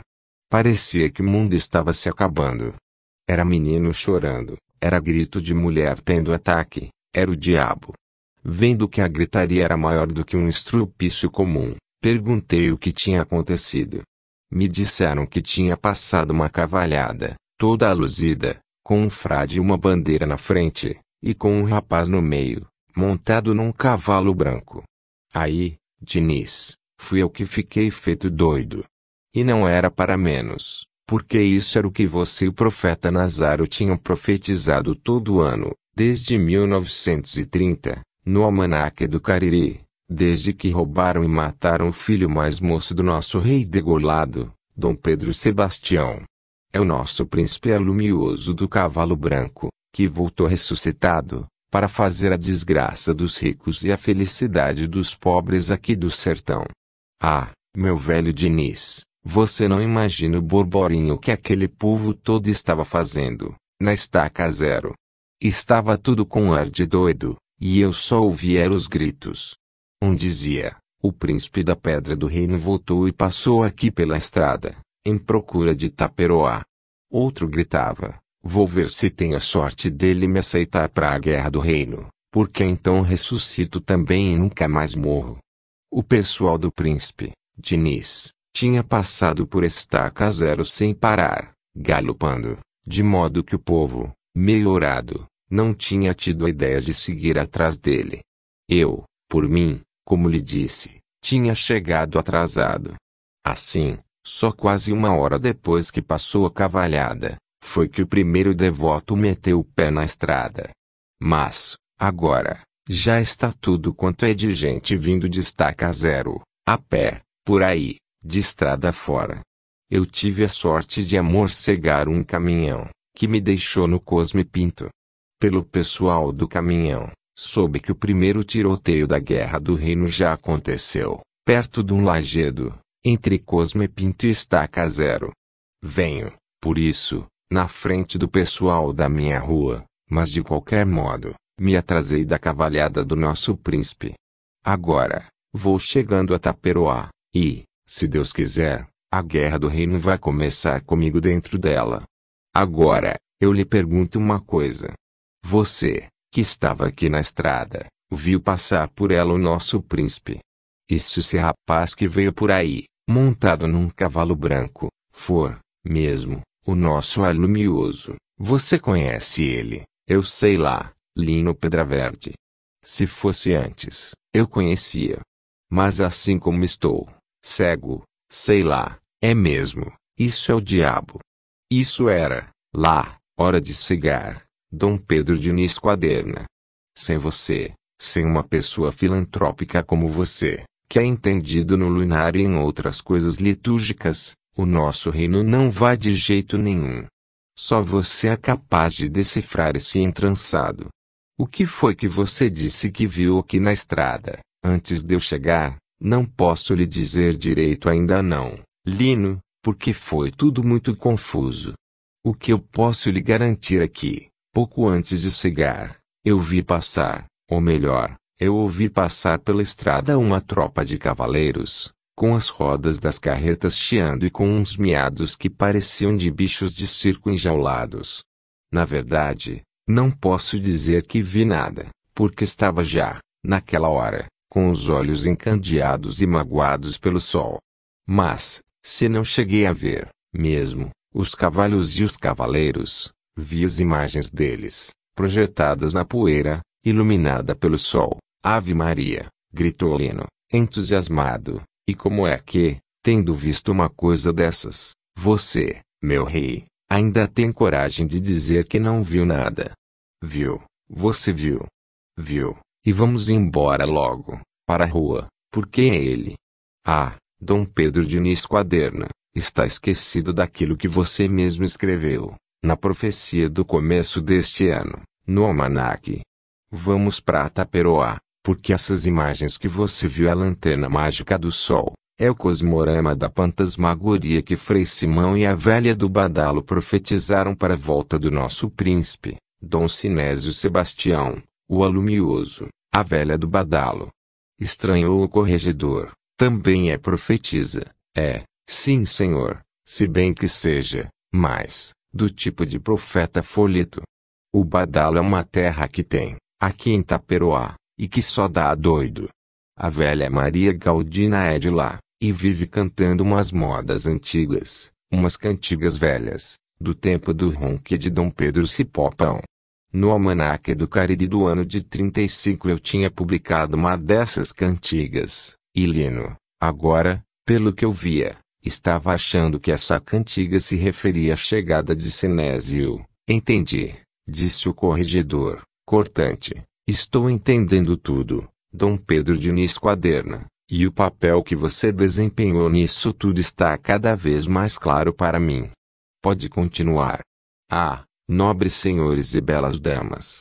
Eu sentia, perfeitamente, que estava me enredando cada vez mais no novelo de cobras que o destino tinha fiado para mim.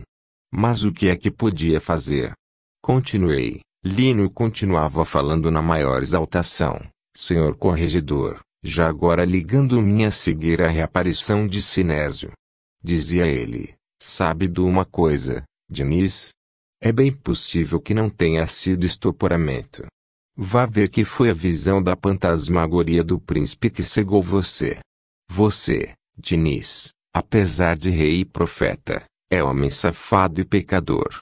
Talvez esteja com algum pecado cabeludo nessa sua consciência preta, e foi por isso que não teve o direito de avistar o nosso príncipe alumioso da bandeira do divino. Você mesmo escreveu na sua profecia deste ano que o nosso rapaz santo teria de voltar como criatura pura e limpa de toda mancha. Ora, é claro, claríssimo, que uma criatura assim não pode ser avistada por um sacana como você. Mas, por outro lado, pecador ou não pecador, de consciência limpa ou podre, está escrito que o reino só vai para o príncipe pela mão daquele que é o rei e o profeta da pedra do reino. É por isso que, se você não foi capaz de ver o príncipe, pode, pelo menos, ver o cosmorama dele. E basta. Tendo visto isso, sua obrigação, Diniz, é reunir o povo lá em Taperoá, contando para todos como vai começar a guerra do reino do sertão do Brasil. Vamos embora, Dom Pedro Diniz Quaderna. Vamos, que o sol está se chegando para o poente. E eu quero chegar na vila com ele ainda de fora, com luz que dê para eu ver a cara lumiada do nosso príncipe. Folheto 76. A gruta sumeriana do deserto sertanejo. Quando chegamos aqui à vila, senhor corregedor, encontramos a rua subvertida pelo grande acontecimento. Os burgueses e os senhores feudais da aristocracia rural, como chama Clemente, certos de que a Revolução Comunista tinha começado, tinham se trancado às sete chaves e, depois, ido para a reunião com o bispo, como já contei. Mas a rua estava cheia de gente do povo, de modo que, à medida que eu passava, se não via nada, e ouvindo os gritos, os choros e as imprecações da plebe sertaneja, suja, mal lavada, mal cheirosa e fanática, como diz Samuel, Pedi-lhe no Pedra Verde que me levasse diretamente para minha casa, aquela que é pegada à biblioteca. E que, depois, voltasse à rua, para se informar, o mais discretamente possível, do que acontecera, a fim de me fazer uma narração segura de tudo. Arriei na minha espreguiçadeira e Lino saiu para cumprir o meu mandado.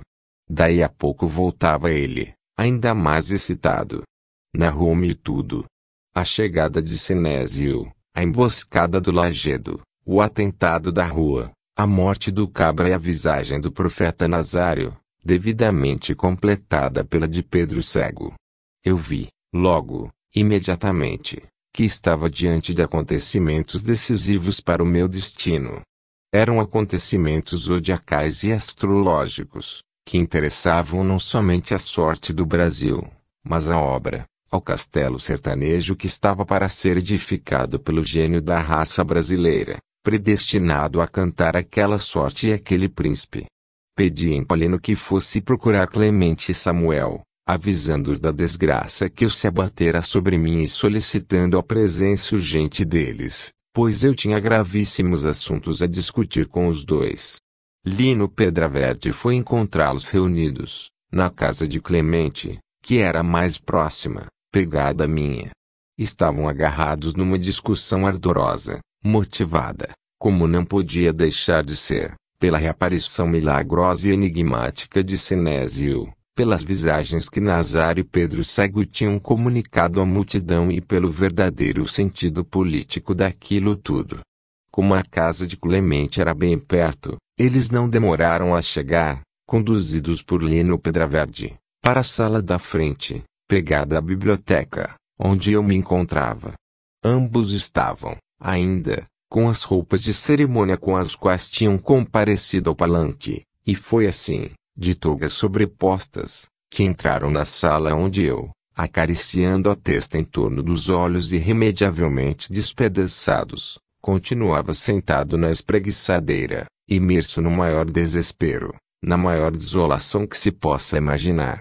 Meus dois mestres estavam profundamente perturbados. Não com minha cegueira, mas com a ressurreição de Sinésio. De fato, a nossa situação diante da família de meu padrinho levava a isso.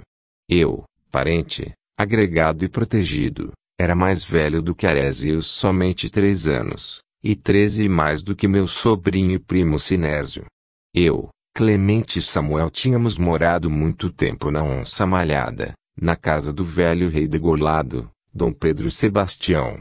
Clemente e Samuel, porém, eram bastante mais velhos, de modo que tinham assistido, já como adultos, ao nascimento de Arésio e Sinésio, assim como ao do outro filho de meu padrinho, o bastardo Silvestre. Tinham sido, mesmo, como que os preceptores e pedagogos nossos, meu e, mais especialmente, dos três príncipes, Arésio, o proscrito, Silvestre, o bastardo, e Sinésio, o alumioso. Até aquele dia, Ambos tinham como certa a morte de Sinésio. Agora, de repente, daquela maneira miraculosa, aparecia Mancebo ressuscitado, para reivindicar seus direitos à herança e à vingança do pai. Sim, porque essa era a opinião unânime do povo. Chegara o justiceiro, o vingador esperado. O fato é que, talvez por causa disso, nem Samuel nem Clemente se dignaram dar importância à minha cegueira.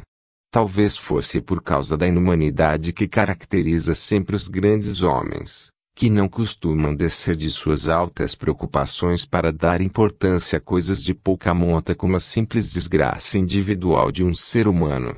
Talvez fosse porque nunca me levavam realmente a sério, considerando-me um ex-discípulo que, para vergonha sua, tinha se tornado apenas um charadista e decifrador indigno das preocupações e da compaixão deles. Será que eles perceberam, logo, que o Senhor estava cego? Indagou o corregedor. Perceberam, senhor corregedor. A princípio, imaginei que Lino não dissera nada e eles ignoravam o fato, apesar de que, como eu vinha a saber depois, o cantador Caolho dera com a língua nos dentes, inclusive na rua, onde a notícia logo se espalhou no meio do povo como uma faísca elétrica. Mas, além disso, Lino tinha contado tudo diretamente aos dois. Mesmo assim, quando eles entraram na sala, ignoraram minha catástrofe. Dirigiram-se a mim, mas foi para continuar a conversa que Lino interrompera e para comentar o estranho caso da ressurreição de Sinésio, com as profecias e tudo. O mais animado era Clemente. Samuel, Apesar de todos os esforços que fazia para esconder isso, estava inquieto com a possibilidade de aquilo ser, mesmo, uma coluna comunista. Se assim for, dizia ele, isso significará o meu fuzilamento sumário pela canalha. As dúvidas, porém, permaneciam de parte a parte. A esquerda também estava inquieta, Porque Clemente, por sua vez, não estava ainda muito seguro sobre a verdadeira orientação ideológica daquele estranho grupo de ciganos. Notei, mesmo, que meus dois mestres estavam se tratando mutuamente com grande cortesia, o que absolutamente não era comum. Depois é que eu entenderia o motivo disso. Tinham feito uma espécie de pacto de garantia mútua. Se a coluna fosse da esquerda, como pensava o comendador Basílio Monteiro, Clemente protegeria e esconderia Samuel, que faria o mesmo com o rival, caso o grupo de Luiz do Triângulo e do Cigano se revelasse como da direita. Eu, vendo que eles, absolutamente, não tomavam conhecimento da minha desgraça, arrisquei timidamente, na primeira pausa, uma informação e uma queixa a respeito da catástrofe trágica que introduzira a cegueira entre os inquilinos de meus olhos, entre as minhas paixões malévolas, entre as vicissitudes da minha tribulada existência. Os dois mal conseguiram fingir um interesse distraído pelo fato. Samuel veio logo com as literaturas direitistas dele, para me consolar. Olhe, quaderna, disse ele, sério, isso que, à primeira vista, parece uma desgraça, pode até ser uma coisa benéfica, pelo menos para você, que deseja ser um poeta épico e fazedor de romances, como nos confessou hoje. Aliás, só lhe dou essas informações porque minhas ideias são outras e o fato de você fazer um romance não me causa prejuízo nenhum. Já lhe disse que, na minha opinião, a obra da raça brasileira será um livro de poemas cifrados, um livro que só um poeta, aqui, é capaz de fazer, disse ele com um tom presunçoso que me irritou ainda mais. E acrescentou: Mas você tem outro pensamento, acha que deve escrever algo no gênero épico. Pois siga esse caminho. Dou-lhe, de graça, um conselho. Por que você não escreve uma espécie de romance brasileiro e medieval de cavalaria, parecido com os do genial escritor pernambucano de pesqueira, Zeferino Galvão? e aproveitando para isso a crônica da família Garcia Barreto. Você deveria partir não de seu padrinho, mas da ressurreição maravilhosa desse rapaz do cavalo branco. Mesmo pertencendo a essa aristocracia bárbara, bastarda e corrompida do sertão, Sinésio é um Barreto, um descendente, portanto, da ilustre estirpe pernambucana dos Morgados do Cabo. Assim, se você contar a história dele, pode reintegrar, nela, o Brasil em seu verdadeiro caminho, o caminho ibérico-flamengo. Note que o genial Zeferino Galvão, apesar de nunca ter saído de pesqueira, só escrevia seus romances com ação passada na Provença, dando, com isso, uma grande prova de fidelidade às raízes da nossa fidalga raça. Ele escreveu uma trilogia chamada Heloísa da Lemonte, composta de três obras geniais, a corte de Provença, o mosteiro de Ani com acento circunflexo mês e a guerra dos camisardos. Na minha opinião, a obra da raça deve ser escrita em versos e por um poeta.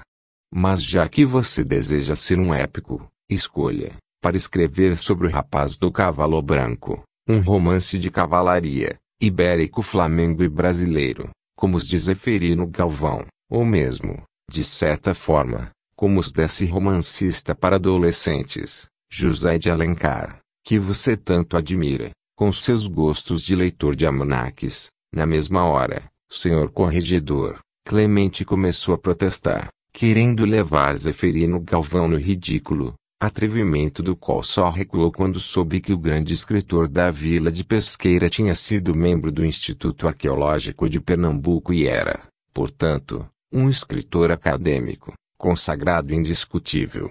Mas, mesmo recuando nessa parte, continuou discordando de Samuel quanto ao resto. Olhe, Samuel, disse ele, não quero ser indelicado com você, principalmente tendo nosso pacto em vista. Mas discordo de uma porção de coisas, aí no que você disse.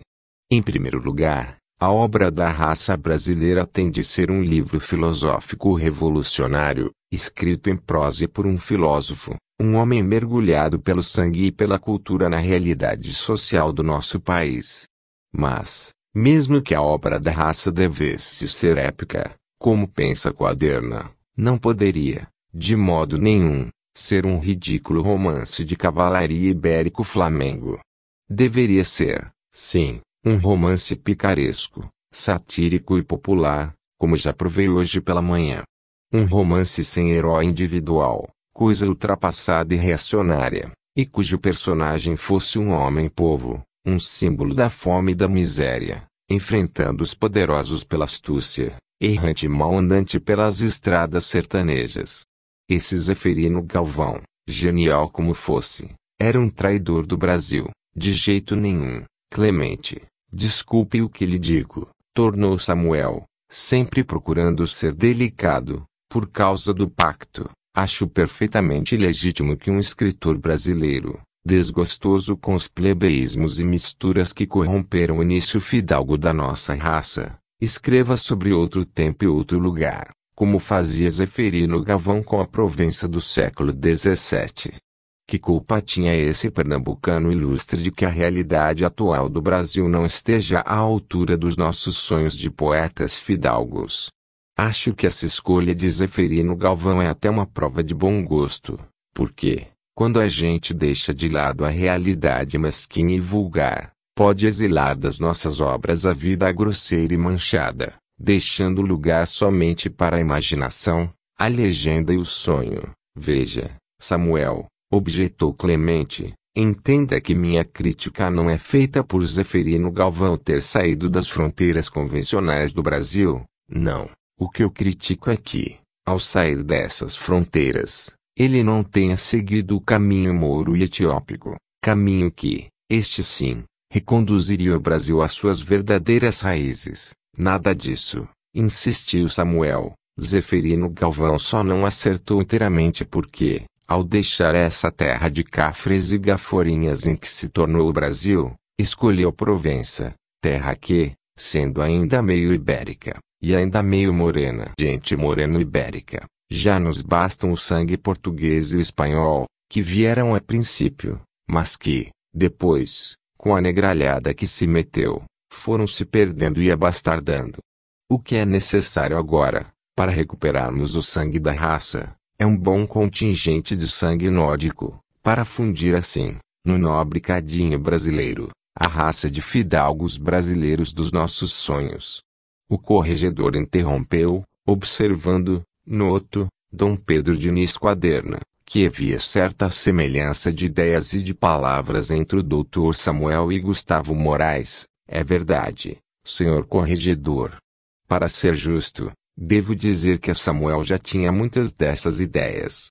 Mas depois que Plínio Salgado passou aqui, no sertão do Cariri, e principalmente depois que Gustavo Moraes veio do Recife para cá, essas ideias receberam um grande impulso e uma nova formulação. Havia, aqui na Paraíba, no grupo do jornal A União, três escritores que influenciavam Samuel nessas fidalguias ibéricas, isso antes do integralismo, eram Carlos Dias Fernandes, Eldes Barros e Ademar Vidal. Pois foi na linha de tudo isso que ele concluiu, naquele dia, dizendo: Zeferino Galvão, a meu ver, deveria ter escolhido a Flandres, ou talvez, melhor, a Borgonha, que, ficando a meio caminho entre a Ibéria e a Flandres, e tendo tido um mestiço de nórdico português, Carlos, o temerário, como seu último duque, serviria melhor para auscultar os ritmos do sangue da nossa raça.